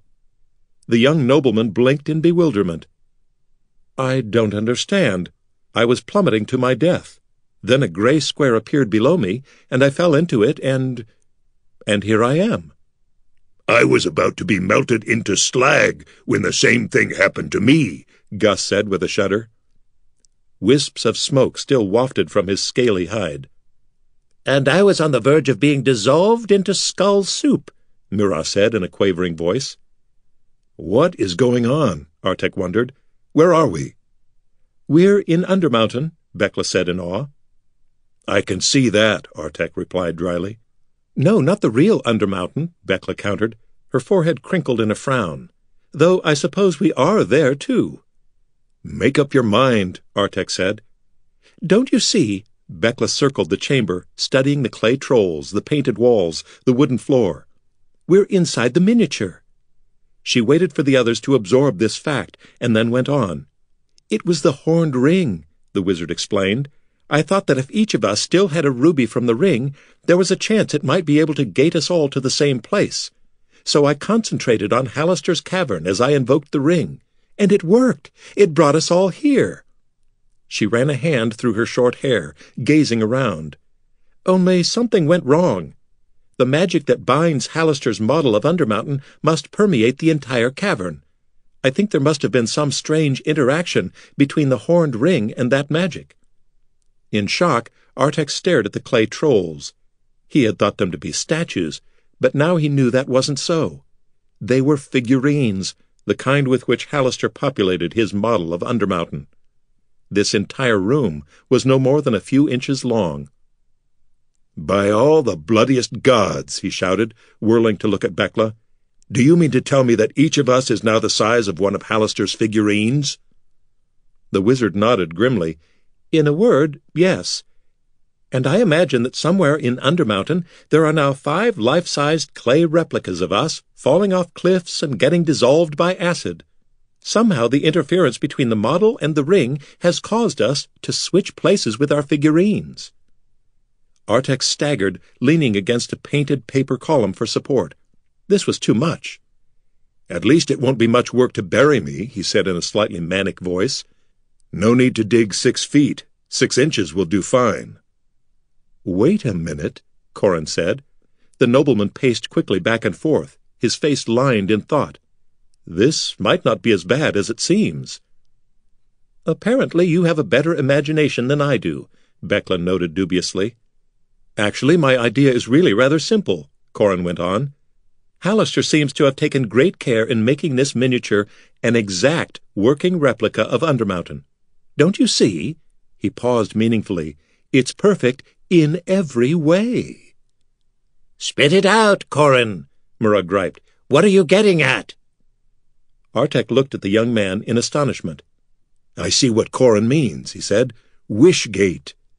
Indubitably, Corin cried. Of course, Bekla exclaimed. Halaster has taken almost pathological care in recreating every detail in this model. There's no reason to believe that the miniature Wishgate won't act just like the real one. Artek glanced up. Hadn't each of the models been roofless? All he saw above them was a hazy red-gold glow. He turned to the gargoyle. Gus, do you think you can fly up and see if you can spot Wishgate? Gus nodded enthusiastically. Stubby wings flapping, he rose into the air. Crimson magic crackled. The gargoyle let out a yelp of pain and dropped back to the floor. The magical barrier, Bekla groaned, it must work from the inside as well as out. Only Halaster can move something in and out of the model. Artek was not about to give up so easily. Well, we'll just have to find our way out of this level the hard way, like mice in a maze. Come on. Forcing himself not to look at the tattoo on his arm, he kicked open the door and dashed into the painted hallway beyond. The others were right on his heels. They ran down corridors painted in imitation of damp, moldy stone, passing countless figurines, monsters with glass splinter fangs, wizards gripping toothpick staves, and heroes wielding sewing needle swords. Artek let his orcish instincts guide him as he tried to home in on their target. Finally, he came to a halt, and the others stopped, panting. We've been making steady headway in one direction this whole time, he said between breaths. We've got to be near the edge of the maze by now. Gus walked up to the wall before them, eyed it critically, then lashed out with a clawed fist. His hand punched through paint and wood. Ruddy light poured through the opening. Looks like you're right, Artek, the gargoyle said with a grin. Artek peered through the opening. Gus had punched through an outer wall, and they were indeed on one edge of the maze. Just beneath was the edge of the table upon which this level sat. Beyond that, the drop to the floor below seemed hundreds of feet, not the three or four he knew it to be. Help me widen this, he said, tearing away a chunk of wood. The others lent their hands to the task, and in moments the opening was wide enough for them to crawl through. Once on the other side, they balanced precariously on the edge of the table. Hey, how come we haven't turned big again now that we're outside the model? Murrogh asked in annoyance. Bekla answered his question. I don't think we'll return to our normal size until we're finally out of Undermountain. That should break the connection between us and our figurines. There, Corin said, pointing across what seemed a vast gap to the next nearest table. I think that's the table that holds the model of the Wishgate level. Artek shook his head doubtfully. I suppose it's no more than three feet to that table, but it might as well be a mile. How are we ever going to get across? Gus the Gargoyle at your service, Gus announced cheerfully. He hovered over them, leathery wings flapping. I hope you don't mind, but I'll have to take you one at a time. Their laughter fell short as a gigantic shadow loomed over them, blotting out the light. A great craggy moon rose over the model, two smaller pale spheres embedded in its surface. Only after a second did Artek realize that it was not a moon at all, but Halaster's wrinkled face. The wizard was bending over his model. A gigantic wrinkled hand stretched in their direction. They cowered against the wall of the maze as the hand loomed nearer. One careless swipe, and they would be flattened like bugs. Artek clenched his jaw, trying not to scream. The hand hovered directly above them, then continued on, reaching to manipulate some objects elsewhere in the maze. Artek forced himself to breathe again. Halaster had not seen them. But they might not be so lucky next time. They had to hurry. Artek tried not to think about the seconds slipping away as Gus valiantly ferried each of the others across the gap to the other table. Finally, it was Artek's turn. Though Gus was clearly growing tired, he did not complain, and at last set Artek down gently on the table's edge. They shrank into the corner between wall and tabletop for a moment, but no shadow loomed above. Apparently, Halaster had not noticed their little adventure. The magical barrier had prevented Gus from setting them down within the maze, so Bekla blasted a hole in the wall of the model with a spell. They crawled through the smoking gap into the labyrinth beyond. You got the closest look at the model, Corin, Artek said. You lead the way. For a moment, a look of uncertainty crossed Corin's face. Then, with visible effort, he squared his shoulders and nodded. All right, follow me. Artek grinned. Two days ago, Corin would never have accepted such a responsibility. The young lord had grown on this journey. Ignoring their weariness, they ran down painted hallways and punched through doors of stiff paper. Nothing stood in their way now. They were almost to Wishgate. They turned the corner and found themselves facing a gigantic white beast with blood-red eyes. It gnashed its long yellow teeth, and saliva trickled from the corner of its mouth. The five stared in horror. This was no clay figurine. Emitting a high-pitched squeak, the creature lumbered toward them, dragging a pink, rope-like tail behind. Understanding broke through Artek's terrified stupor. This was no monstrous abomination of the underworld. It was Fang, Halaster's pet mouse. But the creature was now thrice their size, making it a monster indeed. It seemed angry at their intrusion upon its territory. Its claws scrabbled against the floor, gouging the gray paint. Baring its razor-sharp teeth, it lunged for them. With a roar, Gus lashed out an arm, swiping Fang's pink nose with his talons. The mouse squealed in pain, raising its bloodied snout into the air. The five dashed into a side chamber. They shut the stiff paste and paper door, hoping it was enough to keep the mouse at bay. A moment later, they heard a scratching outside. We have to keep going down this corridor, Corin whispered urgently. It's the only way to Wishgate. Bekla shook her head. We'll never get past Halaster's little pet. Artek clenched his hand into a fist, punching the wooden wall. He could not believe that they had survived so many perils only to be defeated by a mouse. There is a way, said a gruff voice.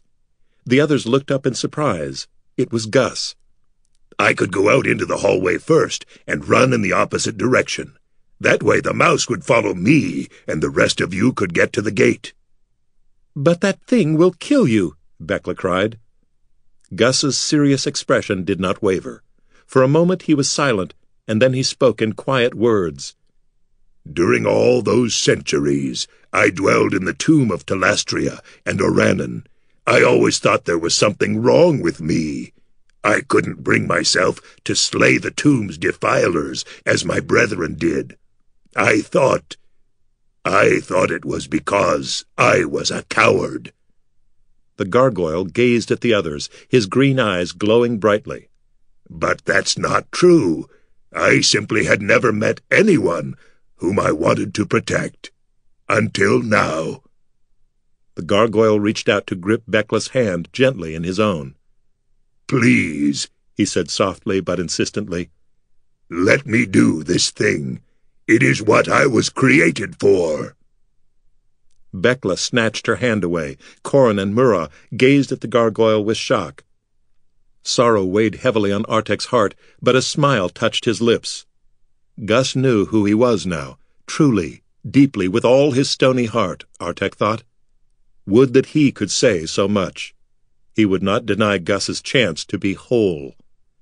Artek laid a hand fondly on the gargoyle's spiky shoulder. Maybe you were created from evil, but you're a good creature to us. Never forget that. Gratitude filled the gargoyle's eyes, but there was worry as well.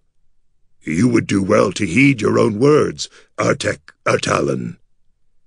The others made their farewells then, though time forced them to be quick. Bekla's goodbye was the most tearful, and she was reluctant to release the gargoyle from her embrace. I'm going to miss you so much, Gus, she said quietly. And I you, Bekla, the gargoyle replied, squeezing her tight in his stony arms. You, more than anyone, have taught me that I can be what I choose to be. Thank you, Bekla Shadisar. Remember me. She shook her head fiercely. How could I ever forget you? But she could manage no more words beyond that.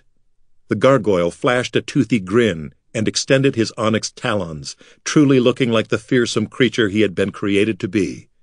But the same kindness glowed in his eyes. Here I come, Fang, Gus bellowed. Your doom is upon you, and its name is Terathagos. The gargoyle shredded the paper door with his claws and leapt through the tatters. The mouse squealed, its bloody whiskers twitching. Gus ran down the corridor. The mouse scrabbled after him while the others dashed into the hallway, watching in horror. Gus was fast, but the mouse was faster still. It pounced, landing on the gargoyle. The two caught each other in a terrible embrace. Gus's talons raked across the mouse's belly, staining its snowy fur with crimson. It shrieked, then dug its teeth into the gargoyle's shoulder, and green ichor flowed. Wrestling with each other, the two creatures crashed into a wall. Thin wood splintered. As one, mouse and gargoyle tumbled through the hole and were gone. Artek was first to the gap in the wall. Bekla and Corin, who held Murrogh, were a half second behind. Together they peered through the hole. Beyond the edge of the tabletop, on the floor far below, lay the mouse, its fur drenched with blood. It twitched once, then lay still. Scattered around the mouse were a dozen jagged shards of gray stone, stone that looked just like the remnants of a broken statue, the statue of a gargoyle. Clutching a hand to her mouth, Bekla turned away. Corin cradled Murrogh in his arms. By force of will, Artek swallowed the lump of sorrow in his throat. There would be time for mourning later. He gripped Bekla's hand. Let's go, he said. The others nodded, and they started back down the hallway. Moments later, they burst through a paper door and into a small room. Wishgate hung on the far wall like a shimmering emerald mirror. Artek looked down at his tattoo. The sun had brushed the arrow. How long did he have now? Three minutes? Two? There was no time to waste. He gripped hands with Bekla and Corin. The nobleman held Murrogh in his other hand. They approached the shimmering gate. Where are you going to wish us to? Bekla asked. Artek bared his pointed teeth. The expression was not a smile. If it works, then you'll see. Fixing his wish in his mind, he tightened his grip on the others. Then, as one, they leapt into the gate. This time the nothingness was green, then blue, then black as ice at midnight. The cold was worse than before, and far, far longer, crueler than anything they had felt. Artek thought it would freeze his very soul to splinters, and his consciousness dwindled like a dying spark lost in a winter night. Then, just as the spark wavered on the edge of being extinguished, cold dark became blazing light, and the universe exploded. Falling through a sizzling aperture, they landed on a cushioned surface. Artek blinked and looked down. It was a thick, luxurious rug, an expensive one by the look of it. His feral grin broadened. He recognized this room. The wish had worked. With a snarl, he leapt to his feet. Corin and Bekla pulled themselves up behind him. They were in a gaudily decorated room filled with gilded wood, rich tapestries, and ostentatious displays of gold and silver. Before them stood two men. One was clearly a wizard, bald-headed, hook-nosed, and clad in a brown robe. The other was tall and elegant, with dark hair and gleaming green eyes, fashionably clad in purple velvet and silvery silk. He had frozen in the act of putting on a thick, black walking cloak. Going somewhere, Lord Thal? Artek asked. Only for a second did shock register upon the Lord's handsome face. Then his visage grew smooth once more, his hooded green eyes glittering like a serpent's. A cruel smile coiled around the corners of his lips. Artek Artalan, he said with an almost imperceptible nod. Exaggerated as the stories concerning your prowess seemed, it appears now they underestimated you. Artek took a menacing step forward. Bekla and Corin flanked him on either side. Save the compliments, Thal, Artek spat. They're wasted on me. There's only one thing I want from you. Thal affected an expression of mock regret. Oh, do forgive me, but I really am in a bit of hurry. I have an important appointment to keep. Wicked laughter rose in his chest. It seems that a foolish little titmouse of a lord has turned up missing. Hardly a great loss, I know, and in his stead I am to be elected to the seventh seat of the city's circle of nobles. Corin hung his head at Darian's cutting insult. Worried, Bekla glanced over at the young man. Artek laughed bitterly. What was it you told me when you first offered me this task, Darian? He snapped his fingers. Ah, yes, I remember. Among Silvertor's rivals are those with dark ambitions. They see the circle as a means to rule over all the city's nobility and as a position from which to launch an all-out assault against the hidden lords of Waterdeep. Well, then, Darian said with dark mirth. I did not lie about everything. Darian's wizard gripped his staff. Shall I dispose of this refuse for you, my lord? Hush, Melthus, Darian crooned. Be polite. These are our guests, after all. Besides, in just a few more seconds, the worst of them will be disposed of for us. Artek glanced at his dark tattoo. The sun was nearly centered upon the arrow. The windows of Darian's mansion glowed deep red. It was almost dawn. Artek walked to the dark-haired lord and thrust out his arm. Have your vulture take it off, Darian, he hissed between clenched teeth. Now! If you don't, I swear you won't outlive me. Darian sighed deeply. At last he nodded. Very well, if you put it that way. He turned toward the bald-headed wizard. Melthus? Yes, my lord. Die, Darian said flatly.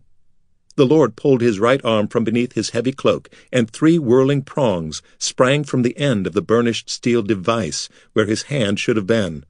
Before Artek could react, Darian plunged the spinning prongs into the wizard's chest. Melthus jerked spasmodically, his eyes going wide in disbelief, his mouth opening silently. Darian pulled the bloody device back. Melthus slumped to the floor, blood pouring from the ragged hole in his chest.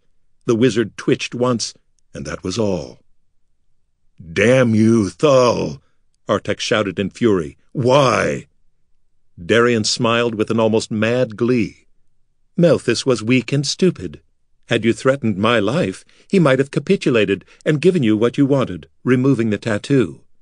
But now there is no chance of that. His voice rose exultantly. The seconds are slipping by, Artalan. Can't you feel them draining away one by one? You've lost. If you were wise, you would use these last moments to make peace with whatever uncouth gods you orcish rats worship in your rancid little holes in the ground. Bekla raised her hands to cast a spell. No, Artek roared. He's mine. Orcish rage cast its blood-red veil before his eyes. Drawing the saber at his hip, he lunged forward. He swung the blade in a whistling arc, precisely aimed to sever the lord's neck. But before it connected, the saber jerked in Artek's hands, wrenching his arm painfully. The blade changed direction of its own volition, and Artek twisted his body, barely managing to keep from severing his own leg.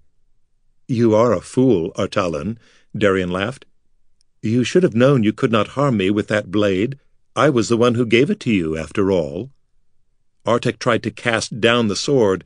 He would squeeze the life out of Darian with his bare hands if he could just release the cursed blade.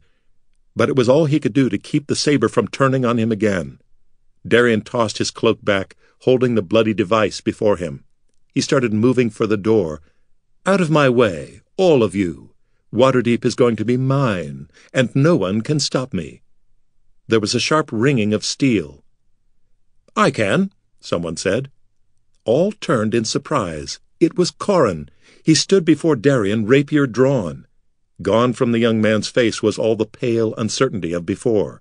Authority blazed in his brilliant blue eyes, and despite his ragged, grimy clothes and smudged cheeks, his nobility seemed to shine forth. For all of Darian's rich velvet and silver silk, he looked like a lowly beggar next to Corin. Mocking laughter escaped Darian's throat. You can't kill me, boy. And even if you could, you wouldn't. You haven't the guts. Now scurry back to your little house of Silvertor, and perhaps when I rule the city, I might let you live. After all, you're really not even worth killing. Corin said nothing. He gripped his rapier tightly, his jaw set in firm resolution. The device buzzed on the end of Darian's arm. For a protracted moment, the two stared at each other, deciding who would make the first move. Without warning, Darian let out a cry of pain. He hopped on one foot, clutching the other with his hand. A pale, round form gnawed with yellow teeth at the flesh of his ankle. Murrogh! With his left hand, Darian grabbed the skull and hurled it across the room. Murrogh struck a wall with a sickening thud, then fell to the floor. After that, the skull did not move. Murrogh's teeth had done little damage, but Darian had been thrown off balance, and Corin did not waste the chance. His rapier flashed in a bright arc, severing Darian's right arm above the wrist. The device bounced to the carpet, its steel prongs still whirling violently. Darian stared in horror at the gory stump of his arm. He clutched it to his body and stumbled back against a polished mahogany wall. The cruel arrogance in his eyes was replaced by terror as Corin advanced, leveling his rapier at Darian's chest. Darian shook his head slowly, tears streaming from his eyes. Please, he whined piteously, please, Lord Silvertor, I beg of you, have mercy. Corin hesitated only a moment. No, Darian,' he said quietly, mercy is for innocence. Darian opened his mouth to scream, but was cut short by the whip-like sounds of Corin's rapier. Corin withdrew the blade. For a moment it seemed his blows had done nothing, Darian stared forward with an almost peaceful expression. Then blood began to flow from a dozen wounds on his arms and torso. A line of crimson appeared around his neck. Cleanly severed, Darian's head rolled to one side, while his body slumped to the other, and both fell to the floor in a rapidly growing pool of blood. Do forgive me, Corin whispered. The rapier slipped from his numb fingers as he stared at the grisly scene he had wrought. Artek lifted the cursed saber. He willed his hand to release the hilt. To his amazement, the blade fell to the floor. Then he felt it, the first pinpricks of pain in his arm. his eyes locked on the tattoo. The sun was centered squarely on the arrow now.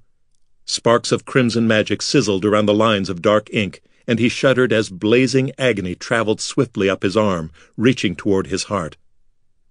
Now that he had finally come to the end, he found that he was not afraid any more. Perhaps it was because he finally knew who he was. And it was Gus who had shown him with his noble sacrifice. If a gargoyle could be good, then so could Artek. It didn't matter what one was created to be. What mattered was how one lived one's life. He knew now that he didn't have to choose between being good and being part orc. He could be both. Artek threw his head back, calling out to the heavens. Arturg, Arthog, my fathers before me, I come to you. No! A voice screamed. It was Bekla.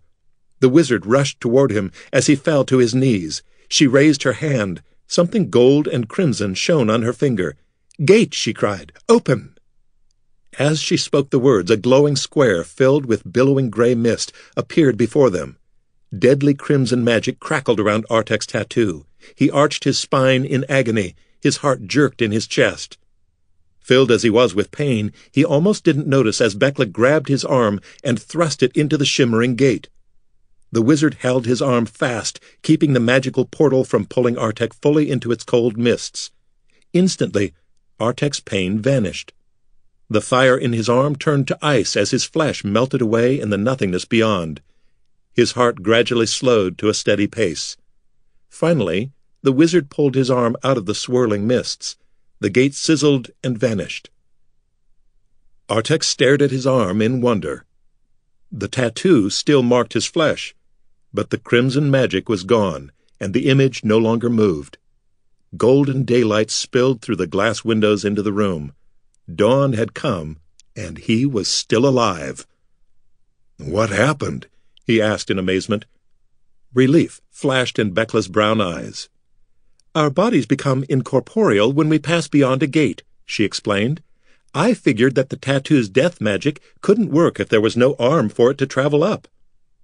Good reasoning, he murmured, flexing his arm. Lucky guess, she replied with a smirk. The spell was set to work at a specific time. That time has passed. I think the magic has been negated. It's just a mundane tattoo now.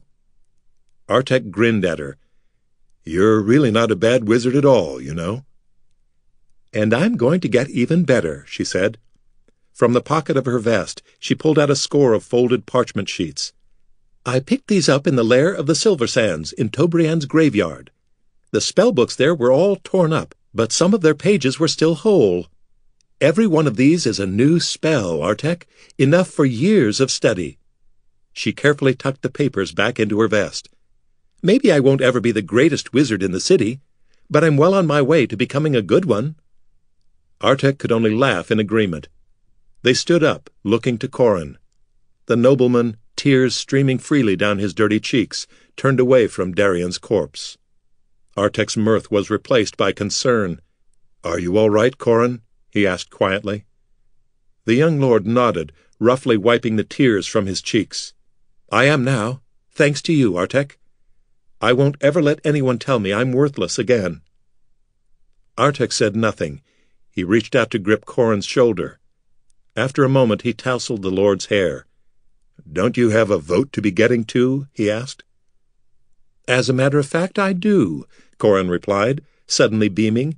He glanced down at his ragged clothes. I'm not exactly dressed appropriately, but it will have to suffice. I've decided that I really don't care if I please the other nobles or not. Bekla cast a sideways glance at Artek, then stepped toward the lord. Do you mind if I go with you, Corin? she asked, her eyes shining. Corin grinned shyly, then nodded. I would like that very much, he replied gently, taking her hand in his. Artek gaped at the two in shock. But I thought women always fell for the roguish type, he sputtered. Bekla winked slyly at him. Not in this story, Artalan. I need a dose of goodness in my life.